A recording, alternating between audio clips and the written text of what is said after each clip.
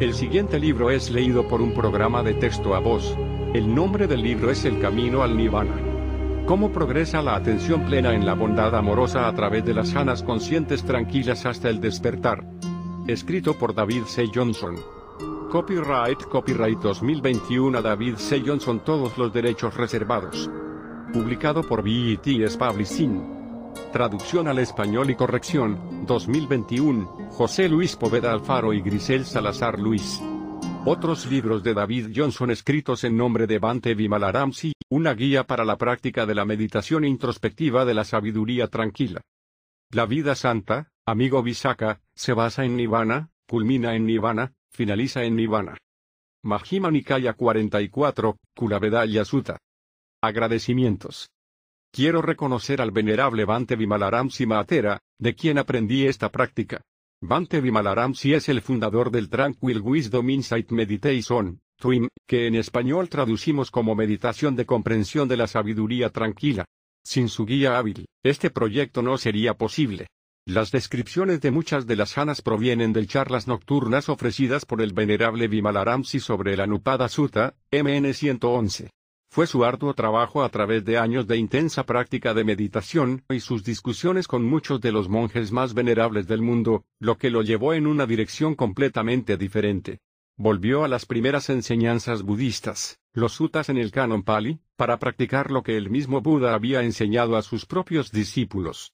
A partir de esto, descubrió Tuim y nos ha dado este regalo de verdadero Dama. Deseo dar las gracias al Venerable por revisar este trabajo y corregir los malentendidos que puedan haber surgido. También reconozco a Vic Kuboudi por su trabajo de Middle Length Discourses of the Buddha, a Translation of the Majjhima Nikaya, Wisdom Publications, Somerville, Ma, 1995, de Vic Kuboudi y Vic Kunanamoli, este libro, con algunas excepciones, es la base de la práctica de meditación Tuim. Gracias también a Brenda Y. McCray, quien escribió un resumen de una página, basado en entrevistas a estudiantes, de lo que experimentaron las meditadoras y meditadores a medida que avanzaban en el proceso de meditación. Al ver la necesidad de documentar los distintos niveles de práctica, amplié su resumen hasta llegar al libro que ahora estás leyendo. Además, gracias a Terry Paul, Paul Johnson, Mark Antraberger, Dacraft y J. del Mar, quienes ayudaron con la edición y por sus muchas útiles sugerencias. Gracias a ese Jordan quien hizo la hermosa portada con su singular diseño. Introducción. El propósito de este libro es ayudar al buscador serio, y al meditador avanzado a comprender las experiencias, y las señales en el camino del Buda, que tiene como objetivo la destrucción del deseo y la eliminación de la ignorancia. Quiero documentar estas experiencias para la comunidad de meditación para que puedan ser estudiadas y preservadas como una guía para futuros meditadores. Este libro también fue escrito para que los meditadores y meditadoras sin acceso a maestro barras en su zona puedan tener todas las instrucciones y puedan continuar por este camino por su cuenta. Todas las instrucciones sobre cómo meditar en todos los niveles están aquí. No hay técnicas secretas retenidas y consideradas ocultas, solo las palabras de los sutas y comentarios del venerable Bante Vimalaramsi. En este libro, también en la guía de instrucciones para principiantes, una guía para principiantes para la meditación de comprensión de la sabiduría tranquila, A Beginner's Guide to Tranquil Wisdom Insight Meditation, de Bante Vimalaramsi y yo mismo, está todo integrado y proporciona instrucciones para el meditador principiante. Si estás familiarizado con las instrucciones del inicio, puedes pasar a la sección de capítulos avanzados sobre Hana. Si cuando estás comenzando, te atascas y simplemente no puedes sentir esta bondad amorosa hacia ti mismo, échale un vistazo al folleto que Bante Vimalaramsi provee al final de este libro, titulado Una guía para la meditación del perdón. Prueba esta meditación y date cuenta por ti mismo si no se aflojan posibles bloqueos emocionales de traumas pasados, de tus jefes u otros recuerdos relacionados con el terroríficos. El perdón puede ser un prerequisito perfecto para experimentar la bondad amorosa de una manera cálida y fluida. En algunos lugares del libro, pondré, instrucción de meditación, para hacer notar a los estudiantes que están usando este libro como guía de instrucción, instrucciones progresivas sobre cómo proceder con la práctica. Tuim es un nombre elegante para, básicamente, la práctica de Brahmaviara, comenzando con meta o bondad amorosa como objeto, la respiración puede usarse pero tiende a llevar un progreso más lento. Estas instrucciones se toman directamente de los métodos de meditación descritos en los suttas, las primeras enseñanzas budistas. Tuim es la práctica que nos llevará a Nibbana como se describe en los textos. Veremos que cuando se siguen las instrucciones, hay resultados inmediatos, tal como los presentó el Buda. El camino al Nirvana elabora tanto el objetivo como la práctica de la meditación tal como la explicó el Buda. Su propósito es seguir el progreso de la práctica tal como se explica en los suttas mismos. Para eso, el mapa más claro es el Majjhima Nikaya, MN, número 111, el Anupada Sutta, traducido como uno por uno tal y como ocurrieron. Este sutta muestra cómo el progreso ocurre paso a paso hasta llegar a Nirvana. Este es el mapa que usaremos a medida que avancemos en los niveles de comprensión de este libro. Los suttas del canon Pali se remontan 2550 años atrás hasta el mismo Buda. Los eruditos los consideran las palabras del Buda tal y como las pronunció originalmente. Matizando un poco más lo anterior, se cree que el Buda habló Magadhi. Esa era su lengua materna. Pali es una forma de ese idioma, y más tarde, todos los suttas fueron documentados en Pali, primero recitándolos y luego poniéndolos por escrito los miembros de la orden budista en Sri Lanka. Fueron escritos en hojas de palma alrededor del año 80 a.C. a medida que fueron escritos. Los monjes que habían memorizado los suttas, revisaron los textos escritos en busca de palabras añadidas o incorrectas. Los suttas se inscribieron en tabletas de piedra en Mandalay, Birmania, y todavía están siendo memorizados y recitados por monjes budistas en monasterios birmanos. Esto ha continuado desde el primer concilio de 500 monjes mayores o arants, convocado tres meses después de la muerte del Buda. Visité este interesante lugar en Birmania en 2003, y vi las piedras de mármol blanco con estas mismas inscripciones. Grupos de monjes memorizan juntos los textos del sutta. Un monje recita, y el resto del grupo lo revisa y corrige a medida que avanza. Este método ha sido tan infalible como cualquier otro para poder retener textos originales durante largos periodos de tiempo. Escribir los sutas puede estar sujeto a la mala interpretación del traductor sobre qué palabras usar a fin de describir la práctica con precisión. Pero, incluso con este método, puede que haya habido errores que se han colado, a pesar de lo perfecto que era este sistema. Realmente no podemos saber a ciencia cierta, ya que no estábamos allí y fue hace más de 25 siglos. Así pues, usamos estos sutas como la guía directa más cercana a lo que realmente enseñó el Buda. Hay muchas escuelas budistas y muchas creencias y prácticas diferentes, todo lo que podemos hacer es encontrar qué práctica de meditación coincide con las palabras del Buda. La práctica de Tuim es nueva en el sentido de que ha sido redescubierta en los suttas. No se practica muy ampliamente, todavía, lo que parece bastante sorprendente. De hecho, el venerable Bante Vimalaramsi y sus maestros autorizados, son los únicos que enseñan directamente a partir de los suttas de esta manera. Otros hacen referencia a los suttas pero no los siguen con precisión. Tuim es la aplicación real y adecuada del esfuerzo correcto. Esta es la razón de su éxito resultante. Discutiré sobre esto más adelante. Se han realizado cambios en otras prácticas para supuestamente mejorar las instrucciones de meditación del Buda. Pero espera un momento, él era el Buda. ¿No es un poco presuntuoso pensar que se pueden mejorar las instrucciones de un Buda? Después de todo, él era de hecho el Tathagata supremamente despierto, quien había perfeccionado su sabiduría durante innumerables vidas. Intentemos dejar de lado todas las otras técnicas por ahora y enfoquémonos en cómo practicar, tal y como se describe en las primeras enseñanzas, lo más cerca posible de las palabras reales del Buda. La mayoría de los eruditos están de acuerdo en que el canon Pali y sus sutas son las enseñanzas reales del Buda. Entonces, vayamos a ellos, y solo a ellos, para encontrar la forma de practicar. El Anupada Sutta, MN 111, explica el progreso de la meditación a través de las jhanas, y los cuatro fundamentos de la atención plena al mismo tiempo. Aquí se mostrará que estas jhanas, cuando se practican como se enseña en los suttas nos llevarán al despertar. Las jhanas descritas en el Anupada Sutta no deben confundirse con los estados de concentración que comúnmente se enseñan en otros lugares. Las nuestras son las janas de conciencia tranquila, tranquila huerjanas, que se enseñan en los suttas, en las que se mantiene la conciencia de la mente y el cuerpo. Su fundamento es el recogimiento o recolección, no la concentración, algo que trataremos más adelante. Son estas janas conscientes que han sido redescubiertas la clave para una nueva comprensión de las enseñanzas del Buda. La técnica Tuim a la que se hace referencia en este libro utiliza como guía de suta principal los discursos de longitud media del Buda, una traducción del Majjhima Nikaya, por Bhikkhu Bodhi y Bhikkhu Nanamoli. Bante Vimalaramsi siente que esta es la traducción más aproximada disponible, aunque a veces prefiere expresiones distintas. Por ejemplo, usa la palabra tendencia habitual en lugar de convertirse o devenir. Hablaremos más sobre esto más tarde. Combinaremos aquí la explicación del significado de los suttas con las experiencias reales de los muchos meditadores y meditadoras que han practicado y han tenido éxito. Además, intentaremos explicar algunas de las razones por las cuales ocurren ciertas experiencias y fenómenos sutiles, aunque solo el Buda lo sabe con certeza. Por favor, les ruego me perdonen por cualquier error u omisión. Algunos fenómenos, como los vínculos más sutiles del origen dependiente que se encuentran en lo profundo de los procesos mentales, han sido excluidos. Estos fenómenos son para que el alumno y la alumna los descubran por ellos mismos, y el no describirlos aquí no cambiará el ritmo del progreso del alumno barra explicar ciertos fenómenos antes de que el alumno esté listo para verlos puede crear falsas expectativas e ideas equivocadas. Muchos estudiantes, más adelante, agradecen que Bante no les haya explicado dónde están en su práctica de las janas. Solo quieren progresar y no pensar y analizar mientras practican. Podrían desarrollar cierto sentido de orgullo con pensamientos como estoy en esta jana o esa jana. Pueden tener cierta familiaridad con la práctica de la meditación, y pueden surgir algunas presunciones y quedarse atascados pensando en lo avanzados que están, cuando solo son principiantes en este tipo de práctica.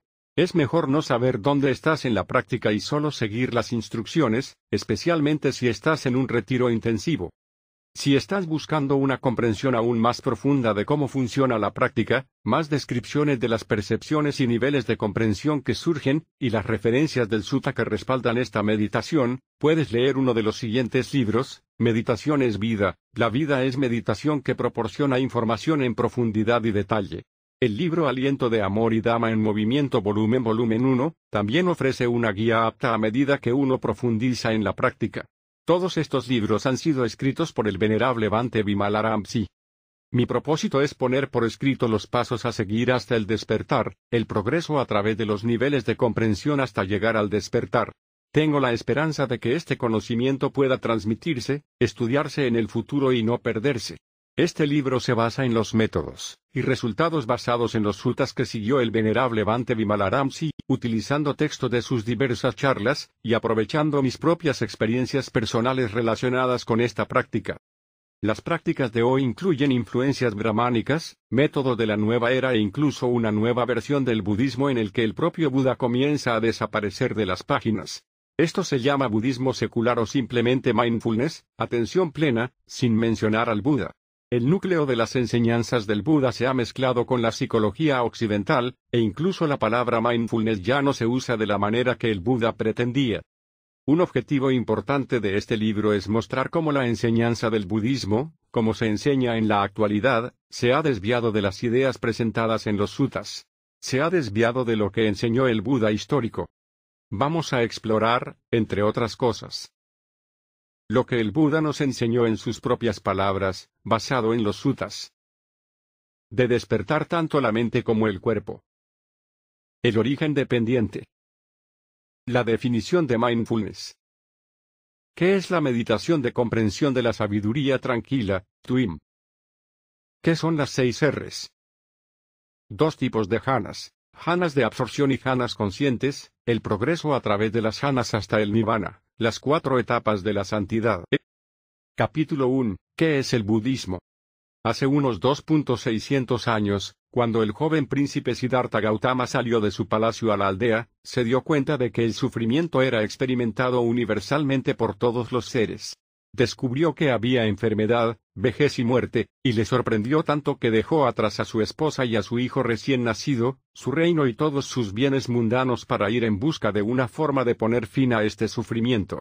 Después de años de búsqueda, finalmente descubrió el camino hacia el fin del sufrimiento, Nibbana, un camino no solo para lograr la liberación del sufrimiento, sino que también tenía efectos inmediatos, es decir, que no se tardaba mucho en tener estos beneficios si se practicaba correctamente.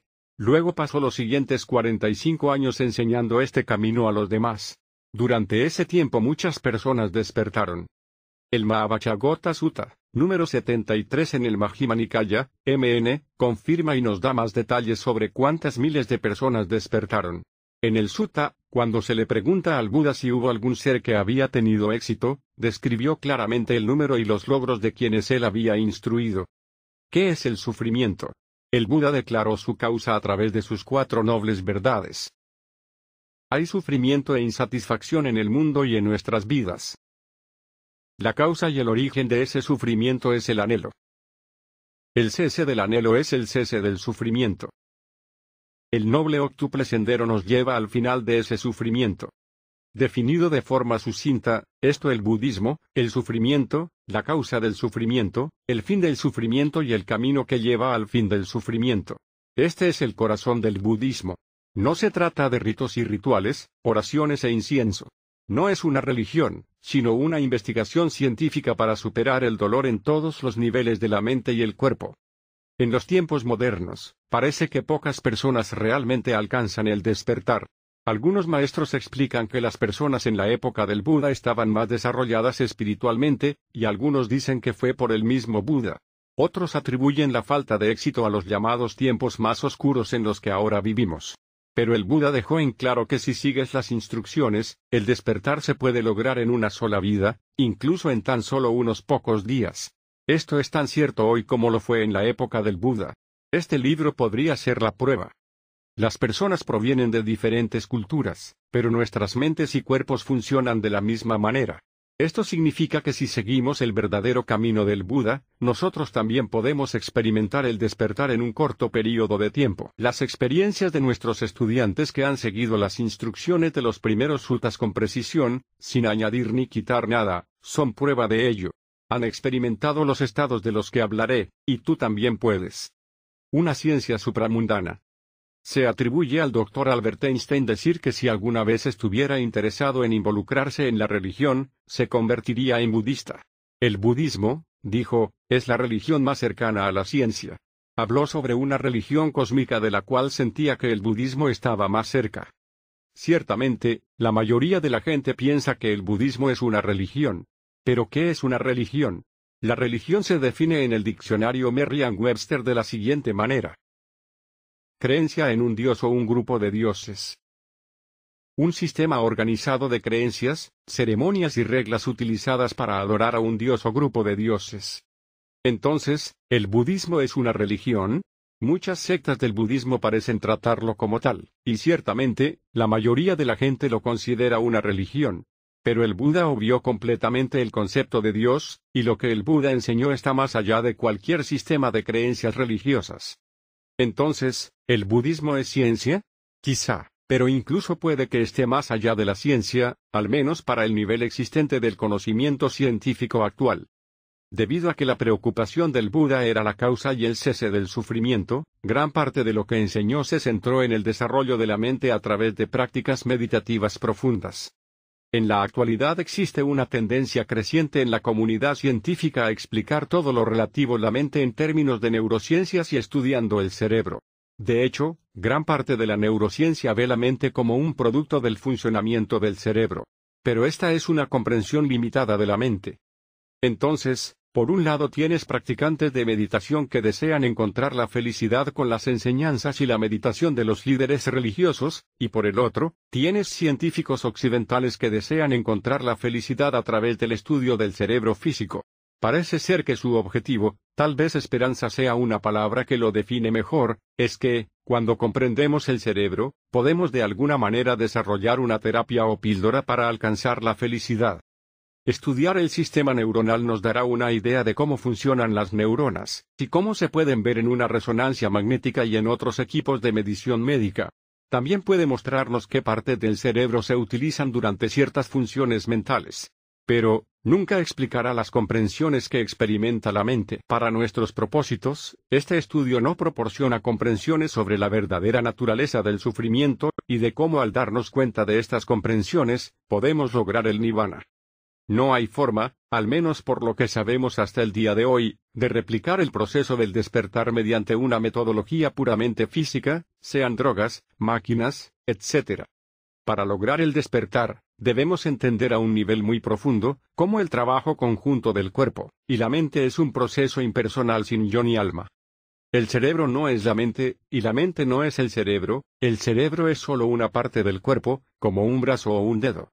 La mente es algo que depende del cuerpo físico. Sin embargo, la mente es algo que no podemos medir directamente y que solo podemos entender indirectamente. ¿Por qué? porque dependemos de la experiencia reportada por un individuo para poder obtener esta información. Cuando estudiamos a otra persona para descubrir su conocimiento real de algo, solo podemos tener la información que ella nos cuenta. No podemos medir, por ejemplo, su comprensión de la realidad. Entonces, dado que el diccionario Merriam-Webster define la ciencia como conocimiento sistematizado derivado de la observación, el estudio y la experimentación llevados a cabo para determinar la naturaleza o los principios de lo que se está estudiando, decir que el budismo se inclina más hacia la ciencia que hacia las creencias, está cerca, pero aún no es del todo correcto. El Buda nos dejó un conjunto claro de métodos e instrucciones que nos han llegado de los suttas que nos permiten penetrar nuestra mente y observar las cosas de manera directa. Cada vez que el Buda enseñaba el camino hacia el cese del sufrimiento, siempre les decía a sus seguidores que no tenían que creer lo que decía, sino que debían venir y ver por sí mismos, como sugirió en el Kalama Sutta. No tomes sus enseñanzas solo con fe, pruébalo primero y luego deséchalo si no tiene un beneficio medible. El Buda no reclamaba ninguna creencia o fe. Estas instrucciones aún siguen vigentes, intenta practicar tal y como enseñó el Buda. Decide por ti mismo barra si los resultados que estás obteniendo son los mismos que los descritos y si son beneficiosos para ti. Cuando ves que funcionan y producen resultados reproducibles, esto te dará confianza y alentará a continuar en el camino. Si solo estudiamos el cerebro, no podemos pretender estar estudiando la mente, ya que la mente solo puede ser verdaderamente conocida por el individuo que está siendo estudiado. El investigador debe preguntar al sujeto qué sucedió. No puede saber cómo el entendimiento y la sabiduría han afectado internamente la mente del sujeto. Esto es algo que va más allá de la simple ciencia. Cuando decimos que las enseñanzas del Buda van más allá de la ciencia, es decir, que son supramundanas, estamos hablando tanto de los métodos reales que el Buda enseñó como de los resultados, comprensiones, logrados con la práctica. Si bien tanto los métodos como los resultados son repetibles y medibles, también es cierto que son experiencias subjetivas. Son transformadores y profundos, pero no son fácilmente medibles por investigadores externos. El Buda no solo estaba tratando de entender la naturaleza y los principios de lo que se está estudiando, sino que buscaba una forma de acabar con el sufrimiento personal, no tan solo de llegar a entenderlo intelectualmente.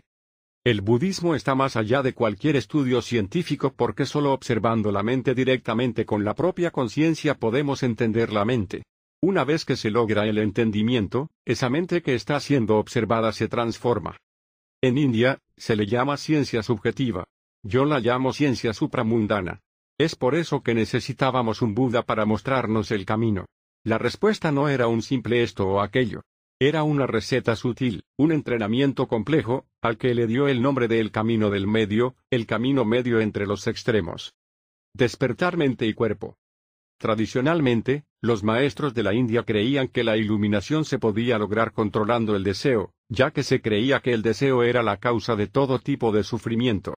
Practicando inicialmente dentro de esta tradición, el Buda dominó las prácticas yógicas basadas en la mente, la concentración de absorción en un punto. Después de eso, pasó largos años dominando las prácticas austeras y ascéticas de los sadhus yógicos basadas en el cuerpo. Ambos esfuerzos tenían la intención de controlar el deseo y de ese modo propiciar el despertar. Por un lado, los maestros de meditación brahmánicos creían que podían controlar el deseo controlando la mente. Al forzar la atención a permanecer en un objeto durante períodos de tiempo cada vez más largos, se pensó que el anhelo o el deseo podían controlarse. Pero no sucedía que el anhelo era superado, sino que surgía ese todopoderoso controlador de ese deseo que, al ir mejorando su autodisciplina y autocontrol, podía ejercer dominio sobre el deseo, manteniéndolo suprimido, evitando que brotase, reprimiéndolo en vez de eliminándolo. Pero entonces tendríamos que hacer la pregunta, ¿quién es nuestro verdadero yo aquí? ¿El que controla, la mente que desea controlar al deseo, o el que tiene el deseo, o ninguno de los dos? Incluso para que haya un yo, debe haber algo que se considere que no es el yo, o al menos no nuestro yo real. En el Brahmajala Sutta, número 1 de Diga Nikaya, el Buda describe que hay 62 puntos de vista del yo. Hay el yo que se observa a sí mismo, el no yo que observa al yo, el yo que observa al no yo y sucesivamente. Solo hay un tú, pero, ¿cuál de estos es? Si un alcohólico dice que dejará de beber ejerciendo su fuerza de voluntad, ¿quién es el verdadero yo? ¿Qué deseo es el verdadero tú? Parece que una lucha por el control estallará pronto.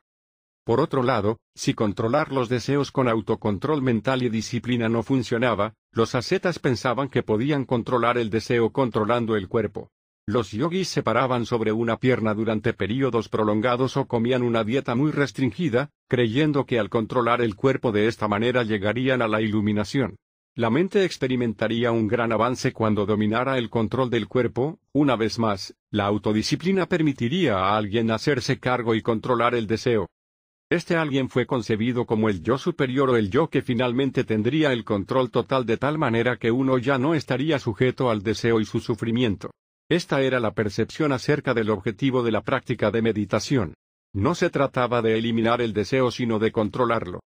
Después de practicar ambos enfoques extensivamente, el futuro Buda o Bodhisattva no había logrado el despertar. Cuando entró en estados profundos de concentración de absorción, descubrió que estos estados suprimían sus bases sensoriales de manera que ya no sentía, escuchaba o experimentaba nada que viniera del cuerpo. Los estados mentales que logró fueron maravillosos y sublimes. Sin embargo, pronto se dio cuenta de que esa mente estrictamente dominante sí podía suprimir el deseo, pero solo mientras practicaba. Esto fue temporal. No erradicó la mente anhelante por completo. Tan pronto como dejó de practicar, el deseo regresó con toda su fuerza. Del mismo modo, después de seis años de prácticas ascéticas, cuando estaba a punto de morir de hambre cerca de Bodh Gaya, entendió que el control excesivo del cuerpo a través de privaciones solo conduciría a la muerte por inanición, no a la eliminación del deseo. El cese del sufrimiento nunca se lograría con estas prácticas. Cuando dejó de practicar la meditación de concentración y las técnicas ascéticas hasta su límite absoluto, se dio cuenta de que el control no era la respuesta. Que era una práctica inútil, que no conducía al despertar, usar el anhelo para controlar al anhelo. En ese momento, se sentó debajo del árbol Bodhi, y determinó que se sentaría allí hasta que encontrara la respuesta. En un día de luna llena en mayo, se convirtió en el Tathagata, el Buda, el despierto, en la tercera vigilia de la noche, entre las tres y las siete de la mañana. Encontró el camino medio, llegó a comprender la necesidad de emplear un método de meditación que utilizara un enfoque totalmente diferente, un método que incluía tanto la mente como el cuerpo, eliminando al controlador. El Buda había desarrollado previamente la visión, y la comprensión de cómo funcionaba su mente mediante una cuidadosa observación comenzó a ver que los procesos mentales son una cadena dependiente de eventos que surgen y desaparecen. Ahora los conocemos como los vínculos del origen dependiente. El Buda usó el término Patikka Samutpada, que es la expresión pali para origen dependiente. En la mañana de su despertar, se dio cuenta de que ver claramente los fenómenos más profundos de la mente, es sin duda el camino a Nirvana. Al ver cómo funcionaba su propia mente y observar de cerca los procesos mentales, llegó a comprender que todos causamos nuestro propio sufrimiento. Vio cómo funciona el deseo, cómo conduce al sufrimiento y cómo se puede lograr el cese del sufrimiento. El Buda se dio cuenta de que los deseos surgen porque los alimentamos y los perseguimos continuamente. Los vemos como nuestros y nos identificamos personalmente con ellos.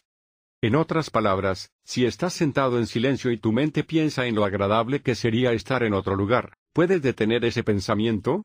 Puedes decir, está bien mente, esta tarde me gustaría sentarme en silencio y disfrutar de un poco de paz. No, vienen los deseos por esto y aquello, sin anunciar, sin ser solicitados. En ese sentido, no son nuestros deseos, Debido a que nos identificamos personalmente con estos deseos que experimentamos, al pensar en ellos como míos y luego apegándonos a ellos, estos deseos inevitablemente conducen al sufrimiento. No tenemos control sobre cómo cuando surgen, o cómo cuando desaparecen. El deseo y el sufrimiento ocurren porque nos identificamos, y personalizamos estos deseos y luego nos aferramos a ellos. El origen dependiente es la comprensión de que todas las cosas, tanto en el cuerpo como en la mente, están condicionadas. están condicionadas o causadas por lo que vino antes, e inevitablemente conducen a lo que sucede después. Al ver claramente esta cadena de eventos, vemos que todo es impersonal. Entonces, ¿dónde estamos nosotros en este proceso? ¿Dónde estoy yo? Una parte importante de la comprensión del origen dependiente es que esto que llamamos yo ego en realidad no es un yo ego en absoluto, sino un proceso impersonal que ocurre completamente más allá de nuestro control. De hecho, no hay posibilidad de controlar porque no hay un yo continuo o permanente capaz de ser el controlador. El Buda vio que solo hay procesos que surgen y desaparecen sin un yo permanente involucrado. ¿Quién controla algo? ¿Quién toma las decisiones? Incluso la decisión en sí misma es otro proceso mental condicionado que surge en base a acciones previas. Las decisiones no son tomadas por un yo permanente que tiene control de lo que está sucediendo, son tu yo impersonal en ese momento. Lo único que podemos añadir es reconocer la realidad de esta situación y no tomarla como algo personal, no apegarse al resultado de una situación dada. Esta es la práctica del esfuerzo correcto, lo llamamos las seis R's y discutiremos esto más adelante. Esta fue una verdad única y profunda que el Buda descubrió, y presentó a los pensadores de su tiempo. Una vez que el Buda fue consciente plena y profundamente de lo que había descubierto, se dio cuenta de que el deseo y el sufrimiento cesaron. Y hoy los investigadores han descubierto que, de hecho, hay cambios mensurables tanto en la mente como en los cuerpos de los meditadores a medida que se practican varios tipos de técnicas de meditación. Hay resultados positivos medibles. El Buda se dio cuenta de que no podía avanzar hacia el despertar controlando de forma separada la mente o el cuerpo. No puede desconectar los estímulos del cuerpo suprimiendo las bases sensoriales con algún tipo de concentración profunda.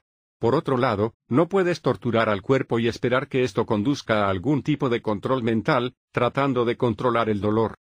El Buda entendió que la mente y el cuerpo trabajaban juntos, pero primero trató de controlar cada uno por separado, en la medida en que pudo reunir su energía y determinación.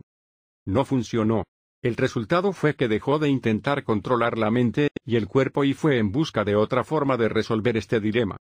Cientos de años después llegaron comentarios y opiniones sobre las enseñanzas del Buda, como el Visuddhimagga, que comenzó a dividir las prácticas, fundamentalmente dividiendo la práctica de comprensión y de concentración, vipassana y samatha, en diferentes técnicas, mientras que los suttas originales indicaban que estuviesen unidas.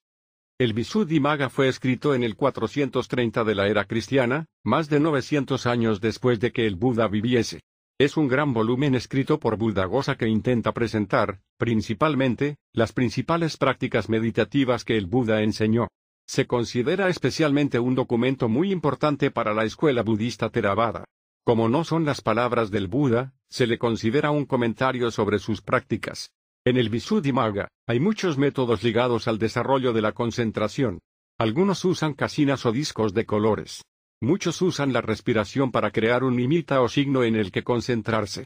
Más adelante describiremos los orígenes del libro, y cómo encaja con la práctica de la meditación. Luego vino la práctica de comprensión árida, Dri Insight, que evitó la concentración profunda por completo. Estos maestros incluso les dijeron a sus practicantes que se mantuvieran alejados de las prácticas de absorción concentrada porque podrían apegarse a ellas. Este método de comprensión árida desarrolló solo la concentración suficiente para comenzar a investigar el proceso mental, sin el beneficio de un tipo de concentración más fuerte. Los maestros de tal enfoque dijeron que era más rápido y más directo. La pregunta aquí es, ¿el Buda enseñó esto? Esta es la comprensión crucial de lo que el Buda enseñó. En los suttas se dice que la concentración, samatha, está unida al conocimiento directo barra comprensión, vipassana. Samatha y Vipassana, por lo tanto, deben practicarse juntas. Esto es lo que realmente se enseña en los suttas, y esto es lo que Bante Vimalaramsi redescubrió, oculto a plena vista y que él ha dado el nombre de meditación de comprensión de la sabiduría tranquila o práctica de jhana consciente. Antes de comenzar con la práctica de la meditación, veamos cómo funciona la mente al examinar lo que el Buda consideró el concepto más importante que hay que aprender origen dependiente, dejando atrás el control. Después de años de práctica en la tradición brahmánica, en la noche de su despertar, el Buda se dio cuenta de por qué no había encontrado alivio. La premisa fundamental de sus prácticas era incorrecta. Esa idea suponía que uno podía controlar el deseo y, por lo tanto, controlar el sufrimiento. En la noche de su despertar, el Buda se dio cuenta directamente de lo que ya había deducido sobre sus propios procesos mentales. Él entendió que todo contiene deseo, y que éste surge por las acciones del pasado. Debido a que esas acciones ya han sucedido, nadie tiene control sobre lo que surgirá o cómo se reaccionará ante ello. En otras palabras, no puedes controlar qué deseo surge, solo puedes observar el surgimiento impersonal del mismo. ¿Qué es el origen dependiente y cómo funciona? Cuando uno se sienta y tranquiliza la mente, todo se queda quieto. Lo siguiente que podría suceder es que surja un sonido, como el piar de un pájaro. La forma del sonido, el chirrido, golpea la base del oído, el órgano, el oído físico, y surge la conciencia del oído. Estas tres cosas, el sonido, la base del oído y la conciencia del oído, son el vínculo del contacto en los doce vínculos del origen dependiente. El contacto, fasa, son los tres elementos que se unen para que suceda la audición. Del mismo modo, al encender una cerilla, tienes la cabeza de la cerilla, los productos químicos inflamables y el pedernal de la caja de cerillas. Cuando raspas la cerilla en el pedernal, esto se llama contacto. Surgen calor y luz, dando como resultado una llama. Si falta alguna de estas tres cosas, la audición no sucede. Una vez que escuchas el sonido, surge un sentir, vedana, asociado con ese sonido, entonces surge la percepción de que es agradable, desagradable o bien ni agradable ni desagradable, neutral. El sentir y la percepción son seguidos por el anhelo, tana, que surge con la fórmula, me gusta o no me gusta o no me importa. Aquí es donde comienzas a identificarte con lo que está sucediendo y a tomarlo como algo personal. El anhelo siempre se puede reconocer como tensión y rigidez en la cabeza. Esta tensión o contracción es como reconoces el deseo. Debes ver y dejar ir este anhelo en la cabeza. Este deseo es lo que te llevará enseguida a pensar, aferramiento, y luego conducirá al nacimiento de la acción y dará como resultado tristeza, lamentación, dolor y desesperación. Después del anhelo, el apego, upadana, o el pensamiento surge, la historia de por qué te gusta o no te gusta. Esto se basa en tu experiencia pasada, en lo que sucedió cuando ese sonido surgió en algún momento del pasado. El recuerdo viene de un momento en el que estabas observando a las aves y escuchaste un tipo único de pájaro. Los pensamientos surgen y comienza una historia sobre el sonido. Luego surge un impulso o una necesidad de actuar asociada a lo que podrías hacer cuando escuchas ese sonido. Esta es la tendencia emocional habitual o el comportamiento, baba. Por ejemplo, si eres un observador de aves, cuando escuchas a un pájaro, tu tendencia habitual es buscar tu cámara, o tus binoculares. Una tendencia emocional habitual es algo que siempre tiendes a hacer en una situación determinada. Tu reacción habitual puede ser en respuesta a un sentimiento que tienes. Alguien entra en la habitación y se queja de algo. Siempre reaccionas de la misma manera, no gustándote y reaccionando emocionalmente respecto a la persona que se queja. Tu esposo o esposa llama para decirte que llegará tarde a casa después del trabajo. Puede que recibas este tipo de llamadas frecuentemente, y reacciones de la misma manera todas las veces, con una reacción negativa. Puede ser un juicio como por ejemplo, no se puede confiar en ti, o podría ser una reacción de ataque porque crees que no te está diciendo la verdad. Es una tendencia emocional habitual, tiende a aparecer cuando ocurre esta situación. Cuando esta reacción habitual surge, ahí es donde surge la fuerte tendencia a tratar de controlar tus sentimientos con tus pensamientos. Notas que la mente está perturbada y reaccionas con frustración, tratando de controlar los pensamientos alterados. Aquí es cuando comienzas a tomarte algo personalmente. Te vuelves emocional. La mente contiene muchos factores o estados de conciencia. Hay una mente codiciosa, y hay una mente alegre, en el Anupada Sutta, el Buda dice que incluso el factor mental de la decisión está condicionado por acciones previas del pasado. Este proceso de decisión es algo que podríamos dar el nombre de voluntad o intención, pero tenemos que tener cuidado de usar esas palabras ya que podría darse a entender, erróneamente, que existe un yo tomando una decisión. El proceso de decisión es solo un pequeño factor, sin embargo, es el factor más importante al llegar a tomar una decisión. Como se indicó anteriormente, los fenómenos surgen y pasan, como el canto de un pájaro, y dependen de ese sonido para su existencia. Cuando tu mente está muy tranquila puedes ver surgir el factor de la decisión, así como el empuje que lo acompaña para tomar la decisión. Es muy interesante cuando puedes observar tu mente operando a este nivel y ver cómo, realmente, tú, es decir, yo, no estoy a cargo de la decisión. Por ejemplo, surge un deseo de tomar una taza de té. Luego continúas pensando en qué té podría saber bien. Si estás muy atento, puedes ver el momento exacto en que decides qué té tomar. Hay un momento en el que surge tu decisión. Si retrocedes cuidadosamente, simplemente permitiendo que todo surja, observándolo con mucho cuidado, este es tu factor de investigación mental, verás que el factor mental de la decisión surge por sí solo. Y luego también pasa. Aparece este llamado a la acción que surge a través del anhelo asociado a él. Este anhelo es el impulso que sientes para entrar en acción. ¿Existe realmente libre albedrío? ¿Hay alguna alma o entidad en lo más profundo tomando decisiones? Más o menos. Sin embargo, en el nivel más profundo, solo existe la mente que decide, que surge y desaparece. Entonces tienes la decisión, pero es una decisión condicionada. La frase formaciones volitivas utilizada en los textos de los sultas es inadecuada, no es exactamente correcta. La volición indica que alguien está decidiendo, pero no hay nadie que decida. Solo hay causas y condiciones. No hay un tú que tome la decisión, solo el momento de la toma de decisión. El único poder real que tenemos es el de permitir y observar, liberándonos y relajándonos en esa decisión, viéndola desaparecer. Continuando. Después del enlace de la tendencia habitual en el origen dependiente viene el enlace del verdadero nacimiento de la acción, Hati, cuando te levantas para ir a buscar tu cámara. El impulso a la acción se traduce en llevar a cabo la acción. Esto puede ser en la forma de una acción corporal, movimiento, una acción verbal, hablar, o una acción mental, pensamiento. Desafortunadamente, para cuando vuelves con tu cámara, el pájaro ya no está. Debido al resultado de tu acción para obtener la cámara, puede surgir insatisfacción porque ahora el pájaro se ha ido. Piensas que tus acciones siempre te llevarán a lo que deseas, pero nunca puedes estar realmente seguro de los resultados de una acción. Los mejores planes de ratones y hombres. Entonces, lo que sigue al enlace del nacimiento de la acción es el último enlace, tristeza lamentación, pena y desesperación. Sí, hay algunos momentos felices aquí y allá, pero son fugaces.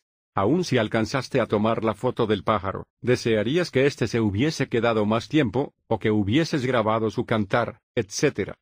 De los doce vínculos del origen dependiente, acabamos de abordar la última parte del proceso, la parte más constatable y observable. Estos son los últimos siete enlaces, contacto, sensación, anhelo, aferramiento, tendencia habitual, nacimiento de la acción, y tristeza, lamentación, pena y desesperación.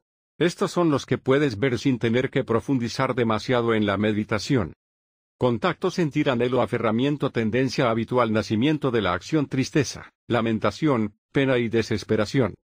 Los primeros cinco vínculos de los doce vínculos completos del origen dependiente aparecen antes de los mencionados anteriormente y pueden entenderse como potenciales solo pueden observarse como movimientos sutiles en la mente con la excepción de la ignorancia, que es tu entendimiento. Más adelante, cuando tu meditación sea más profunda, verás el surgimiento de los primeros cinco, ignorancia, formaciones, conciencia, mentalidad, materialidad y la base de los seis sentidos.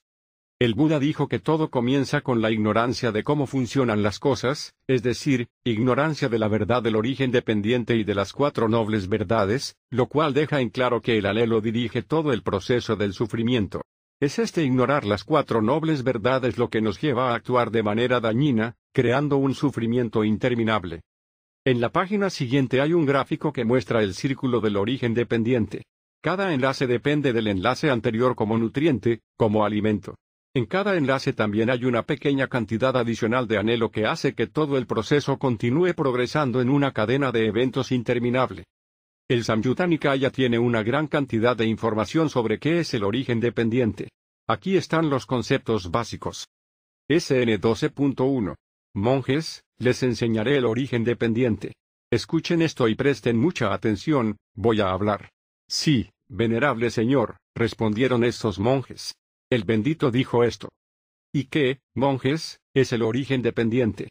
Con la ignorancia como condición, se originan las formaciones, con formaciones como condición, la conciencia, con conciencia como condición, nombre y forma, con nombre y forma como condición, las seis bases de los sentidos, con las seis bases sensoriales como condición, contacto, con contacto como condición, el sentir, con el sentir como condición, anhelo, con anhelo como condición, aferramiento, con aferramiento como condición, existencia, con la existencia como condición, nacimiento, con el nacimiento como condición, el envejecimiento y la muerte, la tristeza, el lamento, el dolor, el disgusto y la desesperación se vuelven realidad. Tal es el origen de toda esta masa de sufrimiento. Esto, monjes, se llama el origen dependiente. Pero con el desvanecimiento sin fin, y el cese de la ignorancia viene el cese de las formaciones, con el cese de las formaciones, el cese de la conciencia, con el cese de la conciencia, el cese del nombre y la forma, con el cese del nombre y la forma, el cese de las seis bases sensoriales, con la cesación de las seis bases sensoriales, la cesación del contacto, con la cesación del contacto, la cesación del sentir, con el cese del sentir, el cese del anhelo, con el cese del anhelo, el cese del aferramiento, con el cese del aferramiento, el cese de la existencia, con el cese de la existencia, el cese del nacimiento, con el cese del nacimiento, el envejecimiento y la muerte, la tristeza, el lamento, el dolor, el disgusto y la desesperación cesan. Tal es el cese de toda esta masa de sufrimiento. El objetivo más alto de tu IME es ver cómo cada vínculo depende o está condicionado por el enlace anterior. Cuando uno entiende este proceso de una manera profunda, el estado incondicionado, nibbana, surge por primera vez. Este primer momento es el conocimiento del camino. Uno se da cuenta de que no hay un yo ego personal, solo un proceso impersonal que depende de las condiciones. De esta comprensión viene un gran alivio, porque, como dice el famoso refrán Zen, si no hay yo barra ego, no hay problema. No hay nadie ahí, así que nadie a quien controlar. Es como si viéramos una figura oscura caminando hacia nosotros. El miedo puede surgir porque nuestra mente arroja este concepto de un villano de nuestro pasado, pero cuando nos acercamos vemos que es nuestro amigo, y esa imagen temerosa es reemplazada por otra imagen feliz. De la misma manera, pensamos que había un yo allí, y ahora vemos que era una ilusión. Podemos seguir los enlaces del origen dependiente en nuestro propio comportamiento de la misma manera que vemos una ciudad, y la rastreamos en sus últimos cien años. Los primeros edificios dieron paso a otros edificios, luego se deterioraron y fueron reemplazados por diferentes edificios, y así sucesivamente. Este surgimiento y desaparición de las condiciones es como el surgimiento y desaparición de una gran ciudad, floreciente, en deterioro, y en constante cambio. Finalmente, desaparece debido a innumerables causas que dependen unas de otras. No hay un controlador que tome decisiones y tome medidas allí en esa ciudad. Solo se producen cambios, condicionados por lo que sucedió en el pasado. Del mismo modo, no posees un ser personal o un alma que controle tu progreso en la vida. Solo hay cambios que ocurren debido a causas y condiciones que surgen y desaparecen. Esto es lo que erróneamente llamamos nuestro yo, mi mí, mi mí mismo, mi yo. Es un proceso impersonal, una cadena interminable de causas y condiciones que fluyen como un río, un río que erróneamente lo identificamos con nosotros mismos. El origen dependiente es, de hecho, el principio más importante del budismo junto con las cuatro nobles verdades. Comprender que la fuente del sufrimiento es el anhelo, así como el funcionamiento mismo del origen dependiente, lleva a la eliminación de ese anhelo. Comprender que el noble octuple sendero es el camino hacia este objetivo es el corazón de la meditación budista. Octuple sendero. Perspectiva armoniosa, visión correcta, comprensión. Pensamientos armoniosos, pensamiento correcto. Comunicación armoniosa, discurso correcto. Movimiento armonioso, acción correcta. Estilo de vida armonioso, modo de subsistencia correcto. Práctica armoniosa, esfuerzo correcto. Observación armoniosa, atención plena correcta. Recogimiento armonioso, concentración correcta. Capítulo 2. Mindfulness redefinido. ¿Qué es la atención plena? Simplemente, ¿qué significa la atención plena? Hubo un artículo en una revista budista donde se planteó esta pregunta a cuatro maestros de meditación. Al final de la discusión, aún no se había alcanzado una respuesta satisfactoria decidieron retomarlo en la revista del próximo mes. La atención plena parece estar de moda en estos días, y ha pasado de sus orígenes budistas estrictos a una aceptación más general utilizada en muchos ámbitos, usada desde los psicólogos hasta en la educación de niños barras e incluso también tiene usos militares. Incluso tiene su propia revista, Mindful. La atención plena se usa para estar consciente de nuestros pensamientos y del estado general de nuestro ser, y se usa para calmarse y relajarse. Todos estos son buenos usos, pero, ¿es lo que el Buda enseñó? ¿Es el protocolo actual de atención plena el proceso que él pretendía? Tengo una teoría y no la encontrarás en ningún otro lado, así que por favor ten paciencia conmigo. La palabra Pali para mindfulness es sati. Cuando se tradujeron los textos en Pali, los traductores se encontraron con esta palabra, sati, y tuvieron que elegir una palabra apropiada en inglés para traducirla. El problema es que algunas de las cosas que Buda enseñó eran ideas completamente nuevas, y nunca habían estado expuestas a la cultura europea. Nunca hubo palabras en inglés que representaran estos conceptos orientales. El budismo nunca había llegado a Occidente. Por lo tanto no se había desarrollado un vocabulario correspondiente en inglés. Entonces, ¿qué se podía hacer? Elegir la palabra más cercana. Sati tenía que ver con la observación y saber lo que estaba sucediendo, por lo que se seleccionó la expresión estar consciente o prestar atención, mindful. Tenía sentido, pero, ¿realmente lo tenía? El problema es que la atención plena ya era un concepto sólido en el idioma inglés. Presta atención cuando abras y no te golpees la cabeza. Ese tipo de definición se aplicó a Sati, por lo tanto, ser consciente o estar atento significaba recordar mirar hacia donde uno se dirigía, y observar cuidadosamente el proceso hasta llegar allí.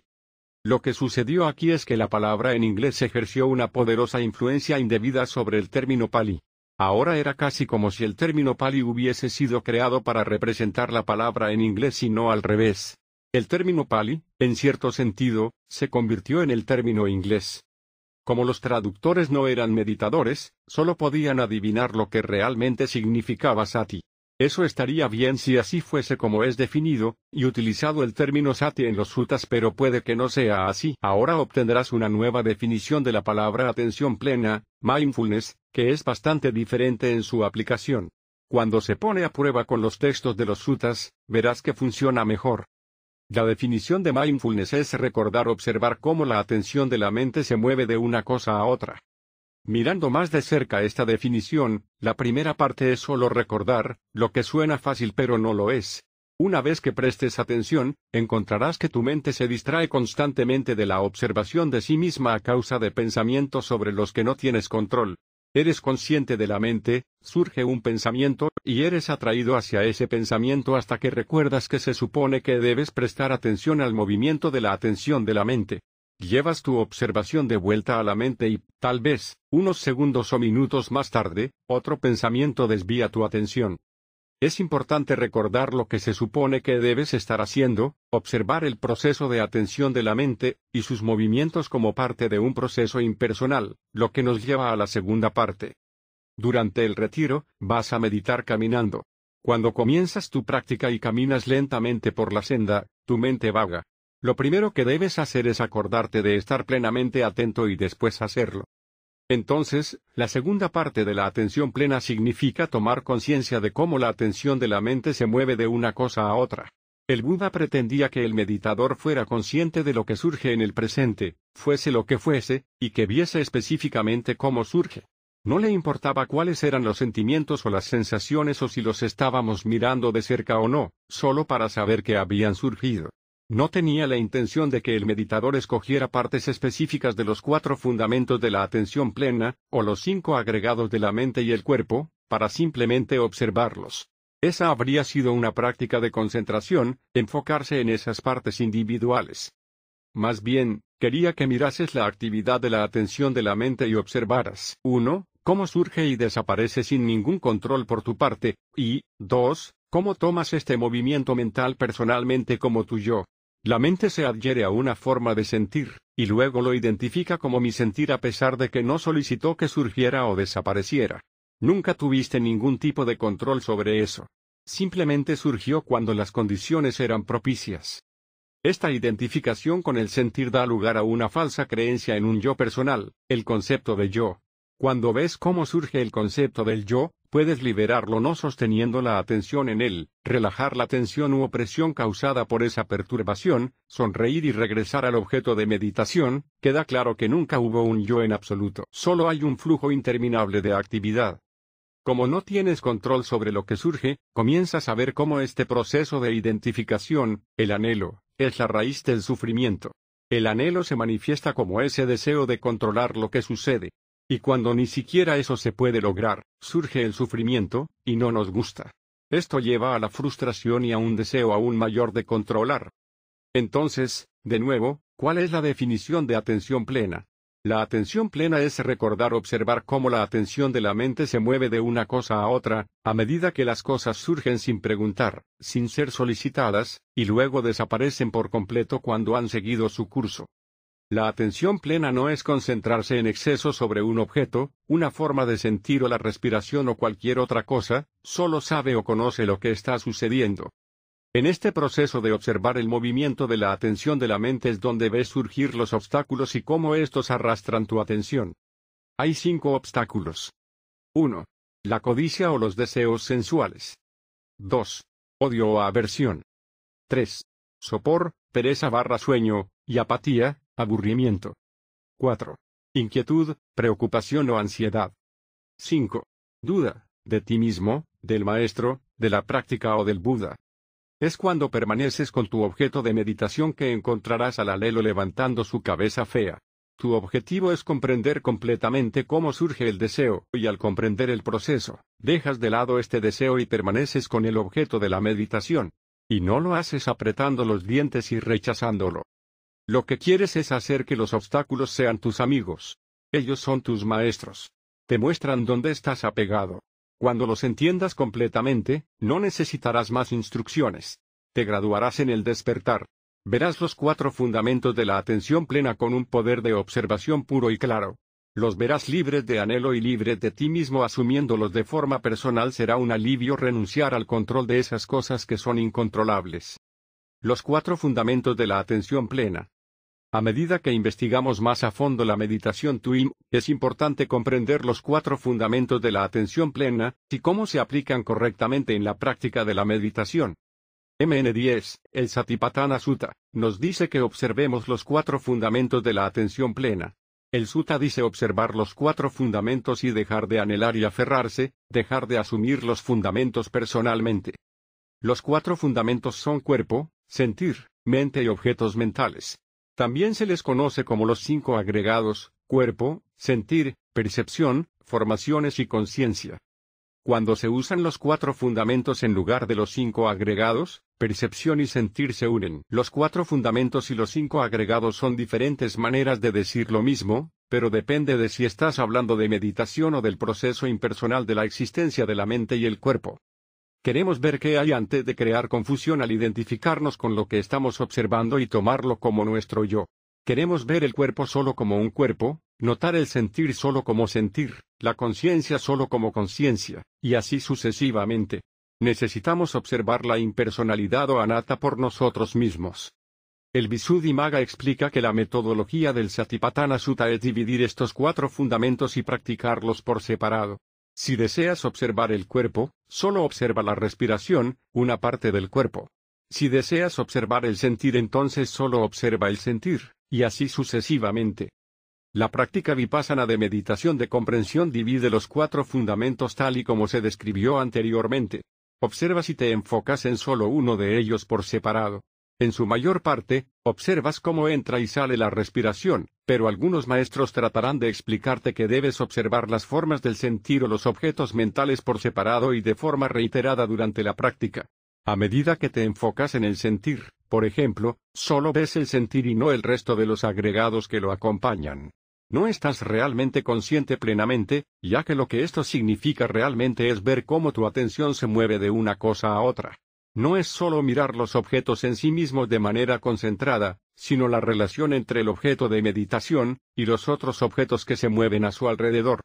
Esa explicación no es la que hay en los sutas. No debes separar los cuatro fundamentos. No puedes. Observas todos los fundamentos porque todos ocurren juntos. Todos los fundamentos existen en cada momento, de lo contrario tú mismo no existirías. Tu cuerpo no puede surgir sin que lo sientas, lo percibas y lo conozcas. No puedes tener una mente sin objetos mentales, cuerpo o sentir. Los fundamentos surgen y se observan ligados los unos con los otros. No son cosas separadas. Tenemos una mente y un cuerpo dependientes el uno del otro, claramente observables incluso en las primeras etapas de la meditación. No puedes observar el cuerpo sin que la conciencia o la percepción conozcan lo que hay allí, o sin la presencia del sentir, que permite reconocer qué tipo de sentir está presente en el cuerpo, agradable, desagradable o neutro. Es como desmontar un automóvil hasta sus partes y a la vez observarlo funcionando. No se puede observar en funcionamiento sin todas sus partes ensambladas y funcionando juntas. El sentir no es lo mismo que los sentimientos. Detengámonos aquí por un minuto y hablemos sobre el fundamento del sentir. Para ser claros, estamos hablando del sentir, no de los sentimientos. En los sutas, el agregado del sentir, Vedana, no tiene la S, es solo una sensación con un tono de sentir asociado. Solo pura sensación, eso es todo. La parte más importante de este sentir es que es, o placentero, o doloroso o ni placentero ni doloroso. Los sentimientos, por otro lado, generalmente se entienden como estados emocionales, lo que significa que hay deseos mezclados. Si miras a alguien a quien encuentras atractivo, y surge una forma de sentir que es agradable, es probable que surja la lujuria. Un sentir agradable con lujuria, me gusta, es lo que llamamos emociones, tendencia habitual, baba. Esa emoción podría clasificarse como un sentir o deseo agradable que se toma personalmente. Este sentir acompañado de la personalización se conoce comúnmente como sentimientos con una S al final. Por ejemplo, amor, cuando aparece con connotaciones románticas, no es bondad amorosa. Este tipo de amor de una relación de pareja está mucho más relacionado con un estado de afecto o infatuación, e incluye al anhelo. La bondad amorosa es un estado puro, no personal, un deseo auténtico de que alguien sea feliz. La bondad amorosa puede convertirse en compasión cuando se dirige hacia alguien que sufre. No se convierte en odio o tristeza. Nunca se toma personalmente. Estos no son sentimientos, solo son sentir. El Buda consideraba que sentir era cualquier cosa que se sintiera, en otras palabras, consideraba que sentir era cualquier experiencia mental o física que se sintiera. Él clasificó el sentir como agradable, desagradable o ni agradable ni desagradable, neutral. No usó la palabra sensación aquí. No le importaba si era una sensación de calor o una sensación de dureza o el sabor de un mango o un sabor a plátano. Solo quería que consideraras si era agradable, desagradable o neutral, no es necesario sumergirse más profundo. ¿Por qué es importante esta distinción? Porque el sentir lleva al deseo. Los estados de deseo me gusta o no me gusta dependen del sentir, y surgirán en la mente no entrenada si no se la libera rápidamente. La mente me gusta puede llevar a pensar en por qué te gusta algo, cuándo lo tuviste por última vez y cuándo volverás a tenerlo. Con este proceso, tu mente comienza a alejarse de tu objeto de meditación. Esta es la mente perjudicial en la que estás viendo surgir los cinco agregados. Se vuelve turbia con el anhelo que conduce al pensamiento y las historias. ¿Cómo dejamos de lado este proceso del anhelo, y qué es una mente clara libre de anhelo? En el próximo capítulo, veremos qué es este estado liberado y cómo surge. Consideraremos las etapas de progreso en la meditación que el Buda llamó jhanas. Examinaremos lo que son usando exclusivamente lo que aparece los sutas, y cómo, con el paso del tiempo, el significado original de esta palabra se volvió confuso. Capítulo 3. ¿Qué es una jhana? Más de un tipo de jhana. Si alguna vez te has encontrado con la palabra jhana, entonces, es probable que sea un estado que deseas experimentar. Las jhanas se describen como niveles de concentración. Pueden contener felicidad y satisfacción profunda, algo que, por supuesto, todo el mundo quiere. Es importante entenderlas porque los suttas explican que las atraviesas en tu camino al nirvana. Son el camino a nirvana. En realidad, hay dos tipos de jhana. Hoy en día hay muchísimos métodos que se enseñan en la práctica de la meditación. ¿Cuál es el correcto?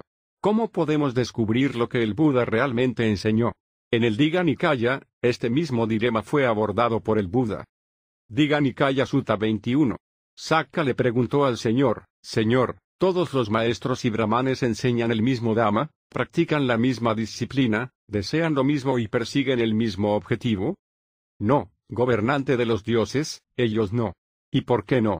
Este mundo está formado por muchos y diversos elementos, y las personas se adhieren a uno u otro de estos elementos, y se apegan tenazmente a ellos, diciendo, esto solo es verdad, todo lo demás es falso. Por lo tanto, todos los maestros y brahmanes no enseñan el mismo Dhamma, no practican la misma disciplina, no desean lo mismo o persiguen el mismo objetivo. En este libro, trataremos de permanecer fieles al material del sutta mientras explicamos las diferencias que hay en la gran variedad de técnicas disponibles en el universo budista. Sí, hay dos tipos de jhanas y dos tipos principales de práctica de meditación para alcanzar esos dos tipos de jhana. Existe la práctica de absorción de concentración en un punto, y la práctica de meditación de comprensión de la sabiduría tranquila, tuim. Más tarde, el primer tipo, la práctica de concentración en un punto, se dividirá en uno, práctica directa de concentración-absorción 2, práctica de comprensión con concentración-absorción y 3, práctica de comprensión árida. La palabra palijana no se usó en referencia a la meditación anterior al Buda.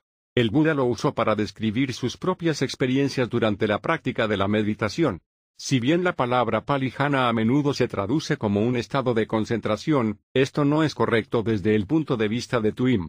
Los expertos de Pali como el muy venerable Punaji de Malasia dicen que jhana solo significa nivel. Si revisas un diccionario Pali, también verás que se define como meditación o estado de meditación. El muy venerable Punaji también ofrece una definición alternativa de la palabra samadhi, relacionada con la anterior que a menudo se considera y se usa para definir un estado de concentración de absorción. La palabra palisama significa igual o tranquilo barra estable, di significa estado en este uso. Entonces, el muy venerable Punaji traduce samadhi como un estado de equilibrio tranquilo barra estable. La palabra samadhi implica un estado reunido y unificado, pero no una absorción profunda que suprime los obstáculos. Es un estado más abierto y consciente, el venerable Bante Vimalaramsi define la palabra jhana como un nivel de comprensión. Cada jhana sucesiva es un nivel cada vez más profundo de comprensión del funcionamiento del origen dependiente y de los procesos mentales. Bante Vimalaramsi usa recogimiento o recolección para traducir la palabra concentración con mayor precisión. Además, Bante ha descubierto que en Pali la palabra di también puede traducirse como sabiduría en términos de los niveles de comprensión.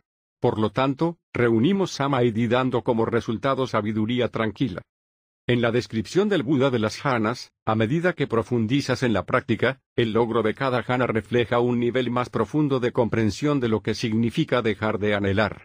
Pasas a través de las jhanas a medida que progresas desde el anhelo burdo a un equilibrio mental cada vez más fino hasta que finalmente, después del estado de ni percepción ni no percepción, la jhana más elevada, alcanzas el cese del anhelo. Esta es la puerta de entrada al logro de Nirvana. En ese momento, ocurre el cese del deseo, Nirodha Samapati.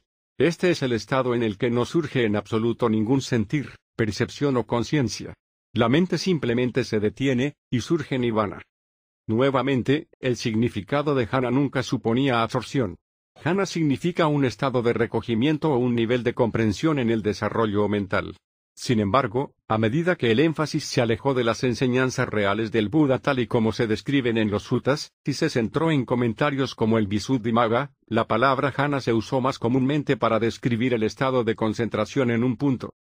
En el Anguttara Nikaya, el libro de los cinco, número 27 tenemos esta cita. An 5. 27. Un conocimiento surge que es personalmente tuyo, esta concentración es pacífica y sublime, obtenida por la tranquilización completa, y que llega a lograr la unificación, no es retenida y controlada suprimiendo con fuerza los oscurecimientos.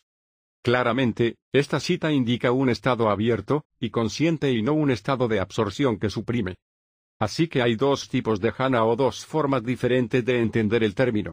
Un estilo está compuesto por janas de absorción de un solo punto, que se pueden lograr mediante varios métodos de concentración, que incluyen observar la respiración, enfocarse en un disco de color, casina, o absorberse en la llama de una vela. Estas janas son los estados logrados por los maestros yógicos, y fueron aprendidas por quien después se convertiría en el Buda cuando comenzó a recorrer el camino.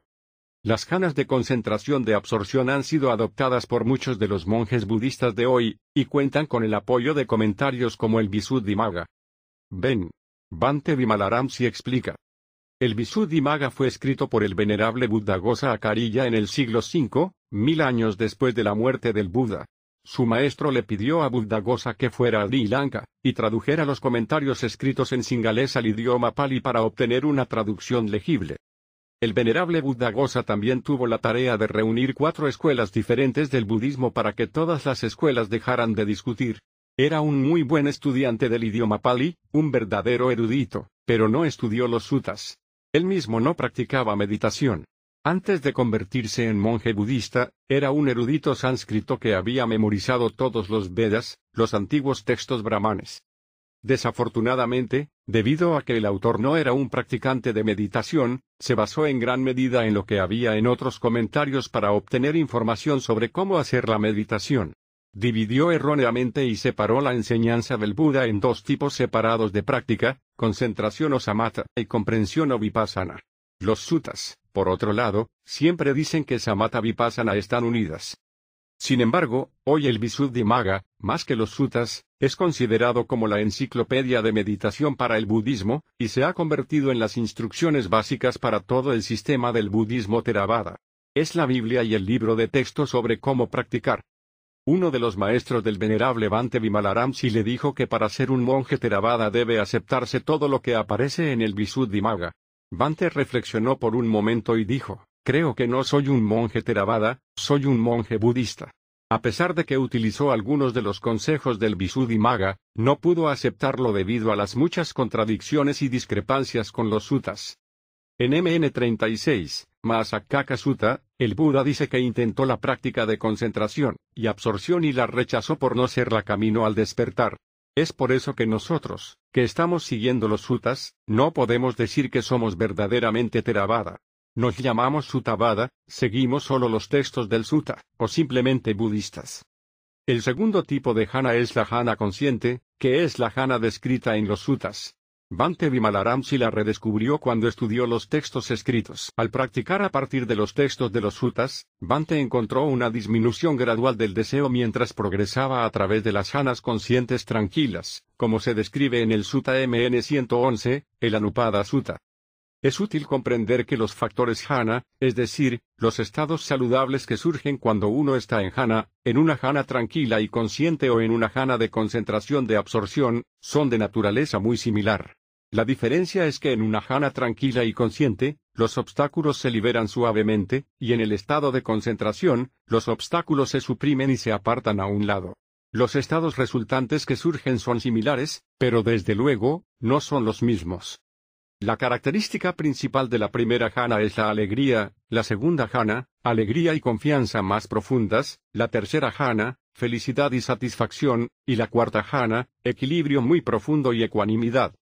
Lo que es confuso es que tanto las jhanas de concentración-absorción como las jhanas conscientes tranquilas tienen estas mismas cualidades. Sin embargo, se manifiestan de manera diferente en cada uno de los dos tipos de jhana. En el tipo de absorción, son más pronunciadas y muy intensas. En el jhana consciente, están más equilibradas, con más ecuanimidad y no son tan extremas. La cuarta jhana se divide en cuatro bases, la base del espacio infinito, que conlleva la sensación de expansión, la base de la conciencia infinita, en la cual la conciencia se ve en su surgimiento y disolución infinita, la base de la nada, en la que existe la sensación de que no hay nada, y la base de ni percepción ni no percepción en la cual la mente apenas se nota. Más tarde investigaremos todo esto más a fondo. El hecho de que surjan estados similares pero diferentes tanto en la absorción como en las jhanas conscientes, habla de la confusión acerca de los dos tipos de jhanas. ¿Cómo puede haber dos tipos diferentes de jhana que tienen características similares pero que se obtienen con diferentes técnicas? No es de extrañar que después de más de 2500 años las cosas se hayan vuelto turbias. Antes de mirar los textos de los suttas sobre las jhanas, veamos más en detalle cómo se enseñan generalmente los dos tipos.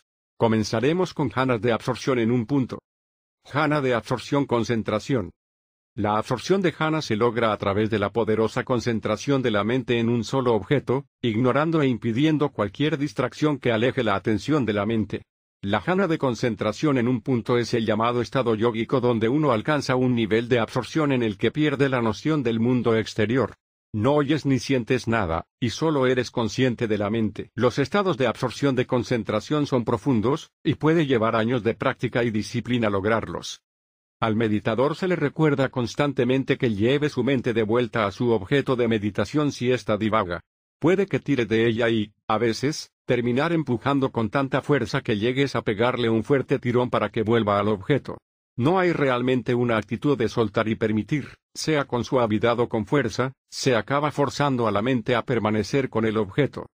Con las janas de absorción, el Visuddhimagga explica que el estado preliminar de concentración se llama upakara o concentración de acceso, todavía estás consciente y aún no estás completamente absorbido, ten en cuenta que este término o idea no aparece en los sutas. En esta concentración de acceso, ningún obstáculo se te agarrará a la mente. También si intentas traer algo a la mente, como un pensamiento de ira o lujuria, no se quedará, y tu mente estará clara. Tu mente no divaga, sino que simplemente rechaza cualquier distracción, y la aleja de su objeto de meditación. Al practicar esta forma de exclusión, la mente aprende a volver a casa automáticamente, es decir, a su objeto de meditación principal. A medida que progresas, entrarás en la absorción total o en la concentración apana, en la que la conciencia del mundo exterior desaparecerá por completo. Habrás obtenido el primer nivel de concentración jhana. Luego trabajas para recorrer el resto de las ocho janas, usando el poder de la concentración profunda para suprimir cualquier obstáculo que surja. Este proceso funciona, realmente experimentas estados de concentración que tienen características similares a las janas conscientes, tuim. Pero no son lo mismo y tienen diferencias sutiles que la mayoría simplemente descarta como no importantes, pero lo son. Un tipo de concentración sigue dejando anhelo en la mente, pero no sucede lo mismo con el otro. Desarrollar este tipo de práctica de jhana te puede llevar más de una década siguiendo la tradición tailandesa. Los srilankeses dicen que son mejores, y pueden llevarte a la primera jhana en menos de 10 años de práctica. Otros dicen que lleva mucho menos, pero que requiere un esfuerzo increíble. Bante cuenta una historia sobre un monje al que se le pidió que entrara en una jhana de absorción, lo cual hizo. Los monjes que estaban con él cogieron su brazo, y lo levantaron por encima de su cabeza. Se quedó allí colgando en el aire. Luego le preguntaron al monje si sabía que habían hecho esto, y él dijo que no. El monje meditante desconocía completamente su cuerpo en ese momento, y solo era consciente de su objeto de meditación. Cuando uno está absorto, no puede escuchar sonidos, no siente nada en el cuerpo ni tampoco en los cinco sentidos físicos, por lo que el deseo a nivel físico se suprime porque no está el cuerpo ahí. Además, debido a que uno está muy concentrado en su objeto de meditación, el deseo también se suprime a nivel mental. En la cuarta jana de absorción y superiores, se dice que el meditador incluso deja de respirar por la boca y la nariz, y respira por los oídos, este no es el caso en la jana tranquila consciente, en la que uno es consciente del mundo exterior y sigue respirando normalmente. La jana consciente tranquila. En MN 26, la búsqueda noble, y MN36, el gran discurso a Sakaka, el Buda describe su camino hacia el despertar. Como se mencionó en la sección anterior, inicialmente creía que la cuestión de alcanzar la iluminación tenía que ver con el control, controlar la mente con el objetivo de poder controlar el deseo y así terminar con el sufrimiento. Los sutas continúan describiendo, con cierto detalle, cómo Buda intentó por primera vez la meditación como forma principal de acabar con el sufrimiento. Buscó y estudió con los maestros yógicos indios más hábiles de la época, aprendiendo todo lo que tenían que enseñar. Inicialmente se entrenó con las janas de absorción tal, y como hacía la mayoría de yogis en ese momento. Cuando Gautama alcanzó la séptima jana de absorción, el estado de la nada, su maestro Alara Kalama lo honró, diciendo que había aprendido todo lo que tenía que enseñar. Lo invitó a quedarse y enseñar a su lado. Gautama declinó, porque sabía que quedaba algo más por hacer vio que podía ir más profundo. Había algo más allá de incluso este nivel tan sublime de meditación. El sufrimiento todavía existía. El anhelo aún no se había extinguido. Entonces, le preguntó a Lara Kalama si podría haber un estado aún más alto. Alara Kalama le dijo a Gautama que conocía a alguien que enseñaba el estado más alto que es posible alcanzar. Le dijo que estudiara con Uddaka Ramaputa, quien le enseñó a alcanzar la octava jana de absorción, la de ni percepción ni no percepción. Él dominó este estado en poco tiempo y luego sucedió lo mismo. Este maestro también lo invitó a quedarse y enseñar. Nuevamente, Gautama se negó, sintiendo que aún había algo más por aprender, que esto no era el camino a Nirvana, dado que todavía experimentaba un deseo sutil después de salir de estos estados elevados. Una vez más se marchó, después de que le hubieran dicho que no tenía nada más que enseñarle. Había dominado el más alto estado yógico de los que se enseñaban en ese momento. No pudo encontrar a nadie más que le pudiese enseñar otra técnica superior para poder controlar su mente. El venerable Bhikkhu Kanyanananda declara en su pequeño libro Nirvana-de Mind Distilled, volumen 2 en el sermón 6, página 127. Estas capas más sutiles de creaciones mentales, pensamientos formaciones, también tienen ignorancia, anhelo, oculta dentro de ellas. Por eso, incluso Alara Kalama y Uddaka Ramaputa pensaron que podían salir de esta rueda de la existencia, samsara, tranquilizando las actividades corporales, las actividades verbales y las actividades mentales pero no entendieron que todos estos son sankaras o creaciones mentales, por lo tanto, se enfrentaron a un cierto dilema. Continuaron calmando las actividades corporales a niveles más y más sutiles. Calmaron las inhalaciones y las exhalaciones, lograron suprimir el pensamiento y la reflexión mediante ejercicios de concentración, pero sin la comprensión adecuada. Fue solo un alivio temporal. Gautama aún no había despertado a la verdadera naturaleza de la mente, por lo que, decepcionado, rechazó todas las prácticas de concentración de absorción mental, y se dispuso a realizar las austeras prácticas ascéticas de los sadhus yógicos. Al controlar el dolor en el cuerpo físico a través de prácticas tortuosas que producen dolor, esperaba lograr el control de su mente. Con suerte, esto lo llevaría a la paz y a una mente equilibrada.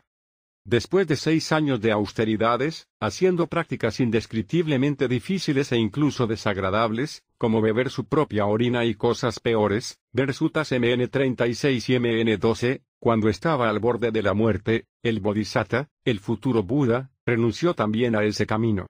Llegó a dominar el control de su cuerpo, y perfeccionó cualquier austeridad que se le pidiera, pero esto no lo llevó al final del deseo. Después de pasar todo este tiempo dominando las janas de concentración yógica y las austeridades yógicas, el futuro Buda se sentó a orillas del Ganges, cerca de la actual Bodh Gaya. Estaba casi muerto de hambre, hasta llegar a comer solo un grano de arroz por día. Sabía que moriría si continuaba así. Vino una joven llamada Sujata y le ofreció arroz con leche dulce para comer. Por primera vez en mucho tiempo, se permitió consumir una porción razonable de comida. Inmediatamente, sintió que su energía regresaba. La vitalidad comenzó a recorrer su cuerpo y mente. Mientras estaba sentado en la orilla del río, a la sombra del árbol Bodhi, reflexionó sobre sus esfuerzos pasados, dándose cuenta de que todos habían sido en vano. No estaba más cerca del final del sufrimiento que cuando comenzó. Había intentado y dominado todas las prácticas de concentración y austeridades y no se había acercado más al despertar. Entonces Gautama, el futuro Buda, comenzó a reflexionar sobre la difícil situación de los seres humanos. En el Samyutta Nikaya, el libro de la causación, Nirvanavaga, origen, dice. Bhikkhus, antes de mi despertar, cuando aún era un bodhisattva que aún no estaba completamente despierto, se me ocurrió. Por desgracia, este mundo ha caído en problemas, ya que nace, envejece y muere, hace el tránsito y renace, sin embargo, no comprende cómo escapar del sufrimiento, encabezado por el envejecimiento y la muerte. Entonces se me ocurrió, cuando lo que existe envejece, y la muerte surge. ¿Qué condiciona el envejecimiento y la muerte? Punto punto punto se produjo en mí un gran avance mediante la sabiduría, cuando hay nacimiento, el envejecimiento y la muerte se hacen realidad, el envejecimiento y la muerte tienen al nacimiento, de la acción, como condición. Luego continúa explicando cómo el Bodhisattva descubrió cada uno de los vínculos del origen dependiente y dando la razón que los explica. Vio cómo cesó cada vínculo y cómo si ese vínculo cesaba, entonces el vínculo siguiente también cesaba. Tras el cese del último eslabón de la ignorancia, surgió lo incondicionado, Nibbana. Entonces al Bodhisattva le surgió un recuerdo de cuando era un niño. Lo habían dejado solo en un sofá debajo de un árbol de manzano de rosas mientras su padre, el rey, estaba en el festival de rejas de arado. Recordó que cuando se quedó completamente tranquilo y relajado, naturalmente había caído en un estado muy pacífico y enérgico, donde su mente soltó todos los obstáculos y deseos. Entró en un estado completamente sano y alegre. Totalmente observando y consciente surgió un estado tranquilo especial. Había dejado de esforzarse en ese momento y solo observó lo que estaba sucediendo, él simplemente permitió que todo fuese tal y como es, y se relajó aún más en ese estado. Este era el estado al que Buda se referiría más tarde con la palabra palijana. Cuando el futuro Buda se sentó debajo del árbol Bodhi, y reflexionó sobre este recuerdo de la infancia, se dio cuenta de que este era un tipo de estado diferente. Mientras contemplaba esta condición mental, entró en este estado nuevamente de forma natural.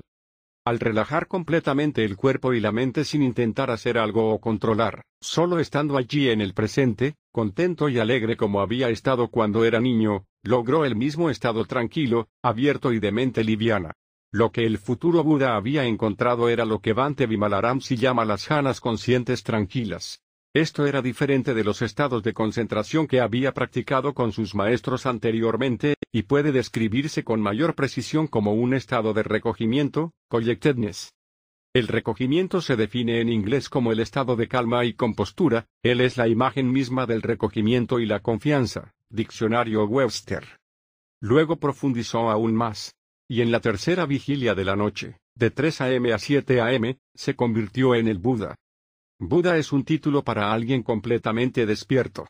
Este no es su nombre, sino su título.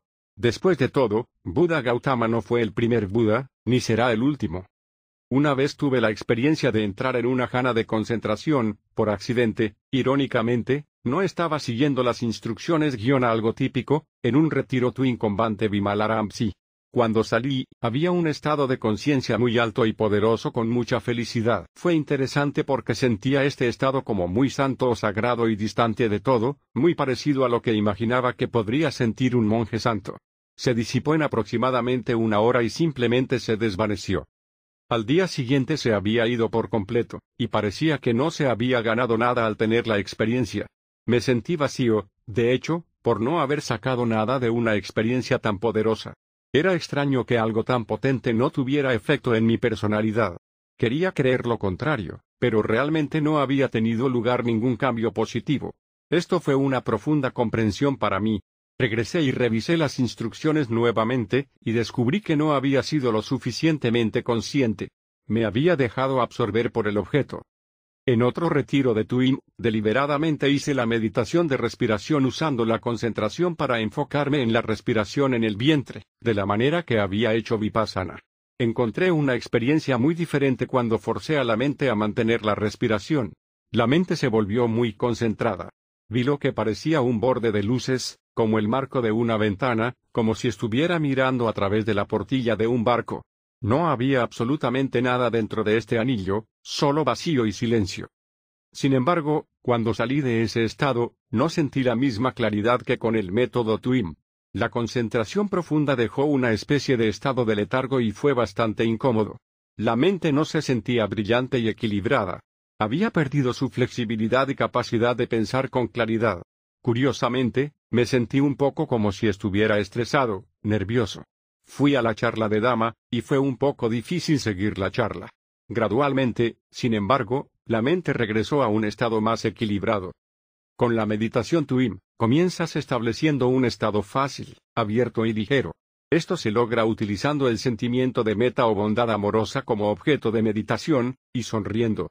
Irradiar meta hacia afuera mantiene nuestra atención liviana y abierta, mientras que sonreír es un movimiento saludable que nos impide tomar la meditación demasiado en serio, creando tensión y rigidez, o, como lo llaman los sutas, anhelo o ansia. Preferimos el objeto de la bondad amorosa, ya que conduce a un progreso más rápido, pero la respiración también se puede usar si empleamos el paso relajar adecuadamente. A continuación usaremos el Satipatthana Sutta para comprender el proceso de meditación en términos de la respiración, y el paso relajar que es tan necesario.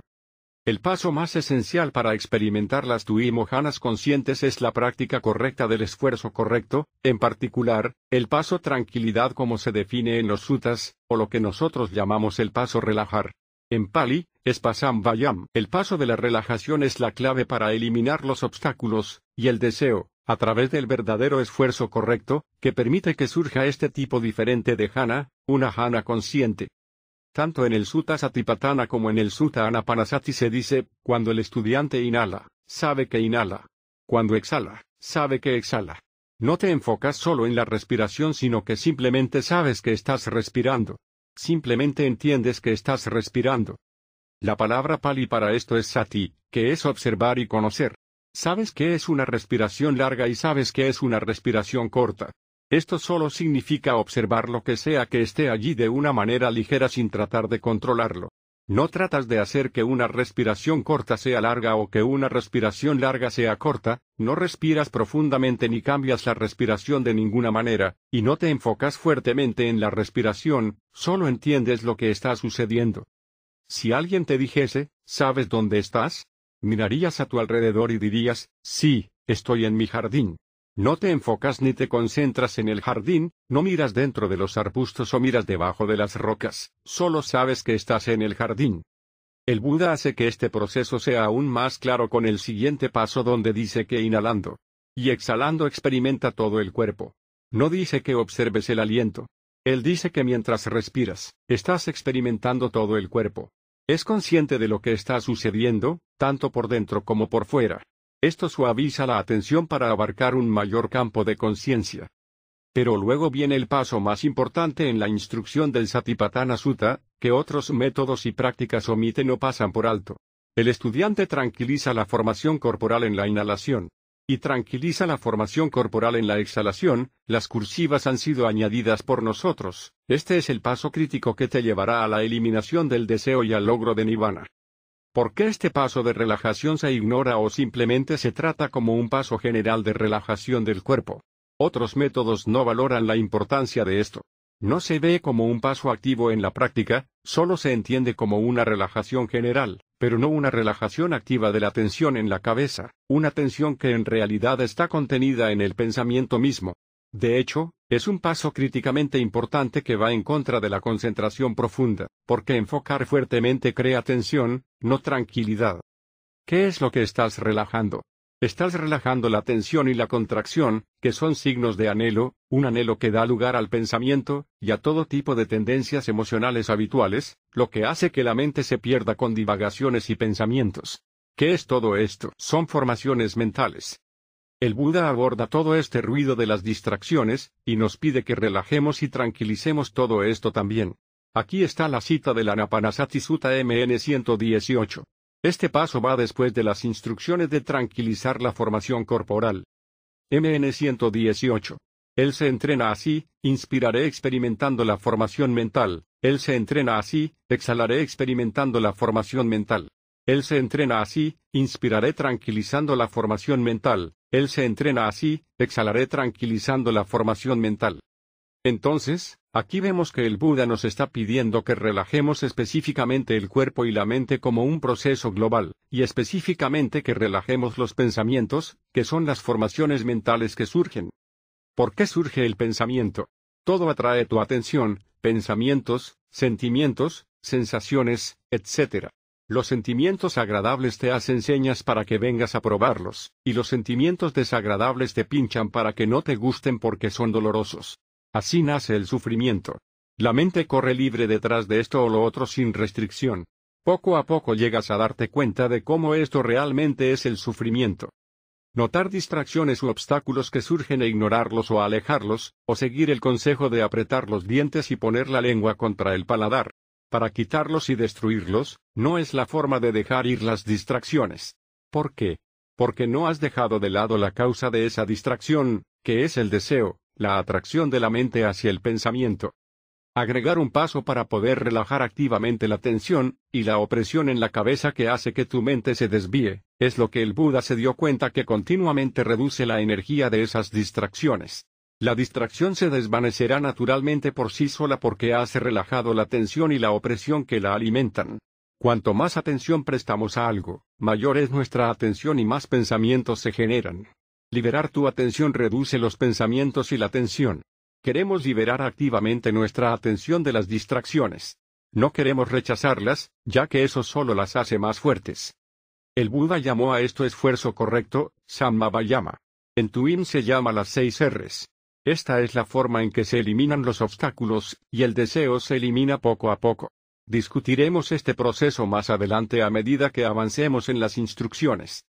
En Majjhima Nikaya, MN, número 36, el Mahasakaka Sutta establece claramente que después de que el Buda intentó controlar su mente a través del apretar los dientes y así sucesivamente, descubrió que sus esfuerzos, en lugar de controlar su mente, lo agotaban y provocaban inquietud. Yo, aplasté a la mente con la mente y el sudor corrió de mis axilas. Pero, aunque se despertó una energía incansable en mí y se estableció una atención plena incesante, mi cuerpo estaba sobreexcitado y sin calma porque estaba agotado por el esfuerzo doloroso. Este esfuerzo no funcionó. Intentar controlar los obstáculos de esta manera extrema es simplemente usar la aversión para alejar lo que no quieres. En esto no hay un verdadero soltar, sino solo un rechazar. Hemos creado otro obstáculo. ¿Cuántas veces has escuchado a algunos meditadores decir, maldición, no puedo hacer que mi mente haga lo que quiero que haga, realmente me está volviendo loco? No puedes usar un obstáculo para eliminar otro obstáculo. En otras palabras, el control no funcionará. El camino correcto debe ser otra cosa. Hay un artículo en Internet en el que un maestro de meditación Hana escribió acerca de su autorretiro practicando meditación de concentración. Dijo que hizo un retiro de nueve meses, y que los primeros cuatro meses los pasó peleando con su mente para mantenerse en la respiración. ¿Qué? ¿Luchando? ¿Cómo puede producir eso tranquilidad? ¿No hay una forma más rápida de progresar? Sí la hay. Eh, espera, ¿acabas de decir cuatro meses para concentrarte? La práctica de concentración trata de controlar la mente y apartar pensamientos y sensaciones que distraen. Trata de enfocarse en el objeto, y apartarse de la mente que se distrae. El Buda en los textos nos dice que no suprimamos lo que él llama las impurezas. En el Anguttara Nikaya, en el Samadhi Sutta, en varios lugares esto aparece con bastante claridad. An 5.27 4. Un conocimiento surge que es personalmente tuyo, esta concentración es pacífica y sublime, obtenida mediante una completa tranquilidad y que llega a la unificación, no se presiona ni se controla suprimiendo las impurezas con fuerza. Observa la palabra anterior, la concentración en Pali es en realidad Samadhi, que el venerable Punaki ya ha traducido como estado de sabiduría tranquilo o un estado de recogimiento. El párrafo anterior es del Samadhi Sutta, y se le llama y se le traduce como concentración, y eso no es correcto. ¿Estás comenzando a ver que la metodología de concentración que el Buda ya había rechazado sigue intentando regresar a las enseñanzas? Como lo que estás tratando de lograr es eliminar el deseo, debes verlo y comprenderlo, no alejarlo. La absorción simplemente deja apartado en un estante de tal manera que cuando sales de la absorción jana, los obstáculos vuelven aún más fuertes, como un perro rabioso, abres la puerta, y entonces te ataca con toda su fuerza. En lugar de apartarte de la distracción, simplemente relájate y acepta que está allí. El Buda descubrió que relajar la tensión y la rigidez de las cosas que están tirando de tu mente gradualmente reducirá la energía de esas distracciones. Finalmente, después de relajar lo suficiente la tensión y la rigidez, la distracción se desvanecerá por sí sola. ¿Por qué? Es porque no la estás alimentando. No estás reaccionando a eso. Esto es lo que significa tranquilizar, relajar cualquier tensión o rigidez que rápidamente están provocando que te pongas a pensar. Cuando reaccionas a tu mente errante con aversión, no me gusta esto, la reacción en sí es el deseo que estás tratando de eliminar. Necesitas tranquilizar esta reacción. Relájate. Suavízate en ella. Déjala ser. Deja de golpearte a ti mismo barra como ocurre en los sutas, tranquilizar es un verbo de acción. Implica eliminar, suavizando y relajándose deliberadamente, cualquier rigidez y tensión en la mente o el cuerpo. No es solo una relajación general del estado de ánimo o del cuerpo. Ves a una hermosa mujer caminando por la calle. Tu mente tiene un sentimiento agradable y surge un ansia, me gusta. Puedes sentir tu mente haciéndose rígida en torno a la forma de la mujer. Luego vienen los pensamientos sobre ella. ¡Wow! No la he visto antes, me pregunto de dónde vino. Entonces, si cuando estamos sentados y usando la meditación de concentración, comenzamos a pensar en esta experiencia de la encantadora dama, debemos de tirar o incluso sacudir nuestra mente para que regrese a nuestro objeto de meditación. Tratamos de mantenerla allí, tratando de apartar esta distracción pero debido a que no permitimos a esa mente distraída que surgió que esté ahí por sí misma, y no relajamos activamente la tensión y la rigidez a su alrededor, deseo sensual, surgieron aún más pensamientos. Seguimos pensando más pensamientos porque el anhelo incrustado en esos pensamientos sigue generando aún más pensamiento. Luego comenzamos a enfadarnos porque nuestros pensamientos están fuera de control y nos frustramos y pensamos cómo sería tener constantemente pensamientos pasionales, constantemente pensando y sin poder estar quietos. Luego lo pensamos aún más y nos perdemos por completo. Un sueño podría convertirse en una pesadilla. La respuesta a este problema reside en el momento en que surgió la imagen, y surgió la agradable sensación de que desearías comenzar a relajarte de inmediato en esa percepción. Lo que haces es liberar tu atención de ese tema, relajar la tensión al respecto. Entonces el resto de los pensamientos no surgen. Tampoco te frustras porque realmente has soltado y no has reprimido nada. La palabra tranquilizar en el uso moderno a menudo se refiere al alivio del estrés. Uno podría usar una droga tranquilizante para eliminar el estrés. De la misma manera, estamos tranquilizando el obstáculo y eliminando su tensión y rigidez. Volviendo a la historia del despertar del Buda, volvió a sentarse a meditar, pero esta vez se relajó y soltó el apretado puño mental sobre el que había envuelto esos pensamientos que sacaban su mente del presente. Se relajó y tranquilizó la tensión que surgía en su mente, en su cabeza. En la primera vigilia de la noche, el Buda siguió este método. Llegó a la cuarta jana, consciente y tranquila. Cuando uno agrega el paso de relajación, el progreso en la práctica de jana es realmente rápido. El Buda llamó al progreso inmediatamente efectivo a Kaliko Impali. A partir de ahí surgió el triple conocimiento, recordó sus vidas pasadas, experimentó otros reinos y se dio cuenta de cómo funcionaba el karma. Finalmente, al ver con sabiduría, comprender el origen dependiente, alcanzó Nibbana esa misma mañana. El proceso del despertar del Buda fue lo que se llama los tres conocimientos, de Vija. Pero el proceso de atravesar las janas es el mismo. Hablaremos sobre esto más tarde. Sin embargo, lo que más enseñó, como en el Anupada Sutta que estudiaremos a continuación, es el camino que atraviesa las cuatro janas materiales, y los cuatro estados inmateriales hasta llegar a Nirvana. Nuevamente, estas son las janas conscientes tranquilas, no las janas de absorción del yoga u otros métodos. En el Majjhima Nikaya, el Buda enseña janas en 50 sutas de 152. Claramente, el Buda recomienda el camino de jhana para el despertar, solo que tiene que ser el tipo correcto de jhana. Además del hecho de que las jhanas conscientes tranquilas, Twim, te llevarán hasta Nibbana, una ventaja significativa de las jhanas conscientes es que se desarrollan en una fracción de tiempo menor de lo que lleva a alcanzar las jhanas de absorción.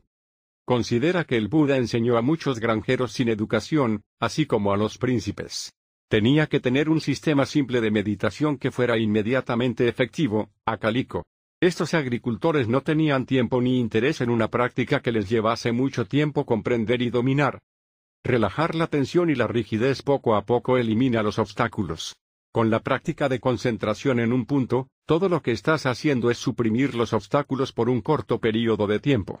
Estos mismos siguen regresando después de que disminuya tu poder de concentración, por lo que debes apartar estos obstáculos cada vez que te sientes a meditar. Con las janas de absorción, a los meditadores no les gusta que los molesten en su meditación, por ejemplo, surge un sonido fuerte y surge la aversión. En su mayor parte, la reacción a un obstáculo es la aversión o la inquietud. Intentas vencer ese obstáculo. En tu IM, estás tratando la enfermedad allí mismo, eliminando la tensión y la rigidez del obstáculo para que pierda su poder. Comparando jhana consciente con jhana de concentración. Mientras estamos sentados meditando en las janas conscientes, aún podemos escuchar sonidos, y si la barra el maestra barra o nos llama, lo escuchamos de inmediato y podemos responder de inmediato. Alguien podría tocarnos en el hombro y decir algo. Lo sentiremos y podremos elegir responder o no. Al mismo tiempo, cuando una motocicleta ruidosa está fuera de la sala de meditación, el equilibrio mental está presente, lo escuchamos pero no le prestamos atención. La mente usa el paso de relajar para observar, aceptar y soltar el obstáculo que aleja nuestra atención. Cuando ingresas en las janas más elevadas, experimentas una especie de alejamiento del cuerpo porque, en las janas inmateriales, arupa, donde solo hay mente, se está trabajando en un nivel más sutil, los sentidos han quedado en el trasfondo. Solo cuando hay contacto te das cuenta del mundo exterior. La palabra contacto aquí significa que sucede algo que llama tu atención, algo inesperado como la llamada del maestro o el timbre del teléfono. Algunos maestros pueden aconsejarte que te mantengas alejado de las janas, de concentración, porque podrías apegarte o incluso volverte adicto a ellas. En realidad, esto puede ser cierto para la absorción, es decir, las janas de concentración en un punto, ya que pueden volverse realmente intensas. Puede que te atrapen porque algunas son muy felices y podrías quedarte detenido allí. He leído comentarios en espacios de discusión online donde las personas experimentan ganas de absorción y piensan que están iluminadas. Hablan de lo maravilloso que es, sin embargo, solo han alcanzado el primer jhana, todavía queda mucho más por aprender. Pero, ¿por qué el Buda te daría una práctica que tuviera dificultades potenciales como esta? ¿Y no sería natural que un estudiante no quisiese seguir adelante y ver qué viene después? Si nos basamos en los textos de los sutas, el Buda no nos dio las ganas de absorción. Ya las había rechazado en la primera parte de su viaje, Sutta MN 36. No tienes nada que preocuparte en relación a apegarte a las ganas conscientes.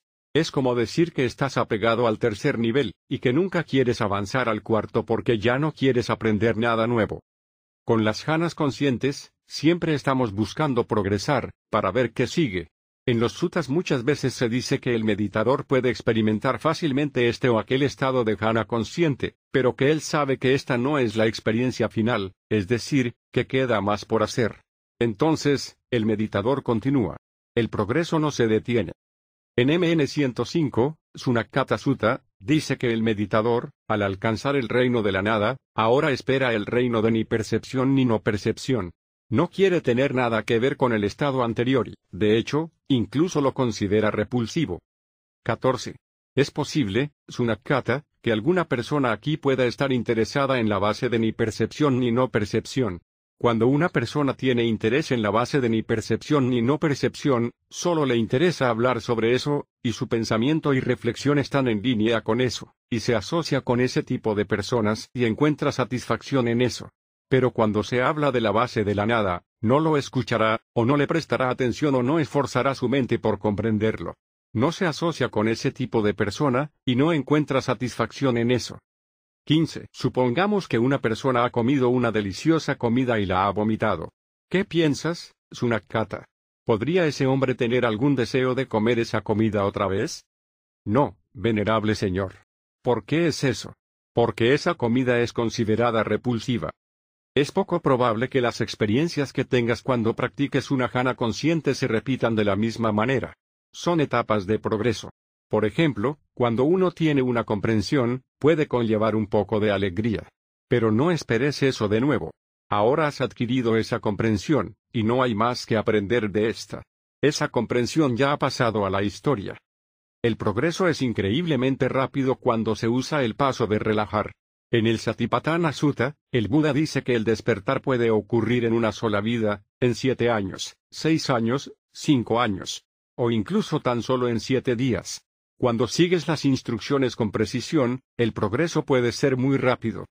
En un retiro twin típico de 10 a 14 días, la mayoría de los estudiantes llegarán a la cuarta jhana, y muchos de ellos llegarán a las bases o jhanas superiores de Arupa, sin forma.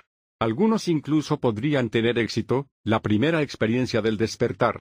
No ocurre en todos los retiros, pero algunas personas simplemente están listas para ello. Entienden y siguen las instrucciones perfectamente y tienen un retiro exitoso en todos los sentidos de la palabra. Cuando liberamos la tensión y la rigidez de un obstáculo, éste desaparece gradualmente. Cuando eso suceda, tendrás alegría. Por primera vez, te has liberado del deseo, hasta que aparezca otro obstáculo.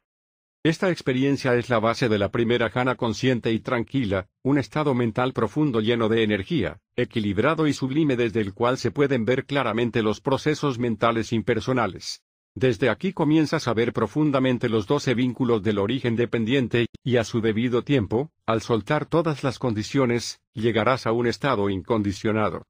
En resumen, Twim, meditación de comprensión de la sabiduría tranquila, no es una práctica de meditación de concentración, es una práctica de meditación de recogimiento. Capítulo 4. Tipos de práctica de concentración.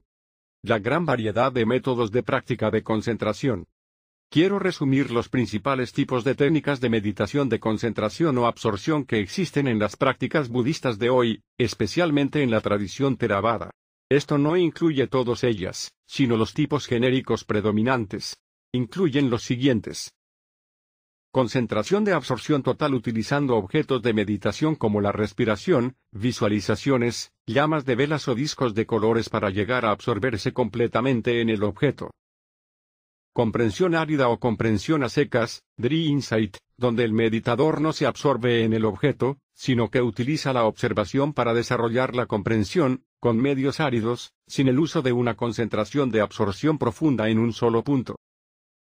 Meditación de comprensión con concentración una mezcla de las dos anteriores, utilizando la concentración de absorción total para desarrollar las ocho janas de absorción, y luego emerger y observar la mente y desarrollar la comprensión profunda, Insight Vipassana. Ya hemos discutido la meditación de absorción completa creada por la concentración, así que veamos el segundo punto tipo. Comprensión árida o a secas, Dri Insight. Hoy, en la tradición Theravada, hay algunos tipos diferentes de prácticas. Existe una que se llama directamente vipassana o vipassana directa, también llamada comprensión árida o a secas, o meditación de comprensión, que fue desarrollada por el venerable Mahasi Seyada de Birmania. Un sistema similar es la práctica de escaneo y conciencia corporal desarrollada por Ubakin de Birmania, ahora enseñada en todo el mundo por SN Goenka de la India. Tratan de evitar la concentración absorción jánica, como se discutió anteriormente, a los estudiantes se les dice que deben evitarse las janas, ya que pueden apegarse a ellas como una distracción para su trabajo real, enfocado en el ejercicio de conciencia de comprensión árida. Se te dice que hay un atajo para evitar lo que se percibe como un desarrollo largo y arduo con las janas, este atajo consiste en el desarrollo de una técnica para escanear el cuerpo conscientemente, al observar las sensaciones corporales y ver su verdadera naturaleza, se te dice que alcanzarás el despertar.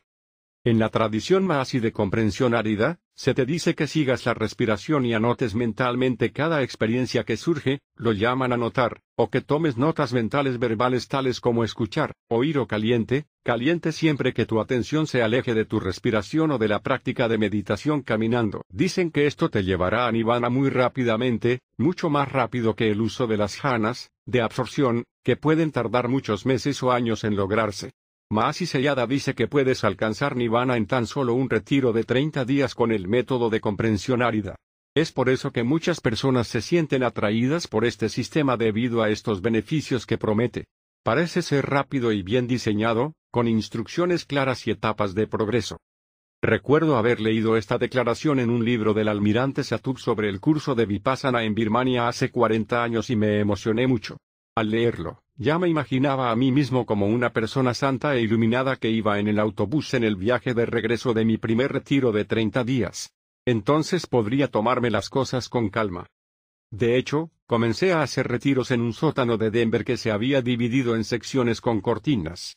Enseñaba un hombre estadounidense entrenado en Sri Lanka que era extremadamente serio, y exigió que nos quedáramos despiertos hasta la medianoche, y luego nos levantáramos a las cuatro de la mañana. Y ese fue mi primer retiro, 30 días. Al final me sentí más como si me hubiesen encarcelado. Tenía 19 años, hace ahora 43 años. Intenté ese camino durante muchos años, experimentando la mayoría de los conocimientos de comprensión oñanas, que se dice que indican el progreso en ese método. Más tarde, viví y trabajé en un centro de Vipassana en San José, California, pero las experiencias que tuve con este método no produjeron el cambio de personalidad que los suttas indican que uno debería esperar de la meditación. Esas experiencias de comprensión fueron muy intensas y sucedieron tal como escribió Maasi Seyada, pero seguía teniendo el mismo ego viejo y neurótico después del retiro. Quizás era un poco más amable, o simplemente me engañaba pensando que era más santo por haber visto estos conocimientos. Bante Vimalaramsi, de 28 años, que todavía no era monje y tenía un nombre de laico en ese momento, apareció en el centro. Siendo un carpintero experto y construyendo casas en San Francisco, se ofreció como voluntario para construir nuestra sala de meditación. Hizo un trabajo muy hermoso con alfombras blancas y vidrieras. Lo volví a ver años después, en 2006, después de un lapso de 25 años.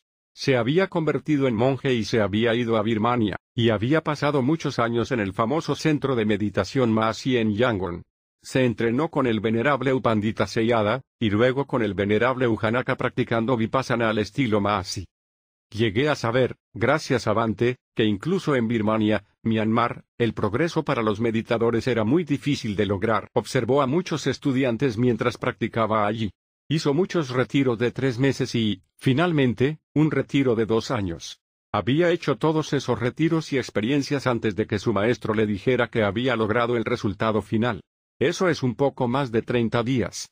Más tarde, cuestionó este logro porque su experiencia no coincidía con los sutas. Incluso después de haber completado todos esos retiros, no sintió que experimentara un cambio fundamental de personalidad. Cuando me puse en contacto con él, me contó de sus experiencias en Birmania en correos electrónicos detallados. Mi confianza en sus descripciones detalladas de lo que había logrado en la práctica de comprensión vipassana llegó a tal punto que me di cuenta de que tal vez la propia vipassana era el problema. No estaba produciendo el cambio que uno esperaba. Lo había llevado al límite y había experimentado los 16 conocimientos, y ahora había decidido pasar a otra cosa. Cuando miré su sitio web, me pareció muy extraño.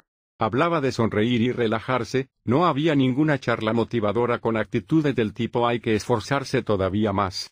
Él suele decir, si no puedes sonreír, ríete. Esto no es serio. Y esta es una práctica seria, ¿verdad? Punto punto punto, o quizá este es precisamente el problema.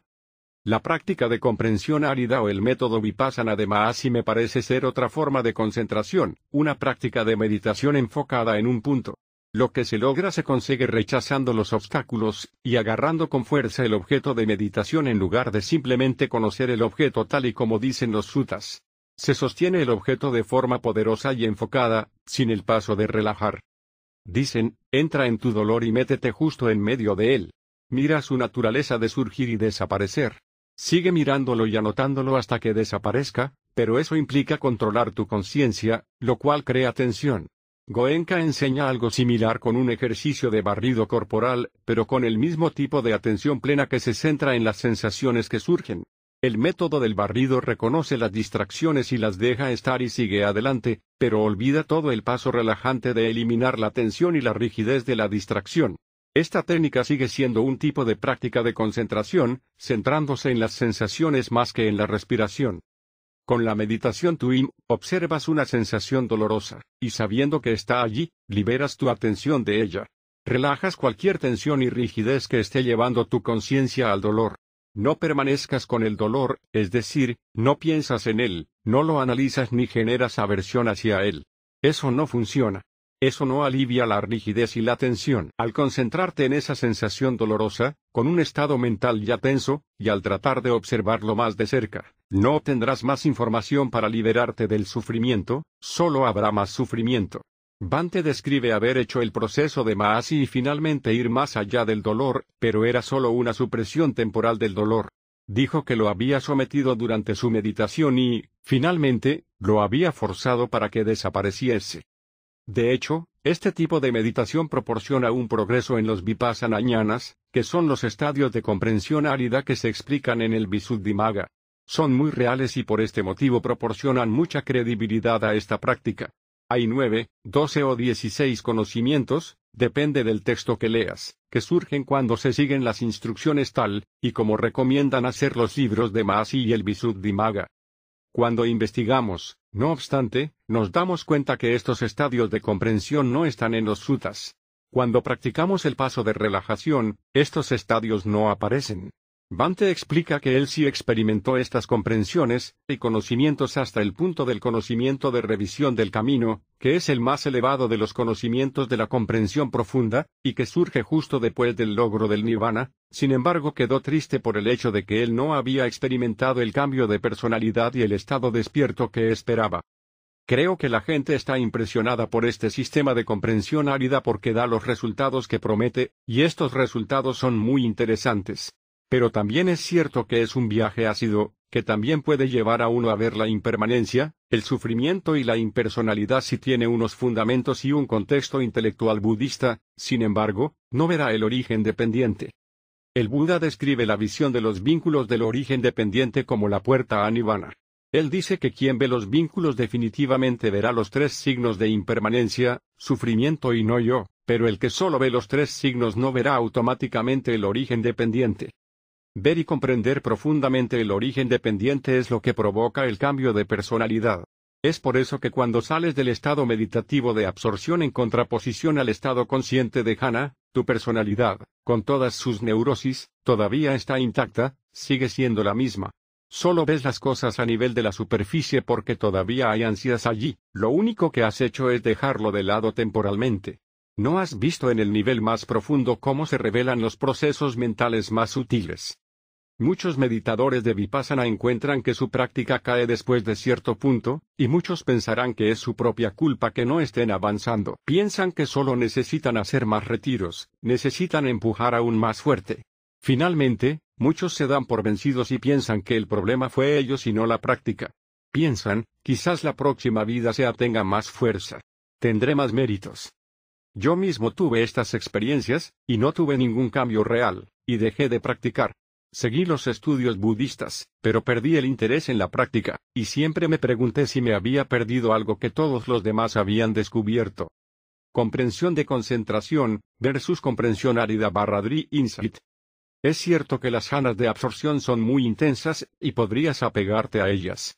Apartan completamente los obstáculos por un corto período, y sales del estado jánico experimentando una gran dicha y felicidad. Pero no dura. Además, no aprendes nada con eso. Es como una droga que tomas, y después simplemente desaparece el efecto y se acabó todo. Puede ser una especie de adicción, escapar a un reino de felicidad, y alejarse de la vida por un corto período de tiempo. En otro giro de la práctica de absorción de concentración, aprendes la práctica de absorción jhana pero luego se te indica que cuando salgas de ese estado concentrado, tras salir de la absorción, debes observar los estados que están surgiendo y desapareciendo en ese mismo momento, valiéndote de lo que se cree que es esta atención plena poderosa. Haces brillar esta poderosa luz sobre tus estados mentales emergentes. Se te dice que notes los fundamentos de la atención plena, que observes los tres signos inherentes en ellos de impermanencia, sufrimiento e impersonalidad. Los maestros de este método afirman que cuando ves estos signos con la poderosa conciencia de la experiencia de absorción jhana, obtienes poderosas comprensiones y finalmente experimentas nirvana. Utilizan los sutas para respaldar este método de práctica, pero están malinterpretando los sutas. Los sutas explican los factores que componen las jhanas.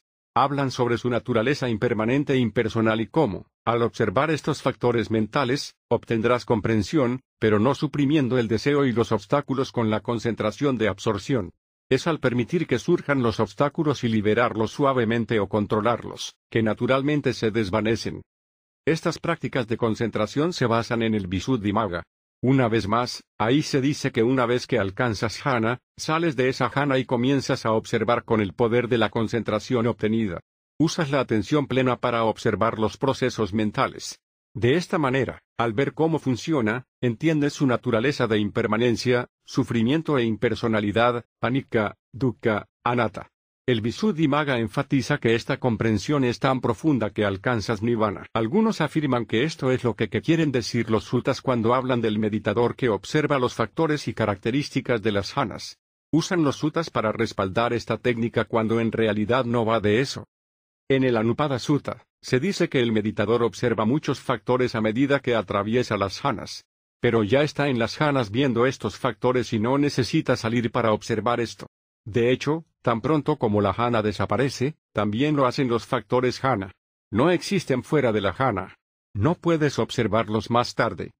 El poderoso y feliz estado de jhana de concentración del que acaba de salir la mente ha suprimido, en primera instancia, todo el anhelo que estaba causando el sufrimiento. ¿Cuál era el anhelo que estaba siendo suprimido? Eran los obstáculos. ¿Cuál es el objetivo de la meditación? Eliminar los obstáculos y purificar la mente. En su práctica, si dejamos a un lado los obstáculos con una fuerte concentración, ¿cómo podemos esperar comprender su causa raíz? El meditador de concentración con comprensión, usando las ganas de absorción, verá los agregados surgiendo y desapareciendo. De hecho, Puede ver cierta impermanencia, sufrimiento e impersonalidad, pero no verá profundamente los vínculos del origen dependiente. La mayoría de las personas que leen los suttas solo conocen la práctica de concentración-absorción. No son conscientes de una jhana tranquila y consciente. Cuando Sariputta dice en el Sutta Anupada que uno está consciente de los factores de la primera jhana a medida que ocurre en, es porque está en la primera jhana describiéndolos tal y como están sucediendo en ese momento.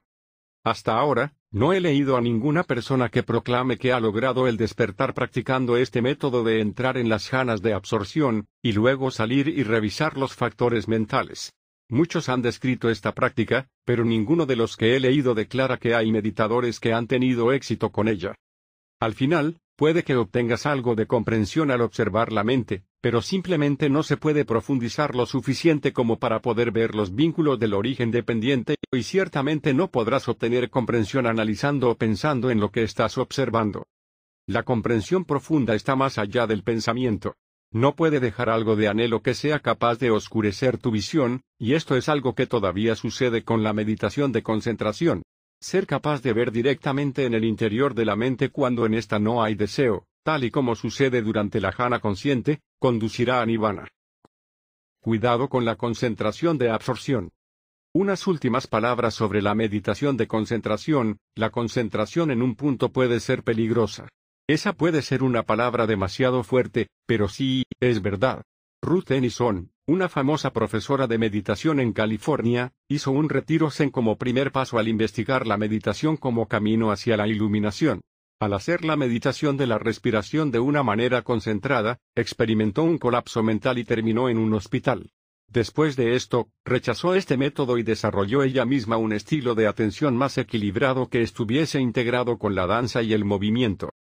Ha habido muchos problemas causados por la concentración, puedes buscar en la web el peligro de la meditación de concentración y encontrarás cierta cantidad de artículos.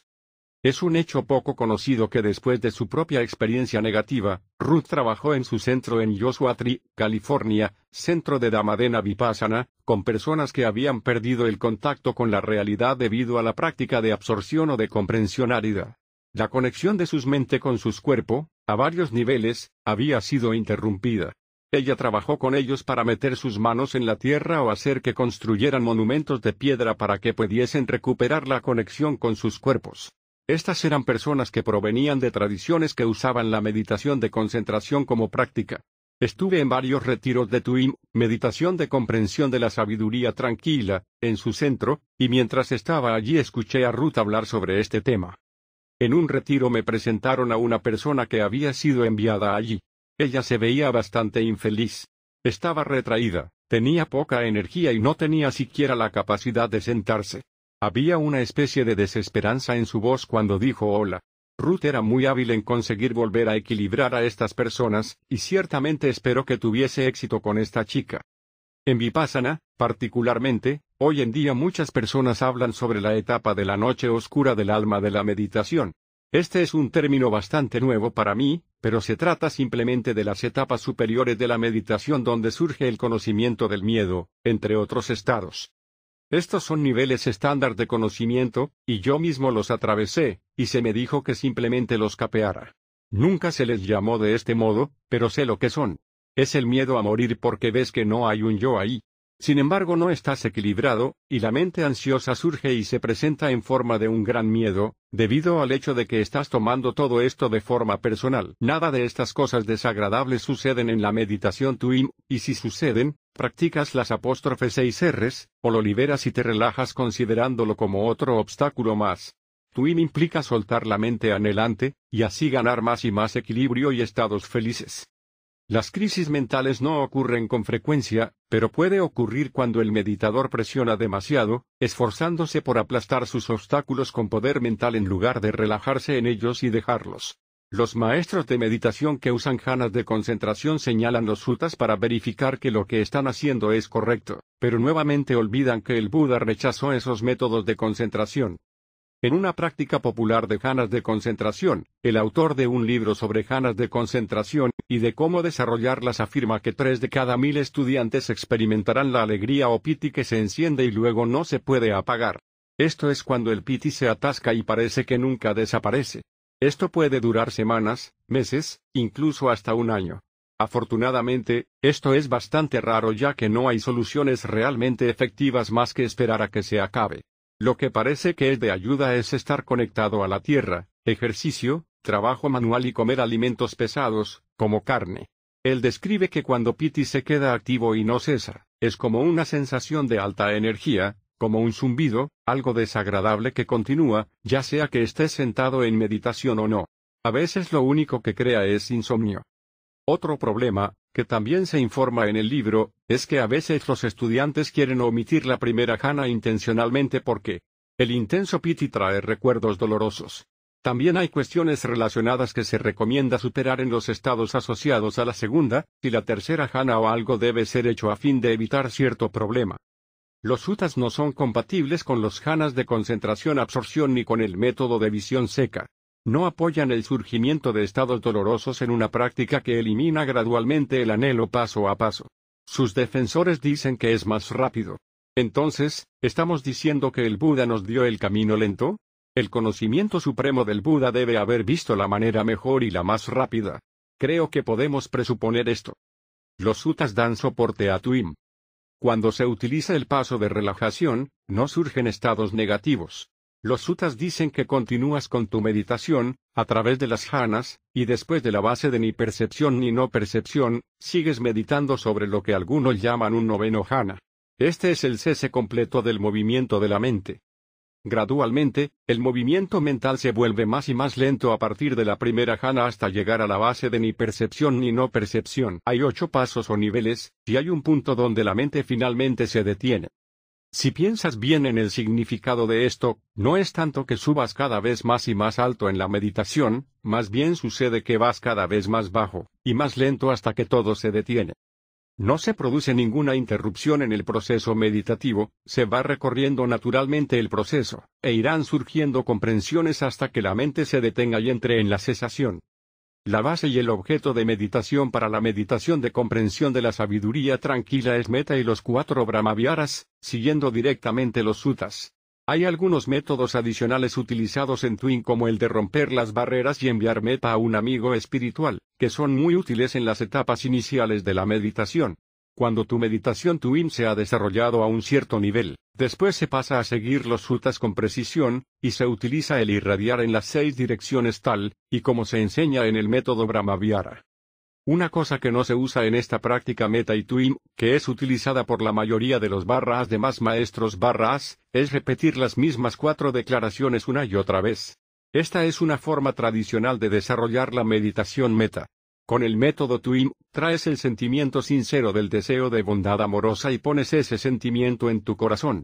Rodeas a tu amigo espiritual, tu objeto de meditación, con ese sentimiento y le inundas de este sentimiento. La forma en que la mayoría de la gente enseña meta es un ejercicio intelectual en vez de una meditación en los sentimientos, pues se trata de repetir las mismas declaraciones una y otra vez, lo que lo convierte en un mantra o una práctica de concentración de un solo punto. En lugar de repetir el deseo de ser feliz una y otra vez, en tu im, utilizas este deseo para recordarte a ti mismo de tener el sentimiento de bondad amorosa. Más tarde, a medida que tu práctica sea más profunda, soltarás las frases por completo. El resultado de hacer esto no es una experiencia intelectual seca, sino más bien, un ejercicio de sentimientos que eleva la mente y te ayuda a ser feliz. Repetir continuamente las mismas declaraciones no deja espacio para que se desarrolle el sentimiento, debes desarrollar un sentimiento sincero y desear que tu amigo espiritual sea feliz para que meta o la bondad amorosa puedan afianzarse.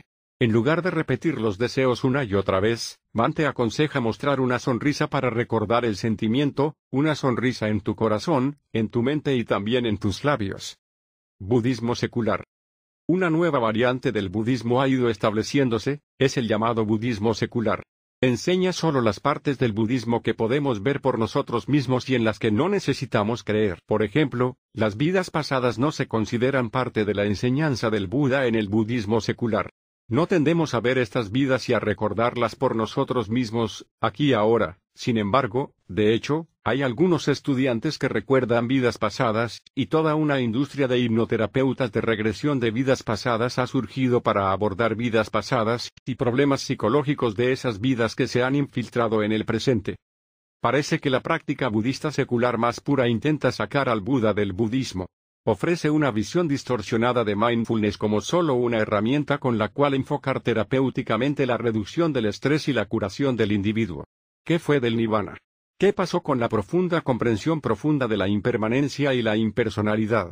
¿Dónde está el anhelo? El budismo secular elimina los conceptos budistas porque son vistos como extraños, y como palabrería religiosa e innecesarios para resolver los problemas de uno barra Incluso hay una revista sobre mindfulness, con ese mismo título, que no contiene una sola referencia al Buda. Todos los términos del Pali han quedado fuera. Me di un paseo por la librería el otro día, y ahora la sección sobre budismo solo ocupa un estante. Los libros de atención plena han pasado a la sección de autoayuda, dejando al Dalai Lama solo, junto a Thich Han que le hace compañía en la sección de religiones del orientales. No se habla de una comprensión superior o la iluminación. La atención plena es solo otra herramienta que se ha agregado al conjunto de herramientas psicoterapéuticas. Esto supone el debilitamiento del budismo. El MBSR o el programa de reducción del estrés basado en la atención plena es un programa en el que la atención plena se emplea con fines terapéuticos. Las ideas budistas de impersonalidad e impermanencia realmente no juegan un papel importante. El origen dependiente seguramente falta. Básicamente se trata de observar la respiración, y hacer meditación caminando lentamente para calmar la mente. El objetivo que se persigue es reducir el estrés y la ansiedad. Se considera que no es posible alcanzar la iluminación y eliminar permanentemente el anhelo. Ahora incluso hay aplicaciones para que tu teléfono te facilite una meditación corta de 5 a 10 minutos, sobre la respiración o de conciencia corporal, que puedes hacer todos los días para desestresarse. La práctica intensa de la meditación de atención plena se ha diluido desde el comienzo de la introducción de los estilos de meditación budista de la práctica de Vipassana, y Goenka a principios de los años 70. Hoy hay más personas meditando, sin embargo, ahora, menos personas están profundizando en su práctica. Otra combinación de budismo es un estilo de meditación llamado Advaita y se basa en prácticas Vedanta milenarias. Es una práctica no dual de raíz hindú o la práctica de una filosofía de la unidad. Algunos ejemplos famosos son Eckhart Tolle y Adyashanti. La práctica se enfoca en observar lo que surge en el momento presente y no tratar de controlar o analizar. Algunos llaman a esto atención sin elección. Simplemente se permite lo que está allí, y se deja que la mente se calme y profundice hasta llegar a un nivel de unidad. La práctica tibetana del Dzogchen es similar, ya que observa este campo abierto de conciencia sin controlar la experiencia. Esta práctica puede ser bastante útil hasta cierto punto, y está bastante cerca de lo que el Buda enseñó respecto a lo que significa estar verdaderamente consciente. Ciertamente, hace que tu práctica se convierta en un proceso de observación, en lugar de esforzarse demasiado duro por lograr un cierto estado o experiencia. Simplemente permite todo lo que hay, incluso hasta el punto de investigar, quién está meditando y, qué está tratando de lograr. Este es el primer paso para soltar al controlador. Adyasanti explica que en lugar de controlar la meditación, debes soltar al meditador. A medida que uno profundiza y la actividad de la mente se ralentiza, sus defensores explican que poco a poco llegarás a ver la esencia o espíritu subyacente a todo, algo que Tole llama lo sagrado. Adyasanti lo llama llegar a un estado de unidad inmutable y dichoso. Esta es una variación de la creencia en un alma o ser superior. Inmutable significa un estado permanente. Al final de la práctica Brahmaviara Twin que se describe aquí, el sentimiento de ecuanimidad desaparece. Ahora se le dice al meditador que tome esta mente tranquila como el objeto de su meditación. Observa cualquier movimiento y libera y relaja esos movimientos en el momento en que surjan. Vuelve a la mente tranquila. Esto suena como lo que logra la práctica Vedanta o la conciencia sin elección, y estas prácticas de meditación pueden ser útiles. Sin embargo, no pueden ir más allá de una mente tranquila, y de llegar a ver qué hay por debajo de esta. Dado que el paso relajar, la base de tu im, no se emplea aquí, no entenderás cómo relajar la tensión mental para profundizar aún más. Con esa herramienta del paso relajar, pasas de un nivel en el que uno podría llegar a pensar que existe un tipo permanente de espíritu, hasta llegar a un nivel aún más profundo, y en última instancia, llegas hasta el más profundo de todos, el comienzo mismo del todo lo mental. Cuando tu mente apenas se mueve, y eres capaz de observar con una atención plena poderosa, no podrás encontrar algo así como un ser, solo momentos de conciencia que surgen y desaparecen, en una corriente interminable. De esta comprensión surge el desencanto, y luego el desapasionamiento que conducen al despertar. Ahora veamos cómo la práctica de meditación Tuim, meditación de comprensión de la sabiduría tranquila, puede llevarnos a través de las cuatro janas tranquilas conscientes, incluidas las cuatro bases sin forma contenidas en la cuarta jana, culminando en el logro del nirvana. Si sigues lo que dicen los suttas sin ninguna interpretación adicional esto es lo que sucederá. Así es el progreso de Tranquil Aware Insight Meditation o TUIM, meditación de comprensión de la sabiduría tranquila. Las janas descritas de aquí en adelante son las janas tranquilas y conscientes. En este tipo de jhana, eres consciente tanto de la mente como del cuerpo. El Buda dijo que nunca podemos entendernos a nosotros barras mismos barras a menos que miremos la totalidad de quienes somos, y veamos la naturaleza impersonal de todo lo que surge. No podemos controlar nada rechazando o tratando de detener lo que surge. Solo a través de la aceptación de lo que está en el presente, sin evitarlo ni controlarlo, sino viéndolo claramente sin ruido mental o anhelo podemos lograr la liberación. Un apunte aquí sobre moralidad. El sistema del Buda se basa en una visión moral del mundo. Si realizas acciones nocivas, a estas seguirán resultados dolorosos y estados mentales que generan obstáculos. Haz cosas saludables y lo que se deducirá de ello es algo saludable. La meditación es completamente saludable. Si deseas tener éxito en tu meditación, como mínimo, debes seguir los cinco preceptos que te llevará al progreso más óptimo. ¿Qué son estos cinco preceptos? No matar, no robar, no mentir o maldecir, no involucrarse en conducta sexual inapropiada como el adulterio y no tomar intoxicantes o alcohol. No es difícil, y se cuenta que seguir estas simples pautas te proporciona una existencia próspera y feliz en esta vida y en la próxima. Seguir estos cinco preceptos, prescritos por el Buda como su punto de referencia moral, ayudará a que tu meditación sea muy profunda. Al no cometer más actos dañinos, quedarás libre de culpa y remordimiento, y tu mente estará en paz y tranquilidad. Durante los retiros, hay tres preceptos adicionales que te ayudarán a sintonizarte, incluyendo no comer después del mediodía, no participar en entretenimiento y no usar perfumes o maquillaje. Resumen de las instrucciones de meditación. El meditador principiante pasará unos días o semanas cultivando la bondad amorosa hacia sí mismo, y hacia un amigo espiritual usando frases que ayudan a que aparezca el sentimiento de la bondad amorosa, que sea feliz, que pueda estar en paz. Así como yo soy feliz, deseo que seas feliz. Este proceso te llevará hasta la cuarta jana. A medida que progreses, continuarás irradiando meta en las seis direcciones, y progresarás desde la cuarta jana hasta la base de la nada y más allá. Postura inicial. Antes de meditar, es útil encontrar un lugar relativamente tranquilo y sentarse cómodamente y en posición vertical. No se requiere sentarse con las piernas cruzadas, y ponerse en loto completo realmente no es necesario. Una postura sentada que le sea familiar a tu cuerpo causará menos distracciones, y será más útil que una en la que el cuerpo se sienta incómodo o tenga dolor. En Occidente, a muchos meditadores les resulta difícil sentarse en el suelo. En ese caso, usa una silla y no te causes un dolor o una incomodidad innecesaria. En el suelo no se produce ningún tipo de magia especial. Evita recostarte pesadamente sobre el respaldo de la silla. Siéntate con tus vértebras apiladas una encima de la otra.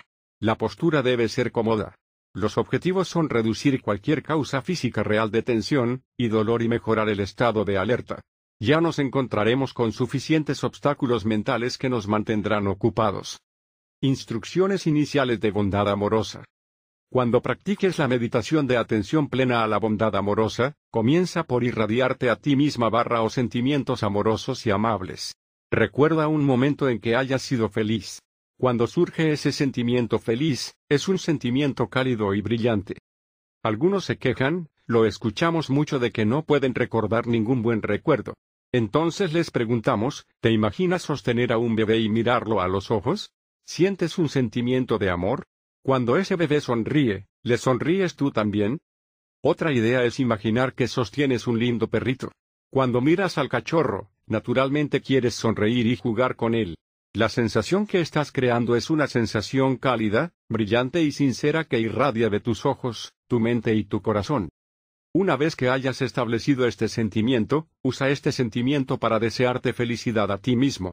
Así como era feliz entonces, que sea feliz ahora.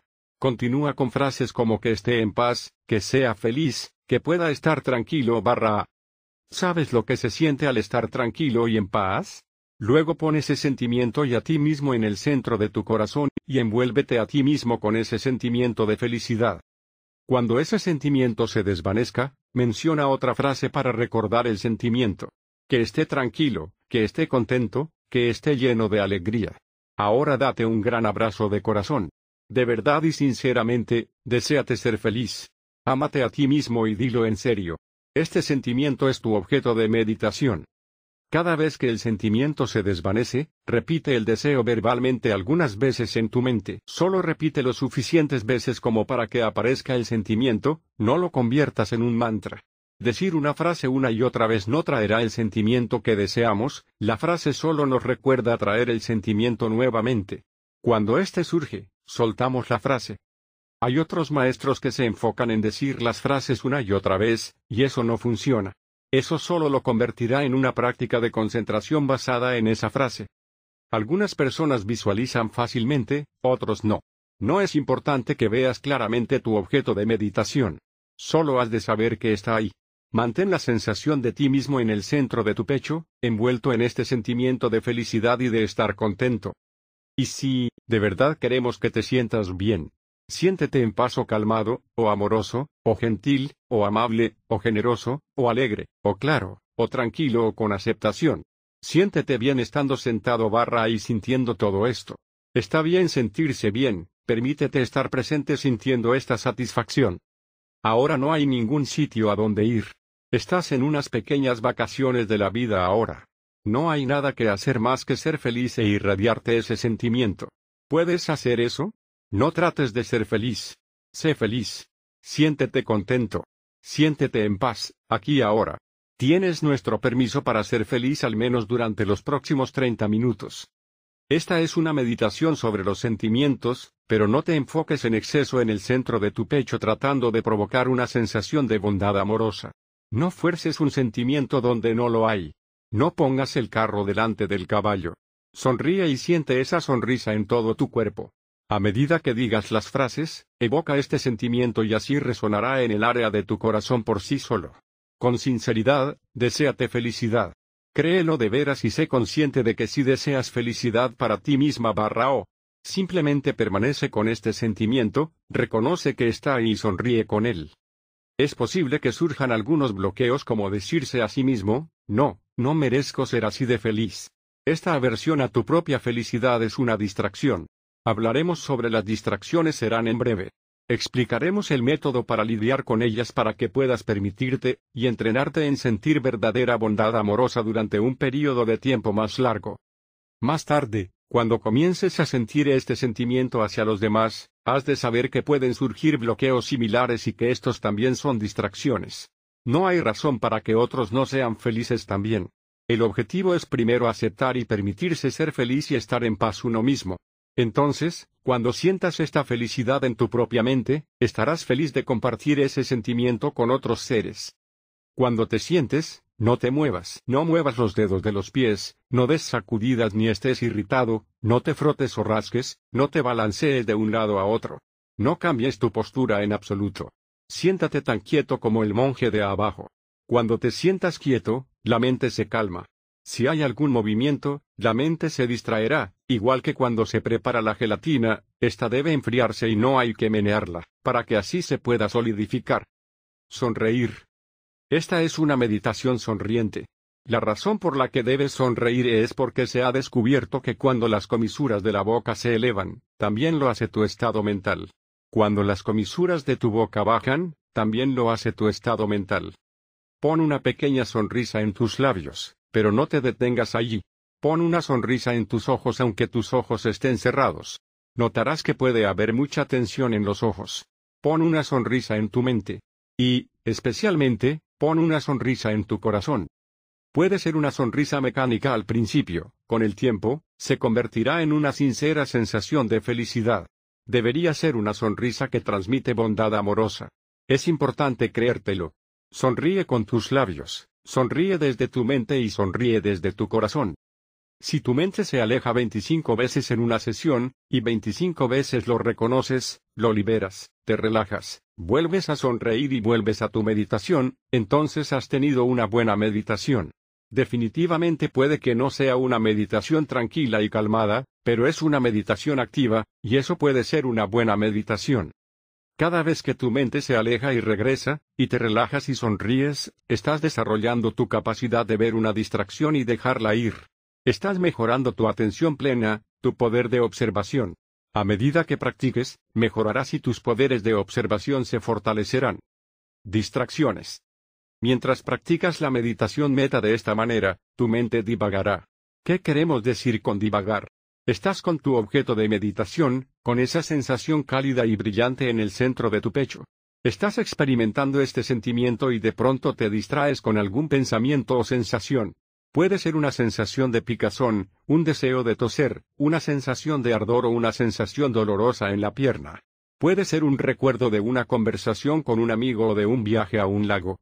O podría ser un pensamiento sobre algo que necesitas comprar en la tienda. De repente estás con esa distracción en lugar de con tu objeto de meditación. En otras palabras, tu atención está en otro lugar. No estás seguro de cómo llegaste allí o qué se supone que debes estar haciendo. Entonces recuerdas que estás meditando y que se supone que debes estar con tu objeto de meditación.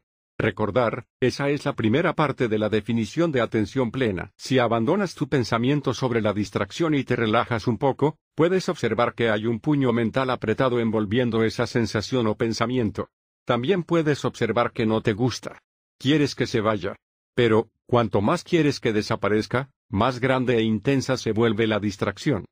Entonces tu mente está distraída en esta picazón, este dolor, este pensamiento. ¿Cómo llegó allí?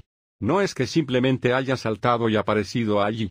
Hay un proceso que sucede y comienzas a ver cómo tu mente se mueve de una cosa a otra. No pienses en eso, sino observa cuidadosamente cómo sucede el proceso. No estamos hablando aquí de analizar por qué sucede algo, simplemente observa lo que está sucediendo. Observa la forma en que la mente se mueve y reacciona en el presente, esa es la segunda parte de la atención plena. La verdad es que cuando hay una sensación, ahí está. Está bien que esté ahí. Vas a tener pensamientos y sensaciones que te distraigan, y eso está bien. Los pensamientos no son tus enemigos, son oportunidades. Cada pensamiento, cada sentimiento, cada sensación que surge y distrae tu mente también causa tensión. La primera noble verdad es que hay sufrimiento. La segunda noble verdad es que el sufrimiento es causado por el deseo. La tercera noble verdad es que existe el cese del sufrimiento. La cuarta noble verdad es que existe el camino hacia el cese del sufrimiento. Este camino es el camino octuple. Esta tensión es el modo mediante el cual puedes reconocer el comienzo mismo del deseo y, como ya sabrás, la segunda noble verdad dice que el deseo es la causa del sufrimiento. La vida no es sufrimiento, el deseo es lo que lo produce. Las distracciones te dicen lo que anhelas, las cosas a las que estás apegado. Ver y comprender lo que te gusta, y lo que no te gusta es el primer paso para dejar esos apegos. Tu cerebro tiene dos lóbulos contenidos en tres membranas llamadas meninges. Es como una bolsa envuelta alrededor de tu cerebro y columna vertebral. Cada vez que hay una distracción, hay un movimiento perceptible en el cerebro, una tensión u opresión, y el cerebro parece, algunos estarán en desacuerdo con esto, pero de hecho se puede sentir algo en primera persona, que comienza a expandirse contra esta membrana. El pensamiento hace que surja esta tensión o rigidez, que en realidad podemos observar por nosotros mismos. Cada vez que notes esta tensión y rigidez, trata de relajarte y suavemente aflojarte con intención a esta experiencia. Al relajarte, estás liberando el anhelo. Hablaremos más sobre esto cuando lleguemos a las seis R's. Cuando se libera el anhelo, hay una ligera sensación de expansión en tu cabeza.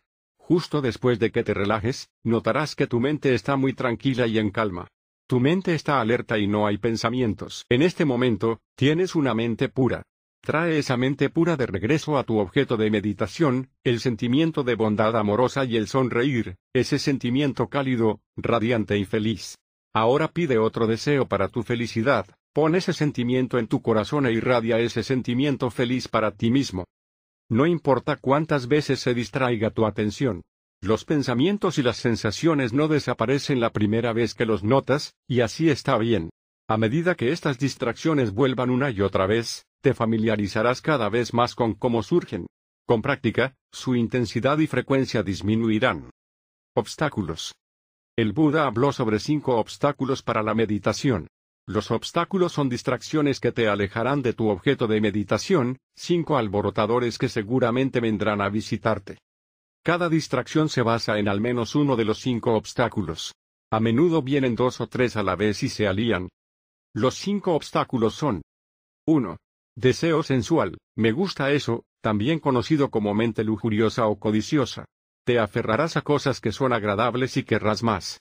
Esto provocará el apego a estados mentales agradables que han surgido en el pasado, y el deseo de que surjan estados agradables en el futuro. 2. Ira, aversión, miedo, no me gusta eso. Querrás alejar estados mentales que no te gustan. O bien, puede que experimentes miedo o enojo por sentimientos desagradables o dolorosos que ya han surgido. Intentarás alejar y controlar cualquier cosa que te cause dolor. Incluso tratarás de forzar a tu mente a experimentar las cosas de una manera determinada que creas que es correcta, cuando realmente deberías simplemente observar lo que está presente. Todo esto es excesivamente controlador. 3. Pereza y letargo, tedio y somnolencia. Esto causará falta de esfuerzo y determinación ya que has perdido interés en tu objeto de meditación. Experimentarás una niebla mental. Cuando lo miras de cerca, realmente ves que hay rigidez y tensión. Incluso en la somnolencia está presente el deseo. 4. Inquietud, con la inquietud, el nerviosismo, el desasosiego, quieres moverte y cambiar constantemente, hacer algo diferente de lo que estás haciendo, estar en otro lugar que no sea aquí. La inquietud puede manifestarse como sentimientos muy fuertes y desagradables en el cuerpo y la mente. 5. Duda. No estás seguro de estar siguiendo las instrucciones correctamente, o incluso si esta es la práctica correcta te hace sentir inseguro de ti mismo e incluso puede manifestarse como una falta de confianza en la enseñanza del Buda o en tu maestro o en ambos. Cuando surgen los obstáculos, tu trabajo no es ni que te gusten ni tampoco pelear con ellos. Tu trabajo es aceptarlos, invitarlos a entrar y, signo de exclamación abierta, ofréceles una taza de té. No los alimentes con tu atención. Forzar y no querer que estén allí solo les da la atención que anhelan y los hace más fuertes. Eso es lo que sucede con la meditación de concentración en un solo punto. Alejas los obstáculos practicando una concentración intensa. Sin embargo, tan pronto como dejas de meditar, regresan, a veces incluso más fuertes. Si solo dejas que los obstáculos estén allí, volviendo tu atención a algo que sea saludable, la energía inherente a ellos se desvanecerá gradualmente. Desaparecerán como un fuego que se queda sin combustible. Así es como superas los obstáculos para siempre el fuego simplemente se apaga. En Pali, Nibbana se traduce como ni o no, y vana o fuego. No fuego. No antojo. Sin obstáculos. Las seis R's. Ahora te daremos instrucciones específicas sobre cómo trabajar con los obstáculos en la forma en que el Buda enseñó. Imagina por un momento al Bodhisattva descansando bajo el árbol manzano de rosa cuando era un niño. No estaba serio ni tenso, se estaba divirtiendo, viendo el festival de su padre. En ese momento él llegó a un estado agradable, jhana, tal como se indica en los sutas. Con una mente ligera, pudo llegar a un estado muy tranquilo y consciente.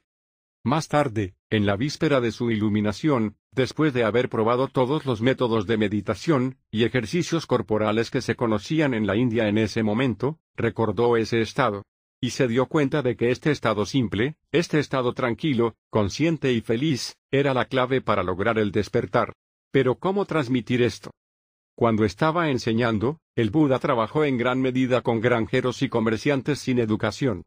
Tenía que tener una práctica simple y efectiva que fuera fácil y funcionara rápidamente.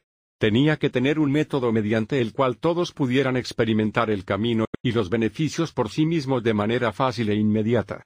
Así fue como pudo afectar a tantas personas durante su vida. ¿Quieres ver con claridad? Es fácil. Aligérate, diviértete explorando, relájate y sonríe. Relajarse y sonreír te lleva a una práctica más feliz e interesante. Eso suena como un gran consejo, pero, ¿cómo lo haces? Cuando te hayas perdido en la distracción y pierdas tu sonrisa, solo sigue estos pasos. 1. Reconocer, recognize, que la atención de la mente se ha ido a la deriva y que estás perdido en tus pensamientos. Has olvidado lo que estabas haciendo. Ya no estás en tu objeto de meditación. 2. Liberar, release, tu apego al pensamiento o la sensación dejando estar la distracción, no prestándole más atención. Solo deja de alimentarlo. Simplemente toma distancia al respecto. 3. Relajar, relax, cualquier tensión u opresión restante causada por esa distracción. 4. Volver a sonreír, resmile, pon esa sonrisa en tus labios y en tu corazón. Siente ese sentimiento feliz de bondad amorosa nuevamente. 5. Regresar o reorientar, return, reorientar suavemente la atención de la mente, y tráela de regreso al objeto de meditación, es decir, a meta, bondad amorosa. Continúa con una mente ligera y recogida y permanece con tu objeto de meditación. 6. Repetir, repeat, todo este ciclo de práctica. Repite esta práctica cada vez que tu atención se distraiga de su objeto de meditación. Llamamos a todo esto las seis R's. Se deduce directamente del texto de los suttas que forma parte del esfuerzo correcto. Las primeras cuatro R's son los cuatro esfuerzos correctos, y las últimas dos R's te recuerdan que debes regresar y repetir si es necesario. Ten en cuenta que nunca rechazas nada, nunca intentas controlar nada, guion intentar controlar es usar el anhelo para eliminar al anhelo. Pero por favor, no hagas las seis R's si sientes un ruido ligero de fondo o una sensación corporal menor. En tanto que sigas con tu sentimiento de bondad amorosa, quédate con ese sentimiento y deja que profundice. Ignora esas pequeñas distracciones de fondo. Como principiante, haz las seis R's solo si tu atención se ha ido completamente del objeto. En la explicación del camino octuple en los sutas, uno de los componentes es el esfuerzo correcto. El esfuerzo correcto y las seis R's son exactamente la misma cosa. ¿Qué es el esfuerzo correcto? 1. Notas que ha surgido un estado nocivo. 2. Dejas de prestar atención a esa sensación nociva, permitiendo que esté ahí por sí misma, sin forzarla a que se vaya ni tampoco aferrándote a ella. 3. Evocas un sentimiento saludable. 4. Te mantienes en ese sentimiento saludable. Las seis R simplemente agregan el regresar, return, y el repetir, repeat, para completar el ciclo. Repitiendo el ciclo de las seis R's una y otra vez practicamos el esfuerzo correcto. Vemos y experimentamos por nosotros mismos lo que es el sufrimiento y cómo aliviarlo. Te das cuenta de lo que hace que te pongas tenso y rígido, y luego cómo llega a cesar mediante la liberación, la relajación y evocando un objeto saludable. Descubres cómo ejercer el camino directo hacia la cesación del sufrimiento. Esto sucede cada vez que reconoces, recognize, y liberas, release, un sentimiento que surge, te relajas, relax, y vuelves a sonreír, resmile. Nota el alivio. Cuando observas los beneficios expuestos en el sutta que habla sobre el Dhamma, hay una frase que dice que el Dhamma es inmediatamente efectivo. Cuando practicas las seis R's, cumples con esta afirmación. Cuando relajas la tensión o la rigidez causada por una distracción, inmediatamente experimentas la tercera noble verdad, el cese del sufrimiento. En otras palabras, estás purificando la mente relajándote y dejando de lado el sufrimiento. Puedes ver esto por ti misma barra A. Después suscitas un sentimiento beneficioso sonriendo, y llevando la atención mental de vuelta a meta, que es un sentimiento saludable. No es necesario que practiques durante largos períodos, meses o años, para poder sentir alivio. Puedes verlo justo después del paso relajar, relax, de las seis R's. Puedes notar ese instante de mente pura, libre de anhelo. Al repetir las seis R's una y otra vez, al quitar los obstáculos de la atención, que son su combustible, al final reemplazarás todos los hábitos mentales no saludables por otros saludables. De esta manera, solo suscitarás estados sanos y finalmente lograrás el cese del sufrimiento. Para tener éxito en la meditación debes desarrollar tu habilidad para la atención plena y el poder de observación. Además, es importante mantener el sentido de la diversión y exploración. Esto ayuda a mejorar tu atención plena. El entrenamiento de las seis R's desarrolla estas habilidades que son tan necesarias. A veces la gente dice que esta práctica es más simple de lo que pensaban. Algunos se han quejado al maestro porque quieren que esta meditación sea más complicada. Ahora veamos cada uno de los pasos con más profundidad. Reconocer, recognize. La atención plena recuerda observar y reconocer los movimientos de la atención de la mente de una cosa a otra, es decir, del objeto de meditación a la distracción. Esta observación da cuenta de cualquier movimiento de la atención de la mente que se aleje del objeto de meditación. Uno puede notar una leve tensión o rigidez cuando la atención de la mente comienza a moverse hacia el fenómeno emergente. Pueden ocurrir sentimientos agradables o dolorosos en cualquiera de las seis puertas de los sentidos. Cualquier forma visual, sonido, olor, sabor, tacto o pensamiento puede causar una distracción. Con una cuidadosa observación sin juicios, notarás una ligera sensación de tensión que surge tanto en la mente como en el cerebro en sí mismo. Reconocer el movimiento mental al comienzo es vital para una meditación exitosa. Luego continúas hacia liberar, release. Cuando surja un pensamiento sobre algo, libéralo. Permítele que esté ahí sin prestarle más atención. El contenido de la distracción no es importante en absoluto, pero la mecánica de cómo surgió sí es importante. No lo analices ni intentes averiguar por qué está allí, permite que esté ahí y no le prestes atención. Sin la atención de tu mente, la distracción pierde energía y desaparece. Cuando no mantienes tu atención en ella, cesa la distracción y la charla mental al respecto. Entonces la atención plena le recuerda al meditador que debe relajar, relax, Después de liberar el pensamiento y permitirlo que sea sin tratar de observarlo o involucrarse en él, queda una tensión o rigidez sutil, y apenas perceptible en la mente y el cuerpo. Para eliminar esta tensión restante, el Buda introdujo el paso de relajación. Los suttas llaman al paso de relajación tranquilizar la formación corporal. Esto sucede especialmente en la cabeza, que es parte de tu cuerpo. Significa relajar tu atención en el pensamiento y en torno a este. Es más que simplemente dejarlo ir. Este relajar activamente suaviza y afloja, permitiendo que la distracción esté allí, lo cual debilita su poder. Poco a poco desaparece por completo por sí sola. Por favor no omita este paso. Es la parte más importante de esta meditación. Es el paso que falta del que hablamos en la introducción es la clave del progreso. Sin realizar este paso de relajación cada vez que te distraigas de tu objeto de meditación, no experimentarás en primer plano el cese de la rigidez causada por el anhelo. No sentirás el alivio mientras la tensión se está relajando. Recuerda que el anhelo siempre se manifiesta primero como una tensión o rigidez tanto en tu mente como en tu cuerpo. El paso relajar te da una especie de nirvana mundano. Tienes una oportunidad momentánea de ver y experimentar la verdadera naturaleza, el alivio de la tensión y el sufrimiento, cuando realizas los pasos de liberar y relajar. La atención plena continúa recordándote de volver a sonreír, resmail. Si has escuchado las charlas del Dama en nuestro sitio web, es posible que recuerdes haber escuchado acerca de cómo el sonreír es un aspecto importante de la meditación. Aprender a sonreír y levantar levemente las comisuras de la boca ayuda a la mente a estar observante, alerta, ágil y brillante. Ponerse serio, tensarse o fruncir el ceño hace que la mente se vuelva pesada, y tu atención se vuelva apagada y lenta. Las comprensiones se vuelven más difíciles de ver, lo que frena tu comprensión del Dama. Regresar, return. Redirige tu mente de vuelta a tu objeto de meditación. Redirige suavemente la mente y no la fuerces a que vuelva antes de que esté lista. Haz de este un movimiento armonioso, un movimiento oportuno y no forzado. Repetir, repeat. Repite todo este ciclo de práctica tantas veces como sea necesario. Permanece con tu objeto hasta que te despistes, y luego recorre nuevamente las seis R's. El amigo espiritual. Durante los primeros diez minutos de tu sesión, irradia bondad amorosa hacia ti. Envuélvete en esa sensación feliz y tranquila usando las instrucciones anteriores. Durante el resto de la sesión, irradia pensamientos amorosos y amables hacia un amigo espiritual.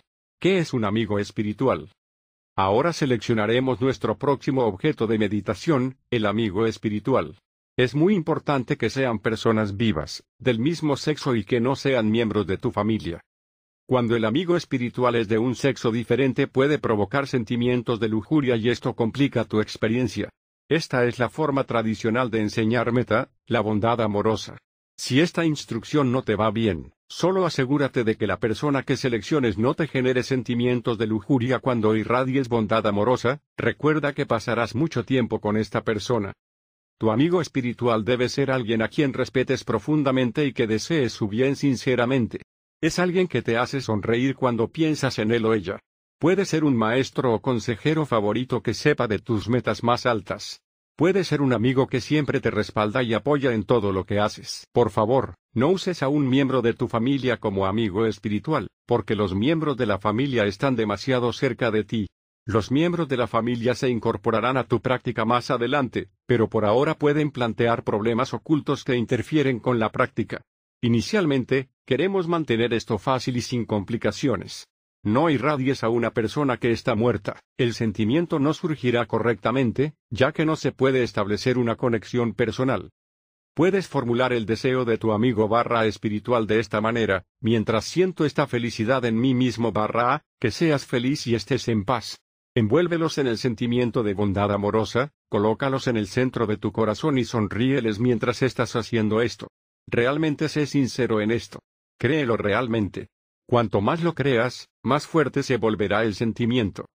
Continúa deseándoles lo mejor y de verlos en tu visión interna, pero no pongas demasiado énfasis en la imagen mental real de ellos. Algunas personas son muy buenas para visualizar y otras no. Simplemente has de saber quiénes son y que les deseas lo mejor. Las frases son una forma de activar el sentimiento, evocan la sensación. Cuando pidas ese deseo, dirige tu atención al sentimiento mismo. Recuerda que tu objeto de meditación es el sentimiento. Quédate con ese sentimiento y deja que crezca. No lo fuerces, simplemente estimúlalo un poco.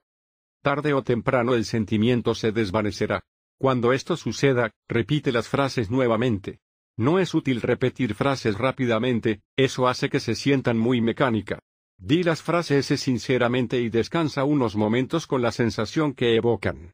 Repite una frase nuevamente solo si no ha surgido el sentimiento. Algunas personas preguntan, ¿estamos enviando este sentimiento hacia afuera, hacia el amigo, la amiga? No, no enviamos nada. Solo estamos viendo a nuestro barra amigo barra en el centro de nuestro corazón y deseamos que sea feliz. No estamos enviando, telegrafiando o mandando por correo express estos sentimientos. Cuando una vela irradia calor y luz, ¿está irradiando deliberadamente hacia afuera? No, irradia hacia afuera porque esa es la naturaleza del calor y la luz. Del mismo modo, rodeamos y sumergimos a nuestro amigo barra en este sentimiento, deseándole lo mismo y viéndolo sonriente y feliz. Este proceso es una combinación de tres cosas que surgen, el sentimiento radiante en tu corazón, la frase mental y la imagen de ti mismo o de tu amigo espiritual. Alrededor del 75% de tu atención debería estar en la irradiación del sentimiento, el 20% en sentir el deseo y solo un poco, digamos el 5%, en visualizar a tu amigo espiritual. Algunas personas piensan que deberían hacer que la visualización sea la parte más importante de su práctica. Luego se quejan de sentir rigidez en la cabeza. Esto se debe a que están forzando demasiado la idea de ver a su amigo espiritual. El maestro les dirá que dejen de esforzarse tanto en visualizar a su amigo barra porque la parte más importante de meta es la sensación de irradiar el sentimiento, tener un deseo sincero de felicidad para con su amigo espiritual y luego sentir esa felicidad. Si te duele la cabeza o sientes presión, estás forzando demasiado. Sonríe de nuevo y relájate un poco. Cuando imagines a tu amigo espiritual, trata de verlo sonriente y feliz. Recuerda mantener una pequeña sonrisa en tus labios durante toda la sesión de meditación. Si ves que no sonríes, eso será un recordatorio para sonreír otra vez. Fórmula otro deseo y envía un sentimiento amable a tu amigo. Tu cara no está acostumbrada a sonreír, así que ten paciencia. Incluso puede que te duelan un poco las mejillas, pero te acostumbrarás y ese malestar pasará. Por favor no te critiques por olvidarte de sonreír, los pensamientos críticos sobre cualquier cosa no son saludables y conducen a más sufrimiento. Si ves que te estás sintiendo apesadumbrado contigo mismo por haberte olvidado de sonreír, entonces ríete de ti mismo por tener una mente tan loca.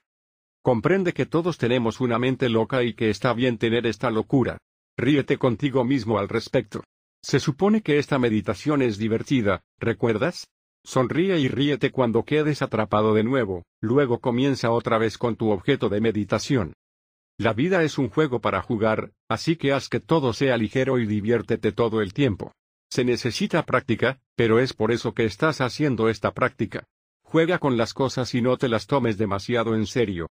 Esta es una meditación seria, pero no queremos que estés serio. Tu mente no debe estar demasiado seria, más bien, debe estar ligera y exaltada. Sonríe, y si eso no funciona, entonces reírte un poco debería ayudarte a volver a ese estado mental más feliz y atento. Usarás el mismo amigo espiritual todo el tiempo hasta que el maestro diga que puedes cambiar. Esto puede ser unos días o semanas. Si practicas por tu cuenta, contáctanos a través del sitio web y permítenos ayudarte, forma parte de nuestro grupo de discusión de Yahoo. Mientras más puedas permanecer en el presente feliz y contento, sintiendo felicidad con tu amigo espiritual, más pronto podrás pasar al siguiente paso de la meditación. Siempre puedes contactarnos a través de nuestro sitio web para obtener orientación. Una vez que te hayas establecido en un buen amigo espiritual, quédate con esa persona. Si cambias de una persona a otra, la práctica no podrá madurar ni profundizarse. A veces los meditadores quieren enviar meta a otras personas, o a todos los seres. Esta es solo una forma sutil de que tu mente te distraiga. Al comienzo hay que quedarse con el mismo amigo para que puedas construir tu recolección o recogimiento.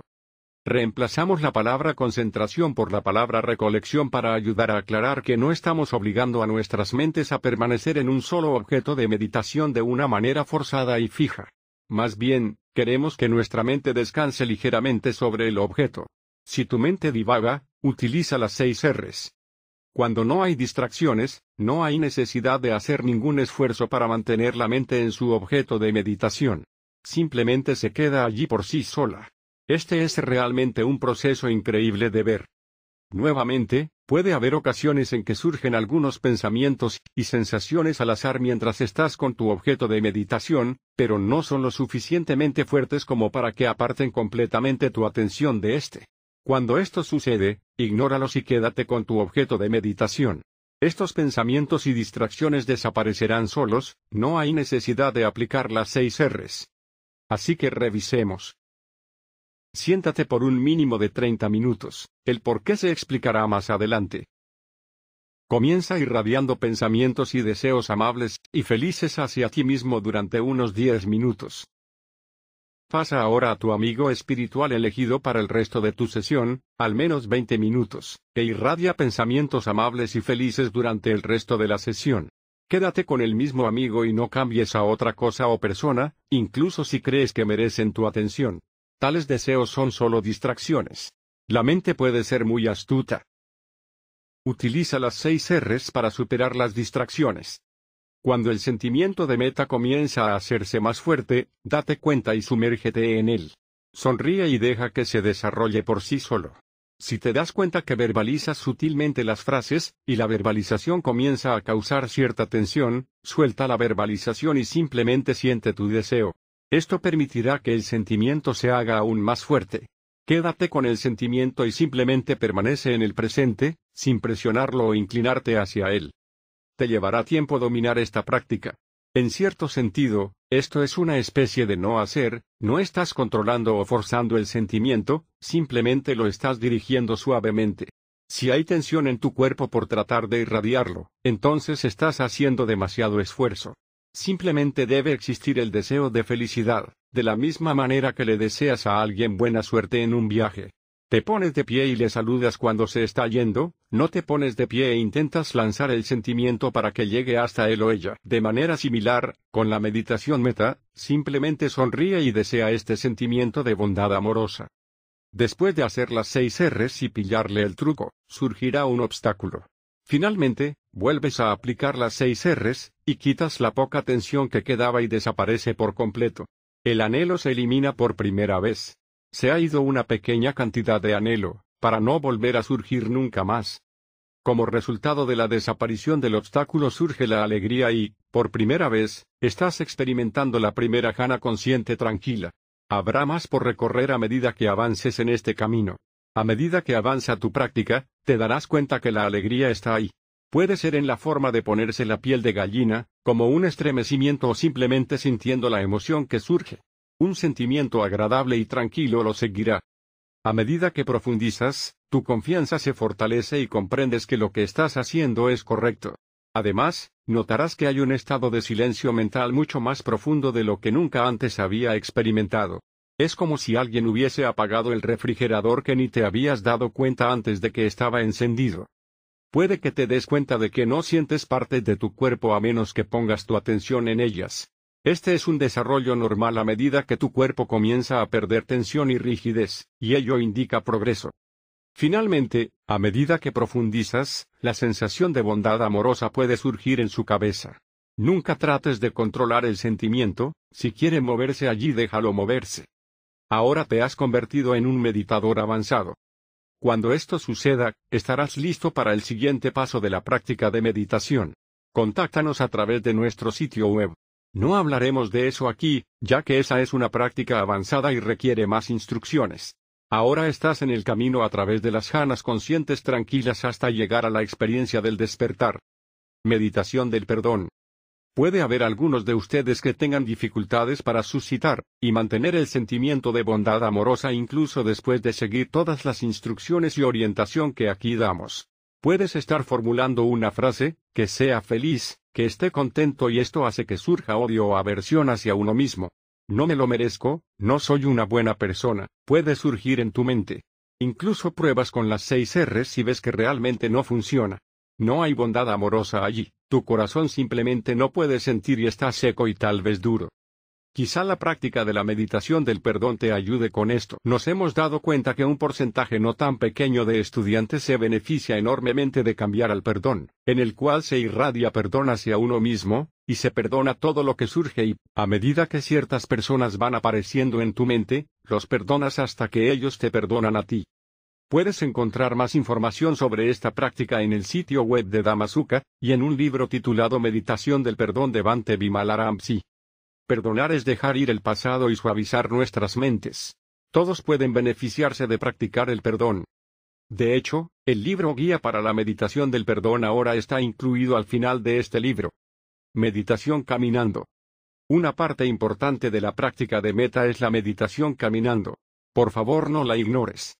Es necesario caminar para mantener tu energía, especialmente después de sesiones que cada vez son más largas.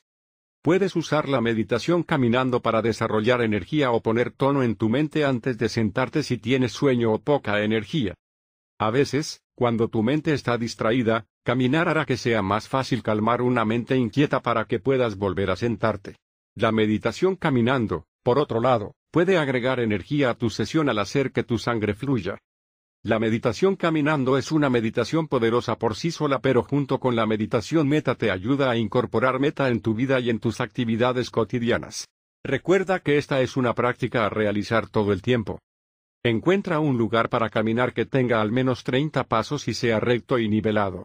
Camina a un ritmo normal como si estuvieras dando un paseo por el parque un domingo por la tarde, no lentamente como una tortuga sino a una velocidad que no es ni demasiado rápida ni demasiado lenta. Tus ojos deben estar dirigidos hacia abajo, frente a ti, de seis a diez pies adelante. No pongas la atención en tus pies. En cambio, quédate con tu amigo espiritual. Por favor, no mires a tu alrededor, ya que eso te distraerá de tu meditación.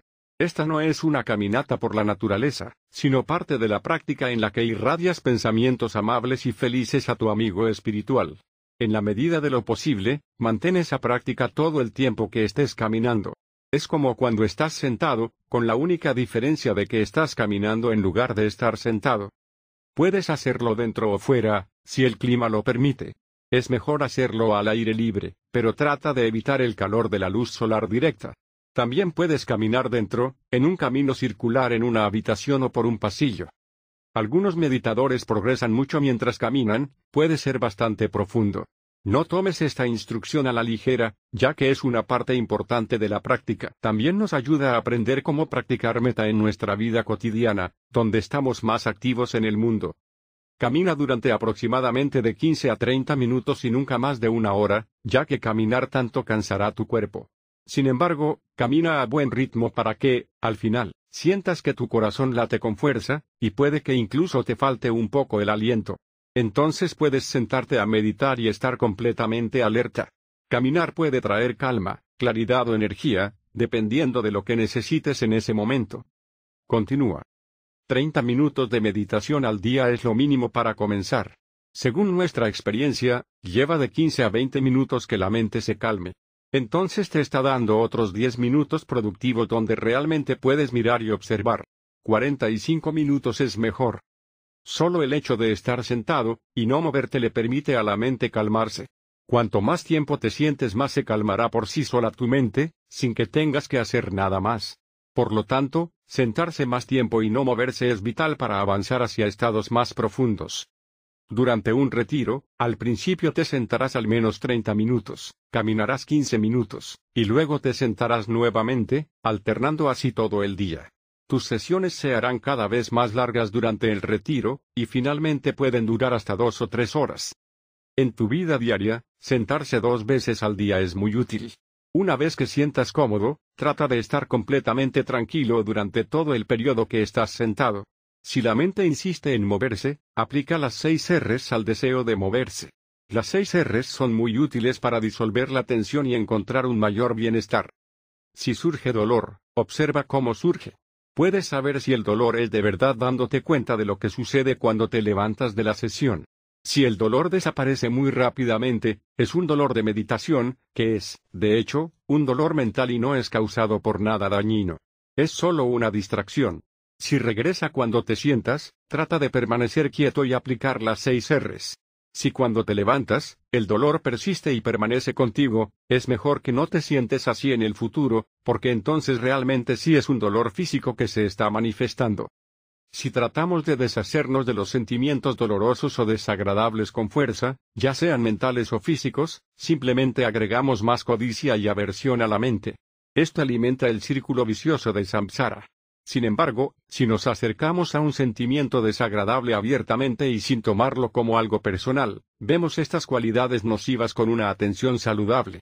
Esta conciencia pura y clara diluye gradualmente ese sentimiento perturbador. Además, Puede que notes que el sentimiento persiste, pero tu actitud hacia éste ha cambiado. Si tienes sueño sentado meditando dentro de un espacio cerrado, intenta sentarte afuera pero no directamente al sol. El aire libre tiende a despertarte.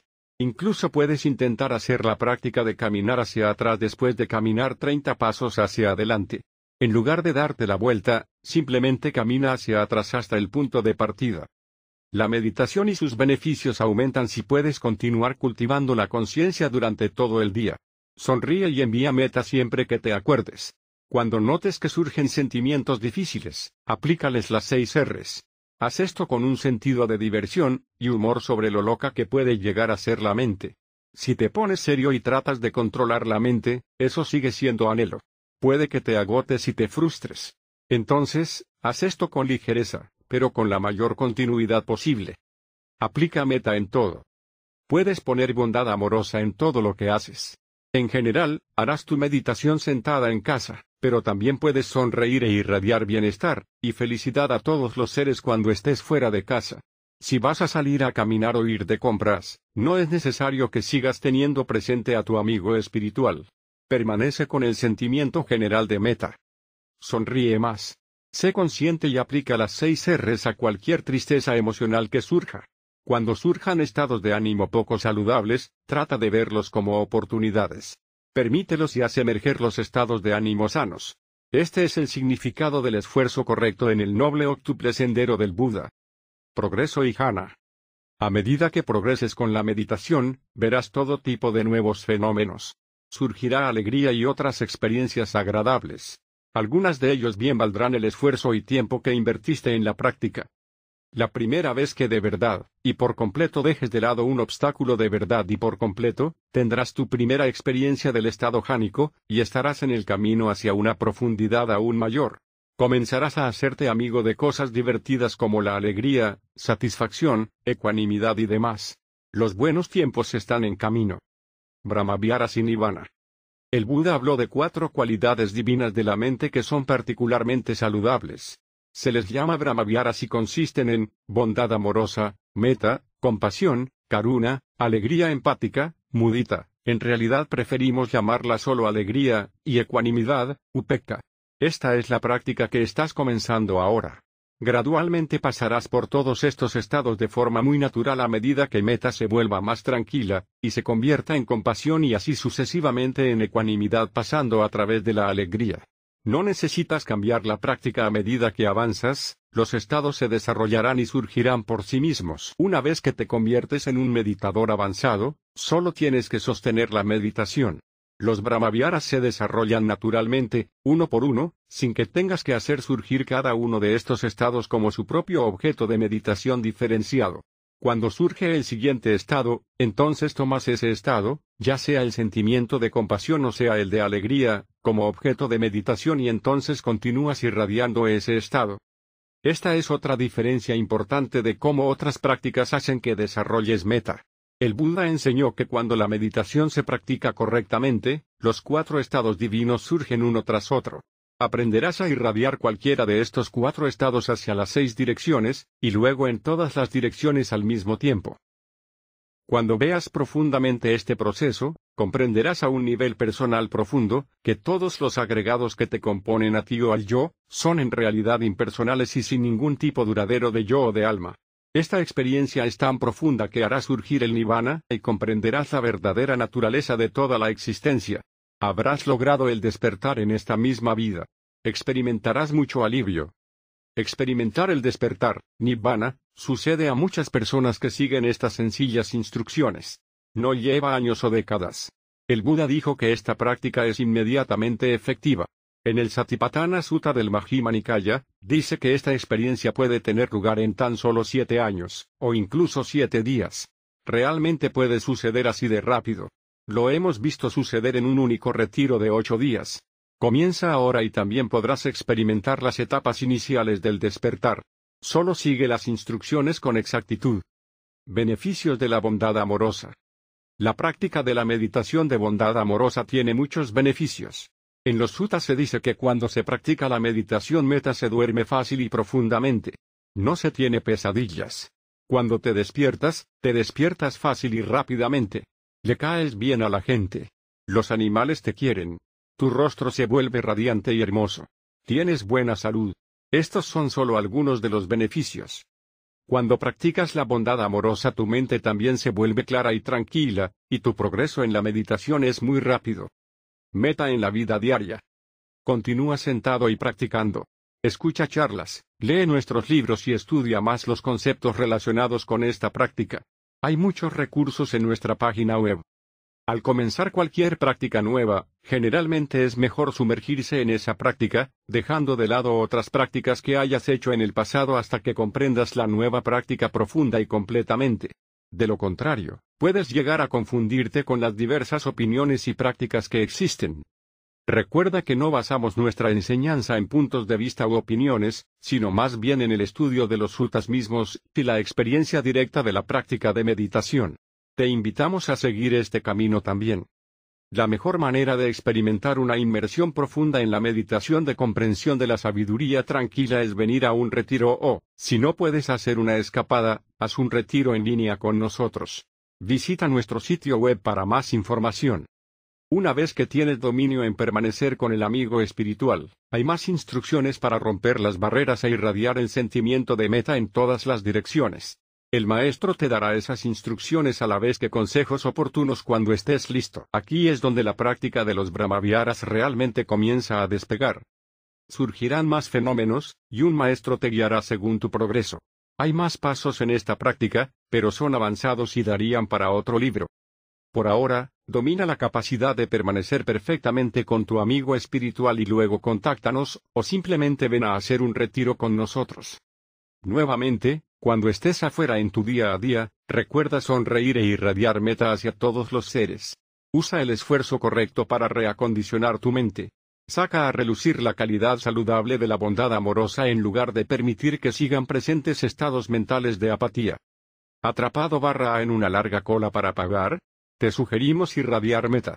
Es un trabajo difícil ser cajero en una tienda, así que sonríe al cajero y sea amigable. ¿Atascado en el tráfico sin poder moverte? En lugar de molestarte, irradia meta a los otros conductores. Aplica las seis R's a tu mente alterada, y reemplázala por una mente sana y elevada. Coloca un CD en el reproductor del automóvil y escucha una charla sobre el Dhamma para aprender más sobre el octuple sendero del Buda, en lugar de perder tu tiempo llevando una vida apática. Comparte lo que has aprendido con otras personas, y deja que se beneficien de tu práctica. Comparte generosamente esta práctica una vez que la entiendas. No hagas proselitismo. Solo habla de lo que te pasó con tus propias palabras. ¿Cómo te ayuda a ser más feliz? Sé el Buda en lugar de un budista. ¿No puedes encontrar un grupo donde meditar en la zona donde vives? Comienza el tuyo propio. Tan pronto como encuentres a otra persona interesada, ya tendrás un grupo. Medita durante al menos 30 minutos, escucha una charla, tómense un té y discutan lo que habéis aprendido. Justo en ese momento, acabas de crear tu propio grupo de meditación. Poco a poco, como gotas de agua que llenan una taza, llegarás al despertar supremo. Es posible hacer esto ahora mismo. El Buda nos mostró el camino. Solo sigue las instrucciones exactamente. Ahora, entremos en los estados de jhana y veamos, finalmente, cómo surge el nirvana. Capítulo 4. Tipos de práctica de concentración. La gran variedad de métodos de práctica de concentración. Quiero resumir los principales tipos de técnicas de meditación de concentración o absorción que existen en las prácticas budistas de hoy, especialmente en la tradición Theravada. Esto no incluye todas ellas, sino los tipos genéricos predominantes. Incluyen los siguientes. Concentración de absorción total utilizando objetos de meditación como la respiración, visualizaciones, llamas de velas o discos de colores para llegar a absorberse completamente en el objeto. Comprensión árida o comprensión a secas, Dri Insight, donde el meditador no se absorbe en el objeto, sino que utiliza la observación para desarrollar la comprensión, con medios áridos, sin el uso de una concentración de absorción profunda en un solo punto. Meditación de comprensión con concentración una mezcla de las dos anteriores, utilizando la concentración de absorción total para desarrollar las ocho janas de absorción, y luego emerger y observar la mente y desarrollar la comprensión profunda, Insight Vipassana. Ya hemos discutido la meditación de absorción completa creada por la concentración, así que veamos el segundo punto tipo. Comprensión árida o a secas, Dri Insight. Hoy, en la tradición Theravada, hay algunos tipos diferentes de prácticas. Existe una que se llama directamente vipassana o vipassana directa, también llamada comprensión árida o a secas, o meditación de comprensión, que fue desarrollada por el venerable Mahasi Seyada de Birmania. Un sistema similar es la práctica de escaneo y conciencia corporal desarrollada por Ubakin de Birmania, ahora enseñada en todo el mundo por SN Goenka de la India. Tratan de evitar la concentración absorción jánica, como se discutió anteriormente, a los estudiantes se les dice que deben evitarse las janas, ya que pueden apegarse a ellas como una distracción para su trabajo real, enfocado en el ejercicio de conciencia de comprensión árida. Se te dice que hay un atajo para evitar lo que se percibe como un desarrollo largo y arduo con las janas, este atajo consiste en el desarrollo de una técnica para escanear el cuerpo conscientemente, al observar las sensaciones corporales y ver su verdadera naturaleza, se te dice que alcanzarás el despertar. En la tradición y de comprensión árida, se te dice que sigas la respiración y anotes mentalmente cada experiencia que surge, lo llaman anotar, o que tomes notas mentales verbales tales como escuchar, oír o caliente, caliente siempre que tu atención se aleje de tu respiración o de la práctica de meditación caminando. Dicen que esto te llevará a nirvana muy rápidamente, mucho más rápido que el uso de las janas, de absorción, que pueden tardar muchos meses o años en lograrse. Maasi Sellada dice que puedes alcanzar Nirvana en tan solo un retiro de 30 días con el método de comprensión árida. Es por eso que muchas personas se sienten atraídas por este sistema debido a estos beneficios que promete. Parece ser rápido y bien diseñado, con instrucciones claras y etapas de progreso. Recuerdo haber leído esta declaración en un libro del almirante Satub sobre el curso de Vipassana en Birmania hace 40 años y me emocioné mucho. Al leerlo, ya me imaginaba a mí mismo como una persona santa e iluminada que iba en el autobús en el viaje de regreso de mi primer retiro de 30 días. Entonces podría tomarme las cosas con calma. De hecho, comencé a hacer retiros en un sótano de Denver que se había dividido en secciones con cortinas. Enseñaba un hombre estadounidense entrenado en Sri Lanka que era extremadamente serio, y exigió que nos quedáramos despiertos hasta la medianoche, y luego nos levantáramos a las cuatro de la mañana. Y ese fue mi primer retiro, 30 días. Al final me sentí más como si me hubiesen encarcelado. Tenía 19 años, hace ahora 43 años.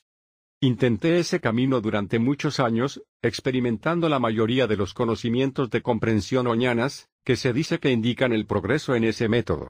Más tarde, viví y trabajé en un centro de Vipassana en San José, California, pero las experiencias que tuve con este método no produjeron el cambio de personalidad que los suttas indican que uno debería esperar de la meditación. Esas experiencias de comprensión fueron muy intensas y sucedieron tal como escribió Maasi Seyada, pero seguía teniendo el mismo ego viejo y neurótico después del retiro. Quizás era un poco más amable, o simplemente me engañaba pensando que era más santo por haber visto estos conocimientos. Bante Vimalaram Si, de 28 años, que todavía no era monje y tenía un nombre de laico en ese momento, apareció en el centro. Siendo un carpintero experto y construyendo casas en San Francisco, se ofreció como voluntario para construir nuestra sala de meditación. Hizo un trabajo muy hermoso con alfombras blancas y vidrieras. Lo volví a ver años después, en 2006, después de un lapso de 25 años. Se había convertido en monje y se había ido a Birmania, y había pasado muchos años en el famoso centro de meditación Mahasi en Yangon. Se entrenó con el venerable Upandita Seyada, y luego con el venerable Ujanaka practicando vipassana al estilo Mahasi. Llegué a saber, gracias a Bante, que incluso en Birmania, Myanmar, el progreso para los meditadores era muy difícil de lograr. Observó a muchos estudiantes mientras practicaba allí. Hizo muchos retiros de tres meses y, finalmente, un retiro de dos años. Había hecho todos esos retiros y experiencias antes de que su maestro le dijera que había logrado el resultado final. Eso es un poco más de treinta días. Más tarde, cuestionó este logro porque su experiencia no coincidía con los sutas. Incluso después de haber completado todos esos retiros, no sintió que experimentara un cambio fundamental de personalidad. Cuando me puse en contacto con él, me contó de sus experiencias en Birmania en correos electrónicos detallados. Mi confianza en sus descripciones detalladas de lo que había logrado en la práctica de comprensión vipassana llegó a tal punto que me di cuenta de que tal vez la propia vipassana era el problema. No estaba produciendo el cambio que uno esperaba. Lo había llevado al límite y había experimentado los 16 conocimientos, y ahora había decidido pasar a otra cosa. Cuando miré su sitio web, me pareció muy extraño. Hablaba de sonreír y relajarse, no había ninguna charla motivadora con actitudes del tipo hay que esforzarse todavía más. Él suele decir, si no puedes sonreír, ríete. Esto no es serio. Y esta es una práctica seria, ¿verdad? Punto punto punto, o quizá este es precisamente el problema. La práctica de comprensión árida o el método vipassana de Mahasi me parece ser otra forma de concentración, una práctica de meditación enfocada en un punto. Lo que se logra se consigue rechazando los obstáculos, y agarrando con fuerza el objeto de meditación en lugar de simplemente conocer el objeto tal y como dicen los sutas. Se sostiene el objeto de forma poderosa y enfocada, sin el paso de relajar. Dicen, entra en tu dolor y métete justo en medio de él. Mira su naturaleza de surgir y desaparecer. Sigue mirándolo y anotándolo hasta que desaparezca, pero eso implica controlar tu conciencia, lo cual crea tensión. Goenka enseña algo similar con un ejercicio de barrido corporal, pero con el mismo tipo de atención plena que se centra en las sensaciones que surgen. El método del barrido reconoce las distracciones y las deja estar y sigue adelante, pero olvida todo el paso relajante de eliminar la tensión y la rigidez de la distracción. Esta técnica sigue siendo un tipo de práctica de concentración, centrándose en las sensaciones más que en la respiración. Con la meditación Tuim, observas una sensación dolorosa, y sabiendo que está allí, liberas tu atención de ella. Relajas cualquier tensión y rigidez que esté llevando tu conciencia al dolor. No permanezcas con el dolor, es decir, no piensas en él, no lo analizas ni generas aversión hacia él. Eso no funciona. Eso no alivia la rigidez y la tensión. Al concentrarte en esa sensación dolorosa, con un estado mental ya tenso, y al tratar de observarlo más de cerca, no obtendrás más información para liberarte del sufrimiento, solo habrá más sufrimiento. Bante describe haber hecho el proceso de Mahasi y finalmente ir más allá del dolor, pero era solo una supresión temporal del dolor. Dijo que lo había sometido durante su meditación y, finalmente, lo había forzado para que desapareciese. De hecho, este tipo de meditación proporciona un progreso en los vipassanañanas, que son los estadios de comprensión árida que se explican en el Visuddhimagga. Son muy reales y por este motivo proporcionan mucha credibilidad a esta práctica. Hay nueve, doce o dieciséis conocimientos, depende del texto que leas, que surgen cuando se siguen las instrucciones tal, y como recomiendan hacer los libros de Mahasi y el Visuddhimagga. Cuando investigamos, no obstante, nos damos cuenta que estos estadios de comprensión no están en los sutas. Cuando practicamos el paso de relajación, estos estadios no aparecen.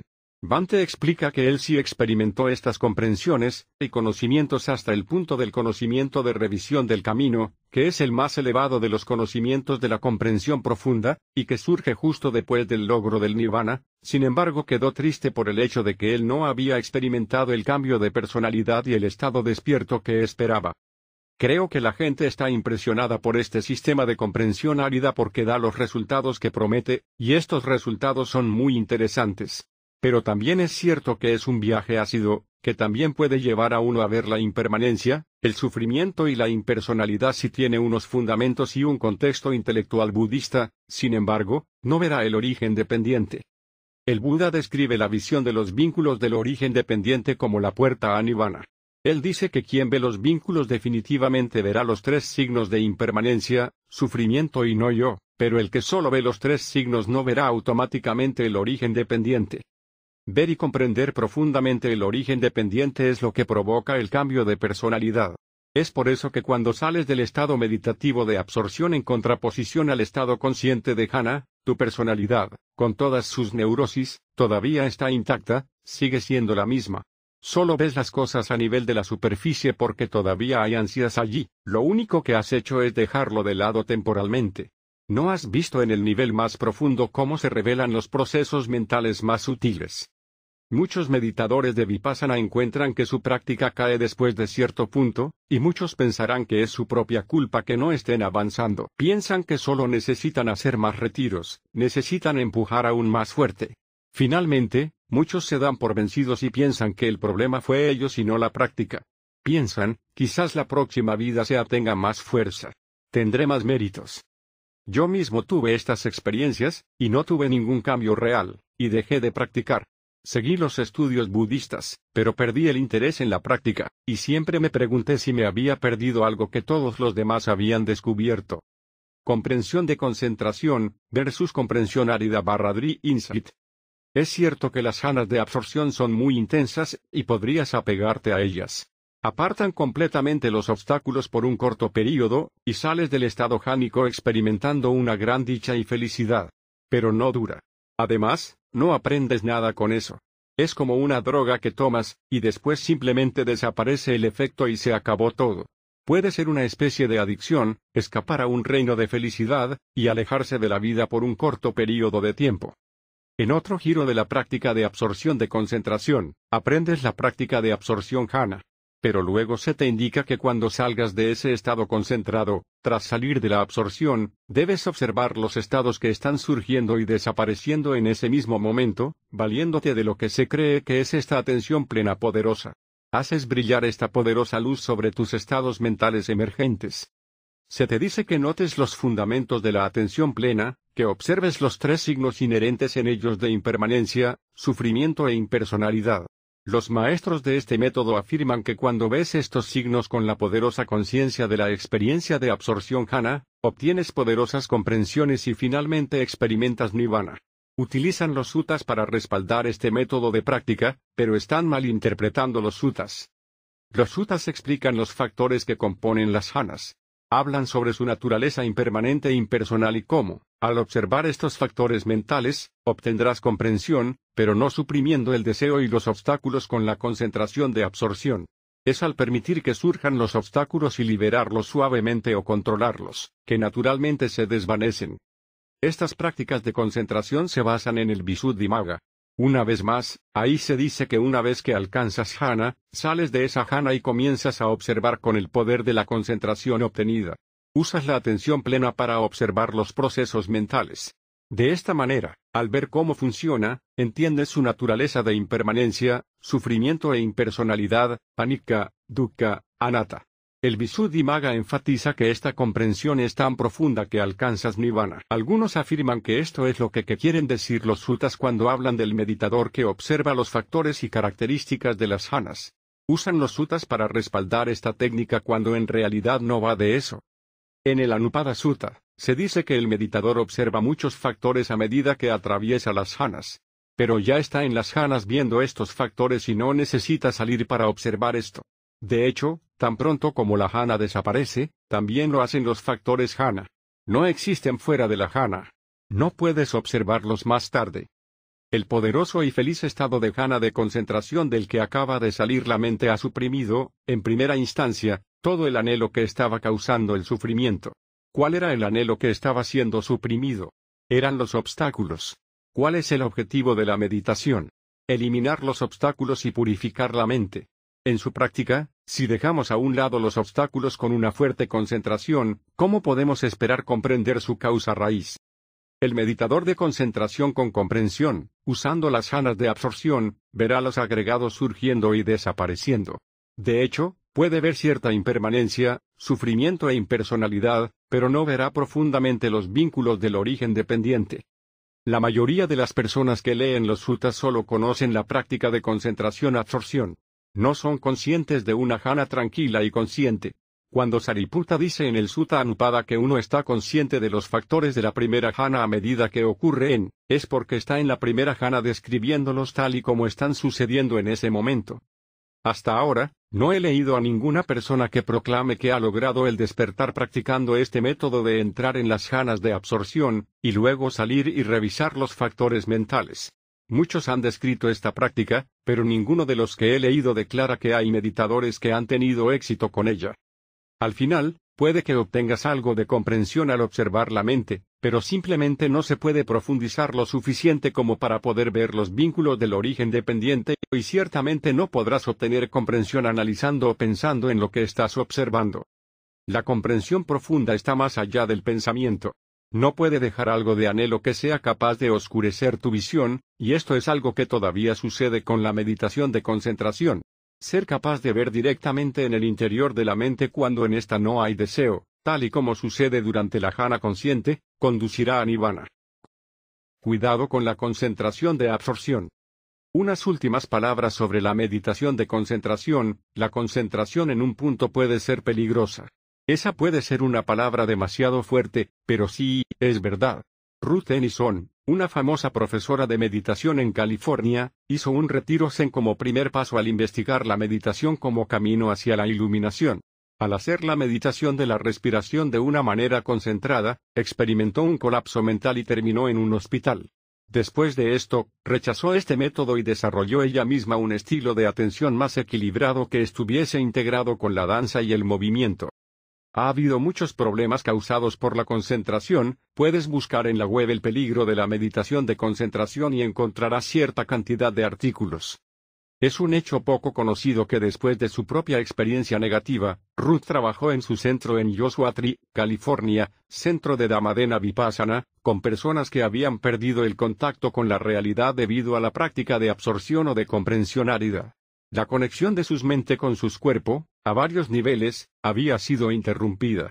Ella trabajó con ellos para meter sus manos en la tierra o hacer que construyeran monumentos de piedra para que pudiesen recuperar la conexión con sus cuerpos. Estas eran personas que provenían de tradiciones que usaban la meditación de concentración como práctica. Estuve en varios retiros de Tuim, meditación de comprensión de la sabiduría tranquila, en su centro, y mientras estaba allí escuché a Ruth hablar sobre este tema. En un retiro me presentaron a una persona que había sido enviada allí. Ella se veía bastante infeliz. Estaba retraída, tenía poca energía y no tenía siquiera la capacidad de sentarse. Había una especie de desesperanza en su voz cuando dijo hola. Ruth era muy hábil en conseguir volver a equilibrar a estas personas, y ciertamente espero que tuviese éxito con esta chica. En Vipassana, particularmente, hoy en día muchas personas hablan sobre la etapa de la noche oscura del alma de la meditación. Este es un término bastante nuevo para mí, pero se trata simplemente de las etapas superiores de la meditación donde surge el conocimiento del miedo, entre otros estados. Estos son niveles estándar de conocimiento, y yo mismo los atravesé, y se me dijo que simplemente los capeara. Nunca se les llamó de este modo, pero sé lo que son. Es el miedo a morir porque ves que no hay un yo ahí. Sin embargo, no estás equilibrado, y la mente ansiosa surge y se presenta en forma de un gran miedo, debido al hecho de que estás tomando todo esto de forma personal. Nada de estas cosas desagradables suceden en la meditación Tuim, y si suceden, practicas las apóstrofes seis R's, o lo liberas y te relajas considerándolo como otro obstáculo más. Tuim implica soltar la mente anhelante, y así ganar más y más equilibrio y estados felices.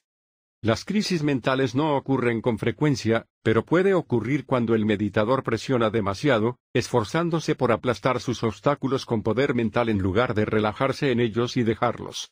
Los maestros de meditación que usan janas de concentración señalan los suttas para verificar que lo que están haciendo es correcto, pero nuevamente olvidan que el Buda rechazó esos métodos de concentración.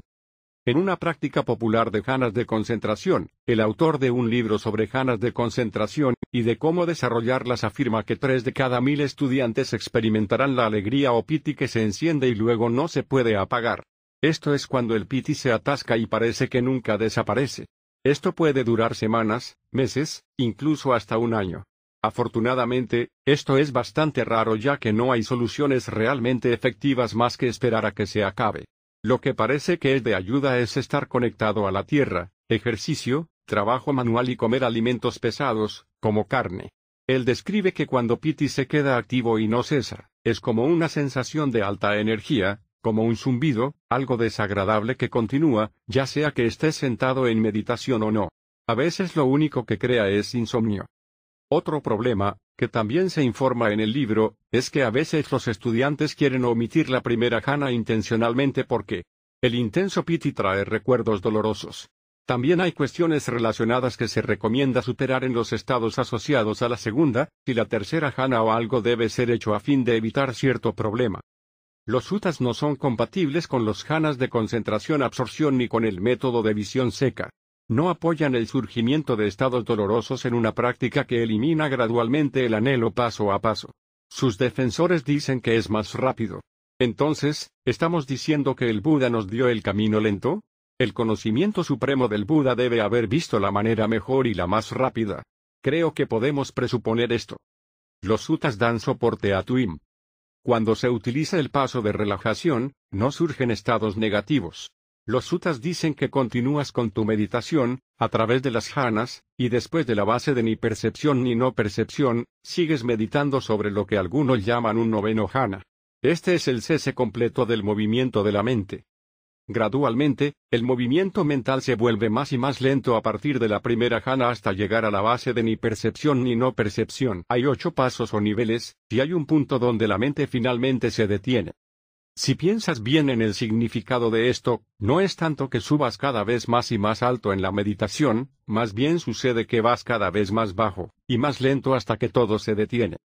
No se produce ninguna interrupción en el proceso meditativo, se va recorriendo naturalmente el proceso, e irán surgiendo comprensiones hasta que la mente se detenga y entre en la cesación. La base y el objeto de meditación para la meditación de comprensión de la sabiduría tranquila es meta y los cuatro brahmaviaras, siguiendo directamente los sutas. Hay algunos métodos adicionales utilizados en Twin como el de romper las barreras y enviar meta a un amigo espiritual, que son muy útiles en las etapas iniciales de la meditación. Cuando tu meditación Tuim se ha desarrollado a un cierto nivel, después se pasa a seguir los sutas con precisión, y se utiliza el irradiar en las seis direcciones tal, y como se enseña en el método Brahmaviara. Una cosa que no se usa en esta práctica meta y tuim, que es utilizada por la mayoría de los barras de más maestros barras, es repetir las mismas cuatro declaraciones una y otra vez. Esta es una forma tradicional de desarrollar la meditación meta. Con el método TWIM, traes el sentimiento sincero del deseo de bondad amorosa y pones ese sentimiento en tu corazón. Rodeas a tu amigo espiritual, tu objeto de meditación, con ese sentimiento y le inundas de este sentimiento. La forma en que la mayoría de la gente enseña meta es un ejercicio intelectual en vez de una meditación en los sentimientos, pues se trata de repetir las mismas declaraciones una y otra vez, lo que lo convierte en un mantra o una práctica de concentración de un solo punto. En lugar de repetir el deseo de ser feliz una y otra vez, en tu im, utilizas este deseo para recordarte a ti mismo de tener el sentimiento de bondad amorosa. Más tarde, a medida que tu práctica sea más profunda, soltarás las frases por completo.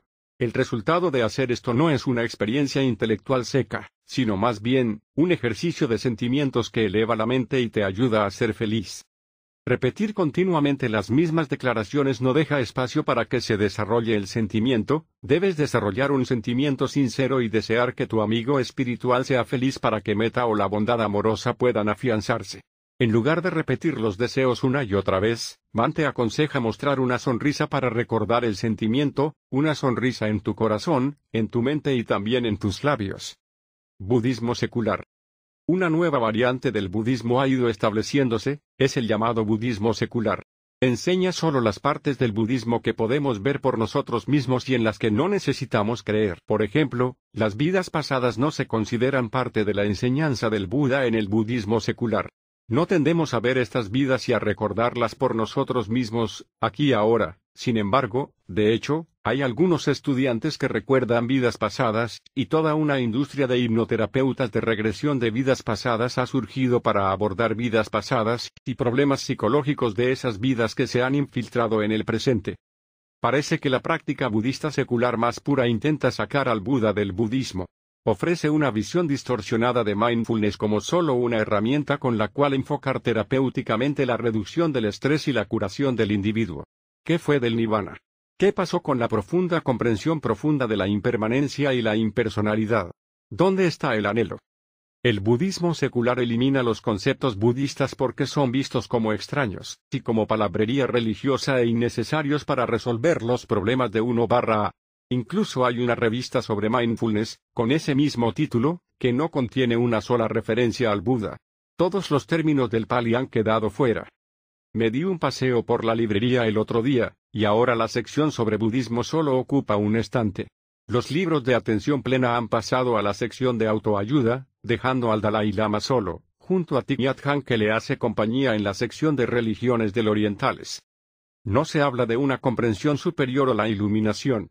La atención plena es solo otra herramienta que se ha agregado al conjunto de herramientas psicoterapéuticas. Esto supone el debilitamiento del budismo. El MBSR o el programa de reducción del estrés basado en la atención plena es un programa en el que la atención plena se emplea con fines terapéuticos. Las ideas budistas de impersonalidad e impermanencia realmente no juegan un papel importante. El origen dependiente seguramente falta. Básicamente se trata de observar la respiración, y hacer meditación caminando lentamente para calmar la mente. El objetivo que se persigue es reducir el estrés y la ansiedad. Se considera que no es posible alcanzar la iluminación y eliminar permanentemente el anhelo. Ahora incluso hay aplicaciones para que tu teléfono te facilite una meditación corta de 5 a 10 minutos, sobre la respiración o de conciencia corporal, que puedes hacer todos los días para desestresarse.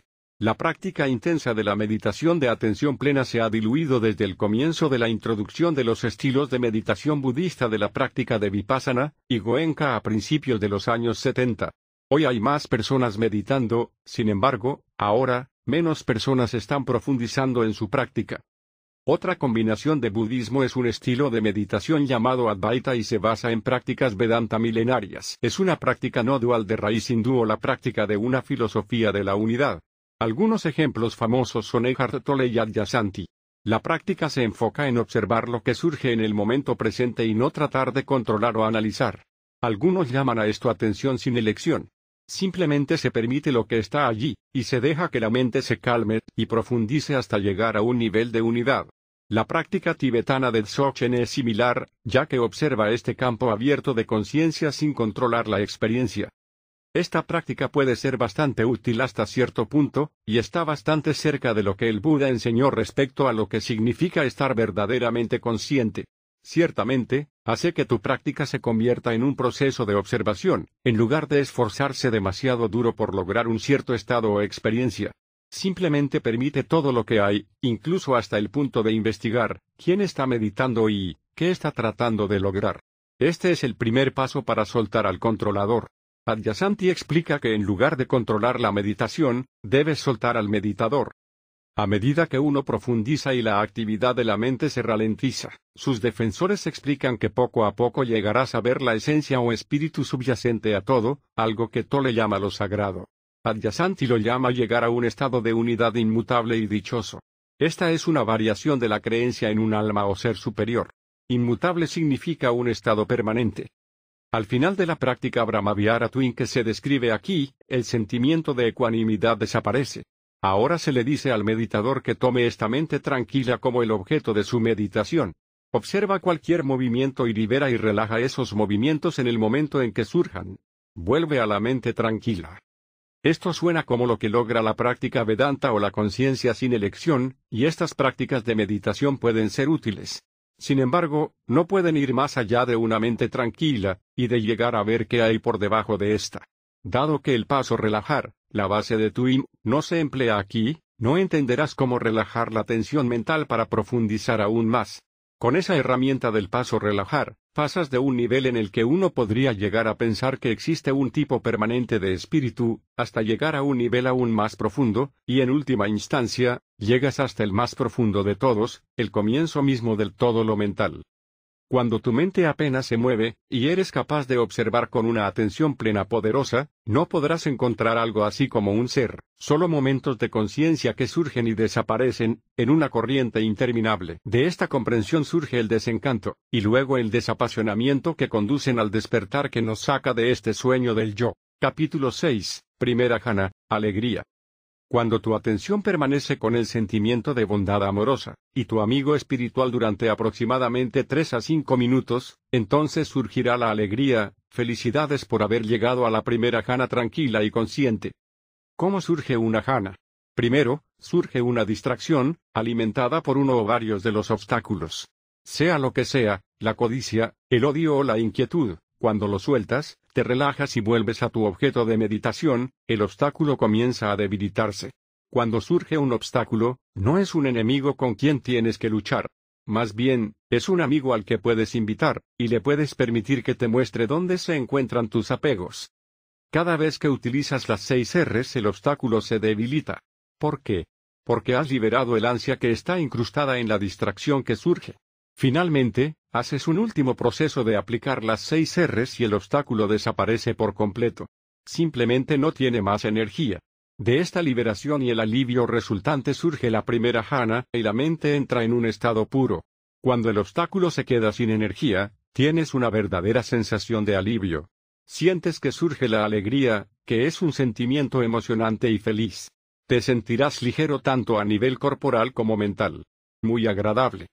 Los obstáculos están constantemente haciendo que nuestra conciencia esté tensa y nuestro estado de ánimo esté bajo. Llevan a que tengamos un gesto de malestar y al estrés. Ahora estás viendo surgir el comienzo de la verdadera felicidad. Es como si hubieras estado en un estado áspero y doloroso toda tu vida y alguien simplemente te hubiese desenchufado de ese estado. Sientes la alegría, piti, en la cabeza, en el pecho y en todo el cuerpo. Puede sentirse como una sensación de plenitud o de calidez o ligereza. Puede ser como burbujas reventando. Puede ser sutil o, para algunos, puede sentirse como una alegría más extrema. Puede haber algunas actividades mentales y visuales, o incluso puede que, a pesar de tener los ojos cerrados, haya como fuegos artificiales. Esto se resolverá después de un período de tiempo, unas pocas horas o un día. El estado mental será energizado y alegre, y definitivamente será un sentimiento agradable. No habrá obstáculos en este momento. Se siente un gran alivio justo después de que la alegría se desvanezca, la mente se volverá muy tranquila y cómoda. Esto se llama felicidad o sukha. La mente simplemente permanece en su objeto de meditación casi sin ningún esfuerzo. Nunca antes has experimentado una felicidad y claridad como estas. Insertaré algunos comentarios de antiguos alumnos que hicieron un retiro físico en línea desarrollando esta práctica. Pude generar bondad amorosa e irradiar el sentimiento a mi amigo espiritual. En unos segundos, sentí una ola abrumadora de alegría. Era como si mi amigo espiritual irradiara meta hacia mí. Lloré de alegría. De nuevo, volví a mi objeto de meditación, amigo espiritual, pero nuevamente sentí una ola de alegría y esta vez me sentí tremendamente agradecido barra EM California. ¿Qué es la alegría? La naturaleza de la alegría en esta etapa inicial es el entusiasmo y un sentimiento de felicidad. Un hombre en un desierto que se está muriendo de sed, ve a lo lejos un oasis y una laguna de agua fría. Se pone muy emocionado y feliz.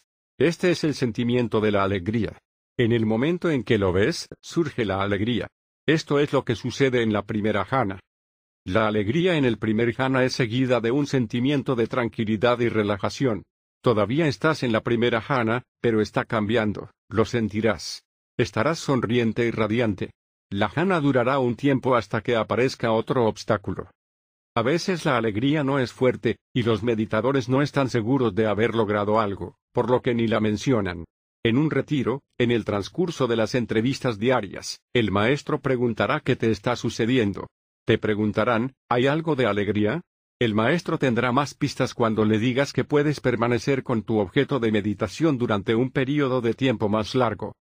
Sigamos con este símil un poco más, y demos una breve explicación de los próximos tres jhanas para que puedas ver cómo se desarrolla la práctica.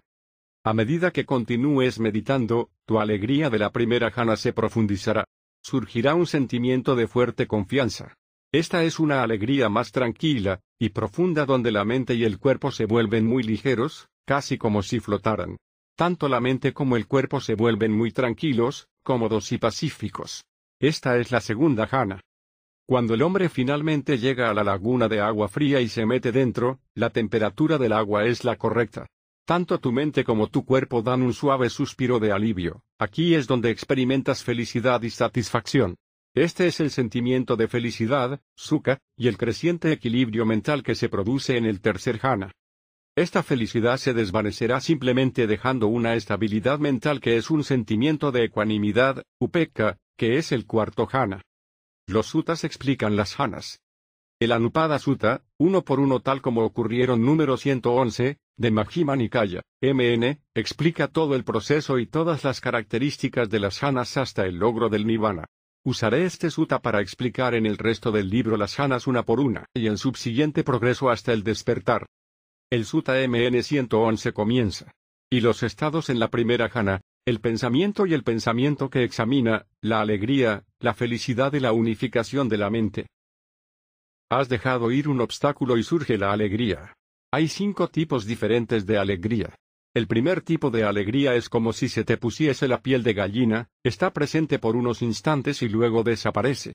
El siguiente tipo de alegría es como un relámpago, es muy intenso por un período muy corto y luego se desvanece.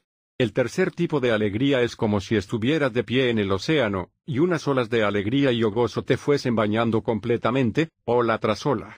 Estos tres tipos de alegría pueden sucederle a cualquiera por cualquier motivo cuando las condiciones son las correctas. Los dos últimos tipos de alegría solo surgen mediante desarrollo mental. El cuarto tipo de alegría se llama alegría o gozo que eleva. Te sientes muy ligero barra mental y corporalmente. Te sientes muy feliz y emocionado barra a. Esta es la alegría de la primera y segunda jana. El quinto y último tipo de alegría se llama alegría que todo lo impregna. Es como si saliese de todas partes, burbujea por todas partes e impregna toda tu mente. Este tipo de alegría también se llama el factor del despertar de la alegría y o gozo. Esta es la alegría que sientes cuando alcanzas nirvana. Entonces surge el cuarto tipo de alegría, y justo después de eso, cuando se desvanece, te sientes muy tranquilo y cómodo en tu mente y en tu cuerpo.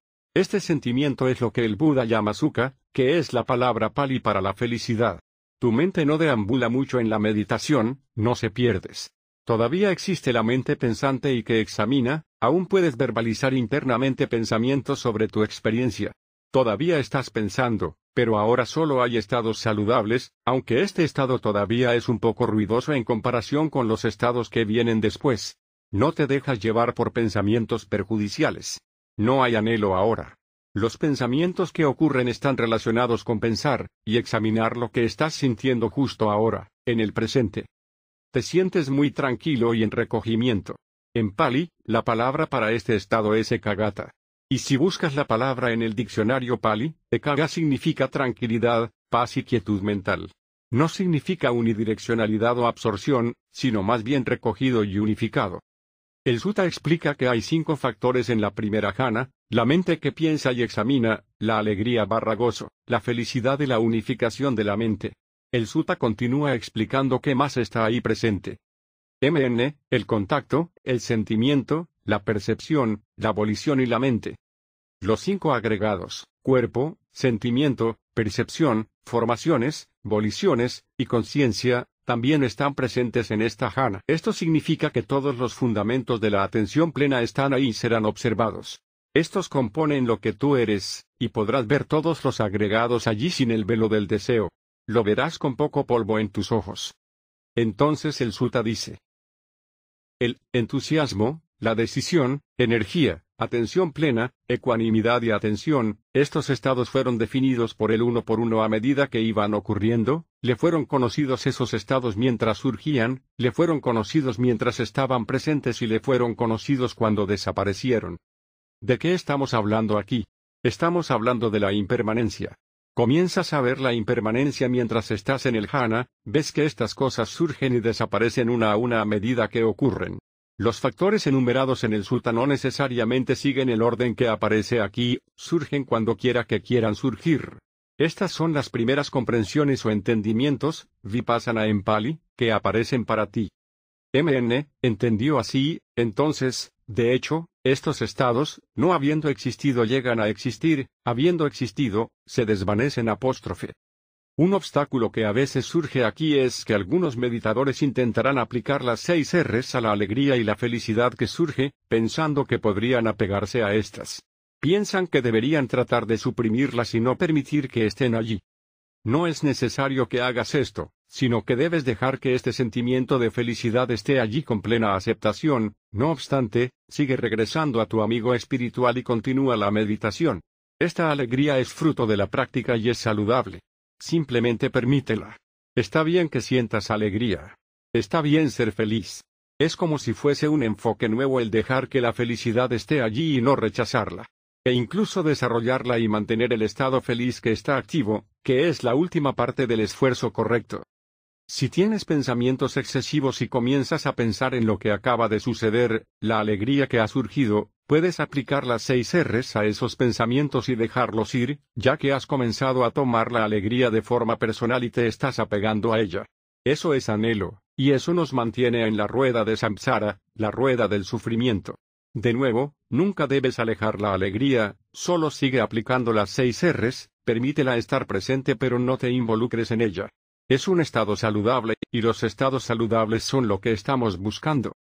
El Buda dijo que es parte del esfuerzo correcto darse cuenta de un estado no saludable y hacer surgir un estado saludable. No dijo que reemplazaras un estado sano por un estado aún más sano. Lo que es sano es sano. Solo permítelo ser. Es suficiente.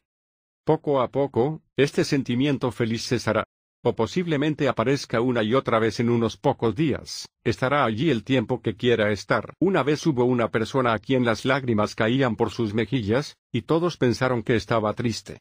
Sentía alegría. Finalmente, se le recomendó que tomara una toalla, y dejara que las lágrimas cayeran sobre ella. No hace falta hacer que paren las lágrimas. Ese proceso se detendrá por sí mismo. Después de un tiempo, perderás este sentimiento feliz y los obstáculos volverán ciertamente comenzarás a pensar, oh, si pudiera volver a tener esa experiencia. Esto es anhelo y se le debería aplicar las seis R's. A menudo, en esta etapa, si no sigues las instrucciones del maestro al aplicar las seis R, puede que te la pases intentando averiguar cómo recuperar ese estado. Y no lo conseguirás. Como consecuencia, podrías estrellarte y quemarte, y al día siguiente sentirte frustrado por no poder volver a tener esa experiencia. Algunos meditadores son más inteligentes que otros, simplemente vuelven a la meditación como la habían practicado antes y continúan siguiendo las instrucciones. A otros les puede llevar un día extra, y eso está bien. Todos tenemos que aprender. Querer algo solo crea frustración en la mente. Necesitamos aplicar las seis R's a eso también. Instrucción de meditación. En un retiro, la maestra o el maestro ahora te dará más instrucciones. Para aquellos que estáis siguiendo este libro por vuestra cuenta, prestad atención a las siguientes instrucciones. Después de sentir que surge este sentimiento de alegría, puedes abandonar la verbalización de los buenos deseos a tu amigo espiritual, que seas feliz, que estés en paz, etc. Simplemente siente el deseo por su felicidad sin verbalizar mentalmente. No hay más necesidad para emitir frases, ya que pueden causar tensión y rigidez en tu cabeza, y ciertamente no deseamos crear más tensión. Esta es una señal de progreso en tu meditación. Tus pensamientos se han calmado y estás comenzando a experimentar la presencia silenciosa de la segunda jana. Hablaremos más sobre esta jana en el próximo capítulo. El maestro no te dirá en qué jana estás hasta que hayas llegado a la cuarta jana. En esa etapa, tendrás un control firme de la técnica, y de cómo aplicar las seis R's a las distracciones. Comprenderás que estos son simplemente niveles de comprensión y tranquilidad por los que estás pasando. A medida que avanza tu meditación, comienzas a desarrollar cierta ecuanimidad y no te importará tanto en qué estado te encuentras. En ese momento, el maestro te dirá que te has convertido en un meditador avanzado y te felicitará por tu progreso, pero todavía hay más por hacer. La meditación caminando y las janas.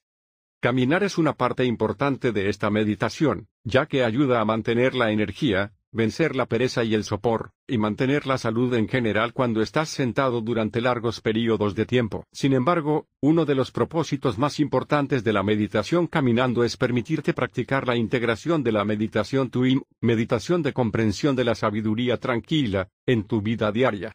El propósito de la meditación es traer cambios a todos los ámbitos de tu vida todo el tiempo, no solo mientras estás sentado. La meditación caminando te ayudará a lograr esto. Mientras estabas meditando sentado, permanecías con tu amigo espiritual y aplicabas las seis R's cuando surgían distracciones. Ahora, la única diferencia es que estás caminando, simplemente paseando con normalidad y manteniendo tu mente irradiando pensamientos amables hacia tu amigo espiritual, así barra tal como lo hacías cuando estabas sentado, consulta a Guide to Tuin para una explicación en profundidad sobre cómo hacer meditación caminando. Uno de los errores que muchas personas cometen cuando hablan de janas es pensar que una jana solo surge mientras estás haciendo tu meditación en postura sedente. Sin embargo, puedes tomar cualquiera de estas jhanas, y permanecer en ella mientras te levantas y haces tu meditación caminando. También puedes estar en este estado jhana cuando lavas los platos, incluso podrías estar tomando un baño o de pie en la fila de la caja de la tienda. Permanecer con tu objeto de meditación mientras caminas, y durante el resto de actividades te ayudará a progresar más. A diferencia de estar en jana de absorción, cualquiera de las janas conscientes tranquilas puede surgir durante tus actividades diarias. Esta es una de las razones por las que mantienes tu meditación todo el tiempo. No importa lo que estés haciendo, todo es parte de la práctica. Todo lo que haces se convierte en práctica. Si te entrenas de esta manera, progresarás. Sé consciente de lo que tu mente está haciendo todo el tiempo. Recuerda permanecer con la práctica de meditación tanto como sea posible. Esa es la primera parte de la atención plena, recordar practicar. ¿Recordar qué? Observar la atención de la mente moviéndose de una cosa a otra. Capítulo 7, Segunda Jana, Noble Silencio. MN 111 sección 5. Nuevamente, monjes, con la calma de, la mente que piensa y examina, Sariputa entró y permaneció en la segunda jana, que tiene a la confianza en uno mismo y la, quietud, mental que está exenta de la mente que piensa y examina, que tiene alegría y felicidad nacidas del recogimiento. La alegría que surge en la segunda jana es más fuerte que la primera y más profunda. Te sientes mucho más liviano en tu mente, mucho más liviano en tu cuerpo. A veces te sientes como si estuvieras flotando sobre tu silla. Hay estudiantes que dicen que se sintieron tan ligeros que tuvieron que abrir los ojos porque pensaron que iban a golpearse con el techo. Este es el tipo de alegría elevada que sucede al alcanzar un estado meditativo. La felicidad que experimentas es una tranquilidad cómoda. Hay una sensación de calma en tu mente y en tu cuerpo. La mente se calma, como cuando se apaga un refrigerador. Ni siquiera había notado que estaba encendido, hasta que el compresor se apaga. Es un nivel de silencio que nunca creíste posible. La confianza aparece. Sientes que realmente estás empezando a entender la meditación. Sientes que no tienes más. Dudas sobre cómo hacer esta práctica. Estás comenzando a entender las seis R's.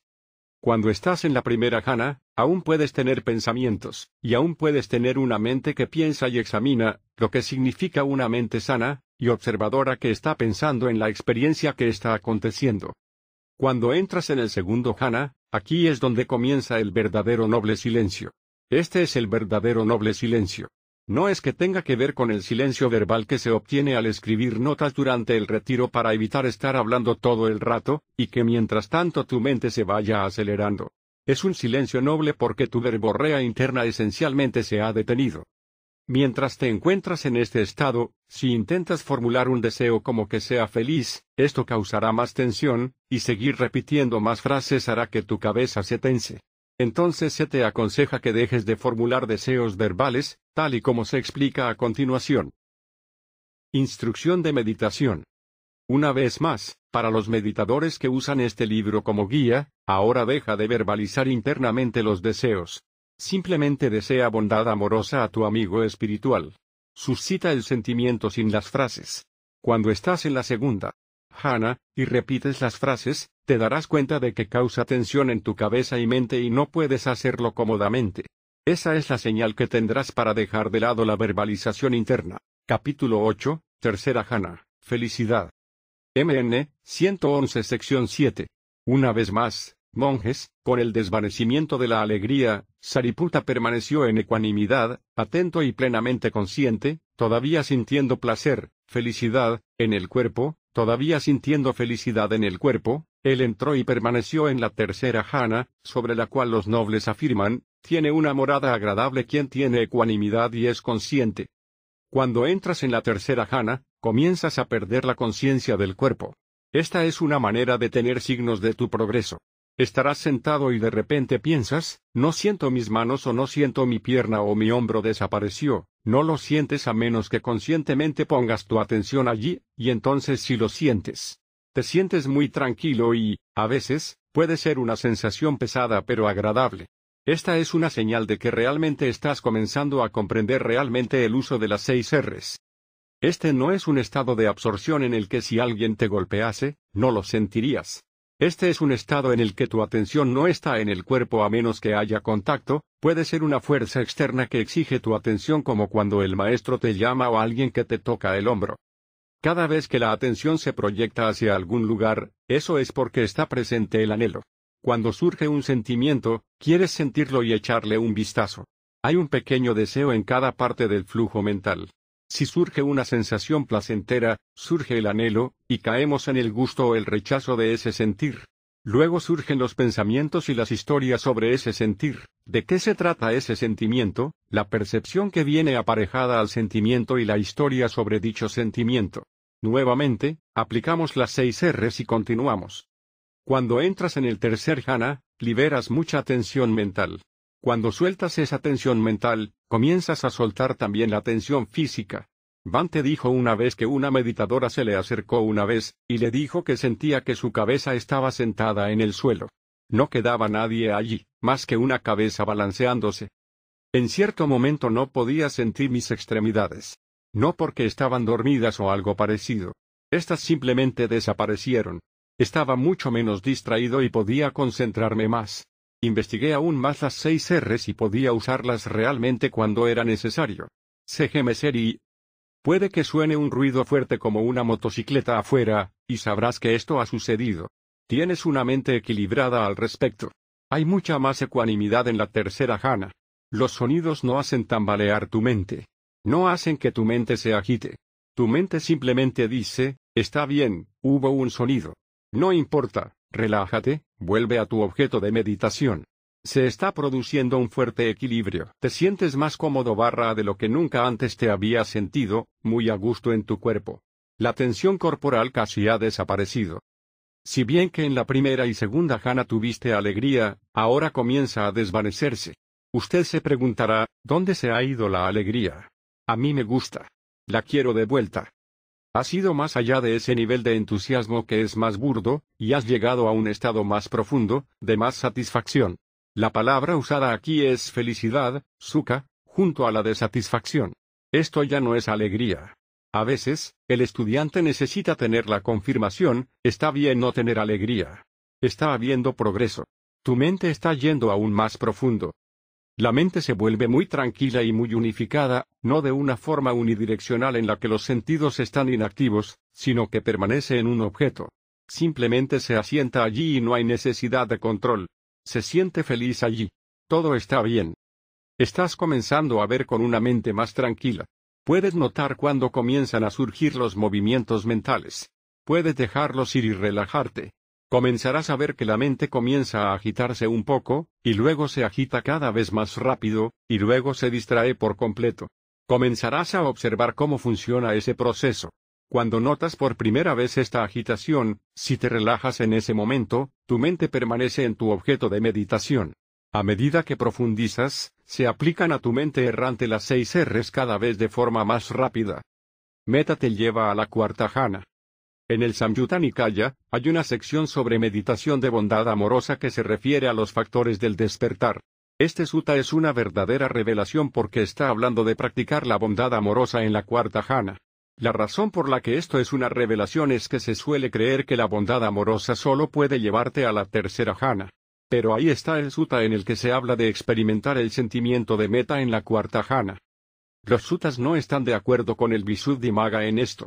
Al leer el Sutta acompañado de Bondad Amorosa número 46, sección 54, 4, del Samyutta Nikaya, dice que, por el contrario, Meta, o la bondad amorosa, lleva hasta el cuarto jhana, la compasión lleva a la base del espacio infinito, la primera arupa jhana, la alegría lleva a la base de la conciencia infinita, la segunda arupa jhana, y la ecuanimidad lleva a la base de la nada, la tercera arupa jhana.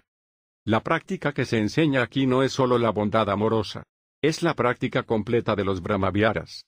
Hay cuatro reinos o moradas divinas de Brahma que componen los Brahmaviaras que son, la bondad amorosa, Meta, la compasión, Karuna, la alegría empática, Mudita, y la ecuanimidad, Upekka. La bondad amorosa es la primera parte de este sistema más amplio que finalmente conduce a la experiencia de Nirvana.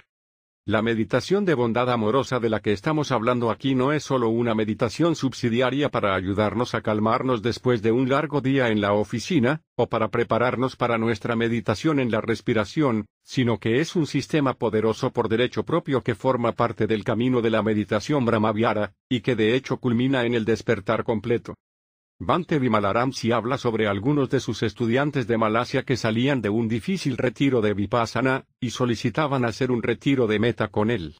Solía decir que ellos le decían que los retiros habían endurecido sus mentes, y que necesitaban volver a un estado más equilibrado y feliz. ¿Quién podría pensar que un método que Buda enseñó causaría dureza, y que no conduciría directamente a la meta, y necesitaría meta para recuperarse de dicho método? En estos otros retiros, ¿se estaba enseñando en la forma en que el Buda instruyó? Si hubieran agregado el paso de relajación, entonces esto podría haberse evitado.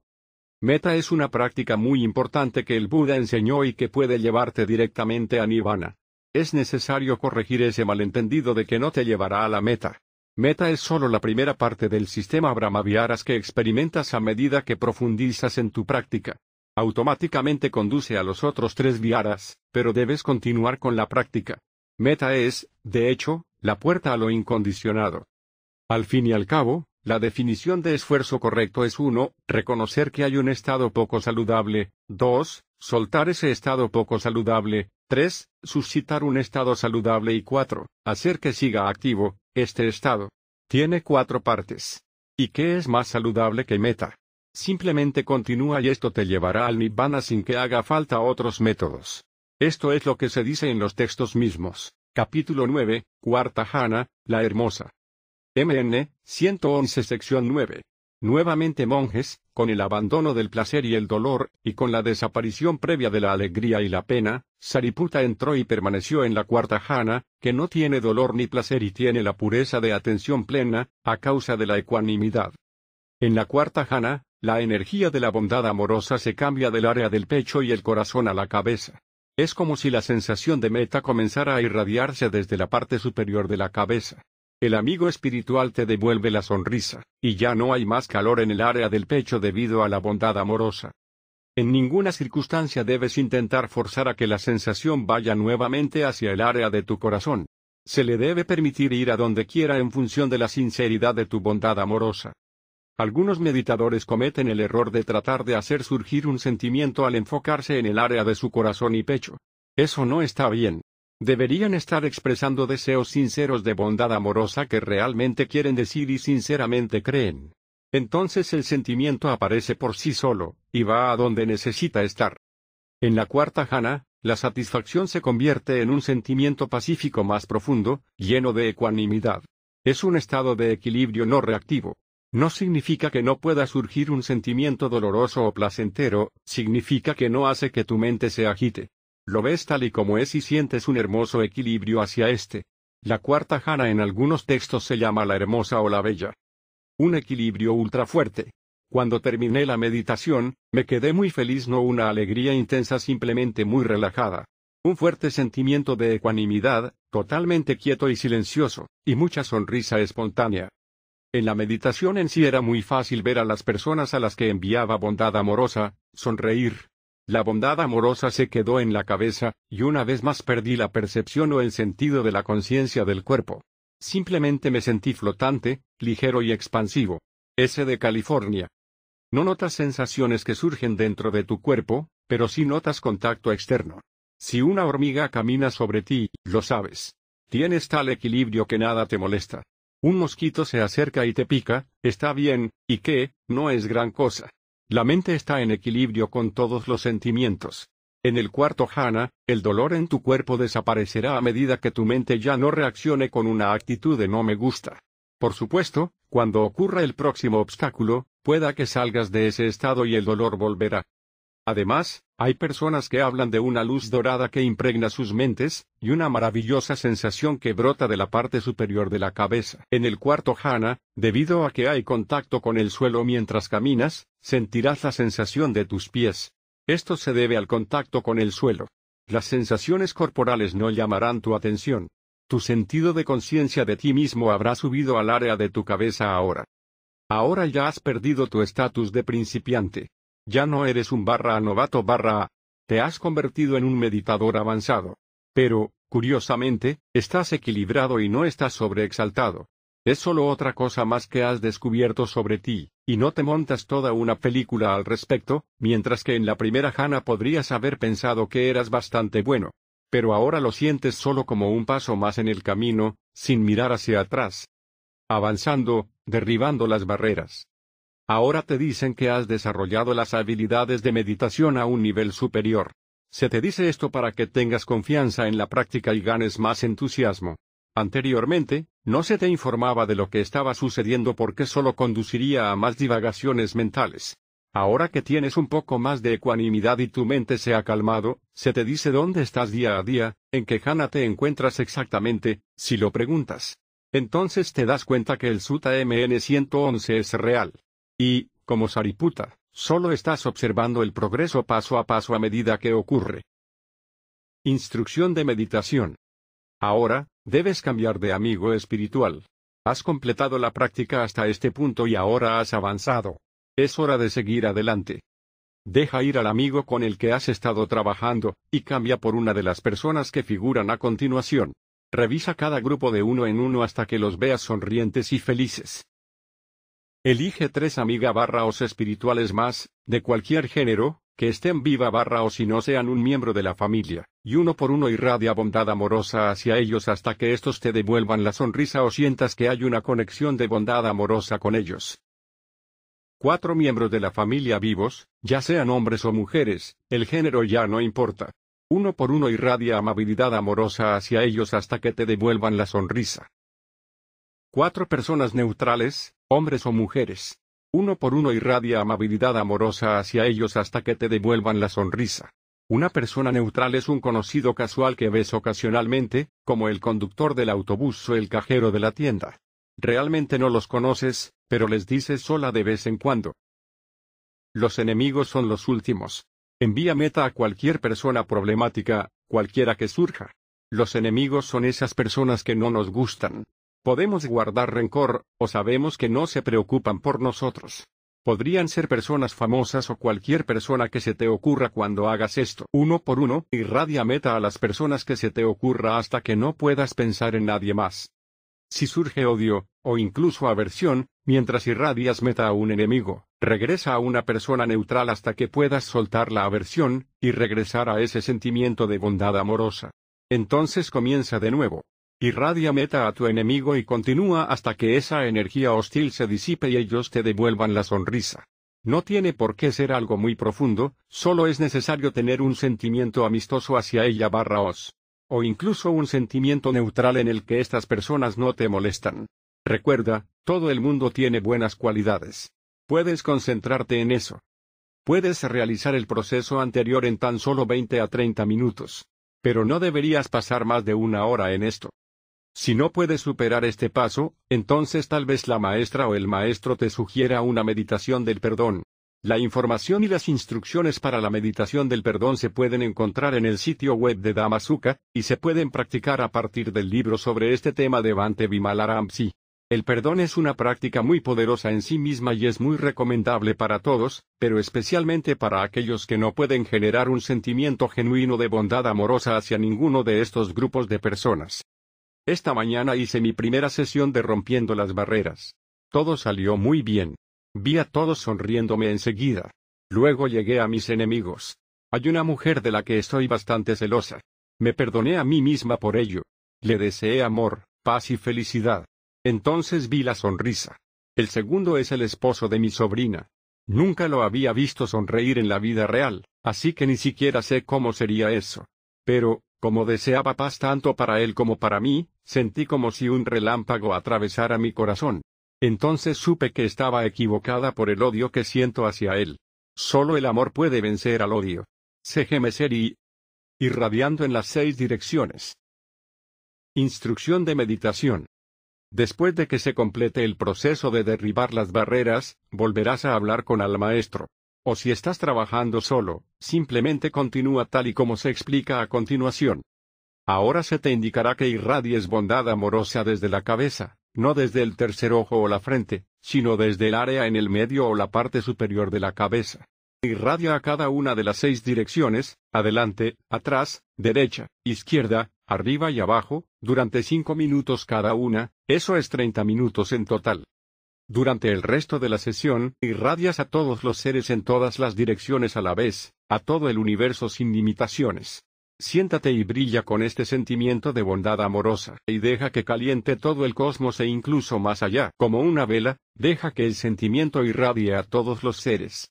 No empujes ni fuerces, solo déjalo irradiar y verás cómo cómo se expande por sí solo. Ahora comienza la diversión. Estaba completamente inmerso. En un momento no había yo. Todo lo que vi fue la luz yendo en todas las direcciones. Era como una fuente que iba hacia arriba, hacia abajo y en todas las direcciones. Estaba tan absorta que cuando sonó la alarma pegué un salto. Mi esposo me dijo que tenía una apariencia radiante, llena de alegría y paz. Segemeser y... Deberías poder sentarte por más de una hora si puedes. Te recomendamos que te sientes aún más rato si te sientes cómodo. No te detengas cuando te sientas bien o pienses que has progresado. Permanece más tiempo. No te detengas si te pones nervioso o quieres parar. Simplemente prueba a estar otros cinco minutos solo para ver si puedes hacerlo. Muchas veces unos pocos minutos más te ayudarán a superar ese breve período de inquietud. Irradiar los cuatro Brahmaviaras sucesivamente, a medida que surjan, en todas las direcciones, será ahora la práctica que te llevará a los estados más elevados de la meditación. Ten en cuenta que estoy describiendo la técnica tal y como se presenta en los textos. Solo estoy explicando los textos aquí, y no estoy creando una nueva forma de meditación. Ahora estás practicando la práctica de Brahmaviara exactamente como la describe y enseña el Buda en los textos. Esta práctica de meta y el resto de los Brahmaviaras en realidad se mencionan con mucha frecuencia, en doce sutas en el Majjhima Nikaya, frente a la respiración o la práctica de Anapanasati que solo se encuentra en cuatro sutas. ¿Cuál crees que el Buda enseñó con más frecuencia? Él parecía favorecer a los brahmaviaras por encima de la práctica de la respiración. Bante Vimalaramsi afirma que meta es seis veces más rápido que la respiración, y te lleva a la meta mucho más rápido. Él dice que le suele llevar seis semanas a alguien experimentar jhana con la respiración mientras que solo suele llevar una semana, o menos, experimentarla con meta. Esta ha sido nuestra experiencia, por lo que siempre recomendamos meta primero. Bante enseñará la respiración a ciertos tipos de personalidad que tienen dificultades con el sentimiento de bondad amorosa. Pero, él siempre agrega el paso de relajar o tranquilizarse. Capítulo 10. La base del espacio infinito, compasión. El Buda enseñó que hay cuatro janas principales, pero dividió la cuarta jana en otras cuatro partes. Los sutas llaman a las últimas cuatro partes bases o reinos. Principalmente usaremos el término bases, pero a veces alternaremos entre base y arupajana solo para asegurarnos de que estás comprendiendo la conexión. Ahora has llegado a arupa o las janas inmateriales. Las primeras cuatro janas se llaman rupa o janas materiales. Rupa significa reino del cuerpo, y arupa significa reino de la mente, más precisamente, el en arupa significa no, por tanto que no son del cuerpo. La palabra reino también se usa además de base para estas partes superiores de la cuarta jana. Esto se debe a que el Buda declaró que si uno lograra cualquiera de estas cuatro janas, incluidos los cuatro reinos inmateriales, entonces el poder, mérito, de ese acto le haría renacer en un reino de existencia correspondiente a ese nivel alcanzado en la meditación. Hay 31 planos de existencia, y los reinos Brahma basados en jana son los más altos, más agradables y más duraderos. Cuanto más alto es el jhana, más larga es la vida en ese reino correspondiente y más sublime el estado. MN, 111, sección 11. Nuevamente, monjes, con la completa superación de las percepciones, burdas, de la forma, con la desaparición de las percepciones, burdas, del impacto sensorial, conscientes de que el espacio es infinito, Sariputta entró y permaneció en la base del espacio infinito. Esto significa que has superado lo físico, y ahora estás entrando en los reinos mentales más sutiles. Ahora ya no prestas atención a los cinco sentidos, y estás prestando atención solo a lo que está en la mente. Empiezas a sentir una bondad amorosa más tranquila ahora. Te darás cuenta de que hay menos calor, menos movimiento en meta. Es más suave, como el algodón. Esto es karuna o compasión. Has ido más allá del estado más burdo de la bondad amorosa, y has entrado en un estado más sublime y tranquilo. Puedes atestiguar que el sentimiento de bondad amorosa no tiene límite, sino que es muy grande. Es tan inmenso como el cielo, sientes que tu cabeza se agranda. Sientes que las cosas se están expandiendo hacia afuera. Tal vez sientas que el suelo desaparece y estás suspendido en el espacio. Incluso puedes sentir que estás volando hacia el espacio. Este es un tipo de sentimiento muy placentero. Es bastante impresionante. Hay una expansión continua hacia afuera, no se puede percibir siquiera un punto central. Puede que al explicar este delicioso estado a tu maestro se produzca una exclamación como oh, wow. Wow. A medida que avanzaba a través de las cuatro sesiones de meditación de hoy, cada una de una hora más o menos, era como si la amplitud se volviera más y más grande. Hice la radiación de meta durante los cinco minutos en cada una de las seis direcciones, y luego irradié hacia afuera durante el resto de la meditación hacia las seis direcciones al mismo tiempo. La esfera de meta creció en tamaño y siguió creciendo sin detenerse. Meta mismo también se transformó, era magnético, como si estuviera intensificándose, y creando un campo de fuerza energético fuerte. La sensación flotante se intensificó. Nunca sentí tanta amplitud y expansión antes. Hubo una comprensión de cómo surgía, y cesaba infinitamente la conciencia de los sentimientos y las percepciones y de cómo yo no tenía el control. SD, California. Instrucción de meditación. Ahora cambiarás de meta a la compasión como tu nuevo objeto de meditación. Expande este nuevo sentimiento hacia el exterior sin límites, a las seis direcciones, como lo has estado haciendo con bondad amorosa. Comienza cada sesión de meditación irradiando compasión durante cinco minutos en cada dirección, y luego irradia compasión a todos los seres en todas las direcciones al mismo tiempo durante el resto de la sesión. La bondad amorosa ahora ha cambiado automáticamente al estado de compasión. Bante Vimalaramsi nos dice que este es el estado al que muchos maestros se refieren cuando hablan de la infinita compasión del Buda. La opinión de Bante es que cuando el Buda se refiere a la compasión, el estado del que está hablando es la base del espacio infinito o el primer Arupajana. No es solo un estado general de prestar cuidados o de nutrir, sino que en realidad es el estado jánico de la compasión. Bante explica además que el Buda hacía esta práctica todas las mañanas, entrando en el jhana del espacio infinito con la compasión como su objeto de meditación. Desde este estado, Buda examinaba el mundo en busca de personas que necesitaban su compasión y estaban listas para comprender sus enseñanzas. Luego iba hacia ellos y los instruía en el Dhamma. Vio personas que tenían poco polvo en los ojos y estaban listas para alcanzar el despertar. MN, 111 sección 12. Y, aquí, los estados de la base del espacio infinito, la percepción de la base del espacio infinito y la unificación de la mente, el contacto, el sentir la percepción, la abolición y la mente. Todavía experimentas los cinco agregados, aunque estés en un jhana arupa o jhana mental. Esto quiere decir que todavía estás practicando los cuatro fundamentos de la atención plena incluso mientras estás en el estado de arupa jhana. Ahora estás en un reino mental, y la conciencia de tu cuerpo se ha desvanecido a menos que haya contacto. Ten en cuenta que el sutta citado anteriormente ya no incluye experimentar placer en el cuerpo. Ahora te dicen que no tienes cuerpo. Así que por favor no le prestes ya más atención, aplica las 6 R siempre que haya cualquier tirón o retroceso hacia cualquier tipo de conciencia del cuerpo. Ahora, sabes que tu cuerpo todavía está allí, sentado en silencio, pero tu conciencia está mucho más centrada en la mente. MN, 111 sección 12 cont. El entusiasmo, la decisión, energía, atención plena, ecuanimidad y atención, estos estados fueron definidos por él uno por uno a medida que ocurrían, siendo conocidos por él esos estados surgieron, sabía que estaban presentes y sabía que desaparecían. Comprendió así. Y con el cultivo de ese logro, pudo confirmar que, todavía, hay más. Instrucción de meditación. Continúa enviando tu compasión en las seis direcciones para ver cómo se expande hacia afuera. La meditación Brahmaviara se desarrolla en secuencia a través de las cuatro moradas divinas, automáticamente. Estos estados surgirán por sí solos cuando estés listo.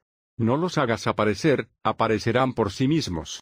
Solo sigue adelante y mira qué pasa después. Capítulo 11, La base de la conciencia infinita, alegría.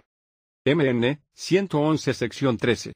Nuevamente, monjes, al superar por completo la base del espacio infinito, consciente de que la conciencia es infinita, Sariputta entró y permaneció en la base de la conciencia infinita. Este es un estado fascinante. En primer lugar, porque el sentimiento compasivo cambia automáticamente de nuevo a un sentimiento de alegría altruista. Pero esa no es una definición tan clara como podría ser. Es un sentimiento muy diferente de la compasión experimentada previamente. Es un sentimiento que Bante prefiere llamar solo alegría o dicha. Mientras que antes la alegría era una forma emocionante de alegría, piti, ahora se convierte en algo sublime y tranquilo. Esto es piti en contraposición a mudita, alegría empática. En todo caso, pasas de un sentimiento de compasión a un sentimiento de alegría. Instrucción de meditación. Ahora comienzas a irradiar alegría en todas las direcciones en lugar de compasión. La alegría es ahora tu objeto de meditación. Lo que sucede es que tu conciencia comienza a ser tan buena, y tan aguda que comienza a ver que las conciencias individuales surgen y desaparecen continuamente. Ves de primera mano lo verdaderamente impermanente que es todo. Ya no hay duda en tu mente de que todo llega a existir y que luego se desvanece.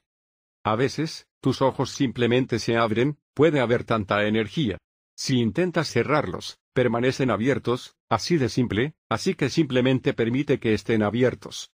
El surgimiento de la conciencia fue automático y su sensación también fue automática. Todo era impersonal e incontrolable. La sensación de yo desapareció y reapareció una y otra vez. Hubo momentos en que la conciencia cesó por completo, no había nada entre el surgimiento y el cese. El lapso en la conciencia creció en frecuencia y longitud tan lejos como pude ver, pero tan pronto como vi esto, volví a ver el surgimiento y el cese y luego la amplitud. Cuando terminé la última meditación sentada, mi mente estaba quieta, clara y aguda. La mente y las emociones nunca antes se habían sentido tan prístinas, tranquilas y puras. Nada que pueda decir aquí, salvo que fue excelente. SD, California. Después de que te sientas con esta comprensión de la impermanencia y la impersonalidad por un momento, sucede algo interesante. Algunos estudiantes informan, bueno, sí, veo todas estas conciencias, el ojo, el oído, la nariz, la lengua, el cuerpo y la mente, Veo que estas conciencias surgen y desaparecen, y es realmente agotador. Lo que ves ahora no es solo impermanencia sino el sufrimiento. Y estás viendo que no hay nadie en casa, no hay control sobre este proceso, sucede por sí solo. Ves anicca, impermanencia, dukkha, sufrimiento, y anatta, no yo, tan cerca y de forma personal mientras estás en los arupahanas. En el budismo, estos son los tres signos de la existencia. Todo lo que existe tiene esta naturaleza, y ahora lo puedes ver. No es algo que sucede a nivel del pensamiento sino de una manera directa. Lo sabes.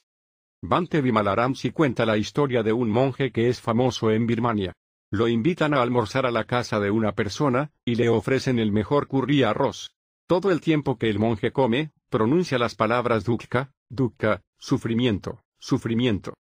Está tratando de pensar a su manera para poder ver los signos de la existencia, y eso no funciona.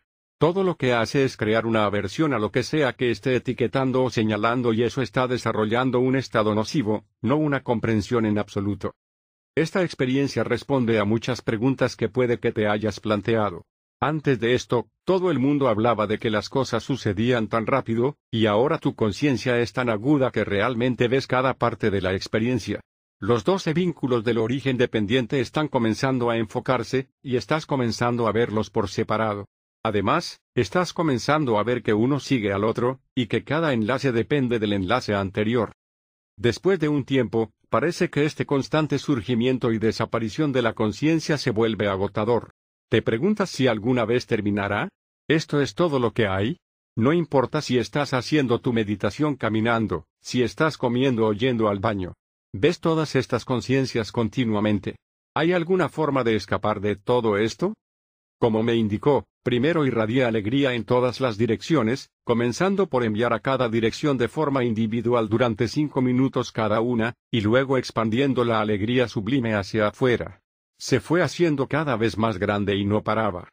Una vez más surgió una comprensión sobre la impermanencia del yo mientras éste surgía y cesaba. Las brechas entre cada surgimiento y desvanecimiento se hicieron más grandes, y mi enfoque cambió sutilmente a esos espacios en blanco, en los cuales la alegría que irradiaba en todas las direcciones se desplazó hacia la ecuanimidad. Hubo un desinterés total en la impermanencia del yo, y una comprensión sobre la tontería que supone es identificar un yo permanente inexistente con cada sentimiento, pensamiento y acción. Hubo una comprensión existencial más profunda de que los sentimientos y los pensamientos no estaban bajo mi control, y que los pensamientos u objetos mentales en general eran como lo que los olores son a la nariz o los sonidos a los oídos. Venían y se iban sin que yo tuviese nada que ver con ellos. No obstante, seguí aplicando las 6 R's de California. Instrucción de meditación. Puede que aparezcan pequeños puntitos de luz como pequeñas estrellas que parpadean y luego se desvanecen. Estas son el comienzo del anhelo. Son indicaciones de que Tana apenas comienza a surgir. Estos son pensamientos que apenas comienzan a formarse. Sientes como un tirón desde esas luces, una tensión. Te das cuenta de que si aplicas las seis R's en el momento en que surgen, entonces los pensamientos no surgen, ves el alivio que esto supone. Las seis R's te devolverán a un estado de equilibrio y tranquilidad. Asegúrate de aplicar las seis R's tan pronto como surjan estas luces. Estas luces son pegajosas, ya que son pequeñas semillas de deseo que están naciendo. Ahora ves el deseo que existe en todo pensamiento. Y ves que es por eso que pensar constantemente es tan agotador y fastidioso para tu mente. Considera esa noche en la que no podías conciliar el sueño porque estabas pensando demasiado. Estabas sufriendo. Tener éxito en esta práctica de meditación te brinda el beneficio de dormir fácilmente y no tener malos sueños. Este es uno de los once beneficios de la meditación meta. Puede que veas luces expandiéndose como pequeños soles, estos se llaman nimita. No, no estamos hablando de la nimita o lo que algunas prácticas llaman signos que se utilizan como puntos de enfoque en la meditación de concentración, sino que estas son meras formas y figuras que surgen. Este es el verdadero significado de la nimita. Déjalas ir y aplícales las seis R's. No cambies y comiences a enfocarte en ellas. Son solo fenómenos interesantes que pueden distraernos. No te involucre con ellas. Si tuvieras que tomar estas luces como objeto de meditación, entonces eso sería una práctica de meditación de concentración y absorción, y eso no está en los sutas. El Buda había intentado previamente todos estos tipos de meditación, y rechazó esa práctica como el camino hacia el verdadero despertar. Cuando practicas la concentración con la respiración, también pueden surgir luces de meditación, y si tomas estas luces y te concentras en ellas, entonces, nuevamente, no estás practicando lo que está en los sutas. Por favor aplícales las seis R's. Esta es la influencia de comentarios como el Visuddhimagga. El Visuddhimagga ha incluido muchas prácticas que no están en los sutas. Este conflicto debería hacernos cuestionar cuál es la correcta. En la base de la conciencia infinita, algunas personas tienen visiones de Devas, Kuan Yin, Buda, Jesús o Mahoma. Esto se basa en sus sistemas de creencias. A todo eso le debes aplicar las seis R's para que puedas progresar. Si te sientes muy feliz y alegre, a veces habrá lágrimas de alegría. Deja que salgan las lágrimas, ese es el signo del mudita o estado alegre en el que te encuentras. Puede que sientas que las cosas se están desacelerando, como si vieses una película a cámara lenta. Puedes ver cada marco de conciencia surgir y desaparecer, ya sea en la puerta del ojo o en la puerta del oído. Puede que te tambalees y te sientas mareado. No te apegues a nada de esto, aplícale las seis R's a todo esto. Ninguna de estas experiencias debe tomarse personalmente como yo o como mías, solo deben ser permitidas. Tu atención ahora se está volviendo muy aguda, lo suficientemente aguda como para ver las conciencias individuales. Instrucción de meditación. Luego se te pedirá que comiences a notar los espacios entre las conciencias. Trata de ser más consciente del silencio y de la tranquilidad que hay allí, y permanece en este silencio. Deja que todo lo demás se vaya. Pensarás no hay nada.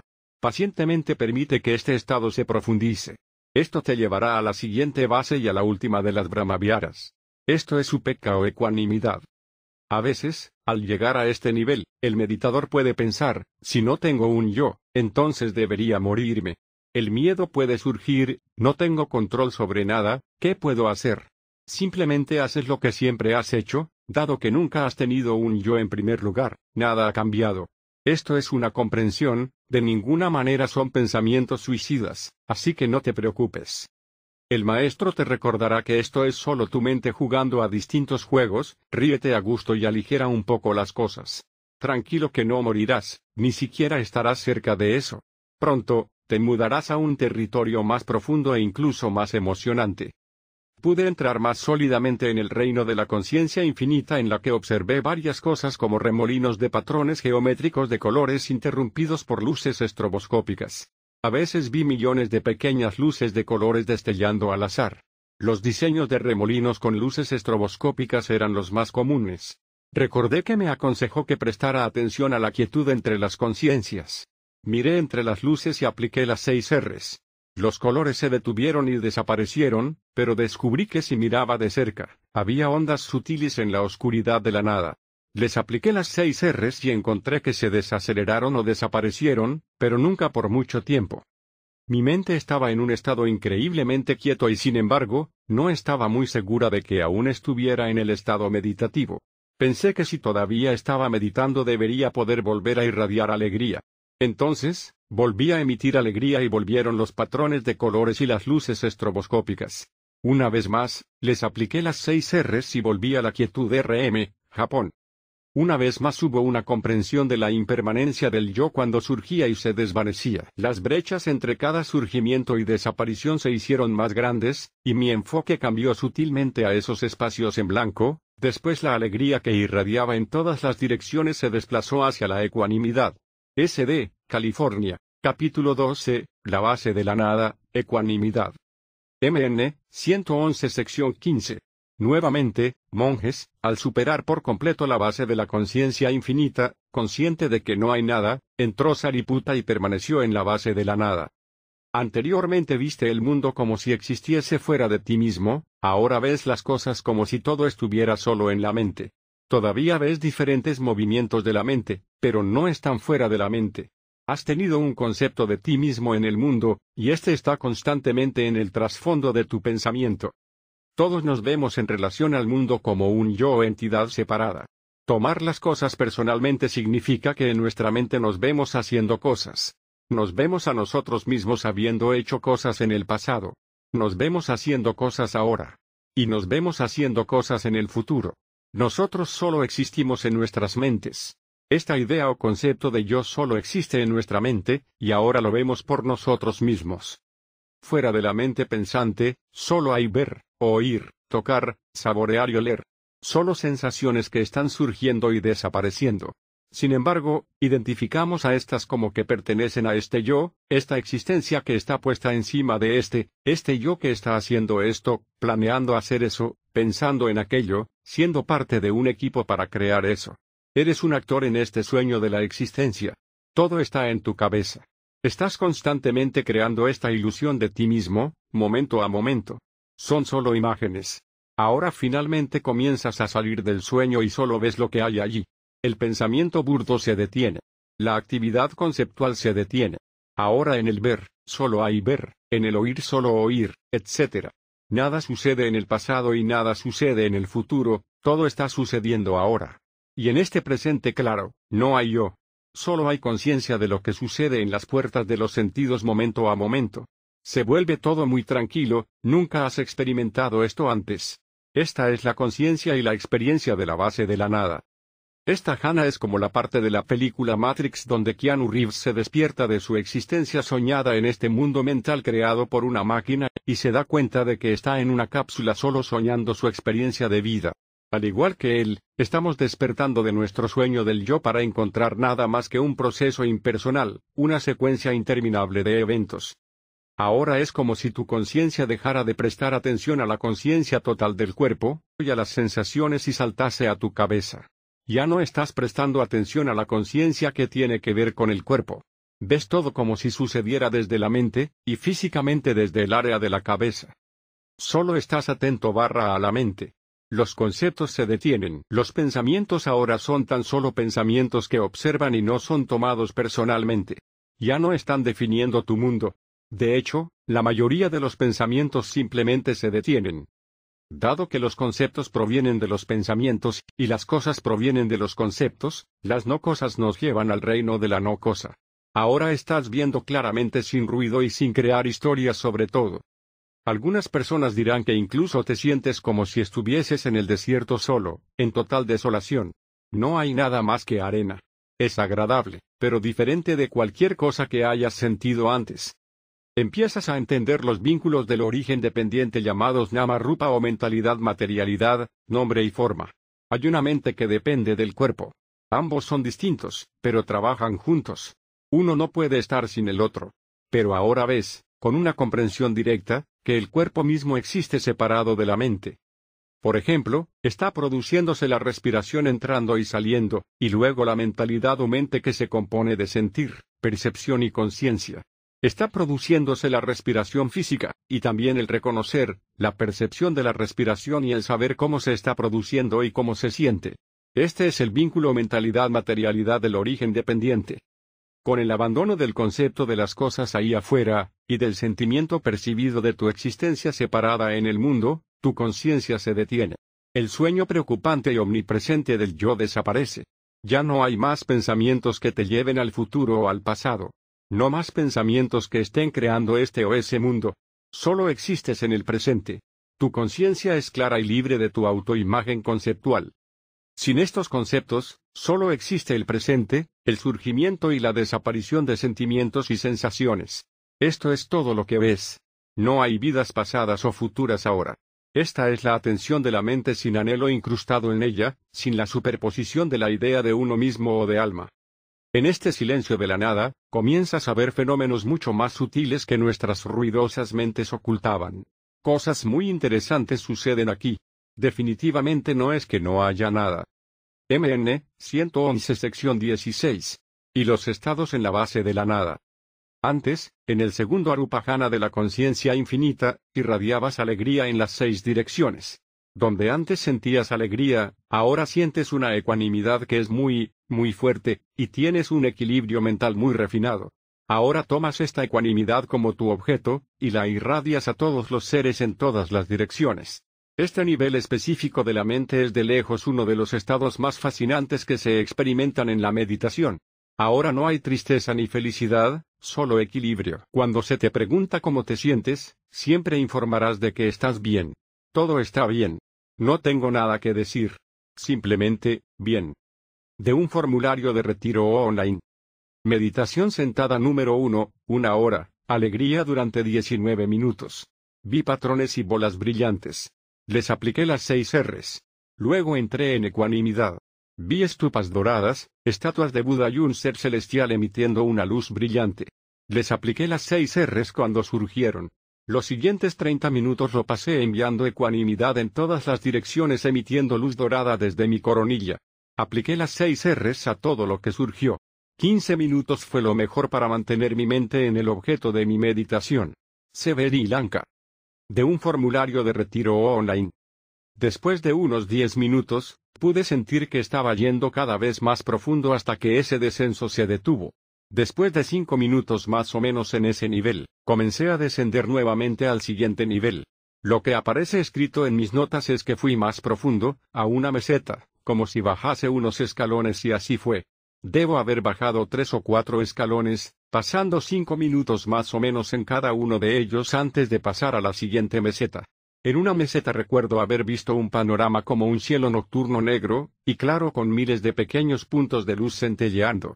En el siguiente nivel, vi lo que solo puedo describir como un área realmente grande cubierta de filas y filas de formas translúcidas en forma de bola, cuyas faldas ondulaban suavemente. Las describí como medusas debido a su naturaleza translúcida.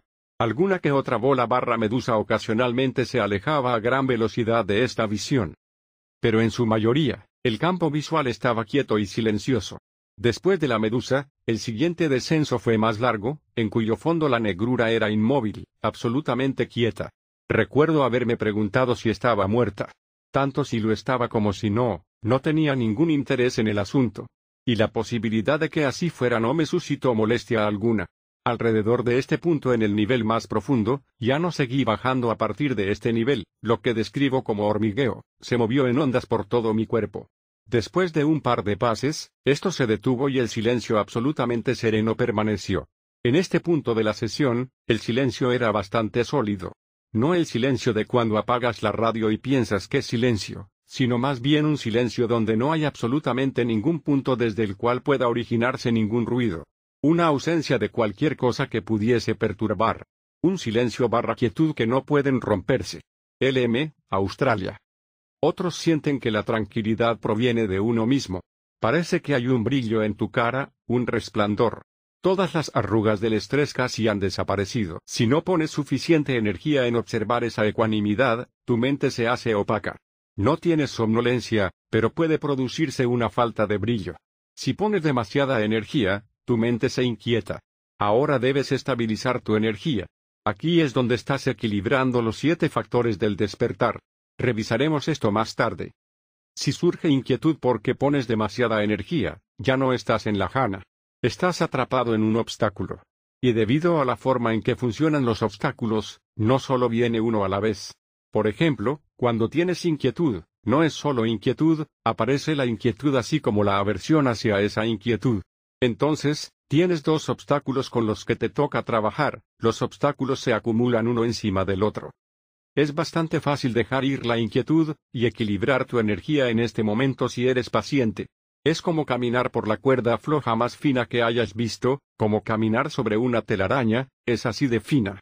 Al estar en ese tipo de equilibrio, con tan solo un ligero ajuste o cambio un pequeño desatino, y bup, podrías perder el equilibrio.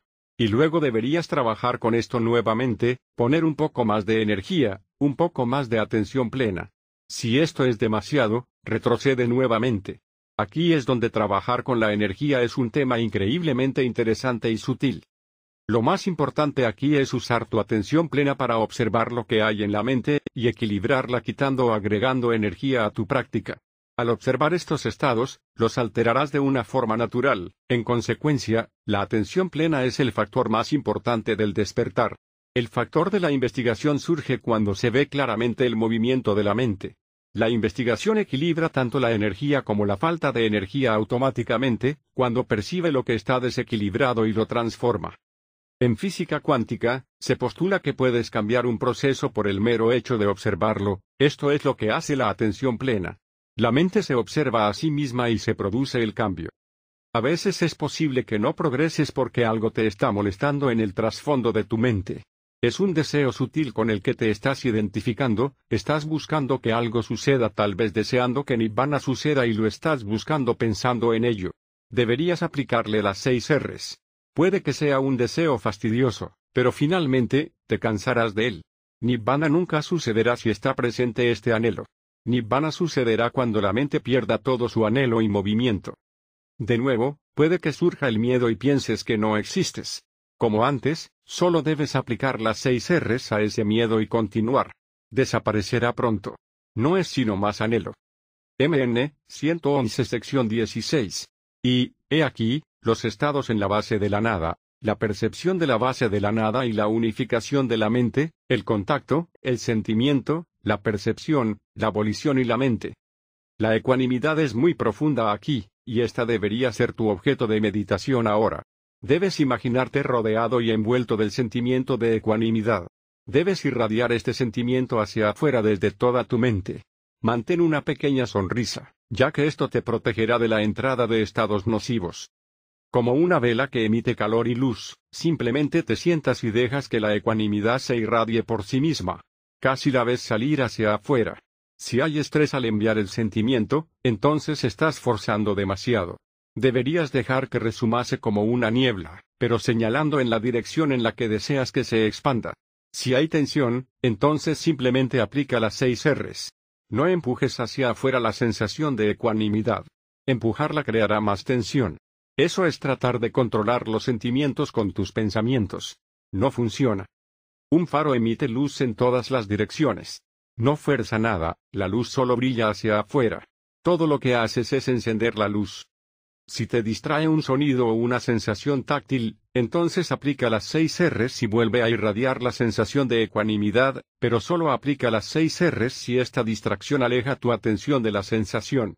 Si sientes pequeños movimientos, o hay pensamientos tenues en el trasfondo, pero aún sigues consciente y recogido en tu objeto de meditación, irradiando ecuanimidad en las seis direcciones, ignora esas pequeñas distracciones. Eso es solo ruido. No uses las seis R's a menos que tu atención se desvíe. Instrucción de meditación. Ahora estás comenzando tu sesión usando el sentimiento de la ecuanimidad como tu objeto. Irradias el sentimiento de ecuanimidad en cada una de las seis direcciones durante cinco minutos cada una, y luego a todas las direcciones al mismo tiempo durante el resto de la sesión. Cuando haces la meditación caminando, irradias ecuanimidad a todas las direcciones al mismo tiempo, y aplicas las seis R's a cualquier distracción que surja. Siéntate más tiempo ahora, una hora, una hora y media, dos horas, tres horas. Si sientes que quieres levantarte, siéntate otros cinco minutos y trata de ver si ese impulso desaparece. La actividad mental se vuelve más y más tranquila. Solo observa lo que hay en este momento, la mente se sentirá brillante y enérgica, con poco movimiento. Comenzarás a ver el eslabón de la conciencia que surge y desaparece. Este es un potencial. Verás este comienzo del movimiento, y luego florecerá en tu conciencia como algo, ya sea ver, escuchar o un sentimiento tangible. Es como si supieras que vas a ver algo, y luego lo ves. Gradualmente verás todos los procesos de los vínculos del origen dependiente que ocurren antes del contacto percibes que todo lo que experimentas ocurre solo en tu mente. Lo que constituye el verdadero tú es la mente, y los objetos mentales que van y vienen. ¿Realmente tienes un cuerpo, o simplemente ves esta imagen y la llamas cuerpo? ¿Estás escuchando un sonido tú? ¿O es solo la conciencia del sonido que surge, y una percepción de que tú estás escuchando? ¿Qué es la conciencia? Ahora ves que la conciencia se conoce a sí misma. Dejas de identificarte con ella, de pensar que tú eres la conciencia. La conciencia refleja la forma que está frente a ella, como al ver una rosa roja en un espejo. Vic Kuñanananda, el autor de Concepto y Realidad, la llama una sala de espejos en la que el espejo mismo es consciente de sí mismo justo en el momento que cualquier forma visual o auditiva es reconocida. No hay nadie en la habitación, pero son los espejos mismos los que son conscientes de ser conscientes. La mente superpone un concepto de sí mismo, pero solo existen los espejos y los reflejos. La conciencia surge, y luego se va. No había nada antes de ella y nada queda después. Nunca ha habido nadie en el pasillo excepto los espejos. Solo pensaste que sí había alguien. Ahora ves lo que hay directamente sin conceptos. Puedes ver que la conciencia solo se experimenta a sí misma sin experimentador. El concepto del yo o del sí mismo ha desaparecido. Hay miles de momentos que componen cada evento del escuchar o del ver. Tú existes solo durante ese momento. Luego hay otro momento, y tú escuchas de nuevo. Hay un espacio entre estos momentos donde no hay nada, ninguna cosa. Ahora estás percibiendo el silencio y el surgimiento y desaparición de objetos en ese silencio. Si el sonido no hubiera surgido, entonces tú no habrías surgido. No habrías nacido en la atención consciente si no hubiera habido un sonido como condición. Eso es el renacer, momento a momento, ahí mismo. Y dado que no hay nada entre las conciencias, ¿cómo puede haber una idea de un alma o ser omnipresente? Vives por un momento y luego mueres. La muerte física es solo un momento de este cuerpo a otro. Realmente mueres a cada momento, que tu cuerpo muera no tiene nada que ver con que tú mueras. Instrucción de meditación. Cuando las cosas se calman, puedes intentar agregar algo, ajustar algo o tratar de ver algo, como nada está surgiendo, puede que te aburras un poco. En este caso, observa la mente ansiosa que quiere hacer que algo suceda, queriendo controlar. Aplica las seis R's a esa mente allí mismo y déjala ir, luego simplemente permanece ahí sin movimiento. Aplica las seis R's al concepto de un controlador. Simplemente ten la sensación de ecuanimidad a medida que ésta se irradie. No te muevas en la mente en absoluto. Al igual que decía la canción de los Beatles, Let it be, let it be, déjalo ser, déjalo ser. Distracciones que surgen, cómo hacer ajustes. Demasiada energía, sientes inquietud, necesitas reducir tu energía. Toma la tranquilidad como tu objeto de meditación. Esto traerá la calma. Aplica las seis R's a tu deseo de controlar el proceso. Agrégala a la sensación de ecuanimidad. Si no tienes suficiente energía, te sientes somnoliento o aburrido, necesitas agregar más esfuerzo y aumentar tu curiosidad sobre lo que está sucediendo. Toma más interés. También puedes levantarte y caminar para despertar la energía. Haz una caminata rápida. Encuentra unas escaleras para subir y bajar. Cuanto más tiempo estés sentado, más debes caminar. Muchos meditadores evitan caminar pero luego se preguntan por qué se quedan dormidos o se desconectan cuando se sientan por largos periodos. Necesitas mantener tu sangre en movimiento y aumentar tu energía. El Buda y sus monjes caminaban a todos los lados y mantuvieron sus cuerpos muy saludables. Cuando iban a pedir limosna, las rondas podían ser muy largas y extenuantes, pero a cambio obtendrían energía para la meditación. Aplica las seis R's a cualquier aburrimiento, o reacción de aversión sutil, que aparezca y trata de superarlo. A veces, apenas sucede nada y debes ser muy gentil y paciente. Entonces irás más profundo. Usilananda, uno de los maestros de Bante, siempre le decía, la paciencia conduce a Nirvana. Hay siete factores del despertar que están trabajando. Estos factores deben ser ajustados. No te preocupes demasiado por equilibrarlos en este momento. Solo deja que la atención plena haga su trabajo. Algunos meditadores controlarán demasiado e intentarán tranquilizar su mente con cualquier factor que crean que necesitan. Pero demasiado control conducirá a la inquietud. Debes equilibrar el deseo de equilibrar dando un paso atrás, y dejando que las cosas se equilibren por sí mismas. El venerable Bante Vimalaramsi a menudo recuerda a sus estudiantes avanzados que recuerden que su trabajo como meditador es simplemente observar cómo la atención de la mente se mueve de una cosa a otra. La atención plena no trata de controlar ningún movimiento. Una de las cosas más difíciles de hacer es observar sin tratar de controlar nada. Los siete factores del despertar son 1. Sati, mindfulness. 2. Dhammavicaya, investigación de experiencia. 3. Virilla, energía. 4. Piti, alegría. 5. Pasadi, tranquilidad, mente relajada. 6. Samadhi, recogimiento barra unificación de la mente. 7. Upekka, ecuanimidad. Algunas personas puede que se quejen de las distracciones que provienen de su cuerpo. Pueden sentir dolor en algún lugar de su cuerpo. Esto no es un dolor real, sino un obstáculo muy sutil que surge en la mente. No le prestes más atención a tu cuerpo. La mayor parte del dolor ahora será lo que se conoce como dolor de la meditación. Esto es diferente de un verdadero dolor. Un dolor real se produce cuando estás sentado demasiado tiempo o sentado retorcido de una forma extraña y estás lastimando tu cuerpo. Este dolor de meditación es el dolor de los obstáculos que surgen. Principalmente es el dolor de la inquietud. La inquietud es una sensación dolorosa, pero esta está en tu mente, y debes determinar que no te vas a dejar ser bamboleado por ella, sino ablandarte en ella, dejarla ser y relajar la tensión y la rigidez que haya. Ahora solo te interesa la mente. Debes sentarte por largos periodos de tiempo. Siéntate por una hora, dos horas e incluso tres y cuatro horas. Cuanto más tiempo permanezcas sentado, más tiempo tendrá la mente para calmarse. Hasta ahora, el récord para los estudiantes de Bante es de dos días en una sesión completada por un hombre en Indonesia, y recientemente un hombre en los Estados Unidos. Y eso realmente valió la pena, los resultados fueron fenomenales. Y él simplemente se levantó tras la sesión y se fue sin dolor ni rigidez, se sentía bien. Con el tiempo, la mente se calmará mucho y la ecuanimidad se volverá muy profunda. Luego llegamos al siguiente Arupajana en el que dejamos atrás todos los Brahmaviaras. Capítulo 13. La base de ni percepción ni no percepción.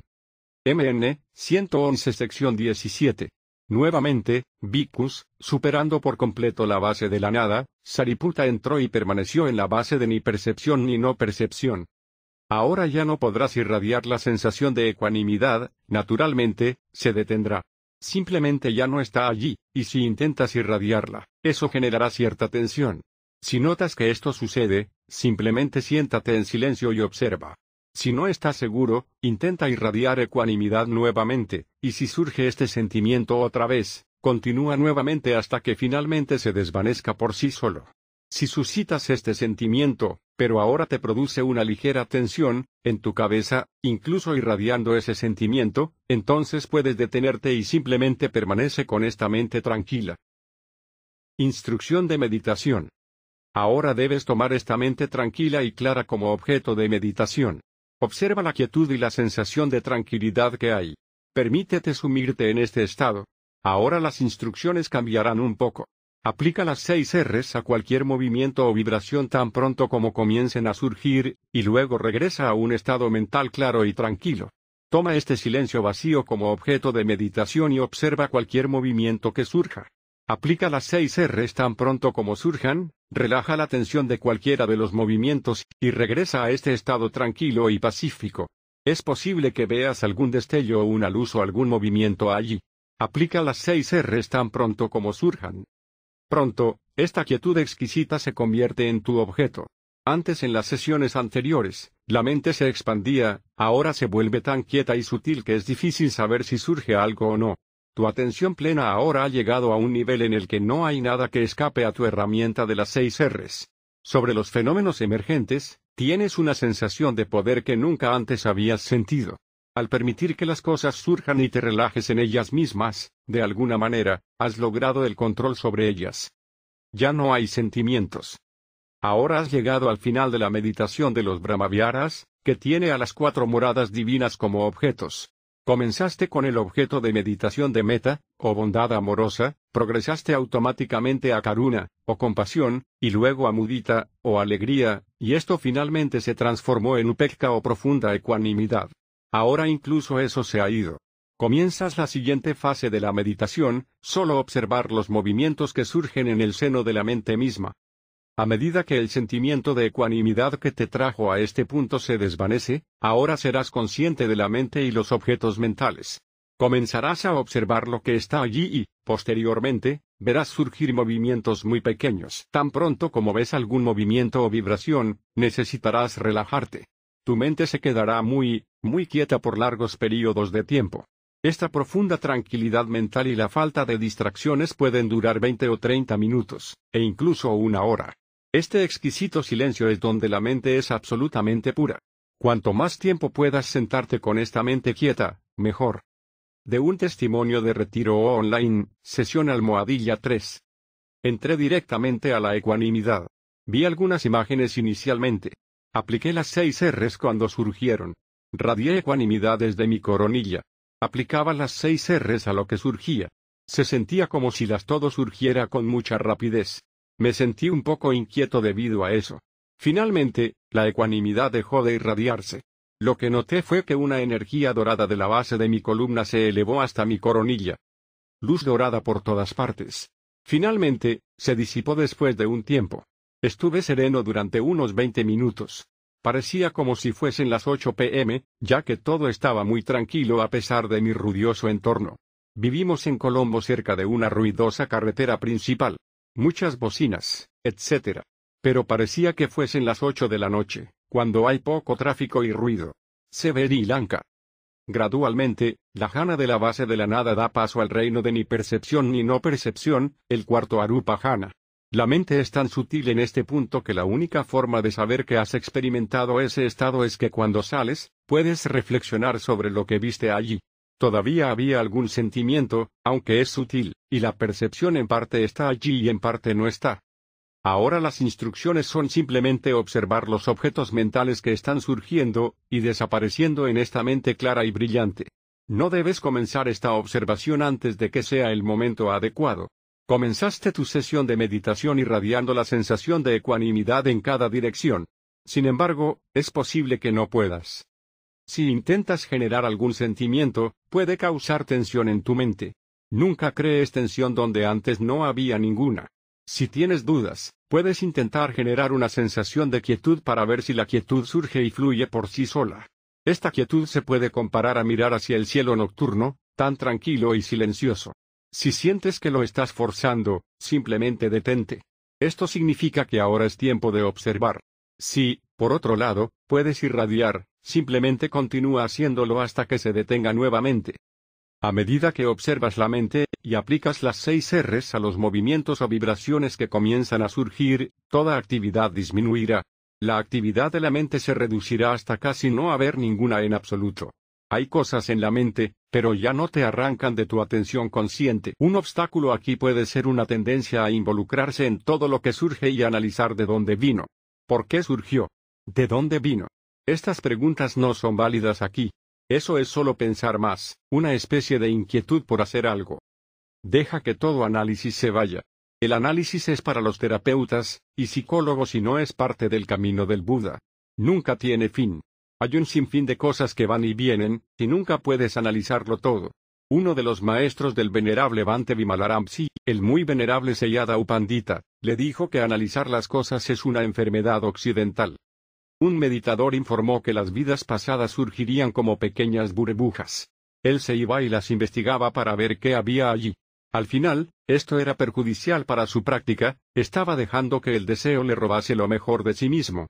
Le tomó muchos años cansarse de esto, y finalmente aplicar desapasionadamente las seis R's a estas burbujas de memoria. Los psicólogos querrán ver de dónde vienen estos pensamientos, pero nosotros no. Nosotros solo estamos observando el proceso y cómo surge.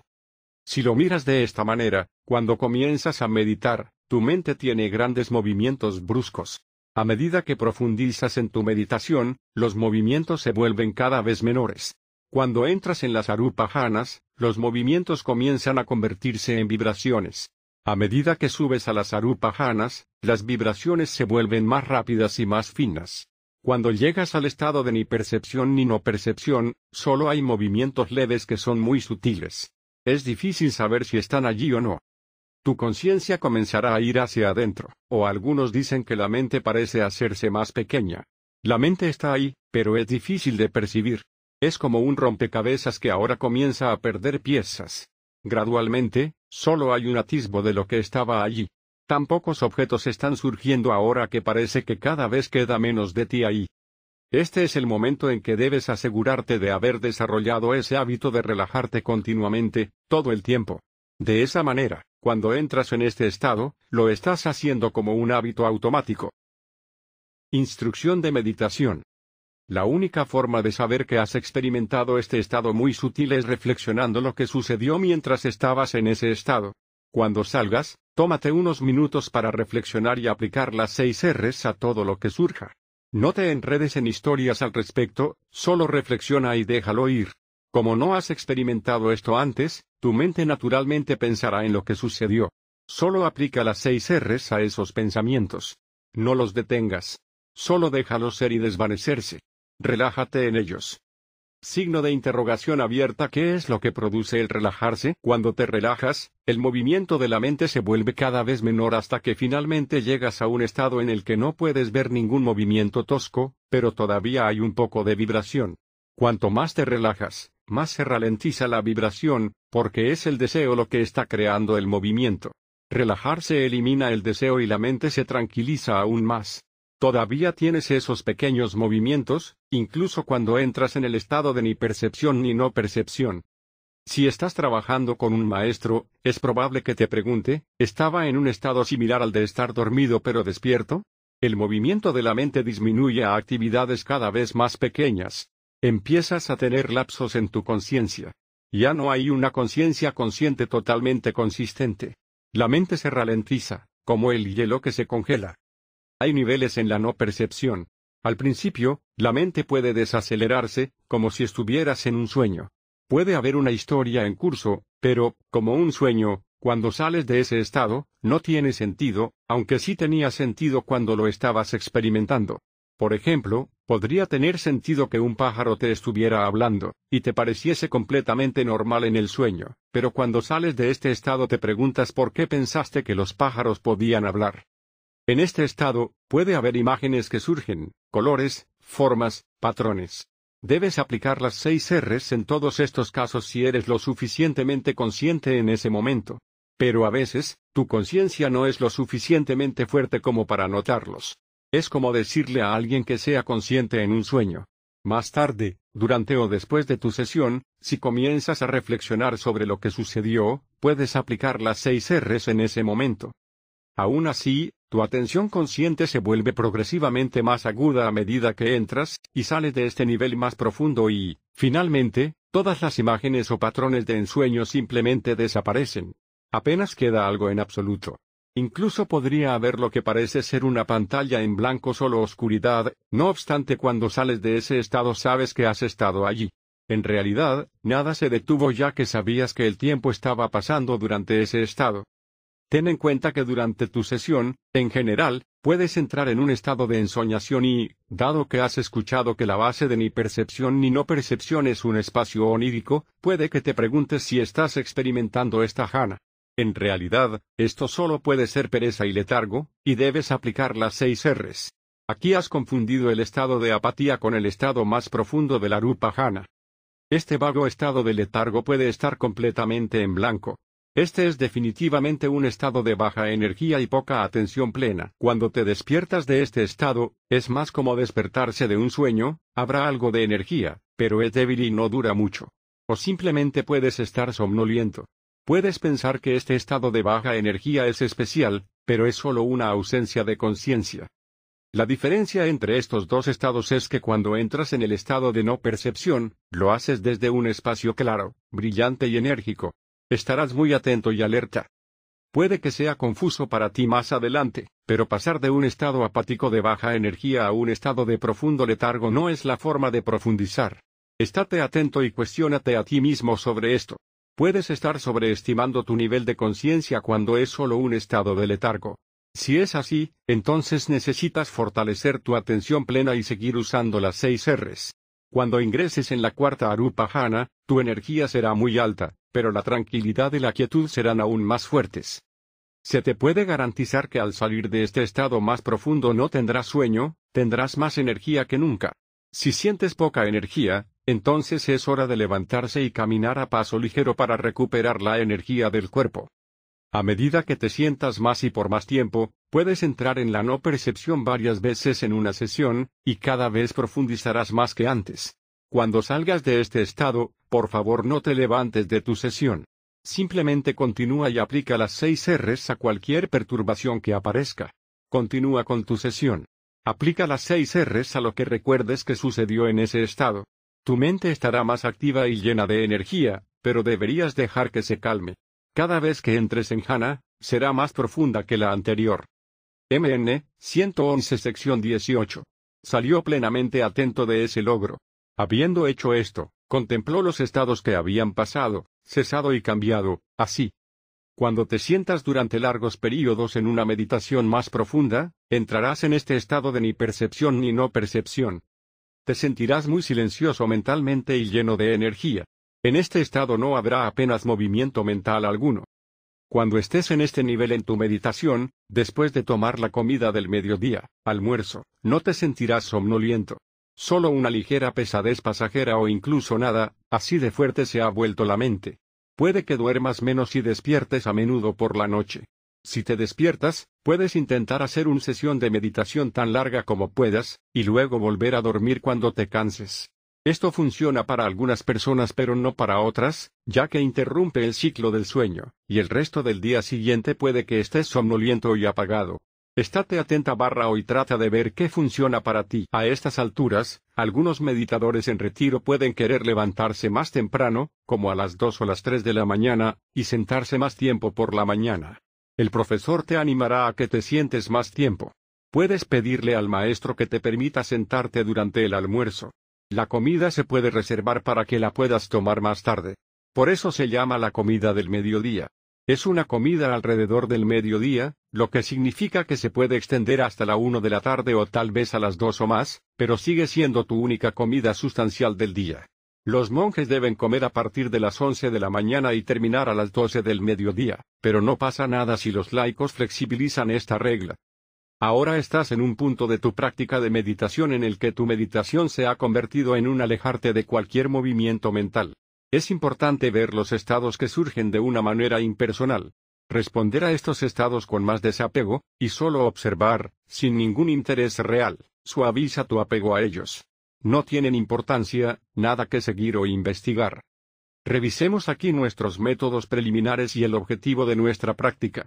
Estamos utilizando la meditación samatha como medio para tranquilizar y calmar la mente, es como esparcir aceite sobre el agua. Esto se hace mediante el uso de una variedad de sentimientos diferentes, meta, compasión, alegría y ecuanimidad, de que surgen uno por uno cuando comenzamos con meta. Esta es la práctica de Brahmaviara. Estamos observando estados que surgen en las sanas a medida que surgen uno por uno, ya sean sanos o no sanos, y vemos su naturaleza impermanente y sin alma. La parte samata de este proceso calma el ruido para que podamos observar mucho más de cerca los fenómenos que surgen. Esta última es la parte de comprensión o vipassana. Así que esto es samata vipassana, ambas trabajando juntas. Entonces, ahora lo que sucede es que el movimiento gradualmente se ralentiza hasta el punto en que ya no nos estamos ahogando en pensamientos y distracciones y ahora podemos dejar ir a los brahmaviaras como objetos de meditación, en realidad, simplemente se desvanecen. Ahora nuestro objeto de meditación es observar los movimientos, de la mente, con el contraste de una mente clara y tranquila. Estamos lo suficientemente claros y equilibrados como para no dejarnos llevar por las que ahora son pequeñas distracciones y vibraciones. Gradualmente, incluso estos pequeños movimientos se detendrán y toda actividad mental cesará. La charca de nuestra mente no tendrá ni una sola onda allí. De repente, la atención y la conciencia se detendrán por un momento. Habrá una gran claridad justo después de esto, ya que ahora vemos con más profundidad de lo que jamás hemos visto antes. Vemos el aspecto más profundo del proceso mental. Entonces, nos dirigimos hacia ahí. Continuemos avanzando. Existe este pequeño envoltorio de deseo alrededor de cada estado que surge. Es lo que piensas que eres tú. Tomará el sentimiento que está surgiendo como mi sentimiento y hay una pequeña historia y percepción sobre lo que éste es. Cuando surge algo, tu mente percibe instantáneamente que ese objeto está siendo observado por un yo. Existe el objeto y el yo que percibe el objeto. Esto es anhelo, es este sentido que tienes de ti mismo. En realidad, no hay un ti mismo ahí en absoluto. Está el objeto, está la base de los sentidos y hay conciencia, es decir, el objeto visual, el propio órgano del ojo y la conciencia del ojo. La mente interpreta estos procesos que surgen y desaparecen como parte de un tú permanente. Pero lo que realmente está sucediendo es que surge un sentimiento, y existe la sensación de un tú sintiéndolo. Hay conciencia, pero existe la percepción errónea de que este pequeño tú es un yo que lo siente. Algunas personas incluso ven una pequeña imagen de sí mismos, y la mente equivocada la identifica como si fuera el verdadero tú. Pero es solo una imagen, no estás allí en absoluto. El yo es solo un concepto. Piénsalo por un momento. Por la noche tienes sueños y definitivamente sientes que existes en estas fantasías de los sueños. Haces esto y aquello y reaccionas con horror o placer, dependiendo de la situación. ¿No se parece a tu vida? Sabes que realmente no existes en el sueño, pero cuando estás despierto crees que existes y reaccionas como cuando sueñas. ¿Acaso no es lo mismo? De hecho, el Buda se dio cuenta de que el concepto del yo barra sí mismo era falso, y es por eso que decimos que el Buda despertó, de este sueño del yo barra sí mismo. Además, al personalizar cada sentimiento que surge, al hacer que cada objeto que surge sea tuyo, podrías tender a pensar que hiciste que sucediese la experiencia. Es muy importante que te des cuenta de esto. Esta es la ilusión de un yo que controla cada estado que surge. Sentirás que yo hice que esto surgiera o yo controlo este o aquel estado que ha surgido. El hecho es que no controlas nada. La comprensión profunda del origen dependiente es que todo surge de una causa sin que haya ningún yo haciéndolo o llevándolo a cabo o controlándolo. No tienes nada que decir al respecto. Con una comprensión profunda de esto, sentirás alivio porque ya no tendrás esta carga autoimpuesta de pensar que tú controlas cada estado mental. Qué alivio no sentirse responsable por cada pensamiento. No los pensaste, solo ellos son responsables de su propia existencia. Cuando surge algo en mente, ya sea una imagen, luz o pensamiento, simplemente da un paso atrás muy, muy suavemente. Trata de ver cómo el estado surge de la nada. No importa por qué surgió. Simplemente lo hizo, y no lo produjiste tú. Surgió en función de las condiciones. Ningún rey está ordenando que esto o aquello surja. No hay controlador, nadie está al mando. Puede que estés observando con demasiada energía, y preocuparte por los objetos que van y vienen. Relájate y llega a un punto tranquilo, y quieto donde tu conciencia esté muy quieta. Hay simplemente vibraciones que surgen y desaparecen. No pienses que estás controlando nada. Si estuvieras controlando las cosas, podrías determinar cuándo estar feliz o triste, pero sabes que no puedes hacer eso. De hecho, Trata de usar tu investigación para mirar muy de cerca esa fuerza, ese impulso, que quiere controlar. Está constantemente ahí en el trasfondo siempre que surge el sentir. Surge un sutil tú al que le gusta el sentimiento o no. Ese es el deseo o la sensación de un controlador, la falsa creencia en un yo personal. Entonces, en el momento en que surge ese sentimiento o incluso una pequeña imagen de ti, relájate y aplica las seis R's. No te apoyes en este sentimiento, déjalo y da un paso atrás. Deja que el sentimiento se desvanezca, hasta que solo quede la quietud y nada más que la observación. El Sutta habla del factor de la decisión. ¿Sabías que cuando tomas una decisión esto no es sino otro constituyente de la mente que simplemente surge por sí solo, y que no tiene nadie que lo controle detrás? Cuando ves este factor surgir en tu meditación, trata de aplicarle las seis R's, y te quedarás ahí simplemente sentado no está ocurriendo ningún tipo de acción dado que has soltado el factor de la decisión. Si de algún modo piensas que te vas a sentar, y después continúas pensando sobre qué cojín deberías usar, puede que observes justo el momento preciso de la decisión, a partir del cual tú decidiste qué cojín usar. Hay un momento en el que surge tu decisión. Si das un paso atrás y con sutileza permites que todo surja mientras estás observando con mucha atención y con tu factor de la investigación, verás que el factor de la decisión surge completamente por sí mismo. Y después también se va. Ahí aparece una llamada a la acción que surge del anhelo que es inherente a ella. Este anhelo es el empuje que sientes a llevar a cabo la acción. Ahora estás sin perturbaciones y contento con simplemente soltar todo lo que va surgiendo. No es tuyo. Son solo historias. Ves esto con una mente que se ha purificado del anhelo que no se toma las cosas de forma personal. Esto es ver las cosas con los ojos de la sabiduría, ver las cosas como realmente son. Y es muy agradable. Finalmente, llegas a un nivel de equilibrio sin precedentes que se llama desencanto, que es seguido de un estado aún más profundo llamado desapasionamiento, que abrirá la puerta a lo incondicionado. Cuanto más tiempo pasas en la base de ni percepción ni no percepción, tanto más la mente se purifica. Bante dice que se hace mucho mérito en este estado. El mérito es como un almacén de acciones saludables que conducen a muy buenos resultados futuros. Esto es como tu cuenta bancaria kármica.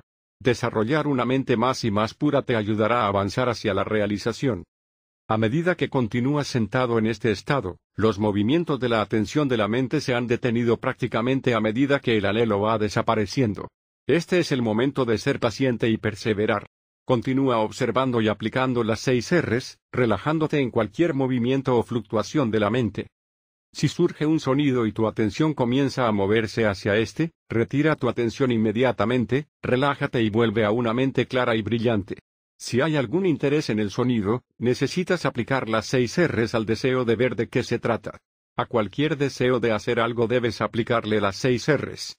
Llegará el punto en que sientas que tu conciencia se ha detenido. Estás sentado en silencio, no estás atrapado en la corriente mental que siempre está acelerada.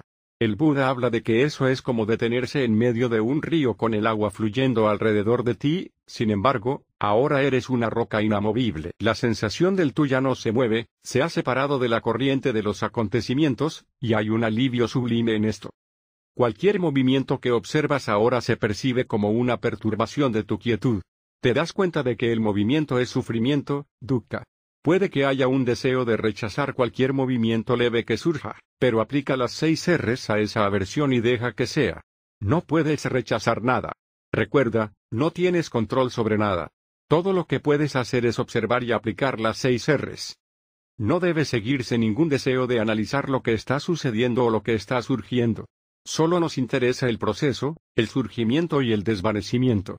Las preguntas sobre por qué surgen las cosas nunca pueden resolverse por completo. Es posible que la causa por la que surgen ni siquiera provenga de esta vida, por lo que nunca podría saber realmente cuál podría ser la causa de un obstáculo. No necesitas entender de dónde vienen las cosas, eso se lo dejamos al psicólogo, simplemente le aplicamos las seis R's y lo dejamos ir.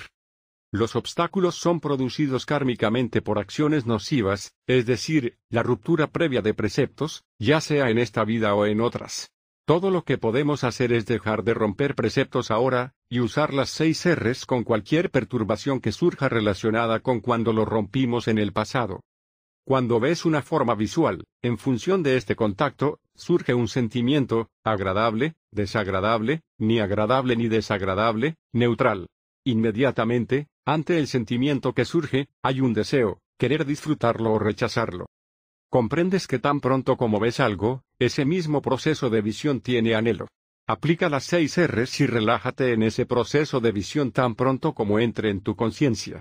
Observa que hay una tensión muy sutil tan pronto como tu ojo se fija en la visión, eso es lo que atrae tu atención para que lo veas. En el momento en que tu mente se dirija a observar algo, deberías relajarte en eso, en ese instante. No dejes que el anhelo se apodere de tu atención. Déjalo ir. En la mayoría de las circunstancias, el deseo no es muy fuerte pero, como dice Bante Vimalaramsi, definitivamente, es persistente. En realidad, no existe tal cosa como la mente atrayendo tu atención. El sonido surge, y surge el deseo. Parece que algo así como un yo está siendo atraído hacia el sonido, pero eso no es lo que está sucediendo. Sonido y deseo surgen juntos, dando la ilusión de que alguien está siendo atraído hacia estos. Esa es la ilusión del yo personal. De hecho, la vista o el gusto o lo que surja tiene el deseo incrustado en él, y el yo que surge está en la sensación misma. No existes en ningún otro lugar en ese momento que no sea en ese escuchar el sonido. ¿Por qué surges en ese momento? Surges porque tú querías escucharlo. El yo, el así llamado yo permanente, en realidad está naciendo a la existencia en ese momento de identificación. Antes de eso, solo se estaba desvaneciendo la última conciencia que surgió. Entonces surgió la nueva vibración sonora, que provocó que el anhelo surgiera, y entonces el tú personal fue creado una vez más. Este es el proceso del origen dependiente, las causas y condiciones constantemente surgen y desaparecen.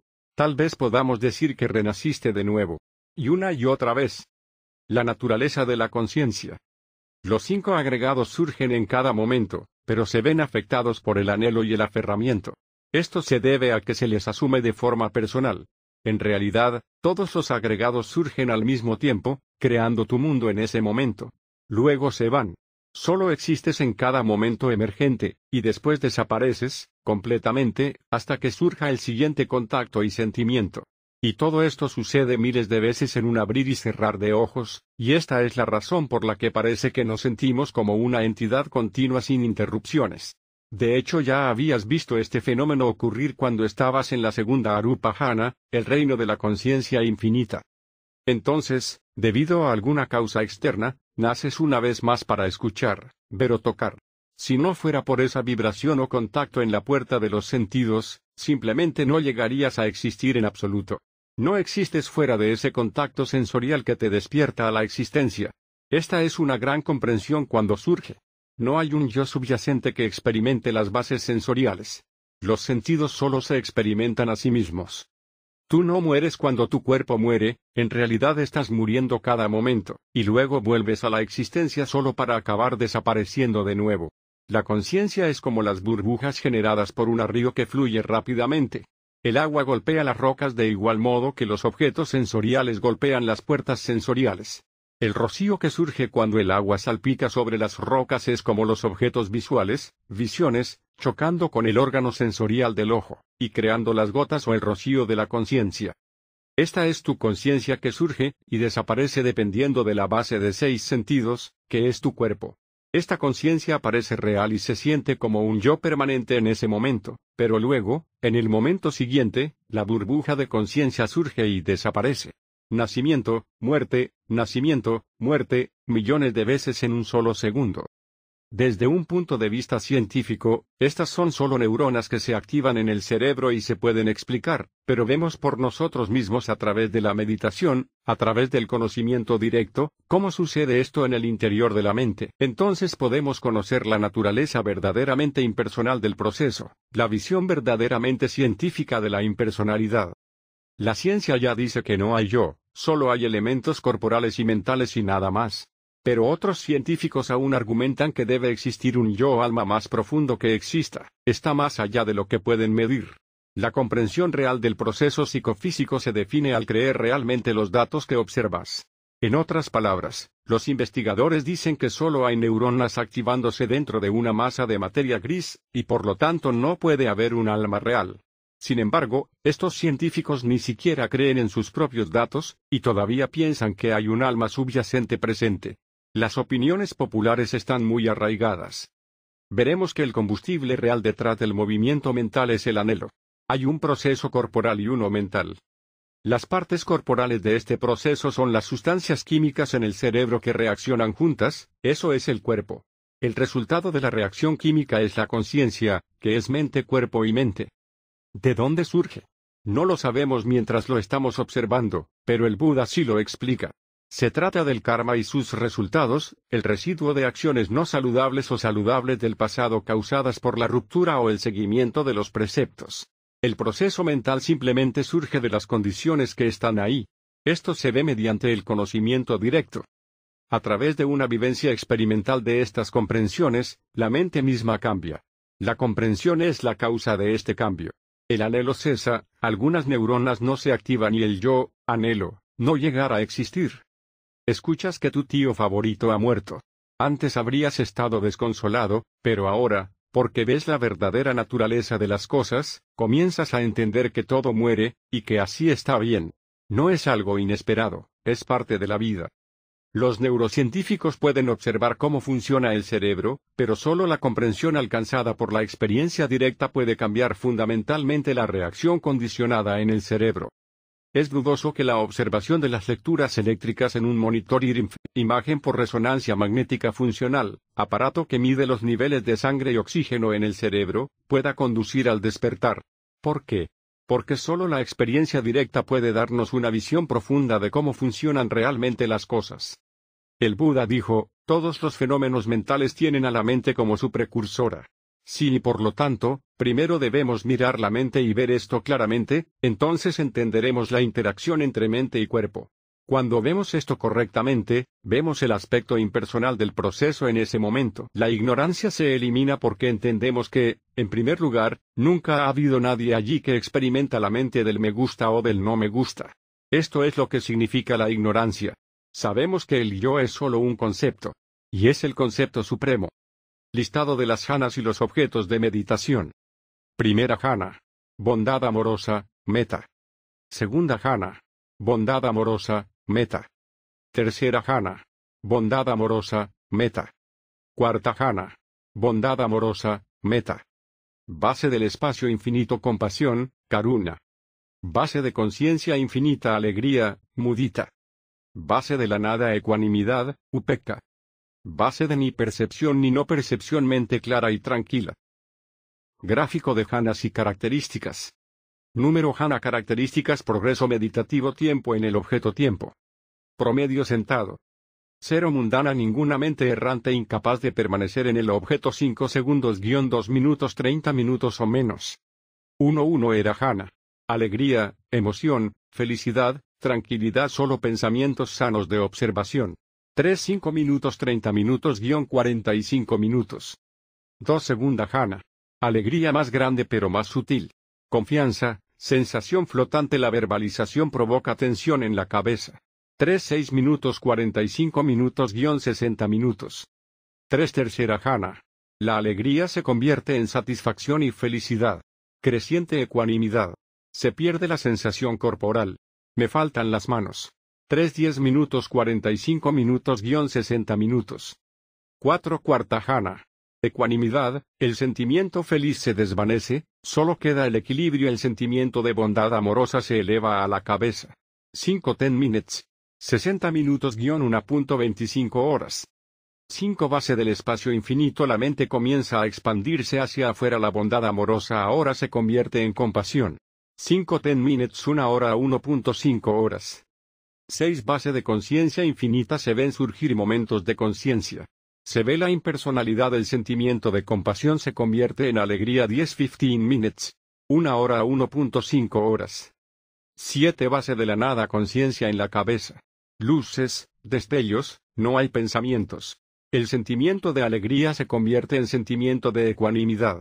15-30 minutes, 1.5 hora a 2 horas.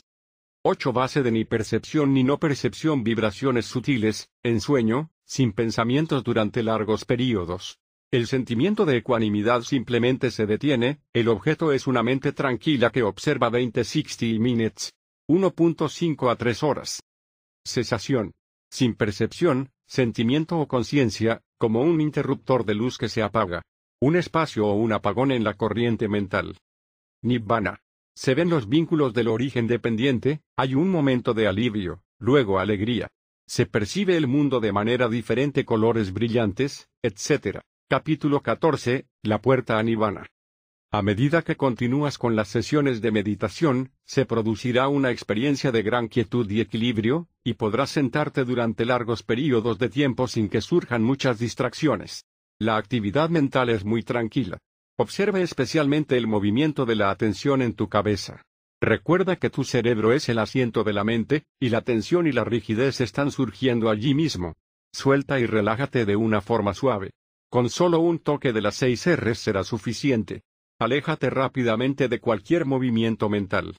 Incluso puede ser la más mínima sensación que llame tu atención. Relájate en ese momento. En esta etapa, la mente estará serena y brillante. Hay un brillo mental con una atención plena y enérgica. Estás progresando bien. Puedes ver fácilmente cualquier cosa que surja. Te relajas en cualquier distracción y aplicas las seis R's automáticamente. Tu mente simplemente no tiene pensamientos, y tu atención nunca se desvía. Los vínculos o enlaces más sutiles del origen dependiente comenzarán a aparecer en tu conciencia. Primero, están las conciencias que surgen de la mente interna profunda. Luego aún más profundas son las formaciones, corporales, verbales y mentales, que son la causa de esas conciencias. Tú no eres ese fenómeno que está surgiendo. No te identifiques con este. Eso es anhelo. Ahora, lo que estás sintiendo como más apetecible es la tranquilidad mental que está exente de estas vibraciones y movimientos mentales. Hay menos sufrimiento en esta mente tranquila. Menos es mejor. ¿Qué son las formaciones?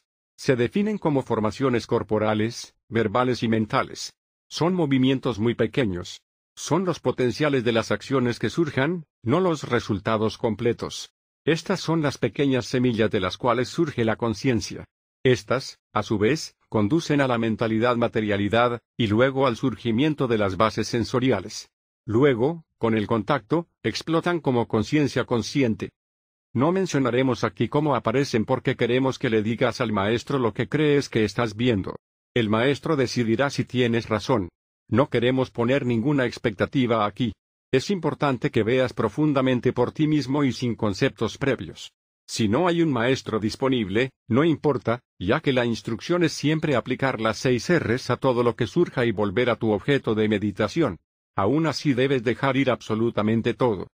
Cuando veas lo que crees que son las formaciones o algunos vínculos más profundos, aplícales las seis R's tal y como harías con cualquier otro fenómeno. Al aplicar las seis R's a cualquier vínculo que surja, esto descubrirá el siguiente vínculo de la cadena, aún más profundo que el anterior. Estamos eliminando la tensión y la rigidez del deseo en los vínculos a medida que van surgiendo, y cuando lo hacemos, esto revela la siguiente parte más profunda. ¿Cómo aplicas las seis R's a la ignorancia? No lo haces. Es una comprensión profunda de las cuatro nobles verdades.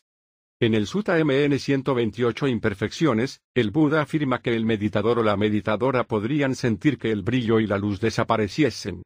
¿Cuál sería la razón de esta pérdida del brillo? Por supuesto, la causa es esos obstáculos inoportunos que surgen. Son nubes oscuras que se acumulan sobre esta mente clara y brillante. A veces la mente es tan clara que puede describirse como luminosa. Muchas veces, sentado en este estado puede surgir inquietud ya que no hay mucho que observar. Es posible que desees ver algo y comiences a controlar las cosas. El aburrimiento puede surgir, junto con una disminución correspondiente de la atención plena. Debido a esto, la luz se desvance. Equilibrar los factores de energía, tranquilidad, atención plena y los otros factores del despertar, una vez más traerá de vuelta esa mente radiante. Continúa usando la mente clara como tu objeto de meditación. Si tu atención plena es fuerte, mayormente habrá silencio. De vez en cuando surgirá una leve actividad. La mente comenzará a vibrar, y eso te alejará de la mente tranquila, ese punto de calma equilibrado donde reside tu conciencia. Aplica las seis R's en ese momento y vuelve a la tranquilidad. Tu objeto de meditación continúa siendo esa mente tranquila en sí misma. Estate atento a cualquier actividad que surja. Si sientes que estás perdiendo el silencio, puedes hacer emerger esa sensación de quietud y ser consciente de ello. Cuando tu mente se aquieta de nuevo, entonces puedes dejar ir ese sentimiento, y volver a observar y relajarte en los movimientos sutiles de la mente. La zona neutral. Gradualmente, hasta las partes más pequeñas de la actividad mental disminuirán. Será como si no hubiera nada en absoluto a lo que aplicar las seis R's. Puede que te inquietes y querer levantarte. Es como si sintieras que no queda nada por hacer. No hagas eso. Aplica las seis R's a esa inquietud y sigue sentado. Ahora es el momento de la paciencia y la persistencia. Casi nada sucede. Tienes que sentirte bien al respecto. La mente se calmará más y más si continúas. Es posible que ni siquiera te des cuenta de que se está progresando, pero lo estás haciendo. Si el desasosiego o cualquier obstáculo comienza a tomar ventaja, simplemente observa con la intención, no me importa lo que pase después, mi trabajo es solo observar lo que hay aquí.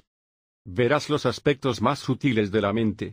En él están las semillas, o potenciales, que en última instancia conducen al nacimiento, la vejez y la muerte. La maestro o el maestro te hará preguntas para averiguar lo que estás viendo. Se te aconsejará que estés muy atento a cómo surgen los movimientos y cómo aparecen.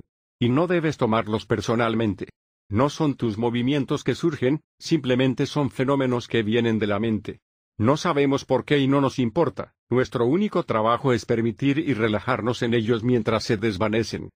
Es importante que la atención plena y la tranquilidad continúen desarrollándose para poder ver y comprender estos fenómenos muy sutiles. Eventualmente, verás todos los enlaces excepto la ignorancia, que es algo que alcanzarás comprender, y además, verás las cuatro nobles verdades por completo. Estás trabajando hacia atrás, dejando ir cada vínculo, yendo más y más profundo. Verás el vínculo mentalidad-materialidad, y continuarás hacia atrás hasta la conciencia, y luego a las formaciones. Se te recomendará que uses las seis R's para estos objetos cuando aparezcan, descubriendo así el siguiente vínculo, en los doce vínculos, del origen dependiente, existe un vínculo específico importante para el anhelo mismo, que viene después del sentir y antes del aferramiento o apego, pero también hay una pequeña cantidad de anhelo en cada enlace individual, manteniendo en marcha de este modo la rueda de samsara. Podrás ver todo eso. Verás todo el proceso de la mente. A medida que aplicas las seis R's más y más profundamente, se te recomendará que mantengas una distancia respecto a cada objeto que surja. Cada vez que hay un sonido, la cadena del origen dependiente se activa, y entonces has de aplicar las seis R's a todo eso. Mira los vínculos que van surgiendo cada vez más cerca para ver cómo surge cada pequeña parte de ellos. Todavía hay anhelo ahí por soltar. Debes dejar que todo lo que surja venga por sí solo, no lo busques. De este modo, puedes ver cómo puede que haya el deseo de buscar más experiencias. Tu mente constantemente quiere ir hacia adelante y, al igual que el juego del comecocos, Pac-Man, involucrar más y más a los sentidos para ver qué hay allí, para vivir más, para experimentar más. Esto sucede porque todo lo que se experimenta desaparece. En consecuencia, la mente está constantemente buscando más para reemplazar los fenómenos que acaban de desaparecer. Nota si puedes ver este saltar de un objeto a otro adoptando la actitud mental de detenerte por completo. Simplemente quédate quieto mentalmente y deja que toda experiencia pase a través de tu estado mental imperturbable, aquel estado que no reacciona ni siquiera al más mínimo soplo de una vibración. Estamos saliendo de esta existencia cíclica, samsara. Logramos esto dejando ir, viendo claramente cada vínculo a medida que surge y viéndolo como impersonal, impermanente e insatisfactorio. MN, 111 sección 18. De hecho, estos estados, al no haber existido, nacen, habiendo existido, se desvanecen. Con respecto a esos estados, permaneció sin quedar atraído, sin aversión, independiente, separado, libre, disociado, con una mente libre de barreras. Él entendió, hay libertad más allá de esto, y con el cultivo de ese logro, confirmó que la hay. Desencanto. Mientras estás en este estado mental tranquilo y claro, lo primero que viene es el conocimiento del desencanto. Hasta ahora, has seguido observando con cierto interés fenómenos que surgen y desaparecen. Te das cuenta de que estás yendo más profundo, así que continúas. Cada vez aplicas menos las seis R's a medida que avanzas. La mente se vuelve más y más silenciosa. A medida que continúas, notas este constante surgimiento y desaparición de objetos. Notas el espacio silencioso entre los objetos que surgen y desaparecen. Piensas para ti mismo, ¿qué pasaría si pudiera deshacerme de estos objetos que van y vienen? Entonces solo habría paz. Piensas que entonces solo habría silencio, y no todos estos objetos y vibraciones irritantes. Percibes como sufrimiento la ausencia de calma. Este intento de controlar tiene un aspecto de anhelo. Querer hacer que algo suceda es precisamente lo que impedirá que suceda. El maestro le recordará al alumno que su trabajo es simplemente observar. Te das cuenta de que ahora estás comenzando a desarrollar una perspectiva completamente nueva del mundo. Nunca pensaste que la falta de actividad mental sería algo bueno, pero ahora sí. Puedes ver que cualquier actividad mental y movimiento es insatisfactorio, que el silencio es mejor. Ahora percibes cualquier vibración, e incluso cualquier conciencia, como insatisfactoria. Incluso intentas evitar que surjan cosas y no puedes. Nunca tuviste control en absoluto, simplemente siguen apareciendo estas cosas. Tu mente comienza a ir hacia el silencio, pero hay un problema. La corriente mental no se detiene y sigue rodando. Surge un tipo de observación sutil. Estoy realmente cansado de estas sensaciones que perturban mi tranquilidad. La insatisfacción surge junto con la realización de que sería mejor que todos estos fenómenos emergentes simplemente se detuviesen, por favor dejadme tener un poco de paz. Estás empezando a desencantarte. Buscas una razón por la cual surgen estas sensaciones constantes y objetos mentales, pero parece que no hay ninguna. Si pudieras encontrar el motivo, entonces podrías entender por qué viene o encontrar una forma de desactivarlo. Deseas analizar y resolver el problema, pero no ves una solución. Finalmente, simplemente dejas de mirar. El interés en ver este flujo constante comienza a disminuir. Te das cuenta de que realmente no tiene fin. Este es un estado emergente de conocimiento sobre tu mente y el proceso de la vida, nunca terminará. No hay paz ahí. Hubo un desinterés total en la impermanencia del yo, una comprensión de la necesidad de identificar un yo permanente inexistente con cada sentimiento, pensamiento y acción. Hubo una comprensión más profunda de la experiencia de que los sentimientos y los pensamientos no estaban bajo mi control, que los pensamientos u objetos mentales, en general, eran como lo que los olores son para la nariz, o los sonidos para los oídos. Venían y se iban sin que yo participase de ello. No obstante, continué aplicando las seis R's. SD, California. Tienes energía, observas continuamente cada pequeña vibración, forma de pensamiento, etc., y puedes estar muy decidido a relajarte y dejar ir todo lo que surja. Al hacerlo, crees que llegarás al final del proceso, pero no es así. Ahora entiendes que todo lo que surge es una perturbación altera el estado mental tranquilo del que estás comenzando a disfrutar, a disfrutar no de una manera ansiosa sino con aprecio. Estás comenzando a saborear la tranquilidad. Entiendes que el equilibrio es mejor que perseguir más objetos. Esta comprensión conducirá a la satisfacción, la satisfacción surgirá sin la cascada de vibraciones y movimientos que constantemente te asaltan. Es posible que tengas algún deseo de que Nirvana surja y podrías pensar que está cerca. Entonces podrías poner demasiada energía y comenzar a inclinarte hacia el futuro, esperando que surja este logro. Necesita aplicar las seis R's a este deseo. Esto es el surgimiento de más anhelo. Esto es el deseo. Puede que pienses que necesitas tener el deseo de alcanzar la meta. No, ya has apuntado a tu mente en esa dirección. Deja que la meditación haga el resto. Tomas la determinación de llegar y luego simplemente vas. No piensas en el destino todo el tiempo que estás en camino. Simplemente continúas, confiando en que sucederá según lo planeado porque estás en el camino correcto. Esto es determinación. El deseo de alcanzar nirvana, ¿es algo que no deberíamos tener? En estas sesiones finales de estar sentado antes de alcanzar el despertar, necesitamos dejar ir incluso el deseo de alcanzar nirvana. Sin embargo, cuando comenzamos, no podremos siquiera comenzar la meditación sin formular algún deseo intencional que nos ponga en el camino. Entonces, es un deseo positivo, un deseo saludable. Porque después de todo, es un deseo para lograr el no deseo. No es como un deseo de helado de chocolate o un coche nuevo. Es un deseo de detenerse y quedarse quieto y conocer la paz.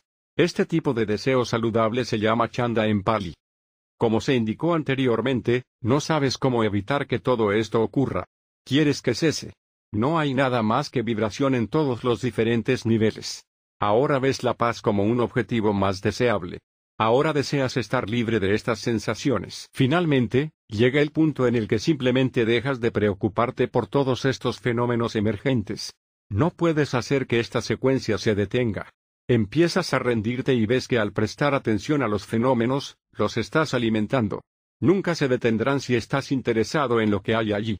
Te das cuenta de que todo este movimiento y vibración está perturbando tu recogimiento y paz. La mente ahora se vuelve desinteresada hacia lo que surge, y hay un sentimiento más profundo de desencanto. Hay innumerables surgimientos. Esto es sufrimiento, esto es dukkha, que es la palabra pali para sufrimiento o malestar. El Buda dijo que la primera noble verdad de la existencia es el sufrimiento. Ahora lo ves. ¿Ves cómo prestas atención a, y te gusta y te disgusta, todo lo que surge, lo que hace que continúe existiendo debido al anhelo, la segunda noble verdad? Ahora ves el objetivo, el cese del anhelo es el cese del sufrimiento, la tercera noble verdad. Desapasionamiento.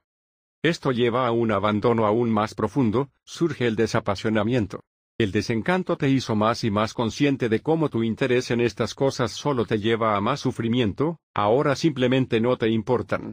No te importa lo que viene o va. Tu mente se repliega, ya no mira hacia afuera. Todo lo que surge está bien, no importa. Ya no llama tu atención. Sabes que no puedes detenerlo. Ya ni siquiera te preocupas por el nirvana. Este es un estado donde no hay más obstáculos. Tu mente ha dejado de producir obstáculos. Ahora no le interesa ninguna experiencia que surja. Ya no intentas controlar nada. Ahora estás cerca de lo incondicionado. ¿Por qué?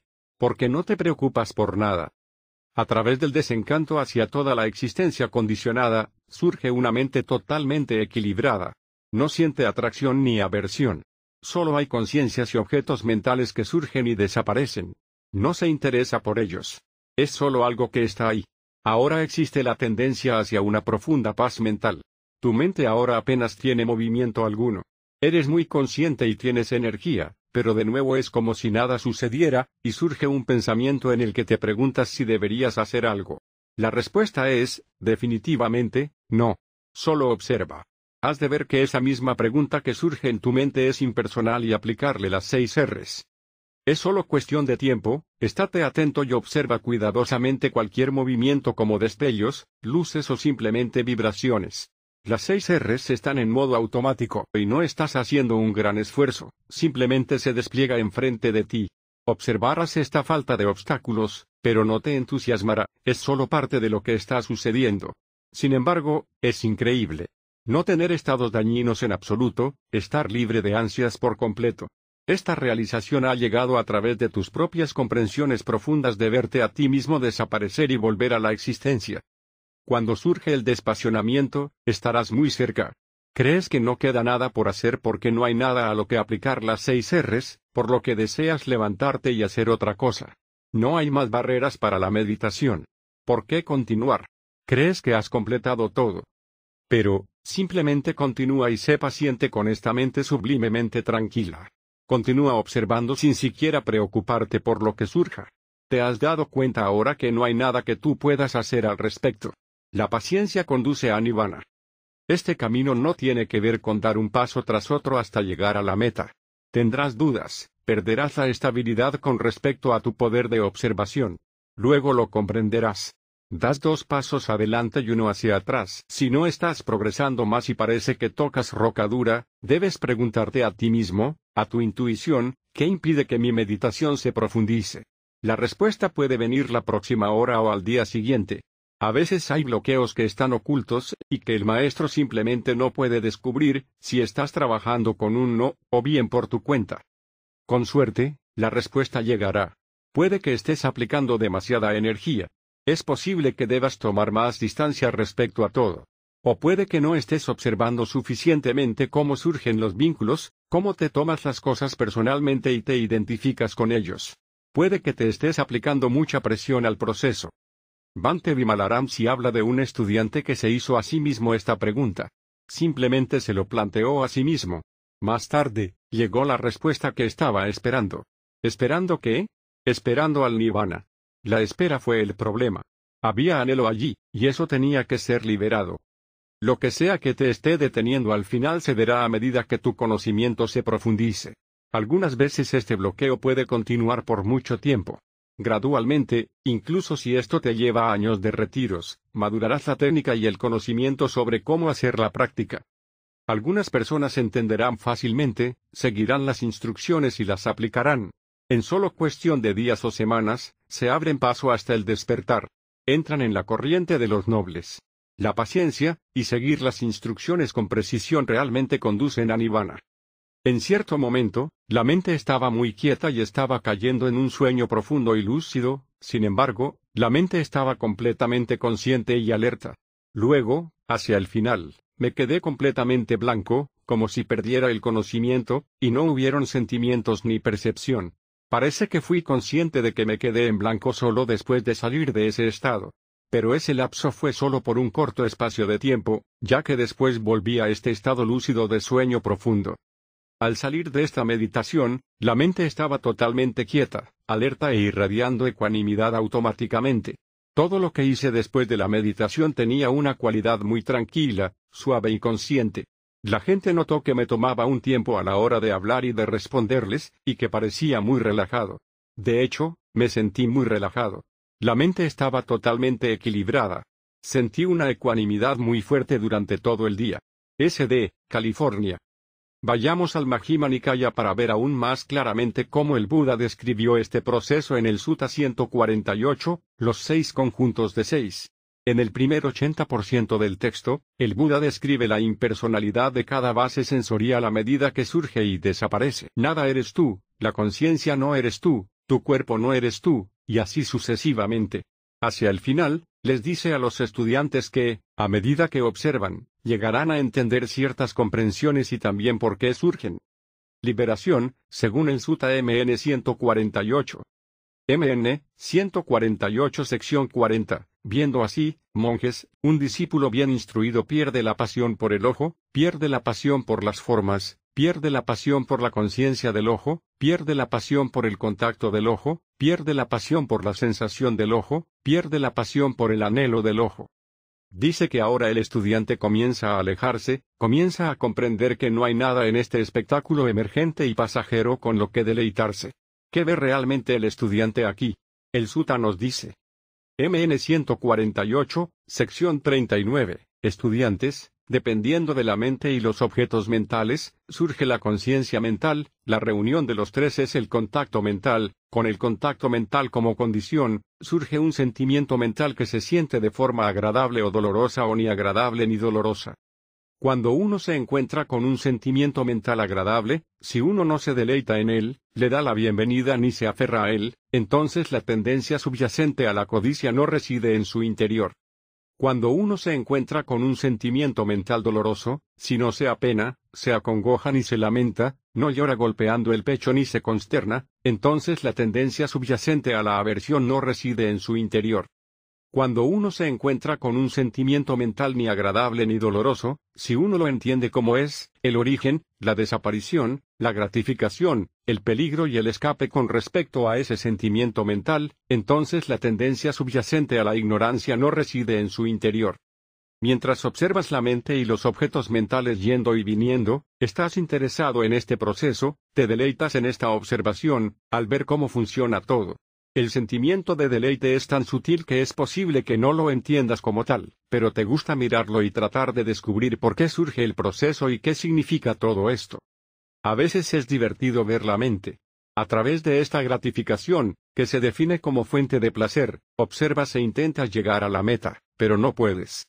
Existe la tendencia a la codicia que va tras estos objetos que surgen y desaparecen. O bien los rechazas porque interfieren con tu calma o te son indiferentes y no te importan. Es la mente ansiosa la que toma esta indiferencia personalmente. Te dices a ti mismo, es mi indiferencia. Esta no es una mente clara y pura. En otras palabras, ves el surgimiento y el paso de muchos objetos, y te sientes atraído. Entonces, solo si ves que estos objetos son fuentes de placer o aversión, verás el peligro que supone para tu mente el perseguirlos y desearlos, ya que esto conduce al sufrimiento, la vejez y la muerte. Cuando surge el desapasionamiento, el Buda continúa diciendo. MN 2.148 secciones 35 a 39. Monjes, S discípulo, debe terminar aquí ahora con el sufrimiento abandonando la tendencia subyacente a codiciar sentimientos mentales agradables, aboliendo la tendencia subyacente a la aversión por los sentimientos mentales dolorosos, extirpando, quitando de raíz, la tendencia subyacente a la ignorancia con respecto a la sensación mental ni placentera ni dolorosa, mediante el abandono de la ignorancia, despertando el verdadero conocimiento esto es posible. Al renunciar a la tendencia a deleitarse en esto o aquello, a la tendencia a codiciar estos deleites, al ver el peligro en todo ello, y así sucesivamente, llegas al final del deseo. Ya no quieres seguir persiguiendo estos sentimientos, ya que solo conducen al sufrimiento. Y no es porque te estés reprimiendo, sino porque ya no estás encantado por este espectáculo pasajero. Ya no te importa. Por lo tanto, el desapego a todos los fenómenos surge a través del conocimiento del deseo, las cuatro nobles verdades, y de cómo el deseo conduce al sufrimiento. Se experimenta la libertad de la rueda de samsara. Todo lo que tenía que hacerse está hecho. La puerta a Nirvana se está abriendo. Entrar en la corriente. Ahora, llegamos a los logros y cómo se experimenta Nirvana. Primero, describiré los cuatro niveles de logros nobles que se experimentarán. Debes pasar por los cuatro para alcanzar el despertar y estar libre de anhelo. El anhelo cae por niveles. En total, hay cuatro niveles de santidad, Sotapanna, Sakadagami, Anagami y Arahant. Cada una de las cuatro etapas tiene dos componentes. El conocimiento del camino, Maga, y el conocimiento del fruto, Fala. El conocimiento del camino es el primer atisbo del Nibbana, pero aún puede perderse si no se siguen los preceptos. Una vez que se obtiene el conocimiento del fruto, el logro es sellado y no se puede perder. Hay ocho logros en conjunto para el despertar final, dos para cada una de las etapas principales de la santidad, camino y fruto. En el último, se destruye el último grillete de los diez grilletes o cadenas del anhelo. Tres se eliminan en Sotapanna, dos más se atenúan en Sakadagami y, finalmente, las primeras cinco cadenas se sueltan en Anagami. El resto que falta de los diez se elimina en Arahant. ¿Cuáles son los grilletes o cadenas? Con el despertar, los obstáculos se abandonan de una vez por todas. Pero quedan en todos nosotros tendencias más sutiles, tendencias innatas poco sanas que nacen del anhelo. La palabra grillete se define como algo que nos restringe. Estas son las cadenas finales que nos unen a este infinito ciclo de existencias. Los grilletes o cadenas son los últimos estados mentales potenciales que pueden llevar a estados no saludables. Los enumeraré a medida que avancemos por los caminos nobles, y señalaré cuando se eliminen. Capítulo 15, Primera etapa del despertar, Sotapanna. MN, 111 sección 19. Nuevamente, monjes, superando por completo la base de ni percepción ni no percepción, Sariputa entró y permaneció en el cese de la percepción y el sentir. Alcanzando Nirvana, conocimiento del camino, maga. Finalmente, después de permanecer con esta mente tranquila, enérgica e imperturbable de la base de ni percepción ni no percepción, aplicar las seis R's a cada pequeño movimiento hasta que la mente apenas se mueve, dejas ir la última condición, el último enlace de la ignorancia, y toda actividad cesa. Todo se detiene y surge un estado incondicionado. Existe el cese de la percepción, el sentir y la conciencia, por unos momentos o minutos. No sabes que estás en ese estado hasta después que sales de él. Algunos dirán que experimentaron un espacio en blanco o un vacío en la conciencia. Esto no se parece en nada a ninguna de tus experiencias anteriores de Hannah. No es un lapso en el que haya sentido del tiempo ya que no falta nada en él, el tiempo no existe cuando nada está sucediendo, solo se detiene la corriente de la conciencia, es como un parón. Solo te das cuenta después de salir de él. El mundo se detiene, ya no estás en samsara, y durará tanto como quiera durar. ¿La vida existe todavía? La vitalidad y la continuidad de tu flujo vital aún continúan. Tus funciones autónomas como los latidos cardíacos y el bombeo de sangre continúan. Pero tu proceso mental se ha detenido por completo. Cuando terminé de irradiar ecuanimidad a cada uno de los puntos, sucedió algo extremadamente nuevo, un sentimiento que había sentido en una meditación hacía un par de días, pero ahora era mucho más claro y definido, en un segundo fue como si fuera una membrana a mi alrededor que se rompió totalmente y me liberó. Solo un segundo. A partir de ahí, se abrió un gran espacio ante mí, la sensación de que había tanto espacio, que no había barreras. En el mismo momento, mi rostro comienza a desvanecerse como si algo literalmente lo estuviera borrando. Y me dejó sin piel ni músculos. Había felicidad, pero sin emoción. Tranquilidad y una atención muy, muy refinada.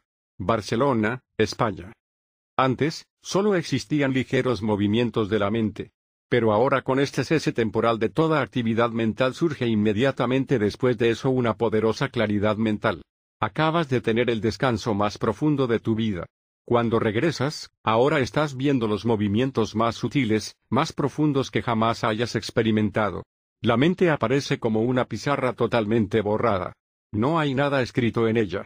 Luego, cuando la mente se vuelve a encender, el primer proceso mental se ve claramente reflejado sobre este fondo negro como la tinta.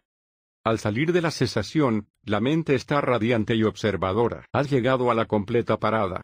El efecto del cese es tan poderoso que, mientras que antes el estanque de tu mente tenía pequeñas ondas, ahora está tan quieto y plácido que puedes ver cualquier cosa allí, puedes ver en cada nivel de profundidad lo que hay. No hay anhelo en absoluto. No hay polvo que oscurezca la visión. La mente es tan pura que ves hasta el más mínimo detalle de todo lo que comienza a surgir, con una claridad cristalina. Lo que estás a punto de ver es el primer surgimiento de la conciencia, el primer momento de actividad mental. A medida que tus procesos mentales comienzan de nuevo desde este punto inmóvil, lo siguiente que sucede es que ves surgir y desaparecer muy rápidamente los vínculos del origen dependiente. A veces se presentan en forma de vibraciones o pequeñas luces, destellos o corrientes eléctricas. Verás esto en tu mente y a veces incluso lo verás en el aire frente a ti. No sabrás qué es, muy probablemente, y no lo esperarás. Este es el primer proceso mental condicionado en el que tu mente comienza a vibrar nuevamente y vuelve a estar enchufada. Cuando esto sucede, el ojo de la sabiduría, la mente sin anhelo, ve la impersonalidad total del proceso. No hay yo allí. Tu observación profunda comprende que no hay nadie en casa, que lo que tú eres es solo un proceso de momentos que surgen y desaparecen. Como resultado de esta profunda comprensión, surge el nirvana supramundano incondicionado. A esta experiencia les seguirá una sensación momentánea de alivio, como si te quitaras una carga. Acabas de experimentar nirvana. Te has convertido en un sotapanna. En la meditación, las cosas comenzaron a ralentizarse. Las vibraciones disminuyeron a una onda que terminó en luz brillante. Fui más profundo y las cosas parecían más lentas, parecía haber algo rompiéndose en la luz. Fui aún más profundo hasta que las distracciones se detuvieron abruptamente, como si el enchufe hubiera sido desconectado. La actividad mental se detuvo abruptamente, lo que quedó fue como un apagón. El centro parecía más oscuro que los bordes. Por un momento pareció que faltaba algo. No sentí alegría, sino más bien un alivio tranquilo. Se ve, Sri Lanka. Nibbana no vendrá cuando lo desees, vendrá cuando estés listo, cuando los siete factores del despertar se alineen en perfecto equilibrio, es como acertar a pasar por el ojo de la cerradura de la puerta. No pensaste que podría ser posible, pero sucedió. Tú ves que, en este proceso psicofísico aparentemente permanente y eterno, cuando la mente se detiene, realmente no hay nada que persista entre cada momento de pensamiento. Ese conocimiento te lleva a comprender que lo impersonal subyace a todo. No hay nada continuo entre cada momento, nada que sobreviva. Ni siquiera Dios. Nada. Todo está absolutamente vacío de sí mismo o alma. MN, 111 sección 19 cont. Y sus manchas fueron destruidas porque él vio con sabiduría. La palabra aquí es sabiduría. Pero, ¿qué es la sabiduría? Después del cese de la percepción, el sentir y la conciencia, y la duración de este estado no depende de ti, cuando el sentir, la percepción y la conciencia comiencen de nuevo, tendrás la oportunidad de ver exactamente, claramente, con una atención muy aguda, cada uno de los enlaces del origen dependiente. Verás cómo cuando esto no surge, eso no surge, que cada enlace depende del enlace anterior. Verás que todo tiene una causa para surgir. Has descubierto el último eslabón de la ignorancia. También verás que si algo surge, llegará a un fin. Verás la impermanencia claramente. Todo lo que surja pasará, ya sea placer o dolor. Esto es sabiduría. Es el conocimiento que obtienes al ver directamente surgir y desaparecer los vínculos de origen dependiente, y al ver que no hay un yo duradero. Esta sabiduría no es una especie de filosofía conceptual, un principio o dogma religioso, sino que es el resultado de ver directamente. Cuando veas la palabra sabiduría en los sutas, debes comprender que esto siempre significa ver los vínculos de origen dependiente directamente, y ver todo lo que surge como impersonal. No es aprender una filosofía, es observar directamente la realidad. Con el siguiente proceso mental que surja, verás que todos los enlaces del origen dependiente surgen y desaparecen durante un instante. Luego está el abandono final de la ignorancia y el ver las cuatro nobles verdades, es entonces cuando ocurre nirvana. Es solo un evento momentáneo y solo un grupo de enlaces se activan. Los enlaces se ven con el ojo de la sabiduría. Esto tiene lugar a un nivel más profundo que la conciencia normal. Quienes lo experimenten dirán que no saben bien lo que vieron, no obstante ellos sabrán que lo han visto. En sus mentes, en mayor o menor grado, surgirán comprensiones sobre cómo existen las causas que generan resultados. Este constante surgimiento y desaparición de la existencia condicionada es el contenido mismo de lo que nos constituye, y eso es todo lo que hay. Ahora comprenderán a un nivel intuitivo cómo funciona el origen dependiente. Cada enlace está condicionado por el enlace anterior. Cada proceso está condicionado por la desaparición de otro proceso, como la llama de una vela que enciende otra vela. Una vela se quema, pero la siguiente vela se enciende, siendo esta a su vez encendida por la vela anterior. Parte por parte tú surges y desapareces. Vas cambiando poco a poco con el tiempo. Como una gran ciudad que surge a partir de un terreno vacío, los edificios se van construyendo uno a uno.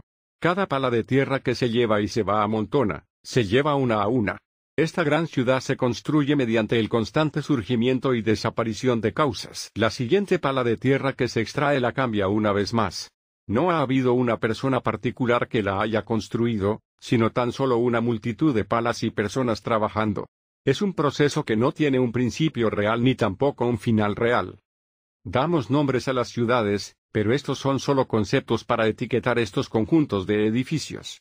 El agregado de la percepción de los cinco agregados es parcialmente memoria y en parte etiquetado. La percepción es lo que pone un nombre a este grupo de edificios.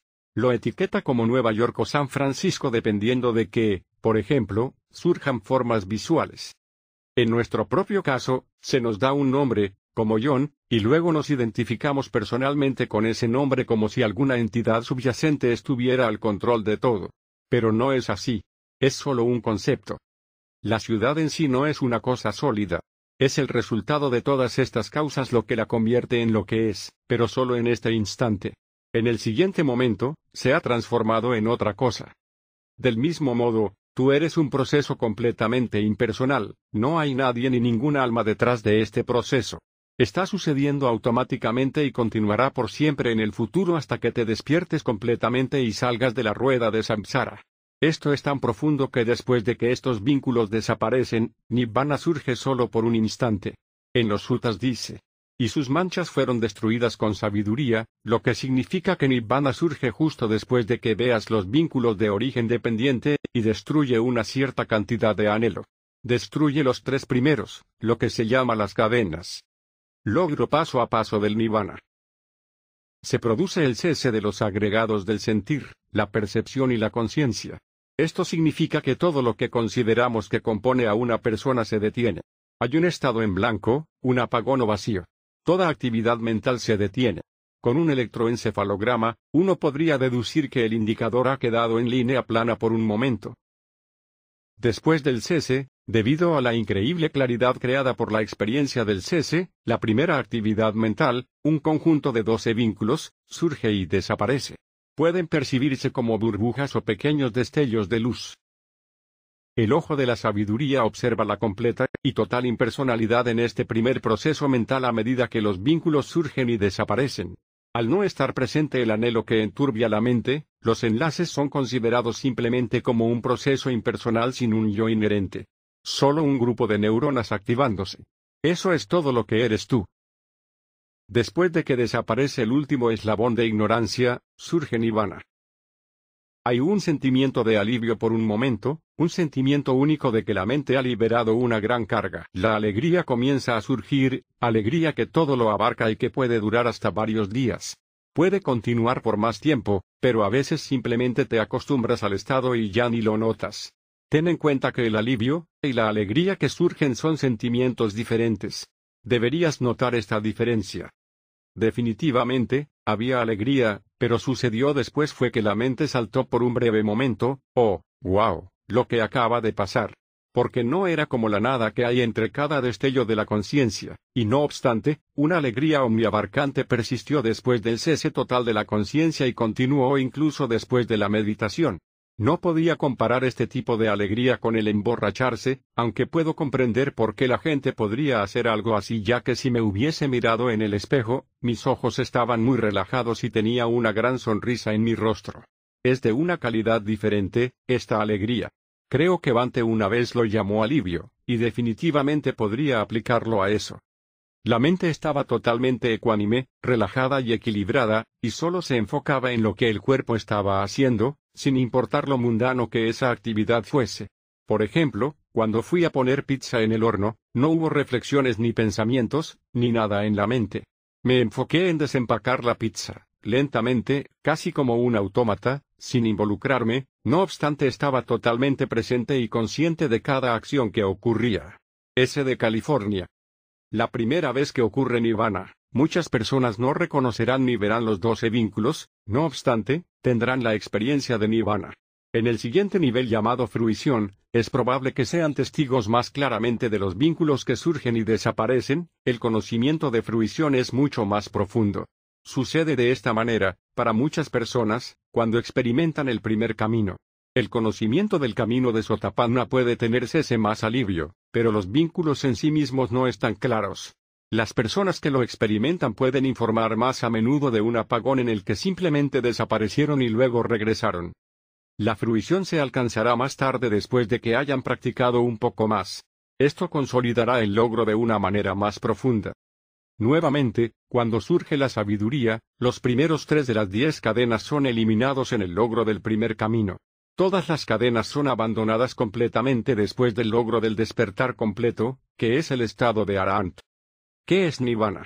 Nibbana se describe en los textos de Pali como un datu o elemento, la tierra, el aire, el fuego, el agua, el espacio y la conciencia son los elementos tal y como fueron enseñados por el Buda. El Nibbana Dhatu también es un elemento, y sus otras cualidades son descritas por Bhikkhu Bodhi aquí. El Buda también se refiere a Nibbana como una yatana. Esto significa reino, plano o esfera. Es una esfera donde no hay nada que corresponda a nuestra experiencia mundana y, por lo tanto, debe describirse mediante negaciones como la negación de todas las cualidades limitadas y determinadas de las cosas condicionadas. El Buda también se refiere a Nirvana como un datu, un elemento, el elemento inmortal. Compara el elemento de Nirvana con un océano. Él dice que así como el gran océano permanece en el mismo nivel, sin importar cuánta agua vierte de los ríos, sin aumentar ni disminuir, el elemento nibbana sigue siendo el mismo, sin importar si muchas o pocas personas alcanzan nibbana. También habla de nibbana como algo que el cuerpo puede experimentar, una experiencia tan vívida y tan poderosa que puede describirse como tocar el elemento inmortal con el propio cuerpo. El Buda también se refiere a Nibbana como un estado, pada, como Amatapada, el estado inmortal, o Akutapada el estado que no perece. Otra palabra utilizada por el Buda para referirse a Nibbana es Sakka, que significa verdad, una realidad existente. Esto se refiere a Nibbana como la verdad, una realidad que los nobles han conocido por experiencia directa. Por lo tanto, todos estos términos, considerados en su conjunto, establecen claramente que Nibbana es una realidad que existe de veras, y no la mera destrucción de las impurezas o el cese de la existencia. Nibbana es incondicionado, sin ningún origen y está temporal. Cuando el elemento Nibbana toca al anhelo, es como el agua del gran océano apagando el fuego. PSSSS. No más fuego. Ni significa no, y significa fuego. No fuego. Nibbana. El venerable Buddha Das en un artículo titulado Nirvana for Everyone, A Truth Message from Swan Mok, adaptado y traducido por Santikaro Bhikkhu, también define a Nibbana como un elemento. Es el frescor de cuando terminan las impurezas. Nibbana es una cuestión completamente distinta de la muerte. Por el contrario, es un tipo de vida que no conoce la muerte. Nibbana es lo que sostiene la vida, evitando así la muerte. Él mismo nunca puede morir, aunque el cuerpo debe morir eventualmente. El cese y la experiencia de Nirvana son dos cosas diferentes. Algunos dicen que cuando la mente se detiene eso es Nirvana. No, es lo que sucede después de ver cómo surgen los vínculos lo que hace que surja la profunda comprensión de la existencia. Eso es Nirvana. No podemos describir las experiencias de Nirvana que ocurren en cada camino de la santidad mediante palabras condicionadas, ya que es algo a percibir que está más allá de nuestra mente conceptual. Pero es lo que viene después de la experiencia lo que te da una pista de lo que acaba de suceder. como se describió antes, algunos explican que sienten un momento de alivio después de que sucede. Algunos experimentan una comprensión profunda del origen dependiente. Algunos dicen que simplemente cayeron a un agujero negro o desaparecieron. Luego, lentamente, surge una euforia que puede oscilar de leve a fuerte. Llevo cuidado de no usar la palabra alegría aquí, ya que está más allá de eso. Algunos lo describen como un vapor que asciende lentamente en la mente o tal vez un sentimiento refrescante como la menta. Esto es lo que llamamos alegría omniabarcante, resuma de cada poro de tu cuerpo. Es posible que al principio no lo notes, pero pronto te sientes muy animado y elevado. Es un sentimiento de felicidad pero basado en una ecuanimidad muy fuerte. Te das cuenta, en un instante, que no hay quien controle. No hay ego. No hay yo, todo es impersonal. Se dice, si no hay yo, no hay problema. ¡Qué alivio! No hay nada de qué preocuparse o controlar. Todo es impersonal, surge y desaparece por sí solo. Todos estos estados mentales surgen de causas. Solo están condicionados por acciones previas. De hecho, el significado de kama, pali, o karma, sánscrito, es acción. Existe la acción y luego el resultado de esa acción, vipaka. No hay un yo mismo que necesite psicoanalizar hasta llegar al verdadero problema de esta depresión o neurosis. Una vez que el concepto de sí mismo desaparece, no queda nadie que se deprima, o más claramente, nadie queda para tomarse de forma personal un sentimiento doloroso. Es solo un sentimiento y no es tu sentimiento. Puedes notar que todo se ve un poco diferente ahora. Tus sentidos parecen estar más elevados de lo que la meditación normal podría hacerlos. Los colores son más brillantes, o simplemente te encuentras mirando los árboles con asombro y fascinación te das cuenta de que la mente está sublimemente tranquila. Se te preguntará si notas un cambio en tu personalidad. ¿Te sientes diferente? ¿Tienes un cambio de perspectiva? Para algunos, es un cambio dramático, y para otros, es más sutil. En términos de percepción, sí, puedo ver un cambio notable, en todo lo que sucede a mi alrededor ya no hay una implicación emocional, sea algo bueno, malo o indiferente. Hay una naturaleza impersonal visible y experiencial en los eventos que me rodean, y mi mente ya no reacciona a las cosas. Me estoy tomando mi tiempo con las cosas, no tengo prisa, no hay a dónde ir, ¿cuál es la prisa? Si hay un placer que impregna mis acciones, calmado, recogido y feliz. Ese de California. Dirás que tu mente se siente muy aliviada y feliz. Hablas de cómo entiendes ahora cómo surge todo debido a causas y condiciones. Estás comenzando a comprender profundamente cuáles son los enlaces y cómo dependen unos de otros. En lugar de comprenderlos intelectualmente, ahora los comprendes directamente. Puedes usar el símil de la tela como lo hizo el Buda, como todo, con sus causas y condiciones, se entrelaza para hacer una tela. Todo es impersonal. Suta significa hilo en pali, todos los sutas están entrelazados para formar una tela. La tela representa tu sabia comprensión de todo el proceso de la enseñanza del Buda. Antes de esta experiencia, sentí cambios graduales después de cada sesión, como la reducción de la ira, y la captura de algunos pensamientos a medio camino. Después del apagón, la ira, las preocupaciones, el estrés, etc. Parece que se han reducido enormemente, paz mental.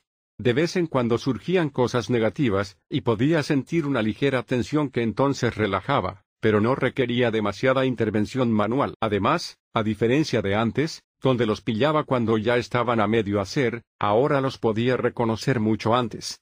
Mis sentidos parecen más agudos, los olores son más fuertes, los colores parecen más brillantes y veo detalles que no había visto antes. Severi Lanka.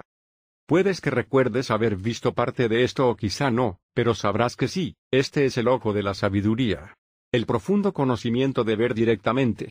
La mente profunda ve lo que sucedió y ha entendido lo que significa. Esto es sabiduría, ver los vínculos del origen dependiente. Este es el conocimiento del camino. Ahora estás en el camino hacia la experiencia completa de la primera etapa del despertar. Las decisiones surgen en tu mente, y cometes una acción que tiene un resultado, como un sentimiento doloroso o agradable que surgirá en el futuro. Romper los preceptos tiene consecuencias dolorosas. Seguir preceptos produce resultados sanos y agradables. ¿Qué resultados quieres? Ahora ya sabes lo que es saludable y lo que conduce a la salud.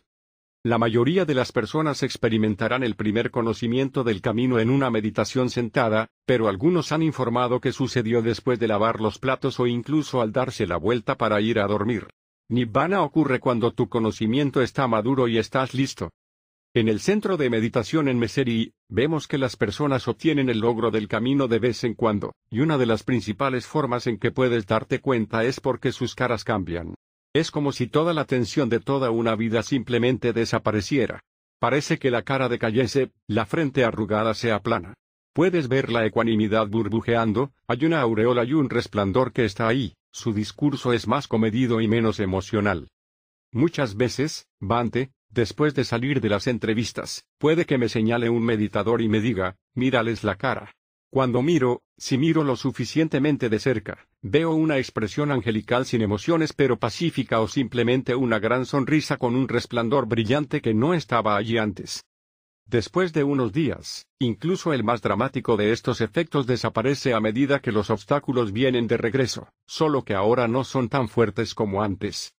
Comenzó irradiándose ecuanimidad, que fue fuerte justo después de haber estado caminando con una radiante ecuanimidad.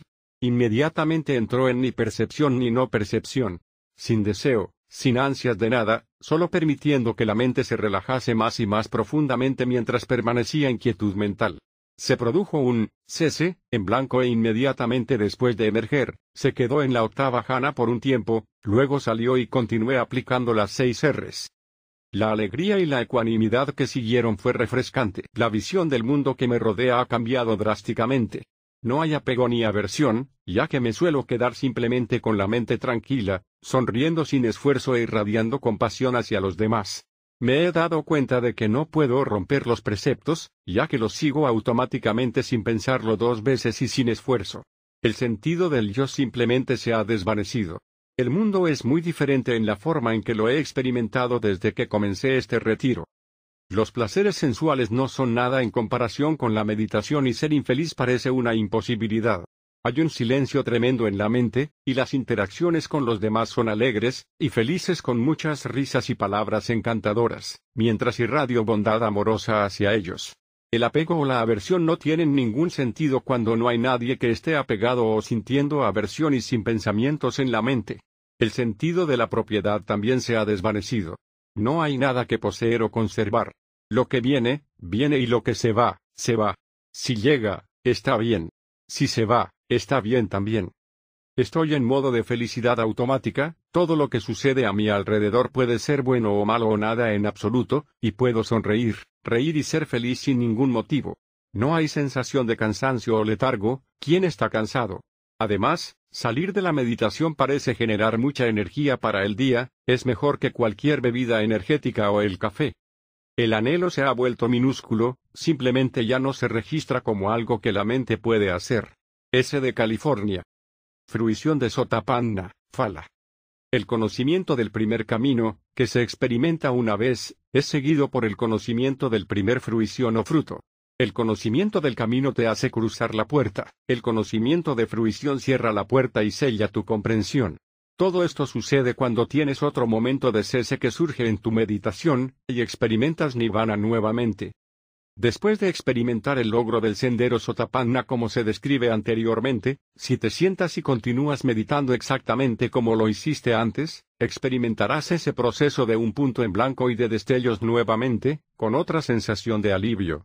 Este es el fruto o la fruición de Sotapanna. Esta es la primera etapa de cuatro etapas de la santidad.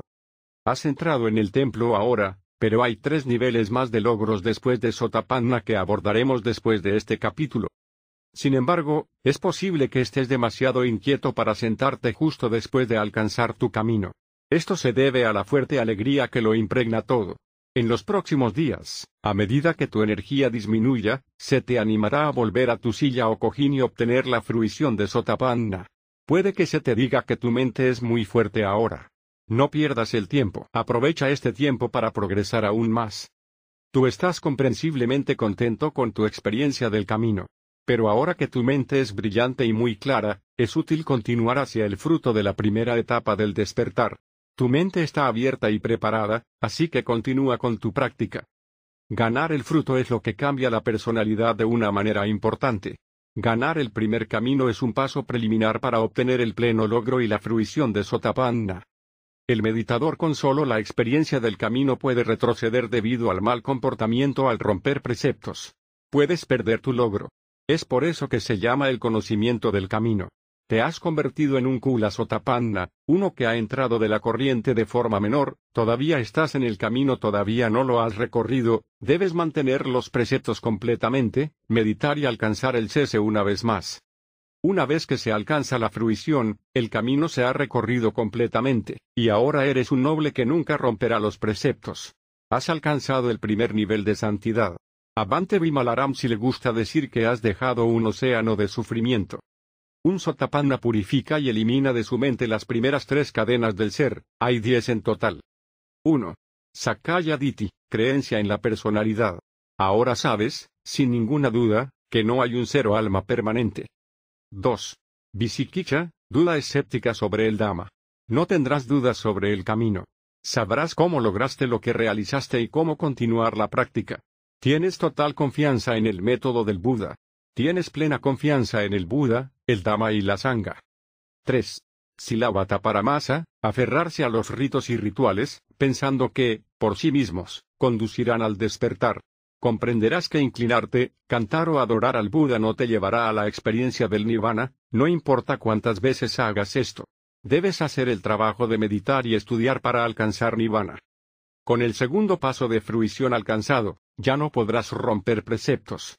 Puedes intentar hacerlo, solo como prueba, pero no podrás hacerlo. Si solo tienes el conocimiento del camino, todavía podrías romperlos potencialmente, y este es el peligro de no alcanzar el fruto. Con solo el primer conocimiento del camino, aún es posible que si continúas rompiendo preceptos y portándote mal, podrías perder tu logro. Tendrías que pasar por el proceso de nuevo, y tener la experiencia de ver el origen dependiente. El Sutta MN 105 Sunakata Sutta aborda esta posibilidad con el símil de la herida y la curación. Si uno no cuida la herida, es probable que se infecte, sin embargo, con el cuidado adecuado, la herida se curará por completo sin que haya posibilidad de infectarse. De la misma manera sucede con el cuidado apropiado del conocimiento del camino, tu logro no se perderá. Con la fruición, tu logro está sellado. No hay vuelta atrás al estado del mundano, putujana. Como Sotapanna, estás destinado a no tener más de siete vidas antes de que salgas del ciclo, del samsara, convertirte en un arant completo con las diez cadenas destruidas y alcanzar el parinirvana final. Además, cuando vuelvas a nacer, en el peor de los casos, no caerás por debajo del reino humano. También es seguro que tu próxima vida será placentera, donde podrás continuar haciendo tu trabajo de salir del ciclo. Hay 31 planos de existencia, no caerás en los reinos dolorosos e infernales ahora. No volverás como un animal o un fantasma. Puedes regresar al reino humano, o a uno de los seis reinos de Vaos celestiales, donde solo hay diversión y placer.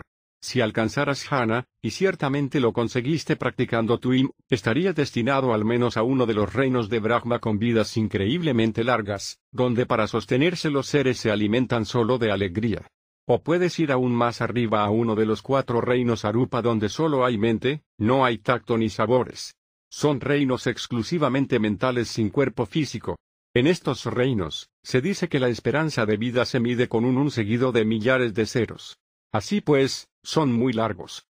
Si por alguna razón solo has alcanzado el conocimiento del camino y no has roto los preceptos, pero no continuaste tu meditación en esta vida, los sutas dicen que alcanzarás la fruición en o antes de tu muerte. La mayoría de las veces vendrá mucho antes. En un retiro, la fruición podría llegar en solo unos días, o incluso horas, si continúas practicando sin descanso. Recientemente, un hombre en Chicago experimentó el camino a la hora del almuerzo, y la fruición surgió en él a la una y veinte am de esa noche. No vio los vínculos la primera vez, pero con la fruición sí que los pudo atestiguar. Todos los caminos superiores se alcanzan simplemente continuando la práctica de la misma manera. Habrá cadenas más profundas y sutiles para ver y abandonar. Tu meditación será más fácil, pero aún así, todo el elenco de cadenas que todavía persisten seguirá surgiendo. Ahora tu confianza será muy fuerte, y no tendrás dudas. Los sutas también describen otra forma de convertirse en un sotapanna. Simplemente escuchar un pasaje de texto puede provocar los senderos sotapanna o sakadagami. En una traducción, sota significa oído y pana significa sabiduría, sabiduría a través del oído. Esto es raro, pero sucedió para muchos de los discípulos del Buda, como Sariputta y Mogallana. Pero para que esto suceda, el maestro debe decir exactamente lo adecuado y el estudiante debe estar preparado. Nuevamente, este es un hecho muy raro. Y suele requerirse ser un Buda para poder lograrlo. Ahora has tenido las dos primeras experiencias de Nirvana, y te has convertido en un Sotapanna con éxito. Este es el objetivo de los ocho Hanas y el camino que he estado describiendo. Te has convertido en un noble, uno que ahora se ha escapado del ciclo de la existencia samsárica, pero aún hay más por hacer. Existen los cuatro niveles de los nobles, y tres más que describiré a continuación que aún debes atravesar para eliminar completamente todos los anhelos en tu mente si deseas lograr todo esto en una sola vida. Capítulo 16. Segunda etapa Sakadagami. Instrucción de meditación. Ahora que has alcanzado el primer camino y la fruición de Sotapanna, ¿cómo has de continuar? Eso es fácil. Solo sigue haciendo lo que estás haciendo. Cada etapa del despertar es solo un paso más en la escalera para eliminar el deseo. Ahora el meditador pasa dos minutos en cada dirección irradiando ecuanimidad, y después a todo su alrededor como antes. Y nuevamente, cuando el sentimiento se desvanece, observas la mente tranquila y clara, y aplicas las seis R's a cualquier fenómeno que surja. Eso es todo, simplemente sigue adelante. Y este es el proceso hasta llegar al logro más alto. La segunda etapa del despertar es una profundización continua en la práctica de meditación. Te conviertes en un Sakadagami cuando ves que los vínculos del origen dependiente surgen, y desaparecen dos veces en vez de solo una vez, tal y como aparece al Sotapanna. Hay una cesación, y ves rápidamente los doce vínculos del origen dependiente una vez, y luego surgen y desaparecen una segunda vez, justo después de la primera aparición. En total, 24 vínculos surgen y desaparecen de una vez, como vagones de tren, uno tras otro. A esta visión de los vínculos le sigue un momento de alivio. Esto no solo se basa en los textos del Sutta, sino que se ha podido observar en la experiencia del estudiante. Después de alcanzar el camino de Sakadagami, Maga, la fruición de Sakadagami, Fala, se produce cuando una vez más experimentas el cese, y los vínculos del origen dependiente surgen y desaparecen dos veces. A veces, en la experiencia del camino, el estudiante realmente no ve las burbujas, es decir, los vínculos, pero las verá en el momento de la fruición. Como antes, es en la fruición donde la personalidad cambia permanentemente. El conocimiento del camino significa que realmente estás en el camino hacia el fruto o la finalización de la etapa Sakadagami.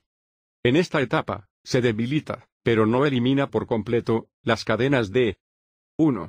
Kama raga, deseo sensual o lujuria. 2. Yapada, mala voluntad, odio, ira, aversión y miedo. Estas cadenas se han aflojado. A veces, estos estados nocivos seguirán surgiendo si la circunstancia se presenta. Tendrás la tendencia a evitar la ira y la lujuria, viéndolos como estados burdos. Si surgen, sabrás cómo aplicarles las seis R's, te sorprenderás si permanecen mucho tiempo.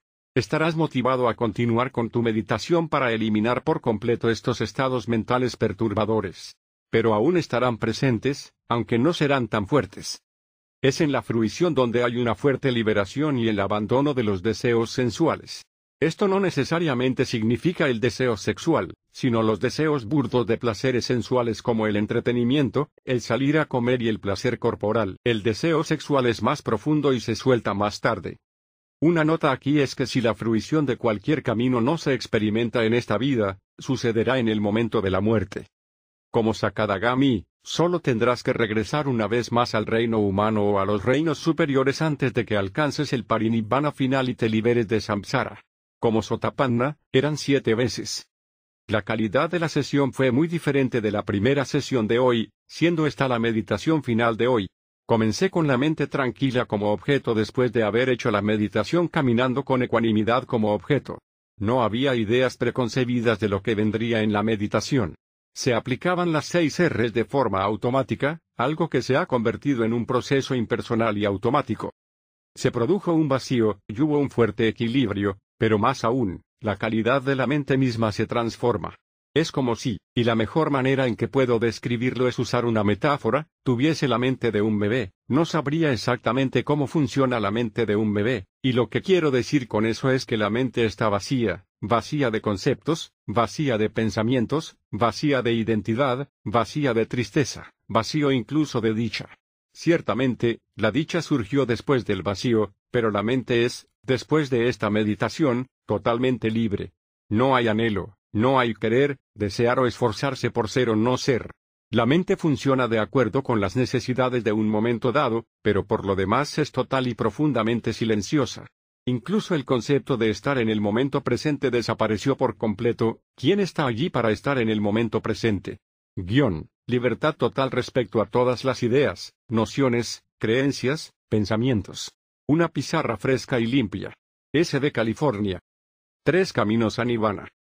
Como se describe en este libro, la primera, y más fácil, forma de llegar a Nirvana es a través del camino de Hana, lo que estoy describiendo en este libro. Sin embargo, hay otras dos formas de alcanzar Nirvana. La segunda es la forma como se desarrolló el propio proceso de despertar del Buda. Alcanzó la cuarta Hana y luego, 1. Recordó sus vidas pasadas. 2. Visitó otros reinos y vio cómo y por qué los seres renacieron allí. Y finalmente, 3. Vio cómo funciona el Kama, cómo las causas crean más causas, en una rueda interminable que conduce a la vejez y la muerte. El desencanto y el desapasionamiento surgieron a través de este conocimiento, y se logró nirvana. A esta forma de alcanzar nirvana se le llama el conocimiento triple o tevija. Es decir, 1. Conocimiento de vidas pasadas. 2 conocimiento de seres en otros reinos, y 3. Conocimiento de la destrucción de las impurezas, Nibbana. La tercera forma es a través de alcanzar todos los poderes psíquicos o irdis y después alcanzar Nibbana. Esta práctica es más adecuada para las personas que son sensibles a los sentimientos o son emotivos. Ser sensible a los sentimientos significa que eres una tipo de persona que se rige por los sentimientos, es decir, se rige por su corazón. El otro tipo de persona es una persona intelectual regida por la lógica y las decisiones pragmáticas. Estas personas son las más adecuadas para atravesar las janas. Las personas que son una mezcla de ambos tipos, pueden tomar el camino del Buda del triple conocimiento o atravesar las janas. Se te puede enseñar a recordar tus vidas pasadas, pero no entraremos en esta práctica aquí. Puedes preguntarle al maestro si te sería útil, y él o ella puede decidir si te lo enseñará en función de tu progreso y tu tipo de personalidad. La ruta del poder psíquico es un camino difícil y puede llevar muchos años. Trae consigo el peligro de apegarse a estos poderes y no querer continuar. Puede generar mucho orgullo y arrogancia por tener habilidades tan especiales. En opinión del Bante Vimalaramsi, es la forma más difícil. Él dice que puedes aprender esto, pero te llevará diez años, y tendrás que quedarte con él todo ese tiempo. Capítulo 17, tercera etapa, Anagami. El Buda consideró que la primera y segunda etapa de los logros eran estados de aprendizaje. El fruto de la meditación comienza a desarrollarse en la siguiente etapa de Anagami, donde el odio y el deseo sensual se eliminan junto con las tres impurezas anteriores que se eliminaron en Sotapanna. Estas son las cinco cadenas inferiores. Este es realmente un estado del ser digno y elevado. Arahant, que es la cuarta y última etapa, elimina por completo el resto de las diez cadenas. Para alcanzar los caminos superiores de Anagami y Arahant, uno debe practicar la meditación. Mientras que antes uno podría haberse despertado a los dos primeros caminos simplemente escuchando una frase, ahora requerirá una práctica de meditación intensa pasando completamente a través de las janas. Se necesita una meditación profunda para ver aún más claramente la naturaleza de los vínculos del origen dependiente y cómo funciona la mente, que lo toma todo personalmente. Después de más meditación y devoción a la práctica, experimentarás el cese nuevamente. Luego verás los vínculos del origen dependiente aparecer y desaparecer tres veces después de un momento de cese, en rápida sucesión. Este es el Anagami Maga o conocimiento del camino de la tercera etapa del despertar. Después de experimentar Anagami Maga, si vuelves a experimentar lo mismo, entonces Anagami Fala o el conocimiento de fruición surgirá tres veces. Un Anagami tiene una ecuanimidad muy fuerte, nada te perturba, excepto que a veces surge una sensación de inquietud. Mientras que antes hubieras reaccionado con un grado de deseo sensual, lujuria, odio o aversión, este ya no es el caso. Además ahora, debido a la eliminación del odio, no existe el menor temor. El miedo es parte del odio. Habrás destruido las primeras cinco cadenas por completo. 1. Sakaya Diti, creencia de la personalidad en un yo o sí mismo o alma personal. 2. Visikicha, dudar escépticamente que el Dhamma sea el verdadero camino. 3. Silabata Paramasa, aferrarse a los ritos y rituales. 4. Kama Raga, deseo sensual, lujuria. 5. Yapada, mala voluntad, odio, ira, aversión y miedo. Ahora estás muy equilibrado en mente. Este no es un estado de conciencia muy elevada, sino simplemente la eliminación de la mayoría del deseo, Tana, de tu mente. Tú todavía eres tú, y todavía tienes tu personalidad, pero las influencias del ser ansioso, neurótico y temeroso no están ahí ahora. Puedes seguir trabajando y vivir en el mundo. El tipo de trabajo que implica actividades honestas y éticas te resultará atractivo. Serás completamente sincero y justo en tus tratos con tus clientes y compañeros de trabajo. Tratarás a tus compañeros de trabajo con amabilidad y no perderás la ecuanimidad con los arrebatos del jefe. Notarás que ya no te molestan los miedos y enganches triviales que experimentan la mayoría de las personas. Te convertirás en un mejor empleado y un mejor jefe. No tendrás miedo a nada y nunca te sentirás intimidado. Seguirás instrucciones a la perfección, pero no tendrás problemas para rechazar órdenes insensatas que te hayan dado, y no temerás hablar con el jefe de una manera serena y no emocional. No te quejarás ni cotillearás con otros empleados sobre lo que está mal, e incluso podrías ascender de rango. Verdaderamente, el éxito mundano vendrá a medida que alcances un profundo éxito espiritual. El interés romántico se elimina de manera importante en la fase del conocimiento del camino, y se elimina por completo en la del conocimiento de fruición de Anagami. Ya no desearás el matrimonio o una familia. Sin embargo, si actualmente estás casado o tienes una familia, tu sed por el romance será reemplazada por una fuerte y pura bondad amorosa. Vivirás con tu pareja como si fuerais los mejores amigos o hermano y hermana. No tendrás más hijos porque tu deseo sexual se perderá. Serás el padre más maravilloso que se pueda pensar.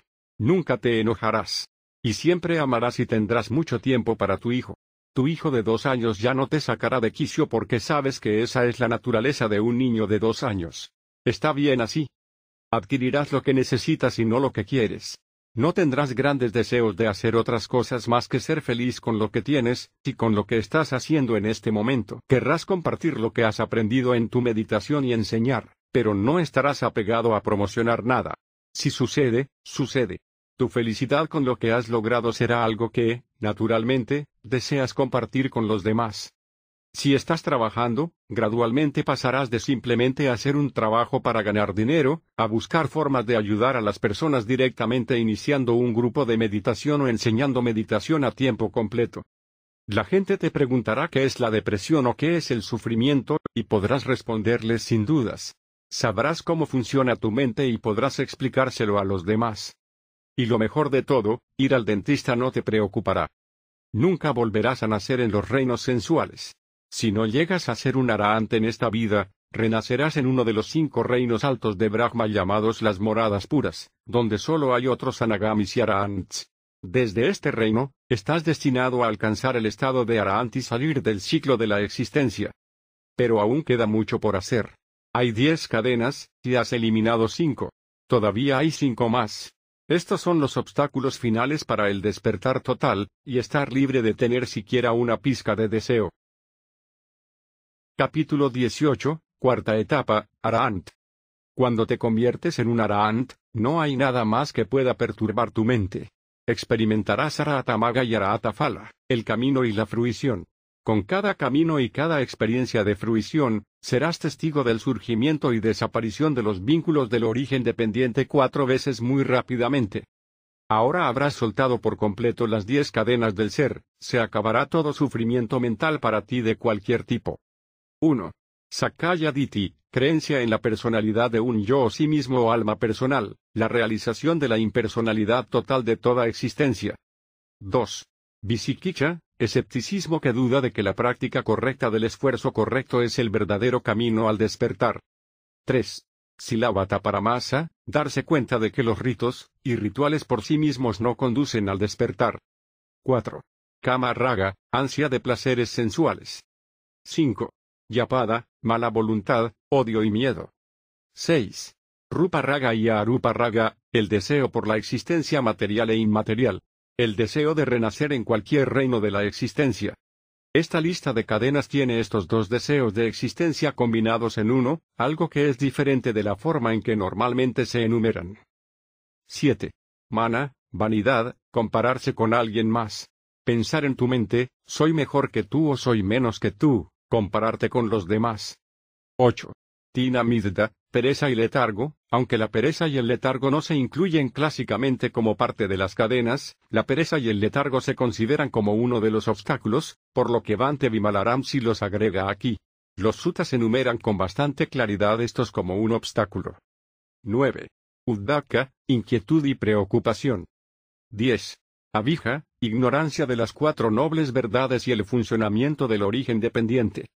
Se te buscará por tu sabiduría, ya que no queda ningún deseo en tu mente y tu mente es completamente transparente. Verás cómo funciona tu mente y podrás explicarlo fácilmente a los demás. El Buda era un Arahant y pasó por todas las jhanas, y pasó por todas las etapas del despertar. Se dice que podías hacerle una pregunta al Buda y él te daba la respuesta perfecta. Siempre decía exactamente lo que se requería en un momento dado.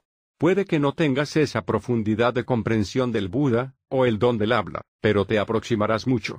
Habrás experimentado nirvana la misma cantidad de veces, pero tu comprensión de lo que viste o tu habilidad para explicarlo puede que sea menor. La diferencia entre un Buda y un Arahant es que el Buda ha pasado por innumerables vidas de purificación, y puede compararse con una botella que está completamente vacía, clara y brillante, no habrán impurezas ni olores de lo que había ahí antes. En un Arahant, Puede que haya tan solo una pizca de la personalidad que estaba allí antes, como una botella de leche que se vacía, y se limpia pero que contiene un ligero remanente de lo que estaba allí. Sin embargo, tanto un Buda como un Arahant están vacíos de deseo y ego. Ambos tienen los mismos logros.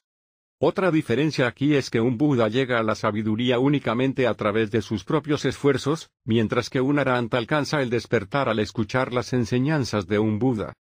Cuando alguien te pregunte si tienes algún apego a familiares o a tu familia, responderás que no.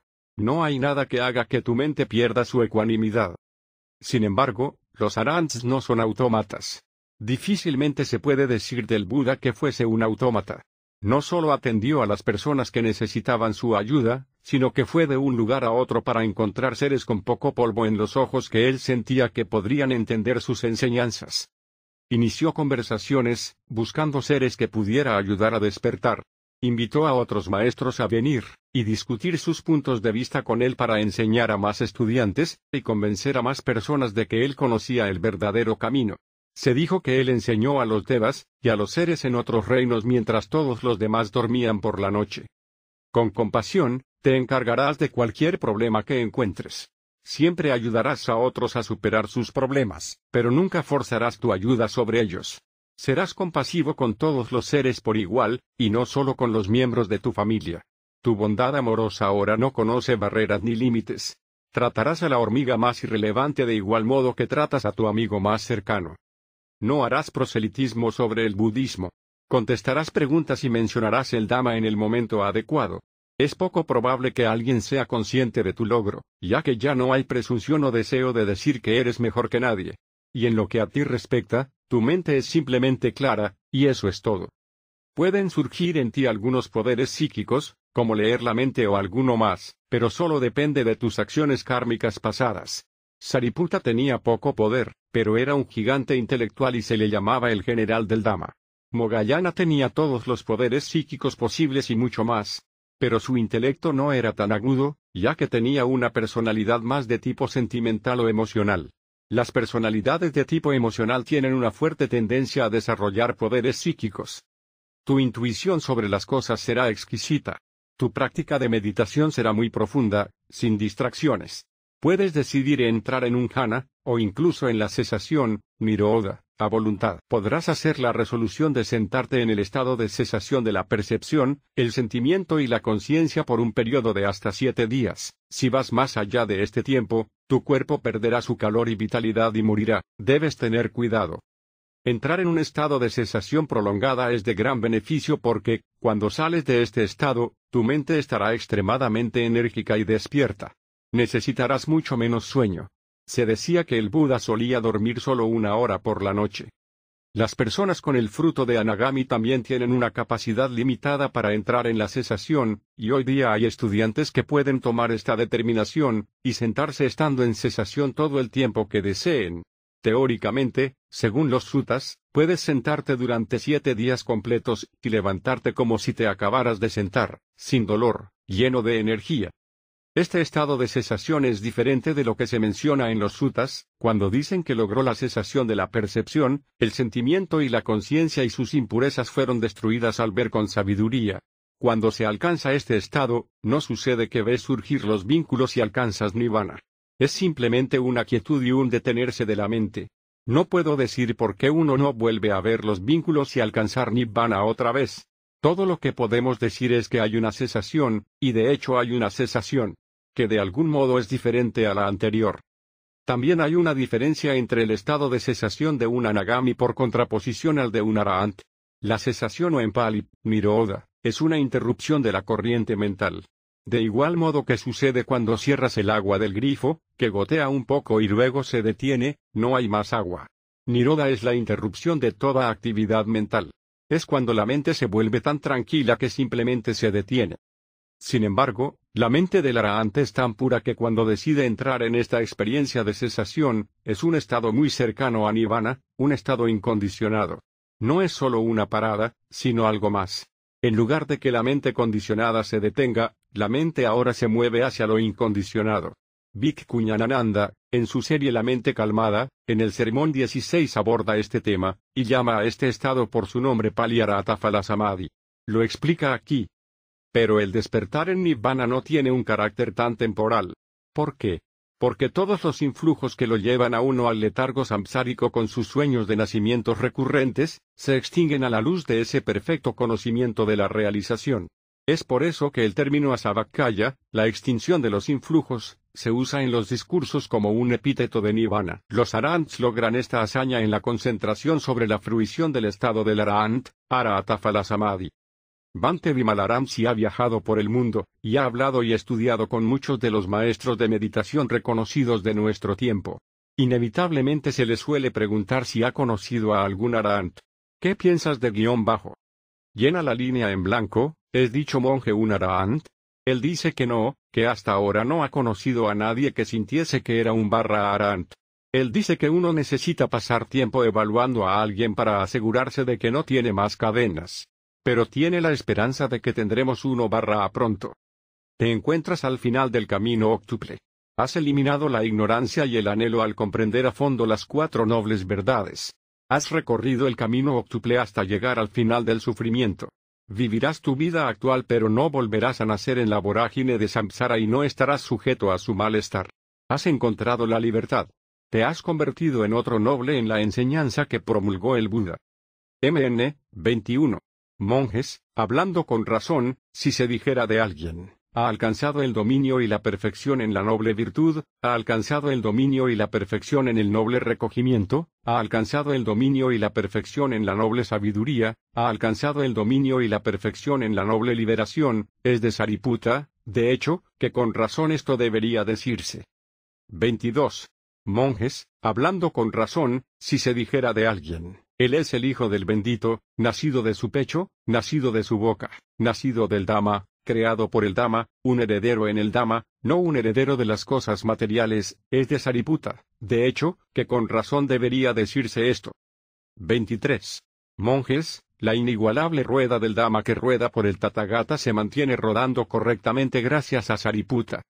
Eso es lo que dijo el bendito.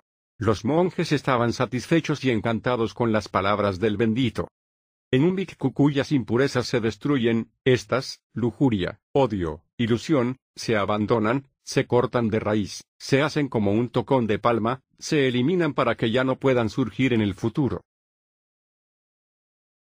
Capítulo 19. El poder de Hana. Experimentar el estado de Hana en esta vida es un evento muy poderoso y de gran alcance que puedes lograr, de forma bastante rápida, en esta vida. De hecho, queda solo en segundo lugar por detrás del logro del propio Nirvana. ¿Por qué es tan importante? Es importante porque cuando alcanzas incluso un momento de jhana, Los sutas dicen que si mantienes tus preceptos, y continúas llevando una vida relativamente moral hasta tu muerte, estarás destinado, como mínimo, a renacer en un reino llamado Brahmaloka. Este es un reino celestial muy alto que corresponde al último, y más alto jhana que has alcanzado en tu práctica. Por ejemplo, si la última y más alta jhana que experimentaste durante tu vida fue la tercera jhana, entonces renacerías en el tercer reino jhana o Brahmaloka. En el estado grado más alto en este reino, se llama Devas de gloria refulgente, Subakina Deva.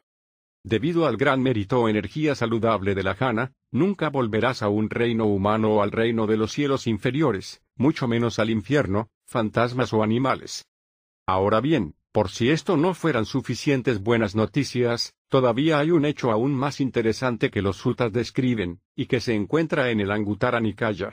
Alcanzarás nirvana allí, en ese reino, sin que tengas que retornar a un reino inferior.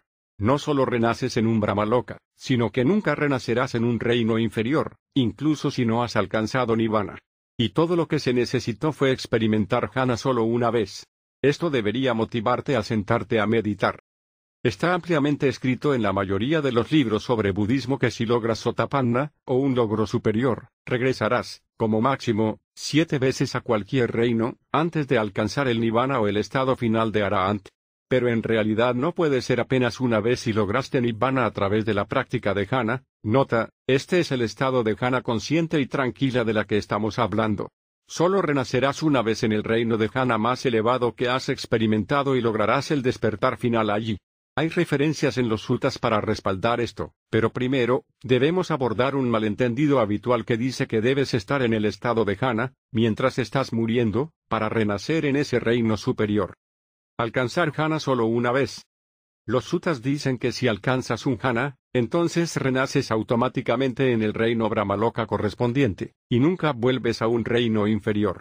Sin embargo, la mayoría de la gente piensa que cuando mueres tienes que estar en el estado de jhana. Se piensa que si alcanzas la primera jana, entonces el renacimiento será en el primer reino de jana. El renacimiento allí es muy placentero y tiene una duración de un eón. Si alcanzas la segunda jana, entonces este reino es aún más alto, y así sucesivamente hasta el octavo nivel de la base de Arupa de ni percepción ni no percepción. Usaré el suta que hay más abajo. Es una traducción de sutacentral.net, pero voy a cambiar parte del texto por la versión de Bhikkhu esto se vuelve más claro con su traducción del Anguttara Nikaya, impresa por Wisdom Publications, en 2012, en la página 507. Este es un sutta titulado Buena Voluntad, Bondad Amorosa, el libro de los cuatro, Sutta 125. Esto es para dirigirse a los escépticos que piensan que renacer en un Brahmaloka requiere que estés en ese estado de meditación jhana en el momento de tu muerte. Anguttara Nikaya 125, 5, Libro de los cuatro, bondad amorosa. Monjes, existen estos cuatro tipos de individuos en el mundo. ¿Qué cuatro? Se da el caso en que un individuo sigue impregnando la primera dirección, así como la segunda dirección, la tercera y la cuarta, con una conciencia imbuida de bondad amorosa o meta. De este modo, él sigue impregnando arriba, abajo y alrededor, en todas partes y en todos los aspectos del cosmos que lo abarca todo con una conciencia llena de buena voluntad, bondad amorosa, abundante, expansiva, inmensurable, libre de hostilidad, libre de mala voluntad. Él saborea eso, anhela eso, encuentra satisfacción mediante eso. Permaneciendo allí, fijado en eso, morando allí a menudo, sin alejarse de eso, es decir, que con facilidad es capaz de regresar a esa jana, luego, cuando muere, reaparece junto con los devas del séquito de Brahma. Primer reino Jana, los devas de la comitiva de Brahma, monjes, tienen una vida de un eón. Si miramos el sutta, esta idea de tener que estar en el estado Jana al morir parece no ser el caso, por suerte. Solo se requiere poder experimentar en el período de tiempo cercano a tu muerte, en una sesión normal, la capacidad de volver a ese Jana nuevamente. Con esta condición, has cumplido los criterios. La única excepción sería si hubieras cometido alguno de los cinco crímenes atroces, matar a un Arahant, matar a tu madre o padre, causar un cisma en la sanga o herir a un Buda, todo lo cual es imposible o extremadamente improbable. Mientras cumplas con estos criterios, renacerás, por ejemplo, en ese primer reino de Jana que es muy agradable. Y si eres capaz de alcanzar la primera jana en el período de tiempo cercano a tu muerte, entonces puedes estar seguro que renacerás en ese reino. No dice que tienes que estar en el jana en el momento de la muerte. ¿Quién podría lograr eso de todos modos? Estás muriendo. Puede que estés enfermo y débil, pero para esto se requiere ser un Buda, y él ya está completamente iluminado, y de todos modos, no se le aplicaría este proceso de renacimiento en un Brahmaloka. La mayoría de los estudiantes de meditación Twin, Tranquil Wisdom Insight Meditation, meditación de comprensión de la sabiduría tranquila, probablemente entrarán en una jana con bastante facilidad, y más adelante en sus vidas, si han mantenido su práctica, o al menos han llevado una vida moral y han mantenido los preceptos. Sería como montar en bicicleta. La siguiente parte que viene ahora depende más de interpretaciones, y haré todo lo posible para ayudar con esto. El Sutta dice que sea cual sea el reino de Hana en el que vuelvas a nacer, después de haber llegado a ese reino mediante tu práctica de Hana, alcanzarás Nibbana en ese reino, para nunca volver a ningún reino inferior, o en este caso, cualquier reino en absoluto. Pero comienza diciendo que alguien, que no sea discípulo barra del Buda, irá a los reinos inferiores inmediatamente después de haber disfrutado de ese renacimiento elevado. Continuación, Anguttara Nikaya 125. 5. Libro de los cuatro, bondad amorosa. Una persona común y corriente, mundana, que ha estado allí, que ha agotado todo lo que dura la vida de esos devas, va al infierno, al útero animal, al estado de las sombras hambrientas, fantasmas. Pero un discípulo del bendito, abajo dice discípulo noble, así que esto significa que sigue el entrenamiento del Buda de las janas conscientes no de las janas de concentración, habiéndose quedado allí, habiendo agotado todo lo que dura la vida de esos devas, se libera, alcanza el nirvana final, justo en ese estado del ser. Esta, monjes, es la diferencia, esta es la distinción, este es el factor distintivo, entre un discípulo educado de los nobles, aquellos que han practicado el camino jana que el Buda encontró, y una persona común y corriente, un discípulo de otro sistema de meditación, como la concentración de absorción, el Buda los probó todos antes de encontrar el sendero de las janas conscientes, en lo que respecta a la destinación futura y al renacimiento. El sutta implica que si alcanzas jhana, y has aprendido la verdadera práctica de meditación del Buda, entonces renacerás en el reino de jhana, y lograrás el nibbana final en ese reino, y saldrás del ciclo de la existencia allí mismo, sin más nacimientos.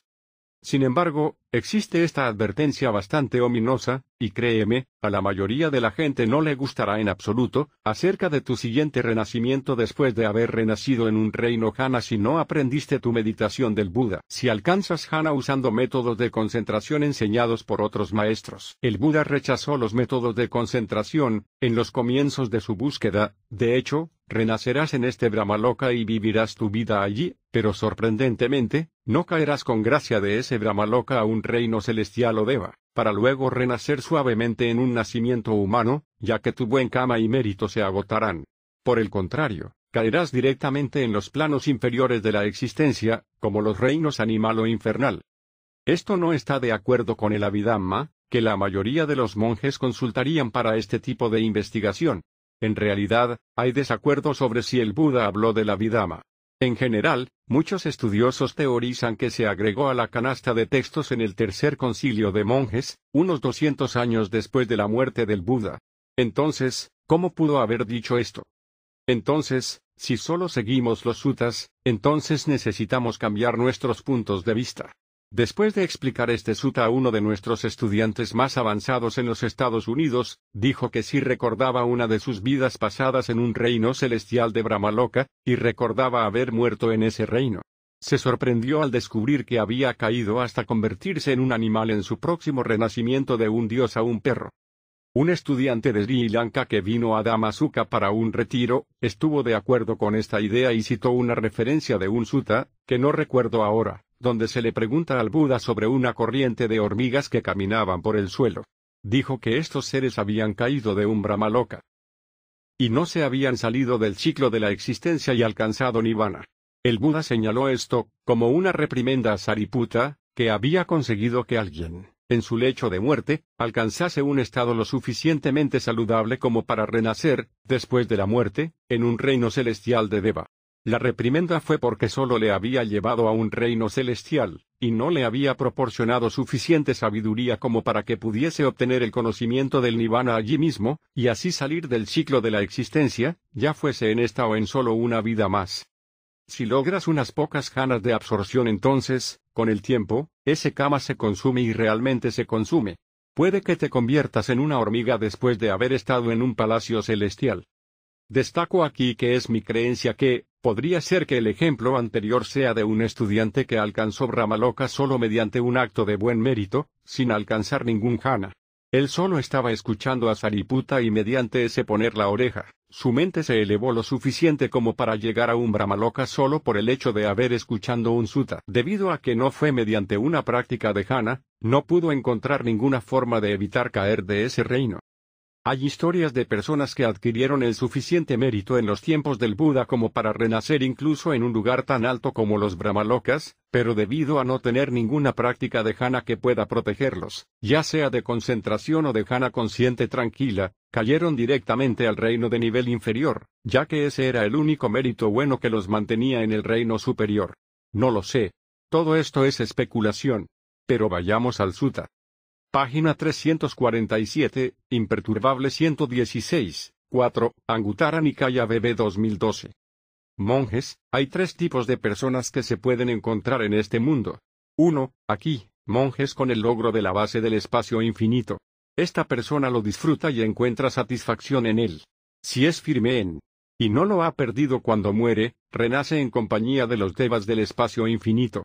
La duración de la vida allí es de 20.000 leones. Este ser mundano permanece allí toda su vida, y cuando ha completado toda la duración de la vida de esos devas, baja al infierno, al reino animal o a la esfera de espíritus afligidos. Pero, el discípulo del bendito permanece allí toda su vida, y cuando ha completado la duración de la vida en esos devas, alcanza nirvana en ese mismo estado de existencia. Esta es la diferencia entre el discípulo del noble instruido y el ser mundano. El sutta continúa repitiendo lo mismo para la base de la conciencia infinita y la nada. Así pues, esto significa que si eres capaz de entrar en un jhana, en este caso específico, un arupajana al morir, y has llegado a este reino por una concentración incorrecta o por una gran cantidad de méritos mundanos, esto te haría propenso a caer bruscamente, desde ese reino, directamente a un reino inferior, sin caer gradualmente primero en un reino deva, y luego aún más bajo, en un reino humano. En este sutta, no se dice un noble discípulo, se dice el discípulo del bendito. Simplemente un discípulo, eso es todo. Esto significa que es alguien que sigue el camino de práctica de jhana establecido por el Buda. No tiene ningún logro, ya que si lo tuviera, se le llamaría un discípulo noble. En resumen, te dejo con algunas citas de los suttas para sugerir, la decisión depende del lector, que si continúas con tu práctica de meditación, y eres capaz de entrar en un jhana cuando estés cercano al momento de tu muerte, entonces no solo renacerás en el Brahmaloka correspondiente, sino que lograrás nirvana allí, sin volver a un renacimiento más bajo. No está mal. Una vez más, comúnmente esto se piensa que pertenece solo el dominio del que entra en la corriente o un discípulo noble superior. Se pensaba que tenías que tener la experiencia de nirvana de la tercera etapa para nunca volver a este mundo o algo más bajo, en realidad, todo lo que tienes que hacer es lograr una jhana.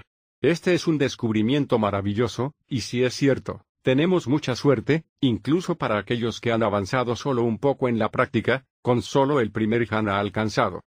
Dicho esto, el Buda siempre advertía a los seguidores que nunca se detuvieran, y que continuaran la práctica hasta que se lograra el despertar final, aquí ahora. Tenía grandes expectativas y exigía el mayor de los logros, o eras un arahanto todavía eras un novato. Hananagami o Hananagamita. Leer el Anguttara Nikaya es bastante interesante, ya que hay algunas perlas en estos textos que no aparecen en ningún otro lugar de los otros Nikayas. Lo que encontré, específicamente, es una comprensión o definición diferente de los discípulos nobles Sotapanna y Sakadagami, es decir, quienes han alcanzado el primer y segundo nivel. Se cree que solo un logro de Anagami, tercera etapa del despertar, te dará mérito suficiente, para que tu renacimiento en tu próxima vida sea en un Brahmaloka, y en el caso del Anagami, un Brahmaloka muy especial llamado las moradas puras, donde solo renacen los Anagamis porque han eliminado las primeras cinco cadenas del anhelo. A partir de ahí, alcanzan el estado de Arahant en ese reino y nunca vuelven a nacer. Es un logro increíble que esta sea tu última vida en los reinos inferiores, incluso en los reinos humano y deva. Esto es lo que logra el Anagami. Sin embargo, encontré algunas buenas noticias para los dos primeros niveles inferiores de los nobles. En el Anguttara Nikaya, en el caso de los dos primeros discípulos nobles, si alcanzas Sotapanna o Sakadagami, y lo hiciste a través de la práctica de meditación Hana, renacerás en los Brahmaloka para nunca volver, como sucede con los Anagami.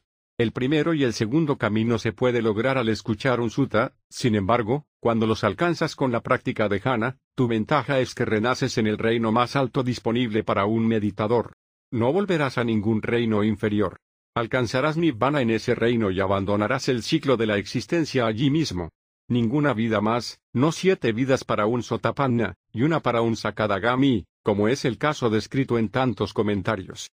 Aquellos nobles discípulos que tienen el logro de Sotapanna o Sakadagami que se logró a través de la práctica de Hana reciben el título especial de Hananagami o Hananagamita según las notas de Udi, de un comentario que él cita, en su traducción de las notas Angutara número 53, y número 2193 que reproduzco más tarde.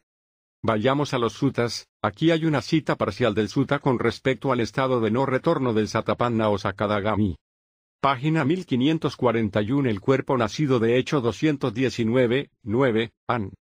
Punto Este noble discípulo comprende. Cuando la liberación de la mente mediante la bondad amorosa se ha desarrollado de esta manera, quien ha logrado los jhanas a través de los brahmaviaras, conduce al no retorno para un bhikkhu sabio aquí que no penetra a una mayor liberación. Un sutta similar se encuentra en la página 327 otoño 94, 3, an. Bhikkhus así como en el otoño, cuando el cielo está despejado y sin nubes, el sol, ascendiendo en el cielo, disipa toda la oscuridad del espacio al brillar, destellar e irradiar. También, cuando el ojo del dama sin polvo, y sin tacha surge en el noble discípulo, junto con el surgimiento de la visión, el noble discípulo abandona tres cadenas, la visión de la existencia de la persona, la duda y apego a los ritos y los rituales. Después, cuando se aleja de dos estados, del anhelo y la mala voluntad, estando entonces apartado de los placeres sensuales, apartado de los estados no saludables, entra y habita en la primera jhana, que consiste en el éxtasis y el placer nacidos de la reclusión, acompañados de pensamiento y análisis.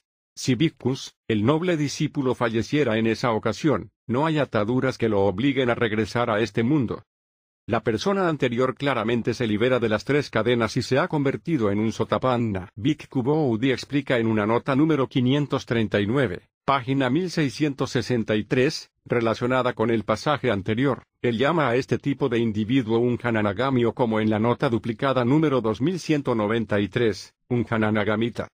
Aquí está la nota, número 2193, página 1859 de Vic Kuboudi. Esta frase normalmente denota el logro del no retorno. MP, comentarios, sin embargo, identifica a este discípulo como un Hana que no retorna, Hana Nagamita, que es uno que ha entrado en la corriente o uno que retorna solo una vez que también alcanza Hana. Aunque tal practicante aún no ha eliminado las dos cadenas del deseo sensual y la mala voluntad, al alcanzar Hana, él o ella seguramente renacerá en el reino de la forma y alcanzará Nirvana allí, sin tener que renacer en la esfera de los sentidos. Voy a señalar aquí, yo mismo, que no sé cuáles son las diferencias entre los dos tipos de Hananagamis, Big Kuboudi no lo explica. Entonces, ahora tenemos un nuevo tipo de persona noble, uno que ha alcanzado Sotapanna y Sakadagami, logrado al seguir el sistema de meditación Hana, que es diferente de lograrlo escuchando una frase o mediante cualquier otro método se ha ganado el logro de no tener que nacer de nuevo en los reinos inferiores de o humanos, y renacerá en un Brahmaloka y alcanzará el Nirvana final allí. El Sutta habla del reino de la forma, y yo teorizaría que esto es el reino de las moradas puras, ya que este es el reino de la forma más elevado. De lo contrario, lógicamente, si logras el arupajana lo que ocurriría si practicas usando el camino de los janas entonces renacerías en los arupas superiores o brahmalocas mentales donde solo hay mente, es decir, la base de la nada, etc. Esto no sería un nacimiento en un reino de la forma, sino más bien, un reino sin forma. Esto parece bastante lógico, ya que no tendría sentido que alguien que logró Sotapanna renaciera nuevamente como un ser humano con las mismas personas con las que creció, la misma fiesta de baile de la escuela secundaria a la que asistieron, las mismas personas que nunca conocieron o siguieron los preceptos. No, no creo que tenga sentido. Un Sotapanna es un ser muy elevado, llamado santo en muchos lugares, y sería muy dudoso que él barra ella renaciera en la compañía de los seres mundanos incluso renacido como un monje normal entre monjes que, ellos mismos, siguen siendo mundanos. Muchos monjes en estos días son monjes de estudio o sirven a laicos realizando ritos y rituales, y ellos mismos no han meditado. Dejaré todas estas ideas para contemplarlas en el último capítulo, pero me pareció bastante interesante y esperanzador. Puede ser bastante confuso, pero parece que me he convertido en un verdadero friki budista, ya que estoy interesado en los niveles de logro más sutiles, tal vez, realmente, muy sutiles. Esta investigación, por supuesto, se basa únicamente en lo que dicen los sutas, lo cual tengo la esperanza de que sea cierto y correcto. La interpretación, por supuesto, es solo mía. Biografía. David Johnson ha residido en el centro de meditación Damazuka desde 2010. Es estudiante de Bante Vimalaramsi y ha participado en muchos retiros. Actualmente, él es un capilla, asistente personal, de Ben.